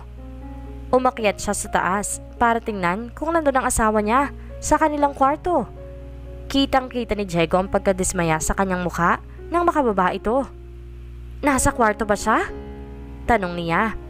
Umiling naman ito na naupo na lamang sa sofa habang nakayuko. Bro, what happened? Kinakabahang tanong ni Diego. She's gone. She left me. Halos paos na sambit nito. What? Halos hindi makapaniwala si Diego sa sinabi niya. Wala ako Marisa na nakita sa kwarto. Tanging itong singsing lang at sulat ang nandun. Alam niya na ang lahat, Diego. Hindi alam ni Diego kung anong sasabihin niya. Sana pala, sinundan na lamang niya si Marisa kanina. Baka sakaling napigilan pa niya ito sa pag-alis. Nang sinabi ni Diego kay Carter na nakita niya si Marisa at Monica, ay kinabahan na siya. Lalo pa nang hindi sinasagot ng asawa niya ang mga tawag niya. Kaya nagmadali siyang umuwi ng bahay. Mas gusto niyang makasigurado. Pero nanlumo lang si Carter nang wala siyang nadatnan sa bahay. Tanging isang sulat at singsing ang nakita niya na nakapatong sa mini table ng kwarto nila. Carter, marahil kapag nabasa mo ito ay nakaalis na ako. Alam ko na ang lahat. Alam ko nang may anak ka sa ibang babae. Hindi ko lang lubos maisip na kaya mong ilihim sa akin ang bagay na ito. Masakit malaman na may ibang naanakan ng asawa ko. Pero mas masakit ang hindi mo pagsabi sa akin ng totoo at sa iba ko pa nalaman. Gusto kong ipaglaban ang pamilyang meron tayo. Pero sa ngayon, hindi ko alam kung papaano gagawin yun. Dahil sobra akong nasaktan. Mahal kita. Mahal na mahal kita kaya ako nasasaktan ng ganito. Sana, sinasabi mo na lang sa akin para hindi na ako nagbukang tanga. Pakiramdam ko, pinagloran niyo ako ni Monica. Hindi ko alam na ang dalawang nakakasama ko ay may ugnayan sa nakaraan. Hindi ako selfish sa tao at hindi ko ipagkakait na maging ama ka sa ibang anak mo. Ang dami na nating napagdaanan simula pa noon at akala ko magkakaroon na tayo ng normal at masayang pamilya. Pero mukhang masisira pa ito ng isang kasinungalingan. Sabi mo, walang lihiman. Pero ano tong ginawa mo? Ilang beses kitang tinanong kung may problema o may gusto kang sabihin dahil matagal ko nang nahahalata na balisa ka. Asawa mo ko, kaya nararamdaman ko yun. Nung una, hindi ko maisip kung anong dahilan kung bakit mainit ang dugo mo kay Monica at kung bakit ayaw mo nakikipaglapit siya sa akin. At ngayon, alam ko na ang kasagutan na hindi ko nakuha sa iyo. Umalis ako, hindi dahil sa sinukuan kong pamilya na meron tayo Umalis ako dahil nasasaktan ako. Hindi ko kayang humarap sa iyo at mas lalong hindi ko kayang lukuhin ang anak ko na okay ako. Okay tayo sa harap niya. I need space. I need peace of mind. Hindi ko alam kung kailan ako magiging okay. Kung kailan maghihilo man sakit. Sana'y alagaan mo si Liam at wag mo siyang pababayaan. Kahit na may anak ka sa iba, sana hindi ka magbago sa anak natin at panindigan mo ang anak mo sa iba. Wala siyang kasalanan dito. Ingatan mo ang sarili mo. Mahal na mahal kita. Pero hanggang dito na lang siguro ko. Paalam. Marisa. Tumayo na si Carter at inilagay sa bulsa niya ang sulat at singsing. Kailangan kong pagbayarin ng babae na sumira sa amin. Where are you going? Tanong ni Diego. Pupuntahan ko lang ang babaeng yun. Malilintikan talaga siya sa akin. Hayop siya. Ani Carter. Bro, calm down first. I suggest wag muna ngayon dahil siguradong kasama niyang anak niya. Hindi pwedeng makita ng bata na nag-aaway kayo. Awat sa kanya ni Diego. At anong gusto mong gawin ko ha? Hayaan na lamang ang babaeng yon sa pagsira sa pamilya ko? Madiin na wika ni Carter. Ang sinasabi ko lang, kumalma ka muna. Huwag mong hahayaan na makagawa ka ng hindi magandang bagay. Maghintay ka muna at malay mo, umuwi din si Marisa. Napasabunot na lamang si Carter ng buhok niya dahil sa sobrang frustration na nararamdaman. I need Marisa in my life. Nasa ganong pwesto sila ni Diego nang lumapit sa kanila ang isa sa mga katulong nila. Sir, may naghahanap po sa inyo. Magalang naturan niya. Agad naman siyang napalingon sa taong nasa likuran niya at nakita ang private investigator na inutusan ni Carter na alamin lahat tungkol kay Monica. Good afternoon, sir. Ilang beses akong tumawag sa inyo pero hindi kayo sumasagot. Kaya nagpunta ako sa opisina mo. Pero ang sabi ng sekretary ninyo, umuwi na kayo. Kaya dito na lang ako nagpunta. May balita na ba sa pinapagawa ko sa'yo? Tanong ni Carter nang makaupo na sila. Iniabot niya naman kay Carter ang envelope. Nandyan po ang tungkol kay Monica Barameda at kasama na din ang DNA result. Mabilis namang kinuha ni Carter ito at binuksan. Nang mabasa niya nakalagay dito, nagsimula na manginig ang mga kamay niya sa labis na galit. Mapapatay ko talaga ang babaeng yun. This is bullshit. Ito na nga habang sinasabi ko eh. Sinungaling talaga ang babaeng yun. Galit na sigaw niya. Kinuha naman ni Diego ang papel na hawak niya at binasa ang laman nito. Ilalagay ko na lang sa bank account mo ang bayad. Thank you for your help. Anas ni Carter sa inutusan niya at maya-maya pa ay nagpaalam na rin siya. Mabilis niyang kinuha ang envelope at lumabas ng bahay samantalang si Diego ay nakasunod lamang sa kanya. Hindi ko mapapalampas ang ginawa ng babae yun sa pamilya ko nang dahil sa kanya ay umalis ang asawa ko na may sama ng loob sa akin. Nag-drive si Carter ng mabilis habang ang kaibigan niya ay tahimik lang. Hindi rin nagtagal, nakarating na sila sa kondo kung saan nakatira si Monica. Kanina pa siya gigil na gigil sa kanya at hindi siya magsisising masaktan niya si Monica. Mabilis bumaba sa kotse si Carter at nagtuloy-tuloy sa loob ng building at pinindot ang elevator para makasakay na sila agad. Pagtunog ng elevator, Senyales na nakarating na sila sa floor kung nasaan ang unit ni Monica. Mabilis lumabas si Carter at halos takbuhin niya ang unit ito. Nang nasa harap na siya ng pinto ay kumatok agad siya. Halos gusto na niyang gibain ang pinto. Agad din naman itong nagbukas at bumungad sa kanya nakangiting mukha ni Monica. Carter? Hindi ka naman nagpasabi na pupunta ka. Wika nito. Agad siyang sinakal ni Carter dahil sa sobrang gigil nito sa kanya. Hayop kang babae ka! Sinira mo ang pamilya ko. Nang dahil sa'yo nawawala ang asawa ko ngayon. Let me go, Carter! Nasasaktan ako! Aniya, talagang masasaktan ka sa aking babae ka. Napakasinungaling mo. Akala mo ba hindi ko malalaman ng totoo? Hayop ka! Sigaw ni Carter sa kanya at marahas siyang binitawan. Halos habol-habol niya ang kanyang hininga habang hawak-hawak ang kanyang leeg. Ano bang pinagsasabi mo? Wala akong kinalaman sa pag-alis ng asawa mo. Wala? Talagang wala? Nakita kayo ni Jeko na magkasama bago mawala ang asawa ko. Kaya wag mo akong gawing tanga, Monica. Tapos na ang kalokohan mo dahil alam ko na ang totoo. Gigil na saad ni Carter. What do you mean? Hindi ako ang ama ng anak mo. Madiin na wika niya. What?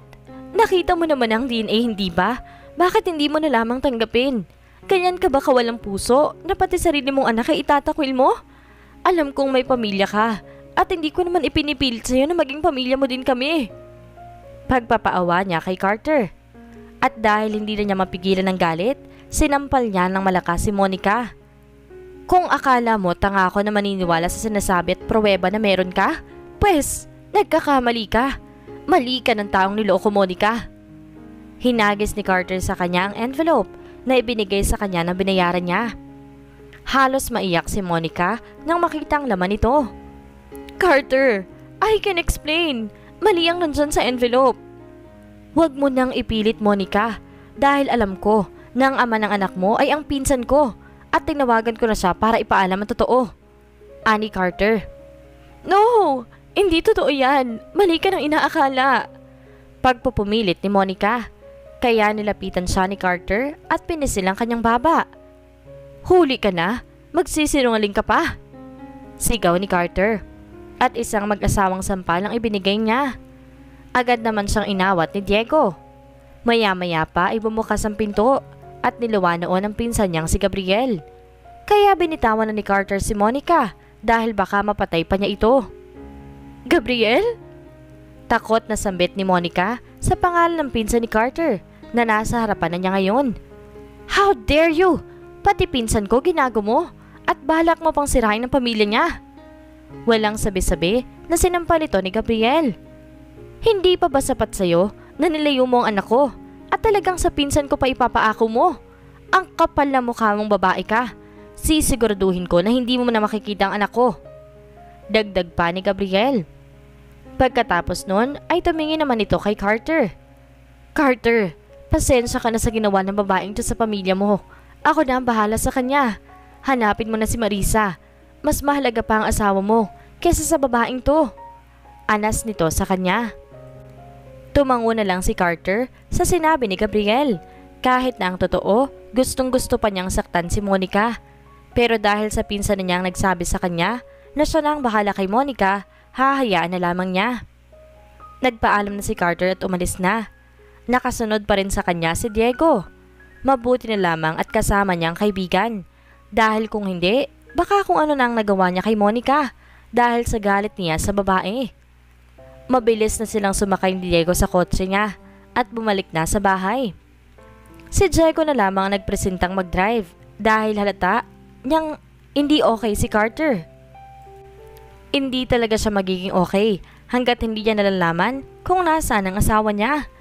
Hindi pwedeng hindi niya ito makita dahil paniguradong hahanapin siya ng anak nila. Samantala, kadarating lang ni Marisa sa Baguio. Mabuti na lamang at mabilis sa naging biyahe. Kahit tumaaga pa mga mata niya, ay pinilit niya talagang makaalis at makalayo. Hindi niya alam kung saan siya pupunta. Basta may mahanap lang siya na pwedeng marentahan dito ay maayos na sa kanya. Gusto niya muna makapag-isip-isip dahil sa ngayon magulo ang isipan niya at gusto niya ng peace of mind. Habang naglalakad-lakad siya, may nakabangga siyang babae na may mga dala. Ay, sorry po, hindi ko po kayo napansin. Hinging pa umanhin ni Marisa. Ayos lang, Iha. Hindi rin kita napansin dahil sa iba ako nakatingin. Mukhang may hinahanap ka, Iha. Tanong nito sa kanya. Nagkamot naman si Marisa sa kanyang ulo. Ah, eh meron nga po. Naghahanap po kasi ako ng pwedeng marentahan eh. Sagot naman niya. Bago ka lang ba sa lugar na ito? Opo eh. Anas niya. Pwede ka sa bahay. Meron pang bakanting kwarto dun. Pero hindi nga lang kalakihan. At kung gusto mo naman ay may hotel sa kabilang barangay. Wika nito. Talaga po? Meron sa inyo? Ayos na po yun. Hindi naman ho ako naghahanap ng malaki. Ang importante may matutuloyan ako. Anas si Marisa. Kung ganun ay pwede ka nang sumama sa akin. May makakasama ka naman sa bahay. Anak niyo po? Tanong niya. Hindi ko siya tunay na anak. Na-aksidente siya dati at nakita siya ng asawa ko kaya tinulungan niya ito. Kinupkup na lang namin at tinuring na parang tunay na anak. Tumango naman si Marisa sa kanya at sumabay na sa kanya dahil pauwi na rin naman siya. Hindi din naman kalayuan ang bahay nila kung saan sila naroon. Sumakay lang sila ng isang tricycle para makauwi agad. Halika na iha sa loob, huwag kang mahihiya. Yaya nito kay Marisa. Kung tutuusin ay maganda at malinis ang kanilang bahay. Hindi siya kalakihan katulad ng bahay nila pero kasya na ito para sa isang pamilya. Nasaan po ang asawa niyo, Manang? Tanong ni Marisa dahil naalala niya na nabanggit niya kanina na may asawa siya. Ngumiti naman ito sa kanya. Namatay na siya nung isang taon pa, kaya kami na lamang ni Karina magkasama ngayon. Saglit na natigilan si Marisa dahil sa pangalan na nabanggit niya. Oh, bakit iha? May problema ba? Tanong nito sa kanya na mukhang nahalata ang naging reaksyon niya. Wala naman po. May naalala lang ako sa nabanggit yung pangalan. May kakilala din kasi ako na Karina. Sagot naman niya. Ah, ganun ba? Eh, nasa na siya ngayon? Bigla naman siyang nakaramdam ng lungkot. Patay na po siya eh. Nakasama ko siya sa isang aksidente at ako lang po nakaligtas. Sambit ni Marisa. Kaya pala ganun na lamang kalungkot ang mukha mo nang mabanggit ko ang pangalan niya. Feel at home ka lang muna dyan ha? Magluluto lang ako ng makakain natin at maya-maya ay nandyan na din si Karina. Baka naglibot-libot lang kasi yun. Tumango naman si Marisa at tumiretso na lamang sa kwarto kung saan ang tinuro ni Manang para maayos na din niya ang kanyang mga gamit. Hindi naman madami ang dinala niya, sapat lamang para sa kanya. Pwede naman kasi siyang bumili. Nilabas niya ang bag, nalula ng mga damit niya at inayos sa kabinet. Pagkatapos, nahiga na muna siya sa kama dahil nakaramdam siya ng antok. Nagising lang siya nang marinig niya na parang may kumakatok sa pinto kaya napabangon na siya para buksan iyon. Ate, kakain na daw. Natigil sa kanyang sasabihin ng babaeng kaharap niya na makita si Marisa at ganon din naman ang reaksyon niya nang makita siya. Hindi niya akalain na makikita niyang buhay ang babaeng nasa harap niya dahil ang buong akala niya matagal na siyang patay. Karina? Mahinang sambit niya. Ah, Ate Marisa? Halos maluha-luha niyang saad. Mabilis naman niya itong niyakap ng mahigpit. Alam niyang hindi pa sila nakakapag-usap ng maayos noon nang mangyari aksidente. At dahil sa pag-aakala nila na tuluyan na siyang mamamatay, hindi niya lubos maisip na makikita niya ngayon si Karina. Oh, mga anak, ano nangyayari sa inyo dyan? Inutusan ko si Karina na tawagin ka na niya para makakain na tayo. Biglang sulpot ni Manang. Agad namang sinabi ni Karina sa kanya na ang naikwento niya sa kanyang kakilala niya at si Karina na kasama nila ngayon ay iisa. Halos hindi siya makapaniwala na darating ang araw na matatagpuan ni Karina ang isa sa kakilala niya dahil nahihiya ito na lumapit sa kanyang mga magulang kaya mas pinili niyang manatili dito kasama si Manang. Sabay-sabay naman silang kumain habang nagkukwentuhan at pagkatapos, sinabi ni Manang na siya na magliligpit at mag-usap na lamang silang dalawa ni Karina dahil alam niyang may mga kailangan pa silang pag-usapan. Kaya pumunta na lamang silang dalawa sa veranda kung saan may magandang view na natatanaw. Kamusta ka naman? Tanong ni Marisa sa kanya. Ito ate, maayos naman. Nakangiti niyang sagot. Hindi ko alam na nandito ka lang pala. Ang akala ko namatay ka sa nangyaring aksidente. Anas niya. Yun din ang akala ko ate. Sadyang masamang damo siguro talaga ako kaya hindi namatay. Pero mas naniniwala ako na niligtas ako ni Kuya Carlo. Siya ang naging guardian angel ko ng mga oras na yun. Yun nga lang, nawalan ako ng isang paa. Pero okay lang, kasi buhay naman ako. Malungkot na wika niya. Ano ba ang sabi ng doktor? Makakalakad ka pa naman, hindi ba? Pwede pang lagyan yan para magsilbing isang paa mo ani Marisa. Pwede pa naman ate, kaso syempre hindi ko na tinuloy dahil masyado malaking perang kailangan para mangyari yun. Bakit hindi mo pinaalam sa parents mo na buhay ka? They suffered a lot nang malaman na wala ka na. Wika ni Marisa. Ngumiti naman siya ng mapait. Hindi ko ginawa ate dahil nahihiya ako sa kanila. Sa lahat ng mga nagawa ko na nadamay sila, wala na ako mukhang maihaharap pa sa kanila. Alam mong mahal na mahal ka ni tita at tito at matatanggap ka nila kahit anong pa nagawa mong mali dahil anak ka nila. Ikaw na lang ang meron sila. Pagpipilit ni Marisa. Sana ganun lang kadali ate. Pero naniniwala akong darating din tayo sa oras na yon. Nahaharapin ko sila ulit at hihingi ng tawad. Ikaw ate, bakit ka nandito? Nasaan si Kuya Carter at si Liam? Napayuko naman si Marisa dahil sa kanyang tanong. Wala pang isang araw, namimiss na niya ang asawa at anak niya. Pero hindi naman siya pwedeng bumalik doon. Kinwento naman niya kay Karina ang nangyari kung bakit siya napadpad dito. Hindi naisip ni Karina na darating ang araw na magkikita muli sila ni Marisa. Hindi niya akalain na mapupunta siya kung nasaan man siya. Matagal na siyang namumuhay kasama ni Manang. Nung mga panahon na akala niya ay mamamatay na siya, ay maswerteng nakaligtas siya bago pa sumabog ang kotse. Nawalan siya ng malay kaya hindi na niya alam ang nangyari. At nang magising, nasa ospital na siya at doon niya nakilala si Tatang na siyang nagdigtas sa kanya. Siya ay asawa ni Nanang. Sila ang nandyan ng mga panahong nagpapagaling pa siya at kinupkup siya. Pero namatay si Tatang dahil sa isang aksidente at naiwan na lamang silang dalawa ni Nanang. Malaki ang utang na loob niya sa kanila kung hindi dahil sa kanila, baka tuluyan na siyang namatay. Nakinig lamang siya sa kwento ni Marisa at ramdam niya ang sakit ng dinadamdam niya. Alam niya na isa siya sa mga nagpahirap sa kanya noon at masasabi niya na hindi niya deserve ang masaktan ng ganito dahil isa siyang mabait na tao. Nang matapos magkwento ni Marisa, niyakap niya ito ng mahigpit dahil umiiyak na ito. Nalaman din niya na buntis pala siya ngayon Tahan na ate, makakasama yan sa baby. Kailangan mong maging malakas dahil may pamilya pang naghihintay sa'yo. Wika ni Karina habang hinahagod ang kanyang likod. Hinayaan na lang muna niya itong umiyak para kahit papaano mailabas niya ang sama ng kanyang loob.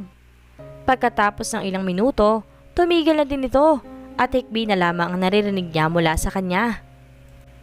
Pero ate, Hindi mo mabuna kakausapin si Kuya Carter? Baka naman kaya niyang ipaliwanag yun. O kaya, baka may rason naman siya kung bakit hindi niya muna sinabi sa'yo. Saad ni Karina. Hindi ko alam kung kaya ko na siyang harapin. Hindi ako makapag-isip ng maayos ngayon, Karina.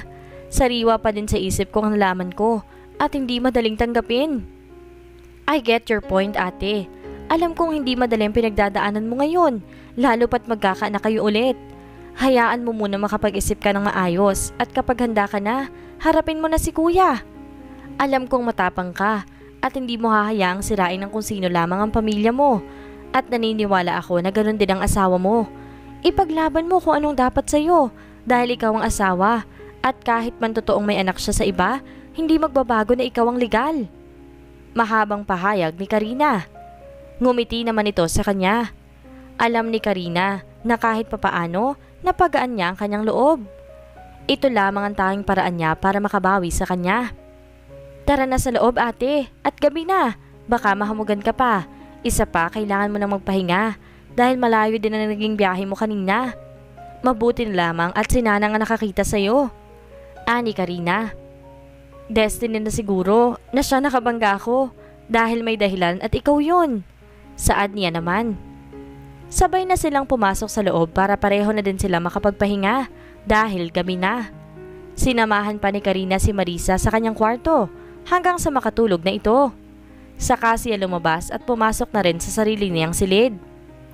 Habang nakahiga sa kama, hindi maiwasan ni Karina ang hindi mapaisip. Sino naman kayang babae ang naanakan ni Kuya Carter? Kung tutuusin, malabo yung mangyari dahil mahal na mahal niya ang asawa niya. Hindi kaya nagpapanggap lang yun?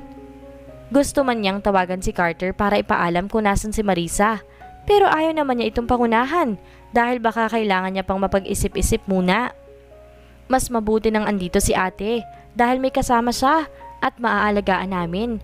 Kahit yun na lamang ay magawa ko sa kanya after what I did to them. Bulong ni Karina sa kanyang sarili bago na pabuntong hininga.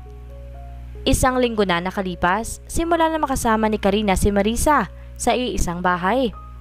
Saksi si Karina kung paano siya nahihirapan dahil halos gabi-gabi siyang umiiyak at halata niya na namimiss niya ang asawa at anak niya.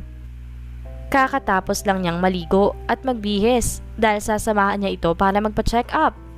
Nang makalabas siya ng kwarto, naabutan niya si Marisa at Nanang na masayang nag-uusap. Oh, Nandyan ka na pala, anak.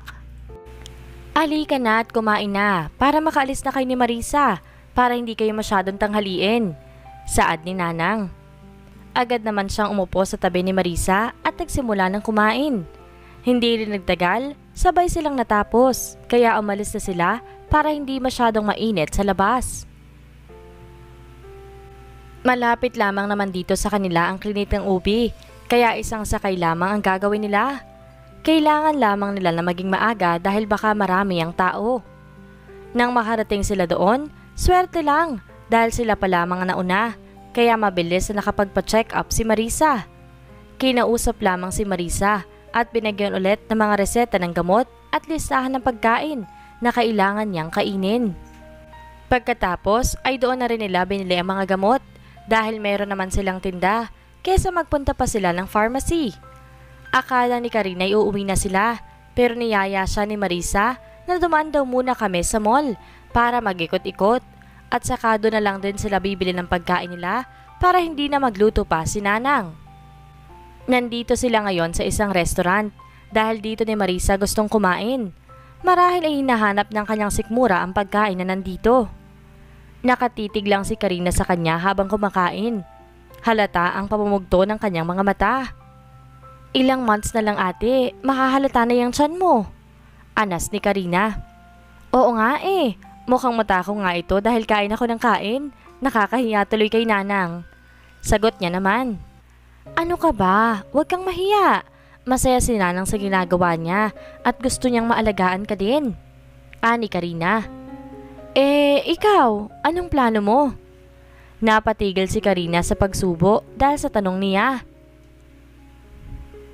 Siguro kapag maayos na kayo ulit ng asawa mo, saka ako magpapakita sa kanila, mommy. Ngumiti naman si Marisa sa kanya. Mabuti naman at nakapag-isip ka na. Matutuwa ang mga kapag nalaman nila na buhay ka. At isa pa, pwede mo naman ding dalhin si Nanang. Yun din ang plano ko ate. Kapag nakabalik na ako sa amin, isasama ko si Nanang. Ayaw ko naman kasi siyang iwan na mag-isa dito. Lalo na't wala na siyang kasama sa buhay. Wika niya. Nagpatuloy lamang sila sa pagkain at nang matapos, nag-ikot-ikot lang sila at umuwi na rin. Samantala, nandito ngayon si Carter sa harap ng mga magulang ni Marisa. After a week na hindi pa rin bumabalik ang asawa niya, hindi pa rin siya nahahanap. Pinaalam niya ito sa kanila. Gusto kasi niya na iwan muna si Liam sa kanila dahil hahanapin niya si Marisa. Isang linggo na palang nawawala ang anak ko. Ngayon mo lang sinabi? Galit na wika ni Papa, ama ni Marisa. Akala ko kasi Papa, babalik siya. Pero pinapahanap ko na din siya at ngayon. Kaya nandito ako para makiusap kung pwede na kayo munang bahala sa anak namin dahil ako na maghahanap sa asawa ko. Ani Carter. Be sure na maibalik mo ang anak ko, Carter. Dahil kung hindi, hindi mo na sila makakasama pa, kahit ang anak mo, kapag hindi mo nakita ang anak ko. Anas ni Papa. Mabilis naman na hinagod ni Mama ang likod ng kanyang asawa. Calm down, honey. Narinig mo naman ang sinabi ni Carter. Hahanapin niya ang anak natin. Hindi niya naman hahayaan na magulo na naman ang pamilya niya. Natural lang sa mag-asawang mayroong hindi pagkakaunawaan. Pagkatapos niyang sabihin yon, bumaling siya kay Carter. Huwag kang mag-alala iho at kami na munang bahala sa anak niyo. Hanapin mo ng asawa mo at pag-usapan niyong mabuti kung ano man ang problemang meron kayo. Tumango naman si Carter. Salamat po, ma. Pangako, hanapin ko si Marisa at ibabalik ko siya dito sa atin. Hindi na rin siya nagtagal pa doon at nagpaalam na siya. Pupunta kasi siya sa opisina dahil may mga kailangan pa siyang tapusin para kahit na mawala man siya ng ilang araw, walang maiiwan na trabaho sa kumpanya. Hindi niya alam kung saan nagpunta ang kanyang asawa dahil kahit sina Cindy ay wala ring alam. Nito niya lamang nalaman nang magtanong na si Carter sa kanya. At ang alam niya, hindi rin sila okay ngayon ni Diego dahil nalaman din ito na alam din pala ni Diego ang tungkol kay Monica. Pero isa lamang nasisiguro ni Carter. Yun ay hindi ito pumunta ng ibang bansa dahil wala naman siyang record sa airport. Pagpasok niya sa opisina, naabutan niya si Michael at Minerva na nandoon. Ano kaya ang ginagawa na magkasintahan na ito dito? Bakit nandito kayo? Tanong niya. We miss you pare. Saad naman ni Michael. Ulol, tigilan mo ako Michael, hindi bagay sa'yo. We heard what happened Carter. Kamusta ka na? Alam mo na ba kung nasaan si Marisa? Tanong naman ni Minerva. Umiling lamang siya. Lolokohin ko lamang ang sarili ko kapag sinabi kong okay ako. Kahit ang totoo, hindi naman. Hanggang ngayon ay hindi ko pa rin alam kung nasa ang asawa ko. Pag-amin niya. Ang galing din magtago ni Marisa, no? Anas naman ni Michael. Dapat talaga sisihin dyan ang babae na yun eh. Ang kapal na mukha niyang ipaako sa kaibigan mong anak niya. Inis na wika ni Minerva. Ganyan talaga. Basta mga gwapo at mayaman, babe. Kaya wag ka na ding magtaka kung isang araw may nagpanggap din na anak ko. Sabat naman ni Michael. Inirapan naman siya ni Minerva. Ano na pala ang balita dun sa Monica? Tanong nito sa kanya. Si Gabriel nang bahala sa kanya. After all, siya naman ang tunay na ama ng anak nun. Hinayaan ko na lang siyang mag-ayos dahil pinsan ko siya. Kasi kung ibang tao lang yun, hindi ako magdadalawang isip na ipakulong ang babaeng yun. Galit na tura ni Carter. Hinayaan na lamang ni Carter na silang dalawa ang mag-usap at dumiretso na sa kanyang table para tapusin ang mga gawain niya. Sa kabilang dako naman, nagmamakaawa si Monica sa ama ng kanyang anak. Dahil plano nitong kunin sa kanya dahil sa ginawa niyang kagaguhan. Please, Gabriel, Nakikiusap ako sa iyo. Huwag mong gawin to sa akin. Umiiyak na pakiusap niya sa lalaking nasa kanyang harapan.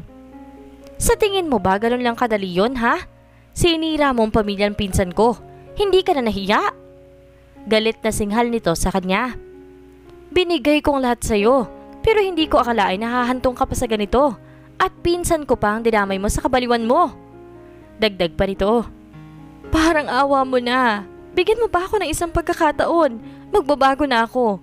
ihingi rin ako ng tawad sa kanila ni Marisa. Ani Monica. Ilang pagkakataon ang binigay ko sa iyo, Monica. Pasalamat ka lang dahil sa akin ay malaya ka. Dahil kung hindi, tiyak na ipapakulong ka ni Carter. Kita ni Monica sa mukha ni Gabriel ang labis na gigil. Kasalanan ko ang lahat ng ito. Huminga pa ito ng malalim. Kilala niya si Gabriel. Mahabang pasensya nito, pero kapag galit naman ay nag-iiba. Mas mabuti pang humingi ka ng tawad sa kanila, Marisa. Kapag nakabalik na ito, dahil ikaw ang may kasalanan kaya harapin mo sila. Naging mabuti sa iyong tao nang hindi niya alam na ikaw magiging lamat sa samahan nila ng pinsan ko. At pagkatapos, sumama ka sa akin sa Canada kung gusto mong makasama ang anak mo. Aniya kay Monica. Oo, Gabriel. Sasama ako sa iyo pabalik at hindi ko na ulit gagawin ang ginawa ko. Pangako niya sa kanya. Tumalikod naman siya pagkasabi niya noon, kaya napasalampak na lamang si Monica sa sahig. Mahal niya si Gabriel at alam niyang mahal din siya nito. Sadyang hindi niya lang alam kung bakit pumasok sa isipan niya ang bagay na guluhin si Carter. I know mangyayari sa amin noon nung hindi pa kami magkakilala ni Gabriel. Isa ako sa naging fling ni Carter at inaamin ko na minahal ko siya kahit alam kong pampalipas oras lang ako sa kanya. Hindi ko alam na magpinsan pala silang dalawa. Alam ko na kahit pumayag si Gabriel na sumama ako sa kanya pabalik ng Canada, mahihirapan akong kunin ulit ang loob at tiwala niya dahil nasira ko ito. Pero gagawin kong lahat para mabalik lang ito at maitama ang mga maling nagawa ko. Hindi ko dapat ginawa ang manghimasok at manira ng isang pamilya. Gayong may sarili din naman akong pamilya. Naiiyak na wika ni Monica sa kanyang sarili. Nandito lang ngayon si Karina, nakatayo sa gilid ng veranda kung nasa nakaupo si Marisa. Kita niya sa kanyang mukha ang lungkot at pangungulila Madalas ay ganito lamang siya araw-araw. Nakatulala o hindi kaya ay nasa kwarto lang. Hindi niya makita ang masiyahing babae na kilala niya. Hindi ko alam kung tama ba itong gagawin ko. Kahit ang sabi ko noon, ayaw kong pangunahan si ate sa magiging desisyon niya. Pero sa nakikita ko, mukhang kailangan niya sa kanyang tabi si Kuya Carter. Nung isang araw pa kinuha ni Karina ang numero ni Carter sa phone ni Marisa. Nung hiramin niya ito, Sinabi niya makikitext siya dahil nawalan siya ng load. Pero ang totoo nun, kinuha lang talaga niya ang number ni Carter para madali niya itong makausap. Alam ni Karina na magugulat yon kapag nalaman niya na buhay pa siya. Pero hindi yon ang mahalaga sa ngayon kung hindi si Marisa. Bumalik siya sa kwarto niya at kinuha ang kanyang phone. Tatawagan niya si Carter para ipaalam sa kanya kung nasaan si Marisa. Kailangan na nilang makapag-usap at nang sa gayon ay magkaayos na sila. Ilang beses pa niyang tinitigan ang phone niya bago pindutin ang call at mabilis namang sumagot ang nasa kabilang linya. Hello? Who are you? Um, Kuya Carter? Nahihiyang tura ni Karina. Sino ka? At bakit ka tumatawag? This is Karina. Pagpapakilala niya. Saglit na tumigil ang nasa kabilang linya. Don't fool me. Matagal nang patay si Karina. Singhal nito sa kanya. Alam kong mahirap paniwalaan kuya, pero buhay talaga ako at alam ko kung nasan si ate Marisa. Diretsyong saad ko. Ano? Nasan ka? Magkita na lang po tayo sa SM Baguio. Dadalhin kita kung nasan siya. Siguraduhin mo lang na hindi mo ako niloloko dahil ipapahanap at papakulong talaga kita kapag hindi ko nakita ang asawa ko. Banta nito sa kanya at ibinaba na ang tawag. Kahit kailan talaga, nakakatakot ang asawa ni Ate Marisa. Mabuti na lamang at natatagalan niya ito. Sa bagay, mahal nila ang isa't isa. Hindi alam ni Karina kung tama bang ginawa niya, pero ito lang ang tanging naisip niya para hindi na malungkot at umiyak si Marisa. Tumayo na siya para magpalit ng damit dahil tapos naman na siyang maligo kanina. Ayaw naman niyang paghintayin si Carter ng matagal dahil sigurado siya na pupunta na yon ngayon dito. Kaya kailangan na niyang makaalis. Habang nagsusuklay siya, biglang pumasok si Marisa. Aalis ka? Tanong nito sa kanya. Oo ate, may pupuntahan lang ako pero babalik din ako agad. Sagot naman niya. Ganun ba? Mag-iingat ka at huwag kang magpapagabi. Alam mo naman ang panahon ngayon, maraming masasamang tao. Bili nito sa kanya. Ngumiti naman si Karina dito. Hindi naman ako magtatagal ate at uuwi din ako agad. Sambit niya. Samantala, kakababa ko lamang ng phone ni Carter matapos makatanggap ng tawag mula sa nagpakilalang Karina. Hindi niya sukat akalain na buhay pa ito at sinabi pa na alam niya kung nasaan ang asawa niya. Sana lang totoo na alam niya dahil kapag hindi, tutuluyan talaga niya itong patayin.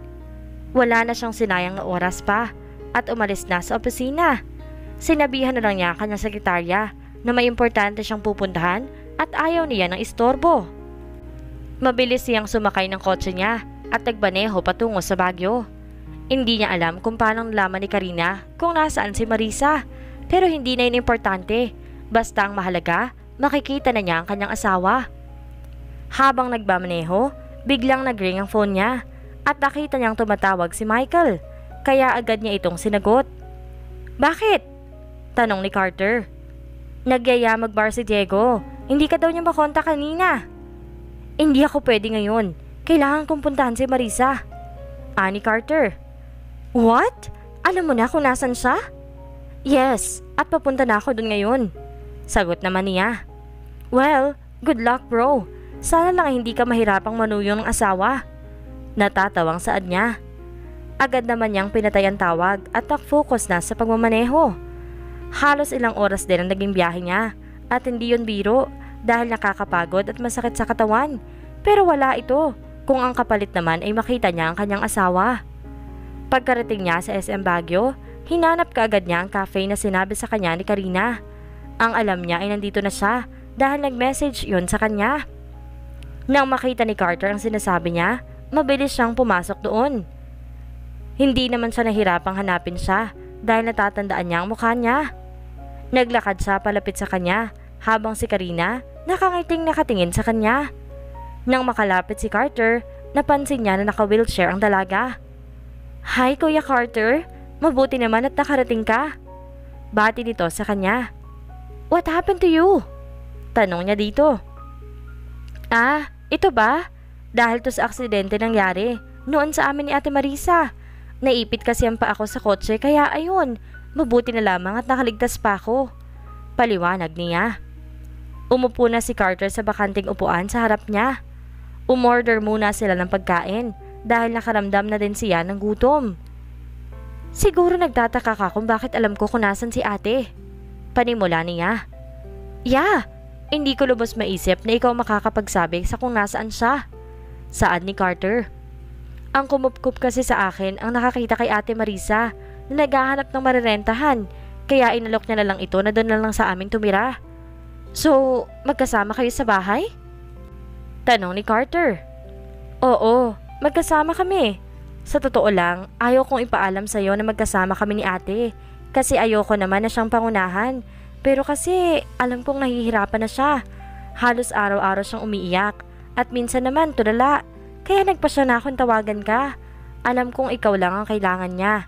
Hindi niya nga alam na ikaw ang kikitain ko ngayon. Maraming salamat Karina sa pagtanggap niyo sa asawa ko at pag-aalaga. Ani Carter. Wala yun kuya. Kulang pa itong kabayaran sa mga pasakit na ginawa ko sa kanya at sa pamilya niyo. Maya-maya, dumating na ang order nila. Kaya nagsimula na silang kumain para makaalis na sila agad at hindi na abutin ng gabi sa daan.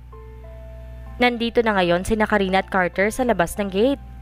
Kinakabahan si Karina na baka magalit sa kanya si Marisa. Pero wala na din naman siyang magagawa dahil nandito na sila ngayon. Sana lang ay hindi makasama sa kanila ang pakialam niya. Nauna muna si Karinang pumasok at naiwan muna si Carter sa labas para hintayin ang hudyat niya. Nakita niyang nakaupo sa sala silang dalawa ni Nanang. Oh, Karina, andito ka na pala. Akala ko mamaya ka pa uuwi. Anas si Nanang. Hindi naman, Nang. May pinuntahan lang ako. Ang totoo niyan, may kasama po ako ngayon. Wika naman niya. Sino? Boyfriend mo ba? Ikaw ha? Pang-aasar naman sa kanya ni Marisa. Kung alam mo lang na asawa mong nandyan. Bulong ni Karina sa kanyang sarili. Abay nasaan? Bakit hindi mo pinapasok? Saad ni Nanang. Oo nga po eh. Wait, at tatawagin ko siya. Nahihiyang turan niya at naglakad pabalik sa labas. Nakita naman niya si Carter na tahimik lang habang naghihintay sa labas. Kuya, pasok na tayo. Pag-aya niya sa kanya. Tumango naman ito at sabay na silang pumasok. Naririnig pa ni Karina ang tawanan ng dalawa sa loob kaya mas lalo siyang kinabahan. Ate, nanang, nandito na po siya. Pagkuha niya sa atensyon nilang dalawa. Halos manlaki naman ang mata ni Marisa na makita kung sinong nasa likuran ni Karina. Halatang hindi niya inaakala na magkikita sila ngayon. Carter? Mahinang sambit niya. Mukhang nahahalata naman ni Nanang kaya tumayo na ito. Halika na muna, Karina, at tulungan mo muna ako magligpit. Anas nito sa kanya at agad naman siyang sumama. Samantala, napatayo siya dahil hindi siya makapaniwala na nasa harapan niya ngayon ang kanyang asawa na ilang linggo na niyang hindi nakakita. Pa, pa paanong... Hindi niya natapos ang sasabihin nang pinutol siya nito. Kay Karina, sana wag kang magalit sa kanya dahil sinabi niya sa akin gusto ka lang niyang tulungan. Sabi niya. Napaupo ulit si Marisa at hindi makapagsalita dahil hindi niya alam kung ano bang dapat niyang sabihin sa kanya. Walang gustong kumawala sa bibig niya. Naupo naman si Carter sa kaharap niyang upuan at tiningnan siya ng seryoso. You just left without hearing my explanation. Anas niya. Do I need to wait for it kahit na nasaktan ako?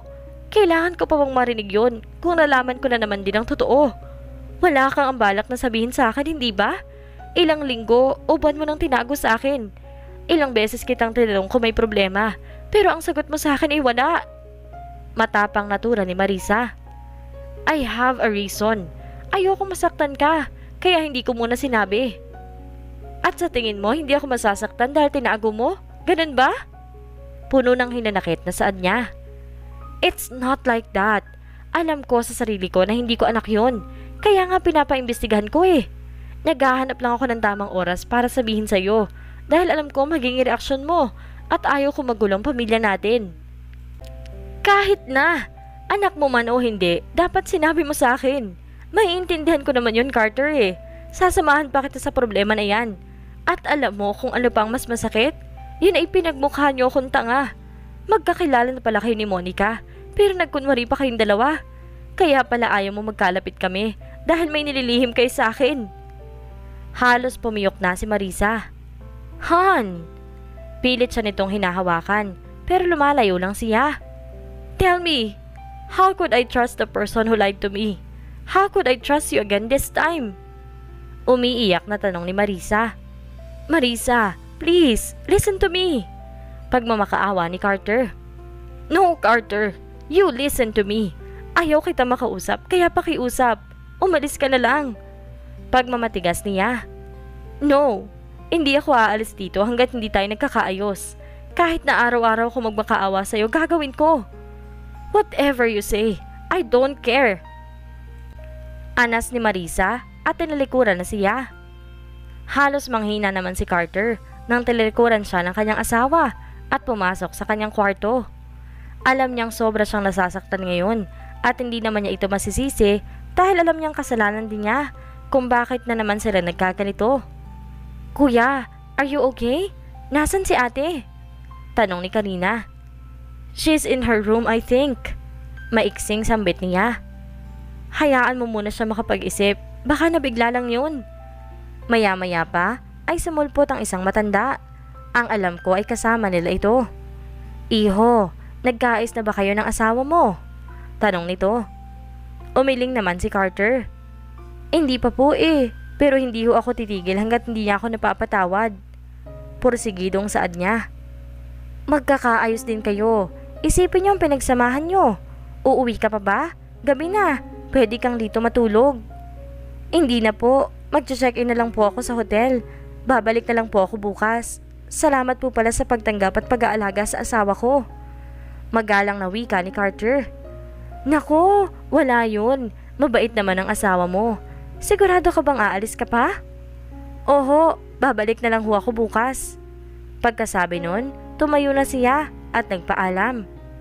Gustuhin man niyang manatili dito, ayaw niya dahil baka mas lalo lang magalit ang asawa niya.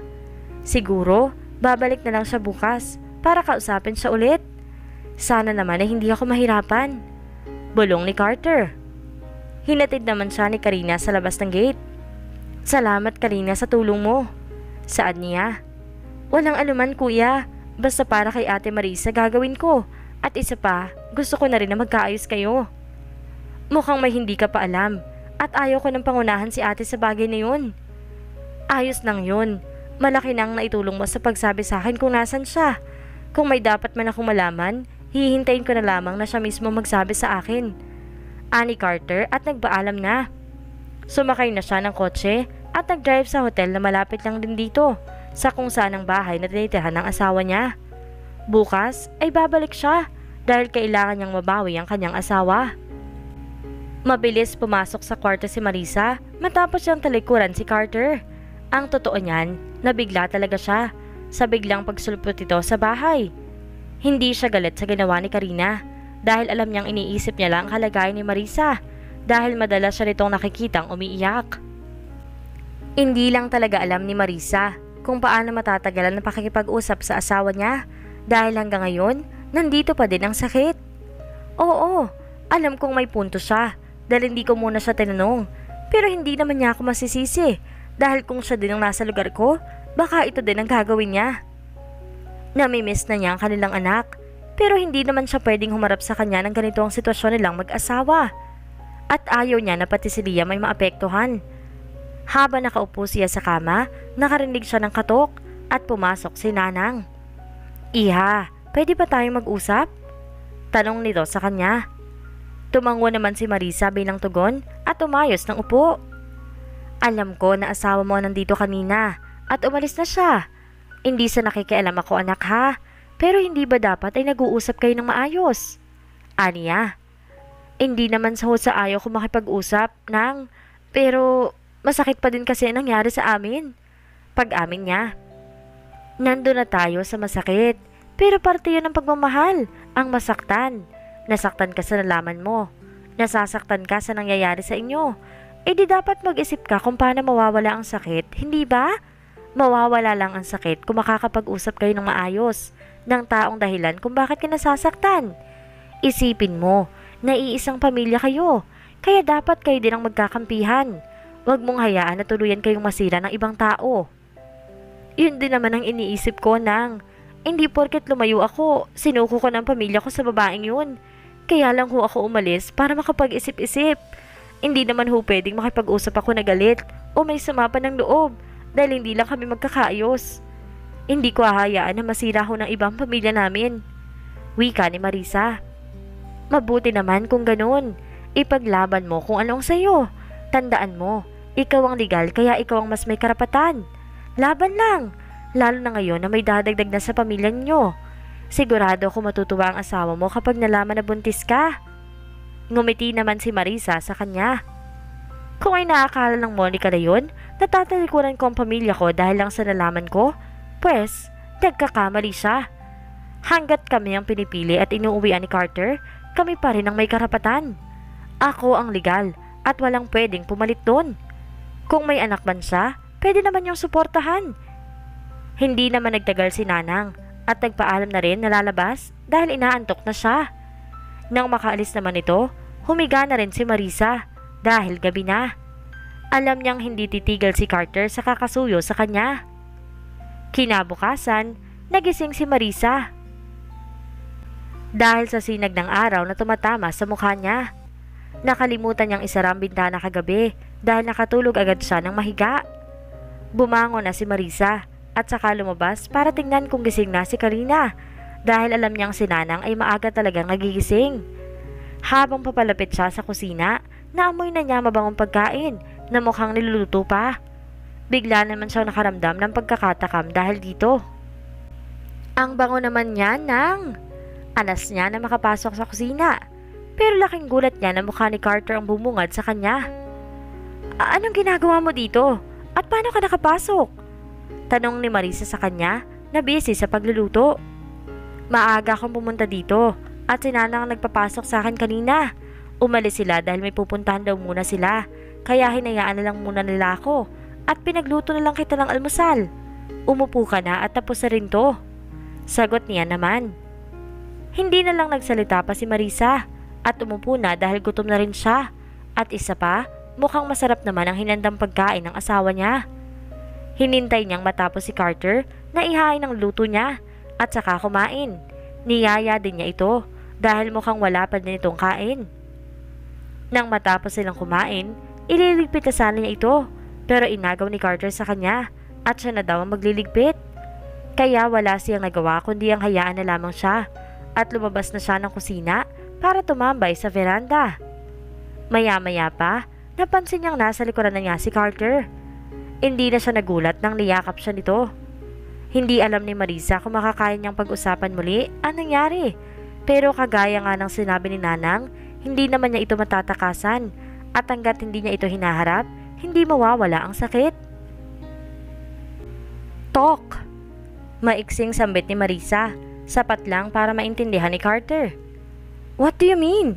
Are you ready to listen now? He asked. Minsan talaga masarap din tong sampalin. Kakasabi ko nga lang tapos magtatanong pa. Naglakad si Marisa papasok ulit sa bahay at naupo sa sala. Nakasunod naman ito sa kanya at umupo din. Di ba ang sabi mo I need to hear explanation? So, pagtataray niya. Siguro kung ako pa ang dating Marisa, hindi ako magkakaganito kay Carter. Bumuntong hininga naman siya bago magsimulang ikwento ang lahat na nangyari. Simula nang pumunta si Monica sa opisina niya at sinabi ang tungkol sa bata. So bakit hindi mo sinabi? Bakit pinili mong ilihim sa akin kung alam mo naman pala sa sarili mo na hindi sa ang bata? Inis na tanong ni Marisa sa kanya matapos siyang magkwento. Alam kong mali na tinago ko sa iyo. Napangunahan lang ako ng takot na baka magalit ka. Kaya ang plano ko sana sabihin na lang sa iyo kapag napatunayan ko na hindi talaga sa akin yun. Paano kung sa'yo pala? Wala kang balak sabihin? Saan niya? Siyempre sasabihin ko naman yun sa'yo. Kaya pala halos isang buwan kang balisa at mo kami problema. Tapos madalas ka pang umalis. Akala mo ba hindi ko alam na minsan hindi ka naman sa opisina pumupunta? Iniisip ko na lang na baka may meeting ka sa labas kaya wala ka doon. Yun pala sa babae na yun ka lang napapadpad. Anas si Marisa. Pinakikisamahan ko lang siya para hindi niya malaman na nagpapaimbestiga ako. Kaya nga nandito ako para magsorry sa iyo. Kasi alam kong ako ang mali dito. Napangunahan lang talaga ako ng takot at ayaw kong masira ang pamilya natin. So, saan ka dinala ang takot mo ngayon? You are thinking na magagalit ako kapag sinabi mo sa akin. Pero hindi mo inisip na mas magagalit ako kapag nalaman ko sa iba? Hindi ko alam kung gaano kasakit yun sa akin. Marami kang oras para sabihin, pero hindi mo ginawa. Alam kong naiintindihan mo ako dahil kung ikaw nasa posisyon ko, ganun din ang mararamdaman mo. Mas masisira ang isang pamilya kapag walang tiwala ang isa't isa at higit sa lahat kapag naglilihiman. Mahabang litanya ni Marisa. Hindi talaga maiwasan ni Marisa ang hindi manumbat sa kanya dahil sa nangyari sa kanila. Marahil ay dahil sa buntis siya kaya nauunahan siya ng kanyang emosyon. Ramdam ni Carter ang hinanakit ng kanyang asawa sa bawat salitang binibitawan niya. Pero mas okay na yun para mailabas niya ang lahat ng saloobin niya. Masaya siya na sa wakas, pumayag na siyang makapag-usap sila. Sana lang ay pagkatapos ito, maging maayos na sila ng tuluyan. Oh, bakit natahimik ka? Iniinis mo ko. Wika niya at sabay na inirapan siya ni Marisa. Hindi ko talaga maintindihan itong asawa ko ngayon. Pabago-bago ng ugali. Hindi ko nakikita sa kanya ang dating Marisa at nakikita ko ngayon ay isang matapang at palaban na babae. Wala naman na kasi akong sasabihin. Naipaliwanag ko ng lahat sa iyo. O bakit parang kasalanan ko pa ngayon? Napailing na lamang si Carter. Kailangan ko ng mahabang pasensya. Oh, ano nangyari pagkatapos? Nasaan ang babae mo? Dagdag niya pa. Tinaasan naman siya ni Carter ng kilay. Anong babaeng pinagsasabi mo? Kung meron akong babae, ikaw lang yon. At kung tinatanong mo si Monica, hindi ko na alam. Ang huli naming usap nang kinokompronta ko siya. Hindi ko na siya pinakulong, alang-alang sa anak niya. At isa pa, nakiusap din si Gabriel. Sagot ni Carter sa kanya. Gabriel? As in, si Kuya Gabriel na pinsan mo? Tumango naman si Carter. Eh bakit siya? Anong kinalaman niya sa babaeng yun? Napasabunot na lamang si Carter sa buhok niya. Di ba sinabi ko na sa'yo kanina? Hindi ka ba nakikinig? Siya nga kasi ang ama ng bata. Kaya siya na nagsabi na siya na ang bahala kay Monica dahil nahihiya din ang pinsan ko sa atin. Paliwanag niya. Eh bakit galit ka? Nagtatanong lang naman ako. Eh kasi nga hindi ka nakikinig. Sinabi ko na nga lahat sa'yo eh. Ani Carter. Ay, ewan ko sa'yo. Pagmamaktol niya. Nasa ganoon silang pag-uusap nang makarinig sila ng dalawang boses na mukhang nakikinig sa kanilang dalawa. At hindi nga nagkakamali si Carter dahil dumating na pala si Nanang at Karina. Look at them, Karina. Di ba ang sweet kahit na magkaaway sila? Wika ni Nanang. Oo nga nang eh, mukhang hindi lang magkaaway. Bungis-ngis naman ito. Nakakatawa yon Karina? Inis na ni Marisa, kaya naman mas lalong natawa ang dalawa. Alam mo ate, naiintindihan namin kung bakit ka ganyan. Sambit ni Karina at lumapit pa kay Marisa. Pinandilata naman siya ng mata ni Karina. Oh, I see. What I mean ate is, namimiss mo lang si Kuya Carter kaya ka ganyan. Dagdag pa ni Karina. Ewan ko sa'yo, magsama kayo. Hmm?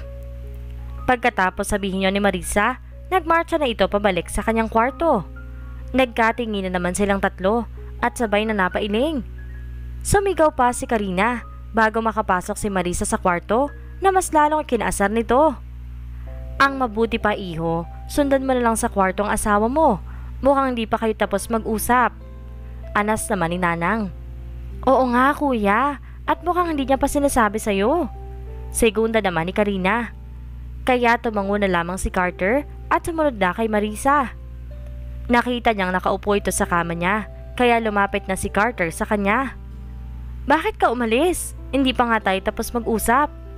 Mahinahon na saad niya. Eh bakit ba? Mga asar lang sila eh. Anas niya naman. So what now? Are you going to forgive me? Han, we need to fix this at kailangan tayo ng anak natin. Saad niya. Hindi ka naman nagmamadali niyan. Bulalas niya. I don't want to waste any time. Gusto ko lang na maisama na kita pa uwi kung saan ka dapat. Pilit ni Carter sa kanya. Ah basta, hindi pa tayo bate, okay? Napakamot naman ang noo si Carter. Nagtataka na talaga siya sa kinikilos niya ngayon. Parang hindi siyang asawa niya. Bakit ba paiba-iba ang ugali mo ngayon? Pansin ko lang, buntis ka ba? Biro niya sa kanya. Palibasa, hindi ikaw ang nakakaramdam. Ikaw kayang magbuntis. Napatigil naman si Carter sa pagtawa nang marinig niya ang sinabi ni Marisa. At siya ay ganun din habang nanlalaki ang kanyang mga mata na parang may maling nasabi. Ano ulit ang sinabi mo? Pagpapaulit ni Carter sa kanya. Wala. Hindi ako bingi Marisa. Seryosong tura niya. Napabuntong hininga naman ito. Eh kasi naman eh. Anas niya. Tinaasan naman siya ng kilay ni Carter. What now? May dapat ba ako malaman? Tanong niya. Oo na, oo na. I'm pregnant. Happy now? But don't expect me to forgive you. Pa din, dahil hindi pa. Halos mapanga nga si Carter dahil sa sinabi niya. Pakiramdam niya ay parang nabingi siya. You are... what? Paninigurado ni Carter. Akala ko ba hindi ka bingi? Magtatanong-tanong tapos kapag sinagot ayaw maniwala. Bahala ka dyan sa buhay mo. Singhal ni Marisa.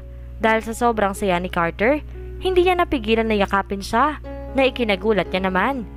Pinaghahampas naman siya nito. Hey! Let me go! Feeling close ka naman, hindi pa nga tayo okay. Natawa na lamang si Carter sa sinabi niya, pero hindi pa rin siya kumakalas sa pagkakayakap sa kanya. Hindi niya alam na kahit maraming problemang dumadating sa kanila, may blessing pa din nakapalit yun. Mabuti na lamang at nahanap ko siya agad at nalaman ko na buntis siya. Nakapagpa-check up ka na ba? Tanong niya. Oo, nung isang araw. Kasama ko si Karina. Kailan mo nalaman? Pagtatanong pa ni Carter. Bigla naman siyang nalungkot. Nung malaman ko tungkol sa inyo ni Monica, nang makaalis ka sa bahay, nagpunta ako ng doktor dahil ilang araw nang masama ang pakiramdam ko at nagsusuka ako. Hindi ko sinabi sa'yo dahil ayaw ko mag-alala ka at nang malaman kong buntis ako, Naisip ko na hintayin na lang kita makauwi para sabihin sa'yo. Pauwi na sana ako nang tawagan ako ni Monica magkita kami. Tapos, ano nagbanyo siya, naiwan niya ang phone niya. At nakita kong umilaw yon. Kaya napatingin ako. Doon ko nakita ang picture mo kasama ang anak niya. Kaya nagtaka ako. Binuksan ko yun at nakita kong pangalan mo sa call logs niya. At na makabalik siya, tinanong ko siya tungkol sa ama ng anak niya. Sabi niya, busy daw sa trabaho. Kahit na naghihinala na ako, pinagsawalang bahala ko na lang. Hanggang sa naglakad-lakad kami at may tumawag sa kanya.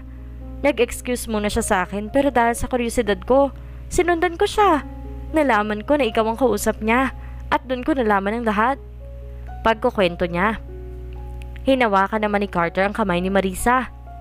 Kaya ba mas pinili mong umalis na lang kaysa tanungin ako? Tumango naman siya. Nasaktan ako, kaya hindi ko na alam kung anong gagawin ko. Kaya mas pinili ko na lang munang lumayo. At baka makaapekto pa sa pinagbubuntis ko. Please, next time, don't do it again. Kapag may ganitong nangyari, ask me and hear my explanation first. Tingnan mo naman ang nangyari, hindi ba? Tapos, buntis ka pa pala. Paano kung may masamang nangyari sa'yo? Hindi ko mapapatawad ang sarili ko, Marisa. At kakamuhian ako ni Liam. Saan niya? Hindi naman siya nagsalita, pero narinig ni Carter ang kanyang pagsinghot, kaya niyakap na lamang niya si Marisa ng mahigpit. Nagtagal pa si Marisa at Carter ng halos isang linggo sa Baguio. At katulad ng sinabi sa kanya ng asawa niya, gusto niyang si Karina naman ang tulungan nila ngayon. Kaya ang ginawa nila noong nakaraang araw, pinapunta din nila ang kanyang mga magulang. Hindi makapaniwala ang mga ito na muli nilang masisilayan ang kanilang anak na akala nila ay patay na. Napag-usapan din nila na ibabalik na si Karina kasama sila at tumingi din siya ng pabor na isama si Nanang sa kanila dahil wala na raw itong pamilya at hindi naman nagdalawang isip ang mga ito na sumang-ayon dahil malaki ang utang na loob nila kay Nanang sa pagkubkob sa kanilang anak. At kung tatanong niyo kung ano na nangyari kina Marisa at Carter, maayos na sila ulit kahit na madalas nagsusungit si Marisa o mainit ang ulo. Naiintindihan naman yun ni Carter dahil buntis siya. At ngayon ay nakaayos na ang gamit niya dahil ito na ang araw na uuwi na sila sa kanilang bahay. Inilagay na ni Carter sa kotse ang mga gamit para nakahanda na ito habang si Marisa naman ay masaya nakikipag-usap pa sa kanilang nanang at Karina. Sa susunod na araw pa kasi aalis dahil may mga kailangan pa silang ayusin. Ibibenta na sana ni Lana ang kanyang bahay dito. Pero ang sabi ng mga magulang ni Karina, gawin na lamang itong bahay bakasyonan. Paano ba yan ate? Babalik ka na sa pamilya mo. Sa susunod wag ka nang lalayas ng layas ha? Biro ni Karina kay Marisa na siyang ikinitawan nila. Ikaw din, wag matigas ang ulo mo. Tulungan mo si tito at tita dahil sure akong yun din ang gusto at ikakasaya ng kuya mo. Saad ni Marisa sa kanya. Lumapit naman si Marisa kay Nanang na nakatayo sa tabi ni Karina habang nakangiti. Nang, salamat sa pagpapatuloy at pag-aalaga ninyo sa asawa ko. Saad ni Carter. Wala yun. Naging masaya nga ako dahil may nakasama kami ni Karina dito. At isa pa ay mabait naman ang asawa mo. Sagot naman niya. Ngumiti naman si Carter at ang asawa niya naman ang lumapit dito at niyakap si Nanang. Nang, Maraming salamat sa pagdanggap sa akin. Kahit pa nung una na hindi niyo pa alam na magkakilala kami ni Karina. Masaya po ako na nakilala kayo at alam kong magiging maayos na ang buhay niyo kasamang pamilya ni Karina. Mahinahon na tura ni Marisa. Hay nako, pareho talaga kayo mag-asawa. Ang pagtulong ay bukal sa loob ko, kaya masaya ako nagawa ko yun. Mag-iingat kayo sa biyahe. Sagot naman ito. Hindi na rin sila nagtagal at umalis na para hindi sila abutin ng gabi. Alam na rin ng mga magulang ni Marisa na kasama na ni Carter ang anak nila at gusto na nga daw umuwi ng anak nilang si Liam sa bahay.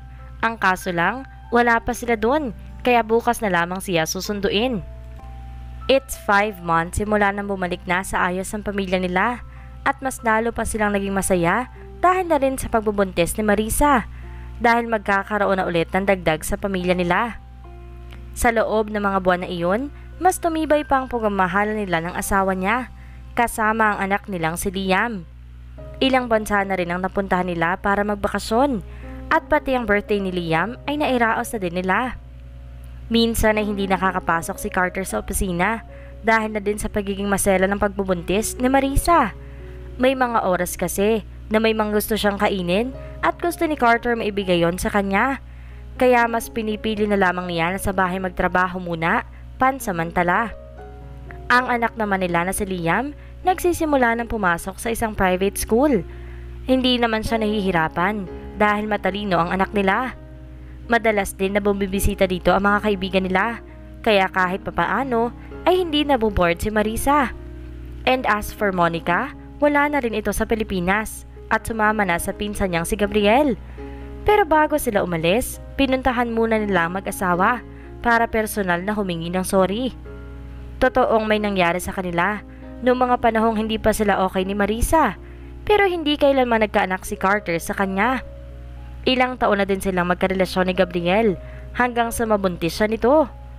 Ang alam ni Carter ay may pinagtaluhan silang dalawa kaya umalis ito at isinama ang kanilang anak. Kasalukuyang nasa opisina niya ngayon si Carter dito sa bahay nila dahil may mga nire-review siyang papeles na sinend sa kanya ng sekretarya niya. Biglang nagbukas ang pinto at pumasok dito ang nakangiti niyang asawa na may dalang isang tray. Tumayo naman si Carter at sinalubong niya at inalalayan papunta sa mini sofa. Ginawan kita ng merienda. Alam kong marami kang ginagawa ngayon. Anas niya. May mga kailangan lang akong basahin for approval kaya tinatapos ko lamang ngayon para masimulan na. Sagot ni Carter at umupo na. Sinabi ko naman kasi sa'yo na pumasok ka na sa opisina dahil okay na naman ako at isa pa nandito naman ang mga maids natin eh. Nakangusong saad nito. Okay lang naman kahit na nandito ako sa bahay. Nakakapagtrabaho pa rin naman ako at isa pa gusto ko makasigurado na maayos ka lang. Sagot naman ni Carter. Six months pa lang naman tong baby natin, kaya okay na okay pa ako. You don't need to worry about me kasi hindi naman ako nag-iisa. Pilit niya. Umiling lang si Carter. Okay lang ako. Pag may mga importanteng meeting naman pupunta ako. Aniya. Bumuntong hininga na lamang ito sa katumango. Alam niya naman na hindi niya mapipilit si Carter sa ganitong usapin. Kahit na ilang beses na nila itong napag-usapan, may mga araw talagang bumabalik sila sa topic na to. Ikaw, ayaw mong kumain? Tanong ni Carter sa kanya. Kumain na ako bago pa ako nagpunta dito kaya busog na ako. Sagot niya naman. Ang daya! Dapat sinabayan mo na lang ako. Tura ni Carter. Natawa naman ito at hindi na nagsalita pa kaya pinagpatuloy na lamang ni Carter ang pagkain niya. Masaya na si Carter sa ganitong pamilya Kasama lang niya ang asawa at anak niya, kompleto na ang kanyang buhay. Hindi inakala ni Carter na magiging masaya siya ng ganito. Mabuti na lamang at swerte siya sa naging asawa na kahit naging tarantado siya noon at nasaktan niya na sobra si Marisa, mas pinili pa rin niyang patawarin ito, alang-alang na din sa kanilang anak. Dumating na ang araw ng kabuwanan ni Marisa, kaya mas lalong tumutok dito si Carter. Halo-halo ang nararamdaman niya ngayon, dahil lalabas na ang anak niya sa mga araw na ito, kaya halos lahat ay excited. Nasa sofa si Carter ngayon at nagbabasa ng mga dokumento na ipinasa sa kanya ng sekretarya nito. Hindi na kasi siya pumapasok sa opisina dahil sa kanyang asawa. Habang nagbabasa siya, nakarinig siya ng malakas na sigaw na galing sa kanilang kwarto kaya mabilis siyang tumayo at tinungo ito dahil nandun ang kanyang asawa. Pagpasok niya sa kwarto ay hindi niya ito makita kaya dumiretso siya sa banyo at nakita niyang namimilipit ito sa sakit. What happened, hon? Tanong niya. Mga anak na yata ako. Naiiyak na saad nito. What? As in now? Pagtatanong pa ni Carter. Visit ka talaga kahit kailan. Manganganak na nga ako kaya dalin mo ko sa ospital. You idiot! Sigaw ni Marisa dito. Doon lang yata natauhan si Carter at mabilis na binuhat ang kanyang asawa. Halata pa dito ang pagkataranta dahil ramdam ni Marisa ang panganginig nito. Nang makababa sila, mabuti na lamang at andun lang din ang driver nila. Kaya mabilis na sumakay ang dalawa at agad naman silang umalis para pumunta ng ospital. Hold on, Han. Makakarating din tayo. Pagpapagaan niya sa loob ng asawa dahil iyak na ito ng iyak. Hindi niya alam kung anong nararamdaman ng asawa pero nakakasigurado siyang nasasaktan ito. Nang makarating sila sa ospital, naging mabilis ang mga doktor sa pag-asikaso kay Marisa dahil na din sa sigaw ni Carter. Mabilis itong ipinasok agad sa delivery room. Tinawagan nila rin ang kanilang mga kaibigan at mga magulang para ipaalam ang nangyari. Naghihintay lang si Carter sa labas na magbukas ang pinto at lumabas ang doktor. Mr. De La Vega, sumama po muna kayo sa loob para kahit papaano ay makatulong sa misis nyo. Anas nito sa kanya. Kinuha niya naman ang ibinibigay sa kanya ng doktor at mabilis na sinuot ito at sabay na silang pumasok sa loob ng delivery room. Nakita niya agad ang kanyang asawa na nakahiga sa hospital bed at alimoy nahihirapan sa panganganak. Okay, Mrs. De La Vega. Nandito na si Sir para kahit papaano mawala ang kaba mo. Anunsyo ng doktor. Mahigpit naman ng pagkakahawak ni Marisa kay Carter na halos ramdam na nito ang sakit na pinagdadaanan ng kanyang asawa. Okay, ready again Mrs. De La Vega? Pagbilang ko ng tatlo, iiri mo lang. Utos ng doktor at yun naman ang ginawa ni Marisa. Halos nagtagal sila dahil hirap na hirap ito sa pagpapalabas ng kanilang anak. Ah! Malakas na sigaw ni Marisa. One last push, Marisa. Wika ng doktor. Kaya mo yan, Han. Konti na lang. Bulalas naman ni Carter. Hayop ka talaga, Carter. Last na talaga to. Hindi ka na makakaisa. Ang sakit! Ah! Huwag ganun, Han. Dalawa pa lang nga sila eh. Tura naman ni Carter na ikinatawa ng mga kasama nila sa loob. At nang huling pag-iri ni Marisa, lumabas din ang kanilang anak. Agad na nawala ng malay ang dalaga dahil na rin sa pagod. Congrats, Mr. De La Vega. It's a healthy and gorgeous baby girl. Nakangiting alas ng doktor na nagpatulo ng kanyang luha habang hawak-hawak ang kapapanganak lamang nilang sanggol.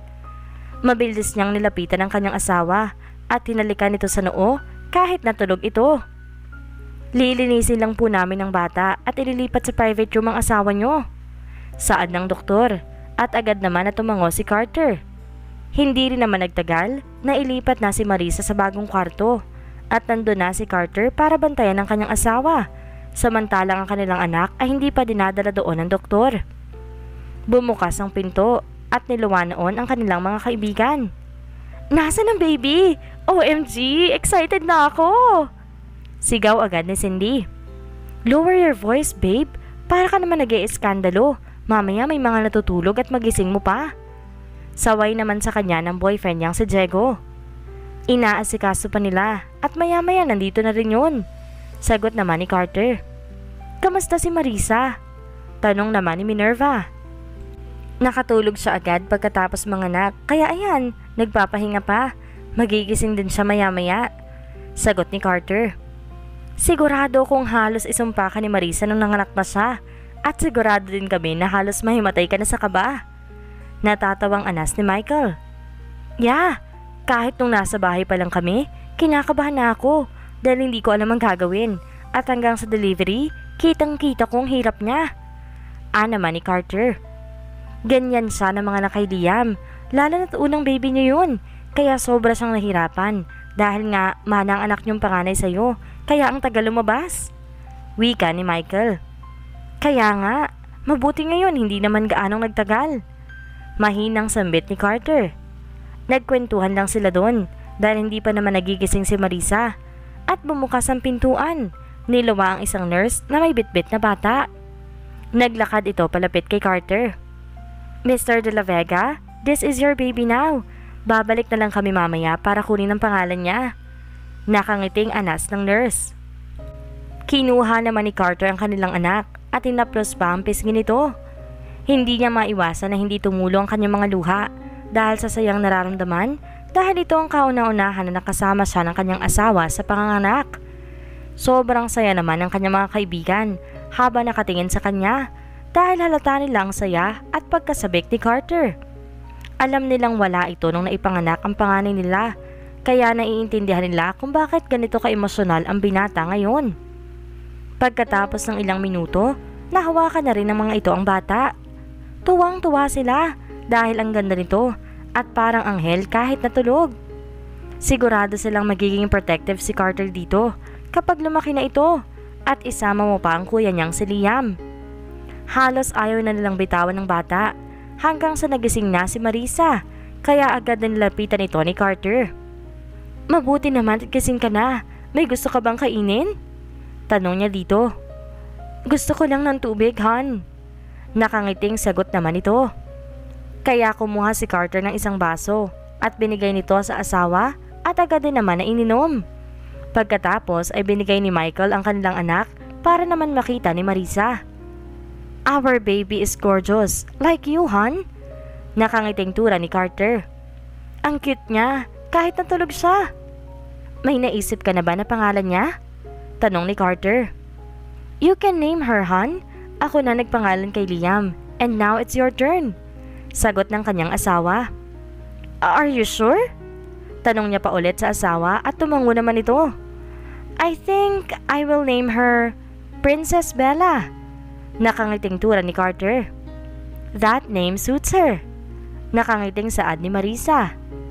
Thank you, hon. Thank you for giving me a wonderful family. Anas ni Carter. It's been a year simula nang mabayaan ng bagong anak ang mag-asawang Carter at Marisa. Mas lalong naging masaya ang kanilang buhay at kontento na silang pamilya kasama ang dalawa nilang anak. Tatlong linggo na simula na makabalik sila sa Pilipinas dahil nagtagal sila sa New York ng halos 11 months dahil gusto ni Carter na maglaan ng oras sa kanyang pamilya at wala namang naging tutol doon ng kanyang asawa. Laking pasasalamat nila dahil sa loob ng isang taon, walang problema na dumating sa kanila o walang taong sumubok na sumira muli sa kanila. Maliban na lamang sa paminsan-minsan na pagkakaroon nila ng tampuhan o away na normal naman sa isang mag-asawa. At ngayon ay anibersaryo ng kanilang kasal pero hindi nila ito may i-celebrate dahil bukas pa sila aalis. Binigyan kasi sila ng kanilang magulang ng isang regalo para magkaroon sila ng oras para sa isa't isa.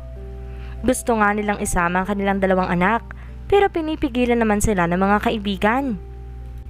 Lingid sa kaalaman ng mag-asawa, maaga pa lamang ay nandun na ang kanilang mga kaibigan sa bahay nila para ipaghanda sila ng isang sorpresa. Wala pa sila sa kanilang bahay kaya hindi nila alam ang balak ng mga ito. Umalis kasi sila para maggrocery Kasalukuyang nasa sasakyan na si Marisa dahil kakatapos lamang nilang mamili ng asawang si Carter at hindi din naman sila nagtagal sa mall dahil naiwan ang anak nila. Pero tiwala naman sila dahil may mga yaya naman ito. Han, sigurado ka ba na iiwan natin ang mga bata bukas? Tanong ni Marisa kay Carter. Kahit na anong pilit natin na isama sila, siguradong hindi din papayag sila mama at papa na isama mo pa mga kaibigan natin. Sagot naman ng asawa. Hindi kasi ako mapakali kapag wala sila. Anas naman ni Marisa. Hindi naman sila pababayaan ng mga magulang natin. Lalong lalo ni mga tito at ninong niya na akala mo sila pa mga tatay ng dalawa. Natatawang tura ni Carter. Sa bagay, at isa pa, malaki na rin si Liam. Baka hindi natin namalayan binata na pala ang panganay natin. Wika ni Marisa. Kaya nga, at baka sa susunod na mga araw may papakilala na yan sa'yo. Pang-aasar ng asawa. Sigurado ko matagal pa yun, Han. Knowing Liam, parang hindi mo pakilala yung panganay mo. Manang-mana sa'yo. Mapili sa babae. Saan ni Marisa? Natawa na lang si Carter dahil sa sinabi ng asawa. Hindi naman may pagkakailayon dahil kuhang-kuha ng kanyang anak ang ugali niya. Samantalang ang bunso naman nila ay nakuha ang ugali kay Marisa. At kahit na bata pa yon, nakikita niya na kung paano ito protektahan ni Liam. Hindi rin nagtagal, nakarating na sila sa kanilang bahay. Nagtataka pa si Marisa dahil napakatahimik ng bahay at imposible naman na tulog pa ang kanilang anak dahil tanghali na. Kinuha muna ni Carter sa kotse ang kanilang pinamili. Oh, bakit hindi ka pa pumapasok? Tanong ni Carter kay Marisa dahil naabutan niya pa itong nakatayo sa may pintuan. Nagtataka lang ako dahil ang tahimik ng bahay natin. Tulog pa kaya mga bata? Anas ng dalaga. Malay mo, nandyan lang sa loob o kaya nasa pool area. Halika, pasok na tayo.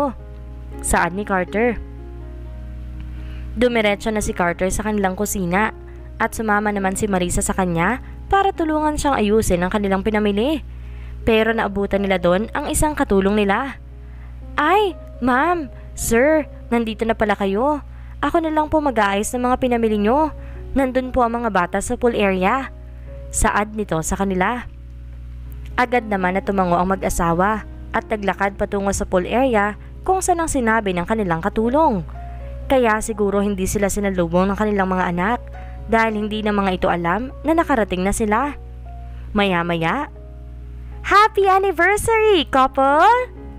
Sigaw ng mga kaibigan nila. Gulat na gulat si Marisa dahil sa sigaw ng kanilang mga kaibigan.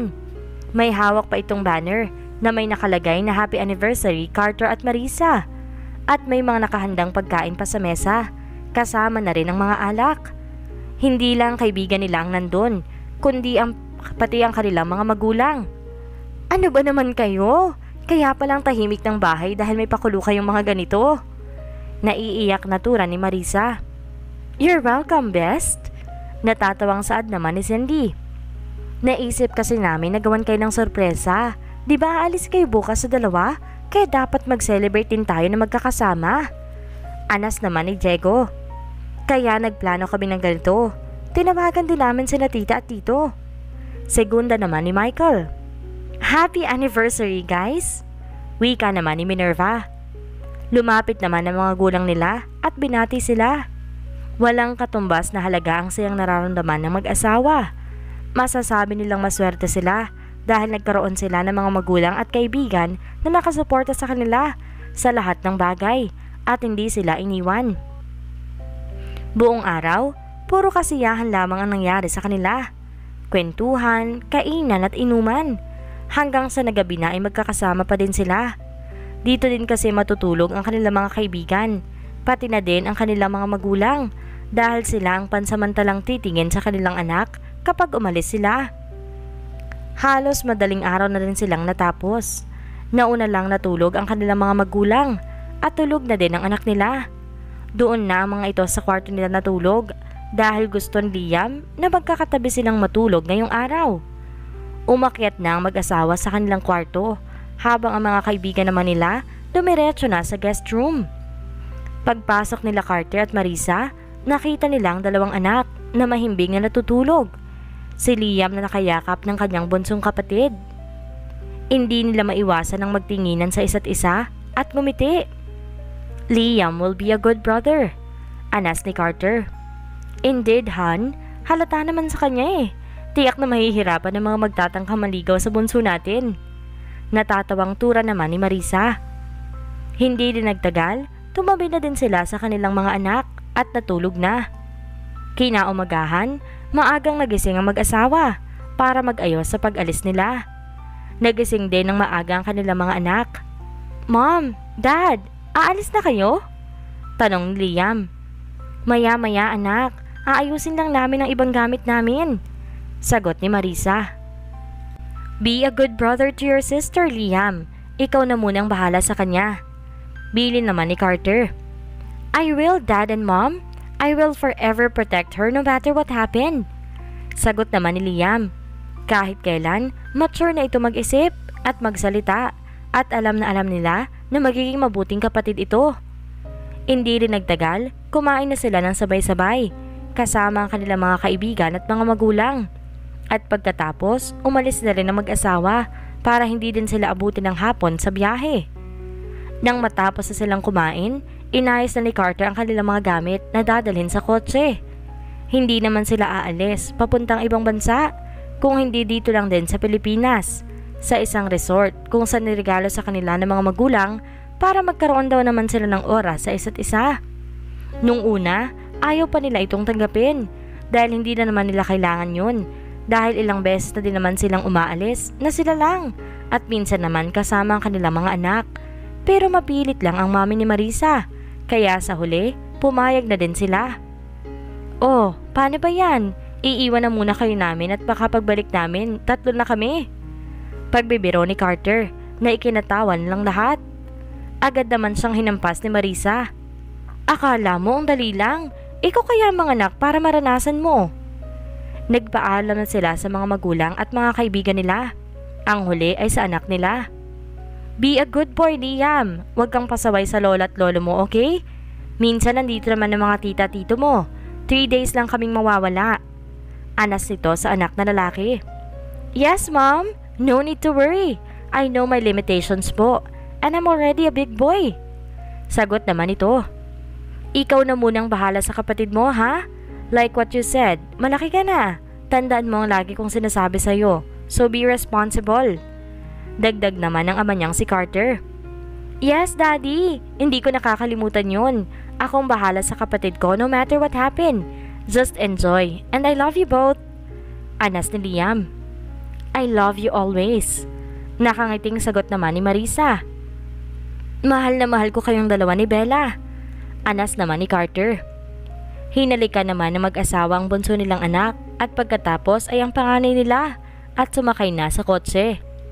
Pagdating sa isang resort sa Batangas, mabilis nang inayos ni Carter ang mga gamit nila. Iniakyat na sa kwartong ni-reserve ng kanilang magulang para sa kanila. Sa veranda ng kwarto, nakatanaw sa malayo si Marisa at tila malalim ang iniisip. Kaya nilapitan siya ni Carter. Mula sa likod, niyakap niya ang kanyang asawa. Han, may problema ka ba? Tanong ni Carter. Napalingon naman si Marisa sa kanya at ngumiti. Wala, Han. Masaya lang ako. Sa dami na naging pagsubok sa ating buhay, heto pa rin tayo, magkasama at buong pamilya natin. Hindi ko lang inaasahan na darating tayo sa sitwasyong ganito. Ikaw kasi, bugbog pa more. Natatawang wika ni Marisa. Ano ka ba naman, Han? Kinalimutan ko nang pinapaalala mo. Old version siya ni Carter. Ngayon, ibang Carter na ang kasama mo ngayon. Wala akong gagawin kundi mahalin ka lang at alagaan kayo ng mga anak natin. At sa mga parating pa nating mga anak, nakangising wika ni Carter. Pinanla kaya naman siya ng mata ni Marisa at kinurot sa tagiliran. Sige Han, basta ikaw manganganak at magbubuntis, kahit isang dosena pa yan. Nakairap na tura ni Marisa. Kau talaga, Han. Wala pa nga nagaganap sa atin, mainitin agad ang ulo mo. Wala pa nga ako naiipunla. Advance ang pagkainitin ng ulo mo. Muli ay nagtawanan ng mag-asawa. I love you, Carter. At isang masuyok na lik ang ibinigay ni Marisa kay Carter. I love you forever, Marisa. Binuhat niya si Marisa papunta sa kama at doon muling nagpunla si Carter. After nine months, Sigaw ni Marisa ang bumasag sa katahimikan ng mansyon. Ah! Carter! Visit ka talaga, manganganak na ako! Halos masabunutan ni Marisa ang buhok ni Carter dahil sa sobrang sakit na nararamdaman niya. Pagdating sa ospital, mabilis na inisikaso ng mga doktor si Marisa. Nagsidatingan din ang mga magulang nila at ang mga kaibigan nila para makita si Marisa. Ang tigas mo din, Carter. Ang galing mo. Parang kahapon lang nandito din tayo sa ospital dahil manganganak si Maritza kay Bella ngayon narito na naman tayo. How to be you po? Nagtawanan ang lahat sa sinabi ni Michael. Maya-maya, lumabas na ang doktor. Congratulations, Mr. De La Vega. Triplets ang anak ninyo ni Mrs. De La Vega. Gulat na gulat naman ang lahat dahil sa narinig nila mula sa doktor. Hindi nila inaasahang tatlo agad ang magiging anak nila. Ang alam kasi ni Carter isa lamang ito. Pagkatapos maiayos ang triplets at mailipat sa isang private room si Marisa, pumasok na sila sa kwarto. Nakita nila si Marisa na hinang-hina na nakahiga sa kama ng ospital. Mabilis siyang nilapitan ni Cindy. Grabe ka, best! Triplets ang anak mo. Hindi ko kaya rin mga anak ng tatlo agad. Nagtawa na ng lahat. Nilapitan naman ni Carter ang kanyang asawa. Are you okay now, hon? Sabay hawak sa kamay ni Marisa. Nako, Carter! Sabi ko dati huli na si Bella. Pero ngayon, hindi lang isa, tatlo pa, at isang anakan. Ginawa mo naman akong baboy. Sabay hampas sa dibdib ng asawa. Huwag kang mag-alalahan. Seven babies na lang para isang dosena ng anak natin. What? Inirapan sa ni Marisa at sineryoso mo talaga ang isang dosenang anak? I hate you! Nagtawa na naman ng lahat sa tinura ni Marisa. Pero sa totoo lang, masayang masaya ngayon si Marisa Kahit tatlo, apat, lima ang ianak niya sa isang higaan lang, kakayanin niya dahil blessing ang anak niya sa kanilang pamilya.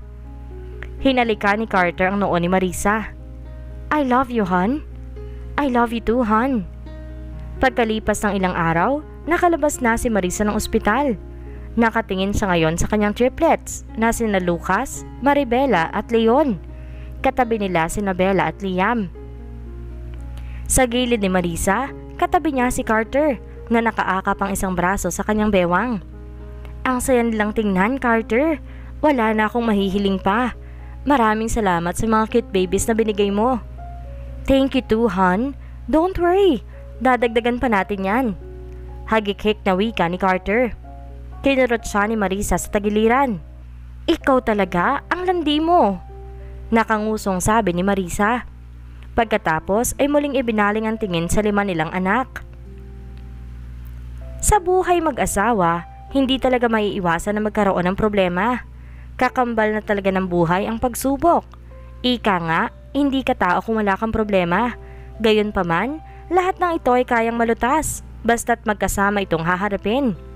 Sana'y may aral kayo nakuha sa ating kwento. Maraming salamat po sa lahat ng sumuporta. Muli po tayo magkita-kita sa susunod nating kwentuhan.